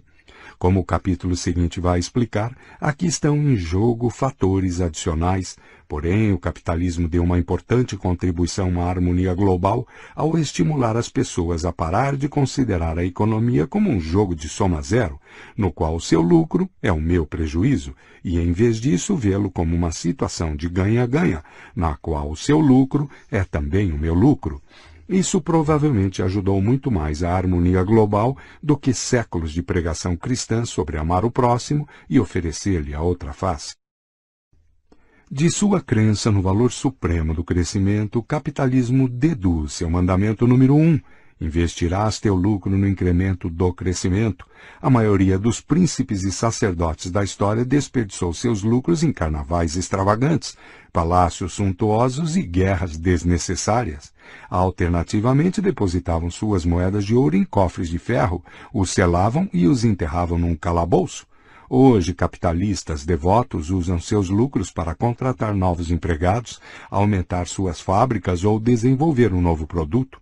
Quando não sabem fazer isso sozinhos, entregam seu dinheiro a alguém que saiba, como banqueiros e capitalistas de risco.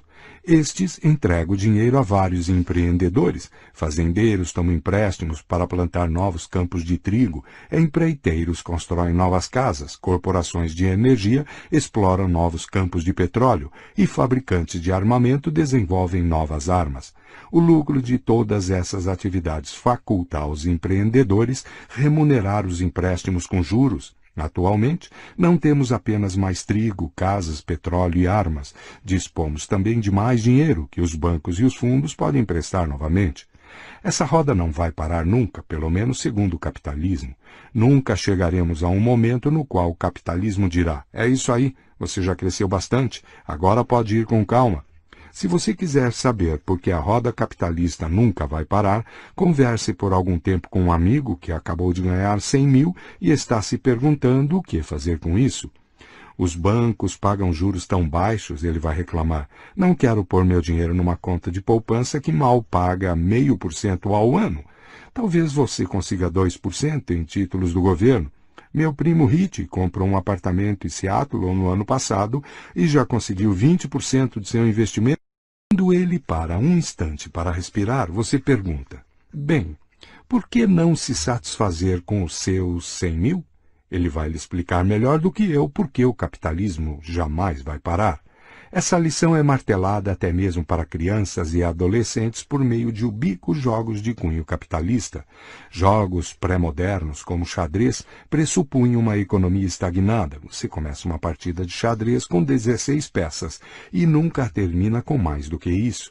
Em casos raros, um peão pode ser transformado numa rainha, mas não se pode produzir novos peões nem promover seus cavalos a torres.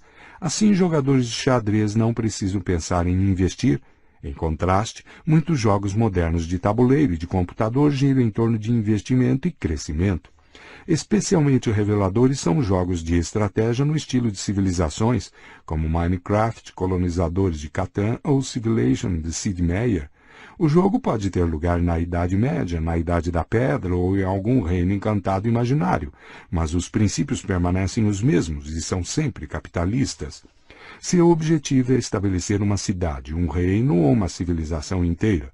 Você começa de uma base muito modesta, talvez uma aldeia e os campos ao redor. Suas propriedades lhe provêm uma renda inicial em trigo, madeira, ferro ou ouro. Você então tem de investir essa renda sabiamente. Tem de escolher entre ferramentas improdutivas, mas ainda assim necessárias, como soldados e ativos produtivos, como mais aldeias, campos e minas. A estratégia vencedora comumente é de investir o mínimo dos mínimos em essenciais não produtivos, enquanto se maximizam os ativos produtivos.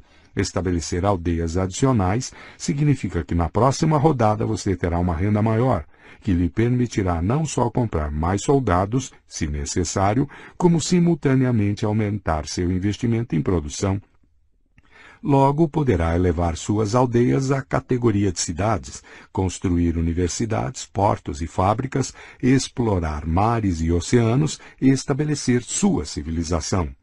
E ganhar o jogo. A Síndrome da Arca. Será que a economia efetivamente continuará crescendo para sempre? Isso não levaria ao esgotamento dos recursos, emperrando e forçando uma parada? Para poder assegurar um crescimento perpétuo, temos de descobrir uma fonte inesgotável de recursos. Uma solução consiste em explorar e conquistar novas terras e territórios. De fato, durante séculos, o crescimento da economia europeia e a expansão do sistema capitalista apoiaram-se pesadamente em conquistas imperiais no além-mar. Contudo, na Terra existe um número determinado de ilhas e continentes. Alguns empreendedores esperam no futuro explorar e conquistar novos planetas e até mesmo galáxias, mas por enquanto a economia moderna tende a encontrar um método melhor para se expandir. A ciência tem provido a modernidade com uma alternativa. A economia da raposa não tem como crescer, pois raposas não sabem como produzir mais coelhos. A economia do coelho estagna porque coelhos não têm como fazer o capim crescer mais depressa. Mas a economia humana pode crescer porque humanos são capazes de descobrir novos materiais e fontes de energia.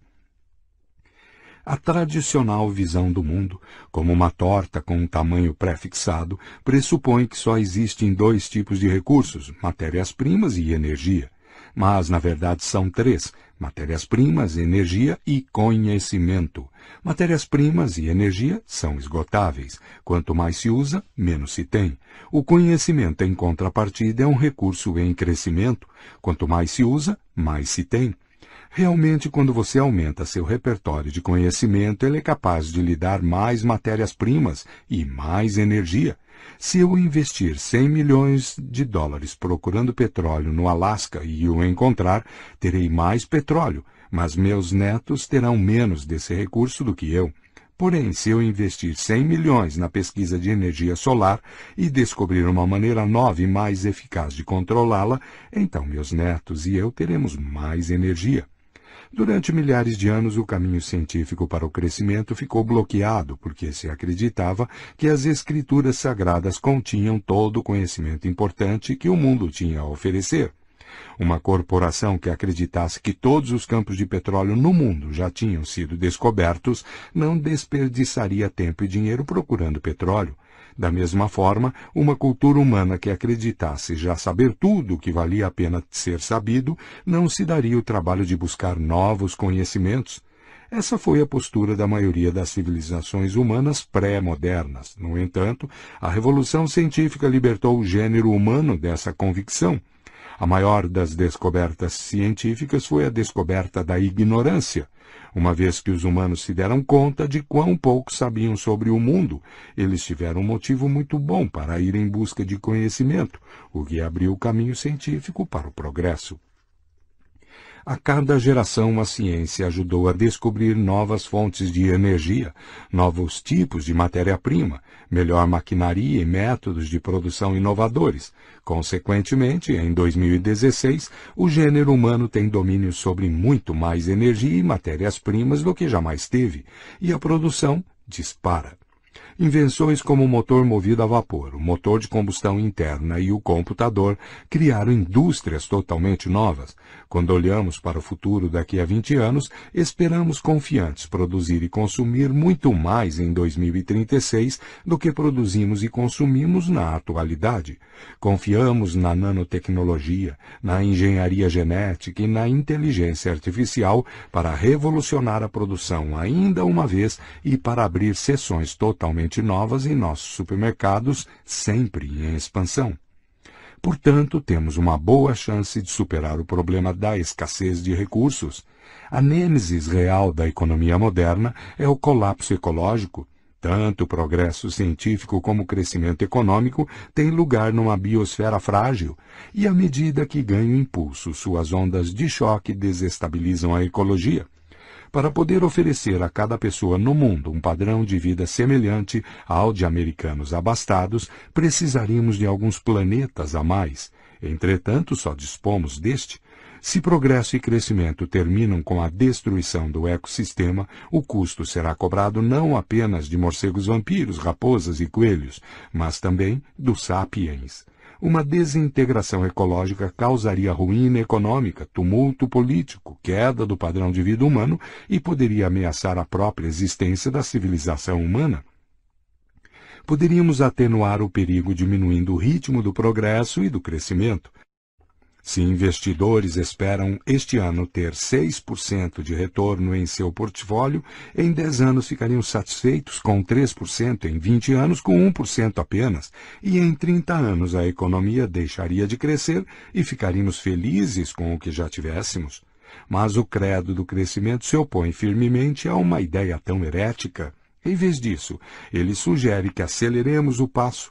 Se nossas descobertas desestabilizam o ecossistema e ameaçam a humanidade, então deveríamos descobrir algo para nos protegermos. Se a camada de ozônio está definhando e nos expondo ao câncer de pele, deveríamos inventar filtros solares melhores e tratamentos mais eficazes para o câncer, promovendo com isso o crescimento de novas fábricas de filtros solares e centros de tratamento do câncer.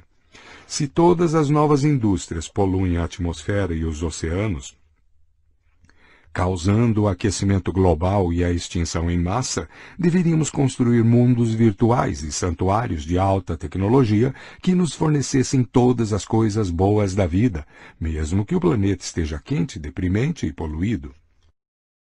Beijing já se tornou tão poluída que as pessoas evitam ficar ao ar livre e chineses ricos pagam milhares de dólares por sistemas de purificação de ar em ambientes fechados. Os super ricos constroem engenhocas de proteção até mesmo em seus quintais. Em 2013, a Escola Internacional de Beijing, que atende a filhos de diplomatas estrangeiros e da classe alta chinesa, deu um passo além e construiu uma cúpula gigante de 5 milhões de dólares sobre suas seis quadras de tênis e seus campos de jogo. Outras escolas estão fazendo o mesmo, e o mercado chinês de purificação de ar está estourando.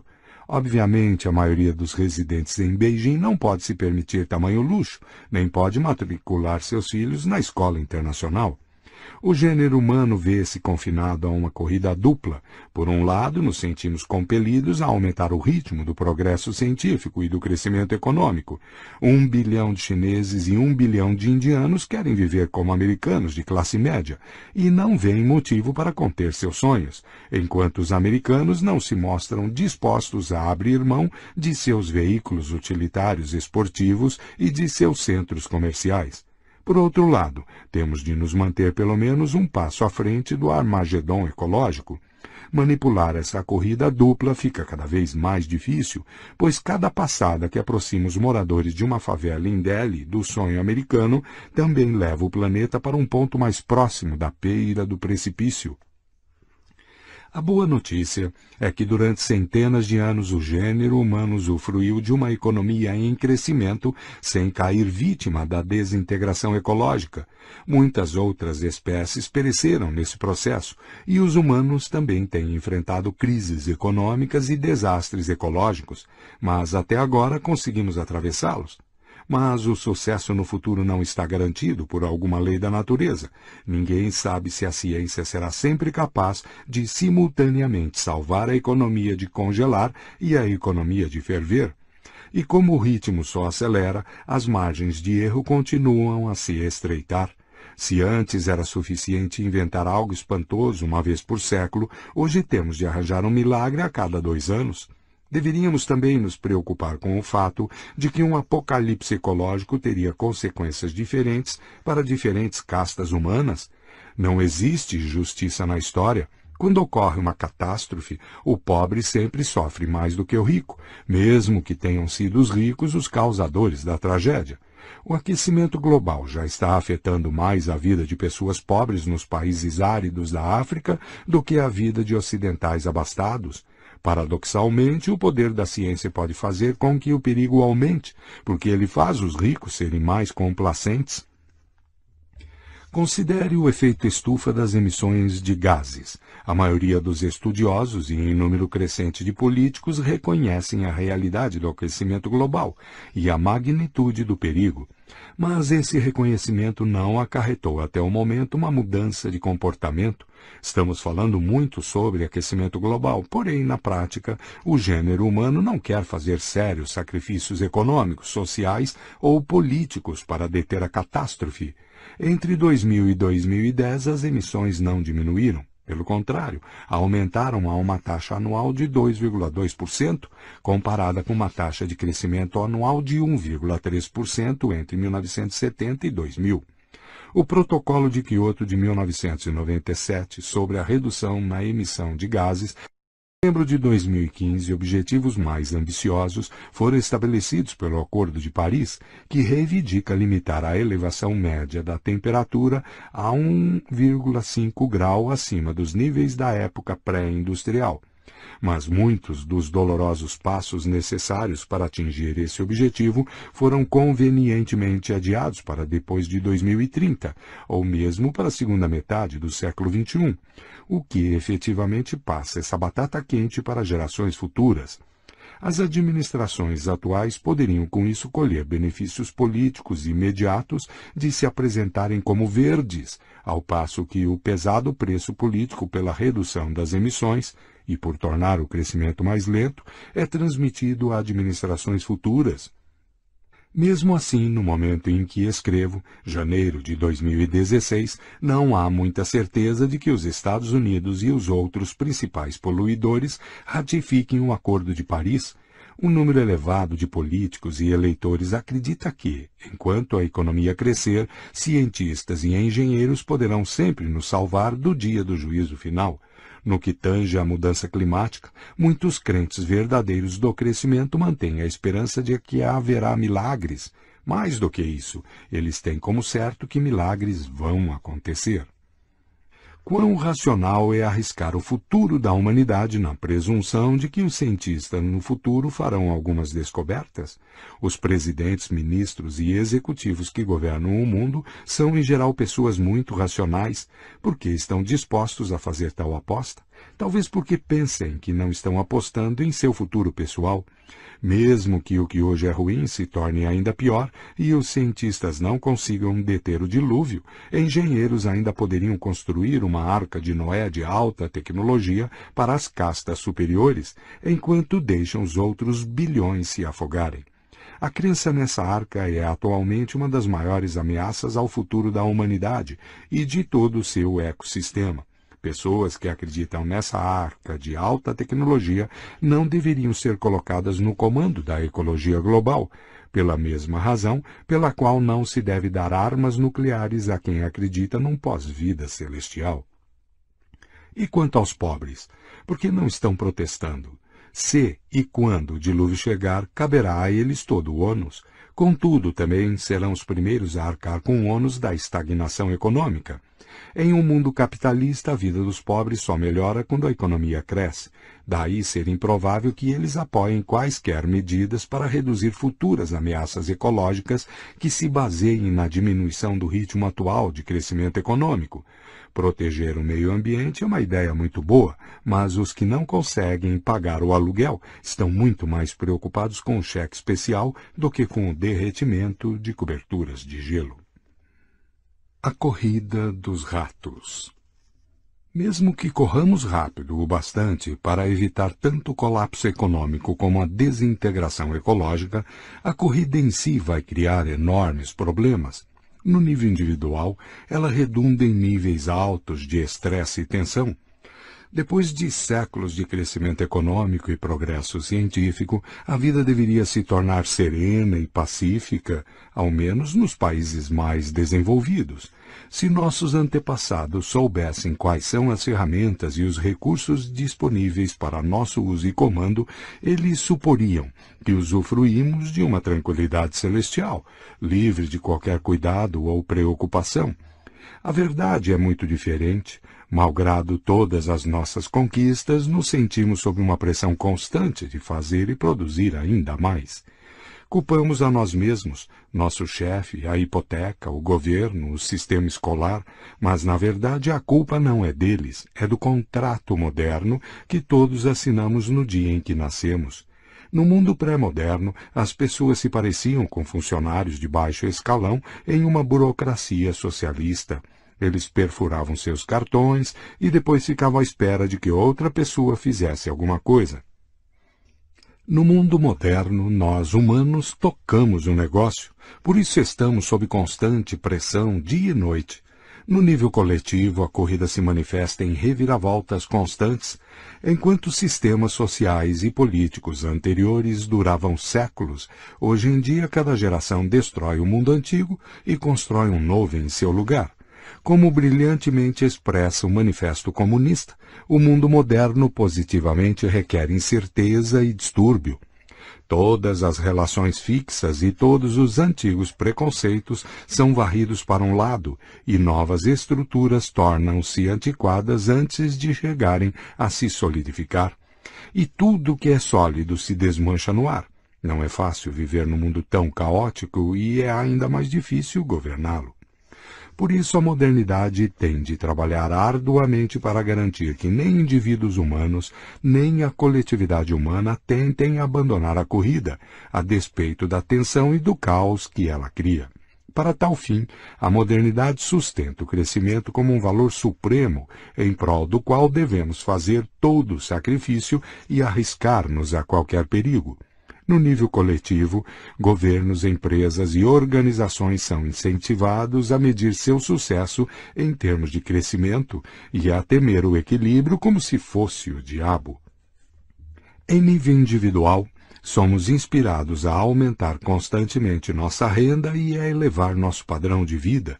Mesmo que você estiver bem satisfeito com suas condições atuais, deve se empenhar por mais.